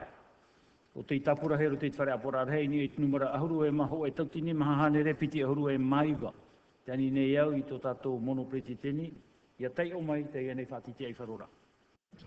Merci, Monsieur le Président. Il s'agit du projet d'amendement numéro 5 qui porte euh, modification de l'article 2 de la présente délibération. Il est proposé un transfert de crédit du sous-chapitre 966.01 Régulation vers le sous-chapitre 960.01 Gouvernement d'un montant de 7 millions afin de prendre en charge les dépenses de fonctionnement courant du ministère de l'économie, des finances, du travail et de l'emploi. En effet, ce dernier doit faire face à une augmentation de ses dépenses courantes, notamment en électricité et en téléphone. Ainsi, à l'article 2 du projet de délibération chapitre 966 est modifié comme suit. Total chapitre 966, en plus 1 milliard 241 millions de francs, en moins 42 millions de francs. Le solde des dépenses ordinaires reste inchangé.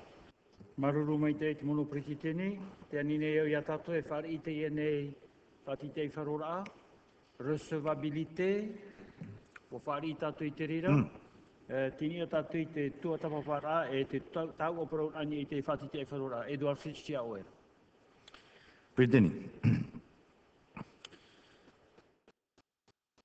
on peut comprendre que le ministère des Finances euh, puisse avoir des besoins complémentaires, euh, parce que bon, nous savons que c'est un ministre qui travaille beaucoup, de nuit surtout, qui téléphone, euh, c'est- justifié.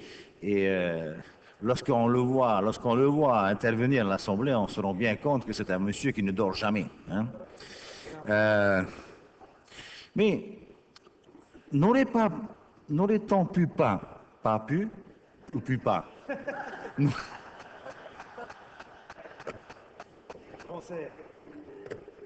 Ça commence à fatiguer, hein? N'aurait-on pas pu faire bénéficier au ministre, au ministère de l'économie toutes les économies qu'on a pu avoir du côté de la présidence qui ne reçoit plus le président aujourd'hui, parce que je suppose quand même que ces bureaux n'étant plus occupés, que vous ne continuez pas à les, climatiser, euh, que, euh, que les charges de fonctionnement ont baissé. Je ne dis pas de mettre le ministère des Finances à la place du euh, président là-bas, mais est-ce qu'on on peut savoir ce que ça a apporté comme économie? Parce que je ne, je ne vois au- aucune trace ici, aucune trace ici des économies faites par le président quittant son lieu de travail habituel pour venir occuper la vice-présidence qui était normalement occupée par mon ami Tony Géros, qui a dû euh, immigrer ailleurs.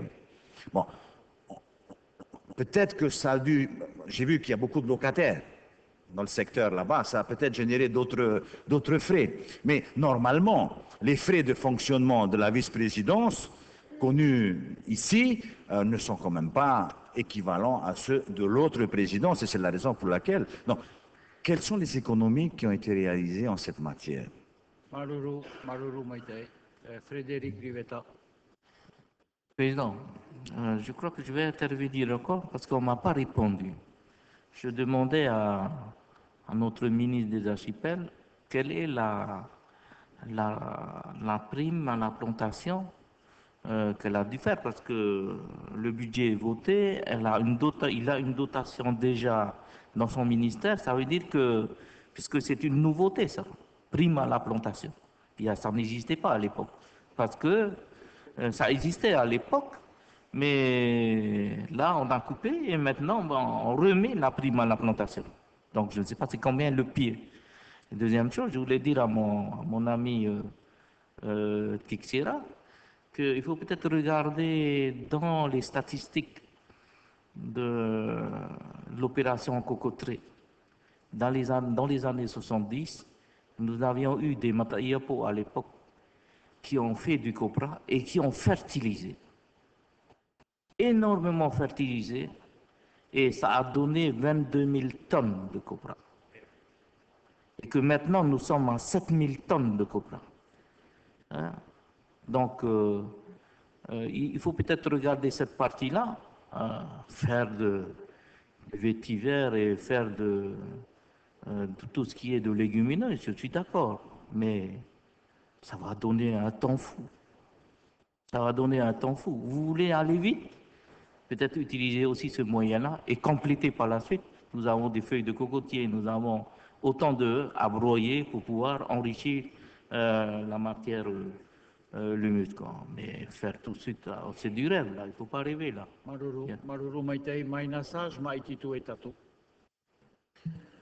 Je voudrais savoir euh, quelles sont les études et recherches que l'on suspend pour payer le téléphone euh, du ministère de l'économie?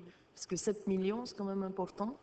Quand on regarde, on prélève 7 millions sur le chapitre régulation, mais surtout sur l'article études et recherches. Donc, quelles sont les études et recherches qui sont suspendues pour euh, les transférer euh, aux besoins du fonctionnement d'un ministère? Merci. Maruru euh, et Malgon. Marou Pertini. Non, c'est c'est une, juste une observation, puisque le- votre majorité a voté dernièrement le plan de redressement des comptes de la Polynésie française. Et il nous a été proposé des fusions, absorptions, etc., etc. Finalement, c'est la conséquence de, vos propositions de fusion. Au lieu de faire des économies, en fait, vous augmentez les charges, les charges de fonctionnement, puisqu'il faut 7 millions de plus pour les frais d'électricité. Voilà, c'était juste. En tout cas, je, préférais la présentation de M. Edouard Fritsch. Alors, je répète ce qu'on m'a transmis comme message. Sous l'ancien ministère de l'économie, il était inscrit 16,5 millions de frais d'études dont on ne sait pas à quoi ça sert. Moi, on m'a posé la question, qu'est-ce que en avez fait? Je dis, je sais pas. Donc on a nettoyé, on appelle ça des cagnottes. En revanche, les 7 millions, c'est le regroupement des structures. Il y avait deux ministères. Non mais, vous croyez que je vais me battre pour... Qu'est-ce que je vais faire d'une ligne de 7 millions d'électricité? Je ne peux pas les consommer si je viens payer de l'électricité. Enfin, je suis ministre de l'économie, je ne vais quand même pas commencer. Tout simplement, j'ai dit, quand on fait le partage de ce bâtiment, à l'époque, il y avait une répartition. Le ministère qui était là par rapport à l'IGA, c'était compliqué. L'IGA a dit, maintenant que vous êtes tout seul, vous assumez tout. Si les anciennes lignes ministres de l'économie, il n'y avait pas ça. C'est pas tenable. Donc j'ai fait rectifier. Vous croyez quand même pas que je vais m'offrir quelque chose de fabuleux? Vous connaissez bien le bâtiment, sur le, le, euh, local du bas. Hein? Surtout le local du bas. J'assume les charges qui étaient auparavant dévolues à deux ministères. C'est regroupé sur une entité et l'ancien budget primitif ne le permettait pas. Je fais rectifier, c'est tout. Je ne vais pas me mourir une cagnotte. En revanche, les 16 millions qui existaient sur l'ancien ministère, la réponse qui m'a été donnée, on m'a proposé de nettoyer parce qu'on ne savait pas trop à quoi c'était destiné. Alors moi, je dis, ben, on nettoie. Euh. Effectivement, en 70, c'est vrai qu'on était dans les... euh, voilà, bon, si vous voulez. Dans les années 70, on était dans les 20 000 tonnes à peu près de, de, de, copra. Mais je, je me pose la question, pourquoi on n'a pas continué? Parce que euh, lorsque je suis allé à Haye, j'ai vu, par exemple, dans une ferme perlière, les résidus lorsqu'on gratte les nattes. Ce sont des montagnes et des montagnes. Est-ce qu'on n'a pas eu, pourquoi on n'a pas eu l'idée d'utiliser ça pour mettre autour des cocotiers? Fait des années que ça reste là. Pourquoi on n'a pas eu l'idée d'utiliser les algues? Pourquoi on n'a pas eu l'idée euh, d'ut- d'utiliser les déchets de poissons? C'est la question que je me pose aujourd'hui. Il aurait peut-être fallu écouter un peu les agriculteurs, les anciens. Et aujourd'hui, on ne serait pas là. Merci. Effectivement, concernant la prime à la plantation, euh, de mémoire, je pense que euh, c'est une aide qui avait existé une fois du temps de Roiho, hein, si je ne me trompe pas. Et depuis, on n'a plus vu cette prime à la plantation en action. Donc nous avons voulu remettre euh, cela en, en place encore, mais cette aide n'est pas encore effective. Aujourd'hui, nous sommes sur les pépinières, sur les germoires, voilà. Ah, Mais c'est prévu pour l'année prochaine. Alors, le montant qu'on a retenu, euh, c'est un montant à discuter aussi, euh, est de 50 francs par euh, cocotier planté. Alors, pourquoi ce montant-là? Parce qu'on a constaté que dans beaucoup, beaucoup de motos, d'atolls, d'îles, les gens aujourd'hui préfèrent vendre leurs cocos secs directement aux, demandeurs, surtout aux demandeurs de, de Tahiti. Alors les prix, varient entre 20, 30, 40 francs le coco sec. Ça dépend des endroits et des demandeurs. Alors, on a essayé de mettre, de penser à une prime qui soit euh, intéressante pour les personnes qui veulent euh, planter un cocotier, mais en, leur, en ajoutant, en leur disant bien que c'est vrai, ça leur paraît peut-être pas très important, la, euh, 50 francs par cocotier planté, mais ce 50 francs-là, plus tard, donnera des milliers et peut-être même des millions de francs une fois que le cocotier aura grandi, aura produit. Voilà, c'est dans ce sens-là. Merci.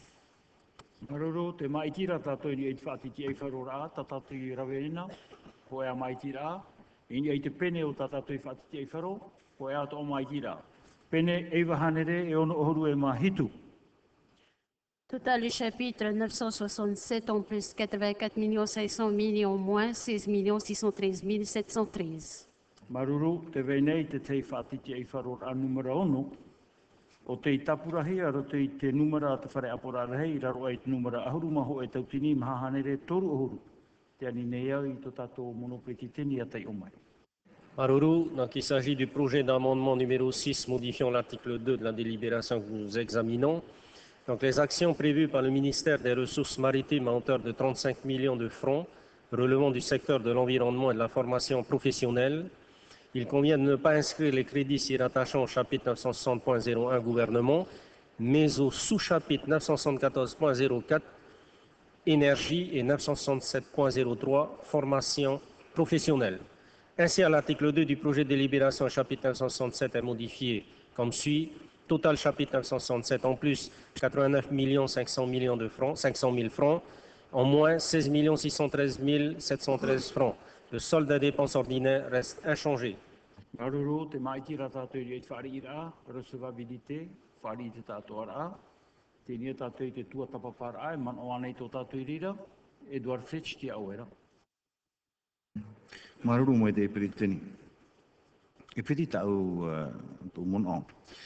nā mua roa, i hui te e, hupano te puha. Uh, e tu hina aro i a tito rāua, no te parau o te puha, te kisera rāua ori i unei, pauto tātou teime, ere? I a hia nahi a te parau no te pārau, i te momata hei hitu a hurura, e parau maama a te rira. Ai te a te pārau i uana, mi trei uana i te imhana. E te momotu, e tanu hi ara te ari, e re te momotu te rira te pārau. Ana, i e hara mai parau te parau ma iu nei. Te mea hina aruhia, e tanu e tātou e ru. Ei, wei te oto. Wani e wara wai honei tu tātou whāterhea. Whai te maina, e ha te rehi rao te moutai te e mana, ua whaapihia te uruhari. Wei te atua oto, te whiwhi nei te awhata. Tauturu nei te tātou mou prasepia, e i te prasepia i rira atoa. Oto, e re te parau no te sepia, e parau no te tauturu ai te e mou ata, no te whaai tūtor ai rātoa. I te imhana, hina aro tātou e e te puha, no te mea, e huparu te rā, ai te hupa wahau to tātou ne whenua i te imhana. C'est la raison pour laquelle la COPRA, c'est important de parler sérieusement du COPRA. Et vous avez raison. Depuis, depuis quelques temps, on nous parle d'un plan pour toute la Polynésie. Quand est-ce que ce plan va pousser? C'est la raison pour laquelle je, je pense qu'il faut vraiment qu'on donne un coup de main. C'est pas facile, je sais bien, parce qu'il faut organiser sur le terrain aussi. Mais je pense qu'il faut donner au ministre les moyens. C'est la raison pour laquelle j'étais intervenu. Mais ne venez pas nous parler de Lumumba, de je sais pas quoi, du vétivier. Il faut plus réinventer les choses. Il faut aller maintenant à l'action. On a besoin de bouger dans ce secteur, monsieur le ministre, et je vous encourage pour cela. Mais je pense qu'il faut mettre les moyens de côté. La deuxième question que je voudrais poser, mais c'est dommage, le ministre n'est plus là. J'aimerais quand même qu'on nous donne des explications sur ce nouveau plan qui va coûter 30 millions et qui est destiné à la gestion des déchets, encore sectorielle des déchets. Et on ne va pas recommencer à réfléchir à un plan de gestion encore de nos déchets. Enfin, euh, je ne sais pas si euh, le centre d'enfouissement de Nukuhiva est enfin ouvert. Je ne sais pas si celui de Rapa commence à fonctionner. Mais attendez, vous ne trouvez pas qu'il y a des urgences ailleurs que de continuer encore à faire des plans, des machins, de la réflexion. On n'en est plus là. Il y a urgence Et il y a le feu dans la maison.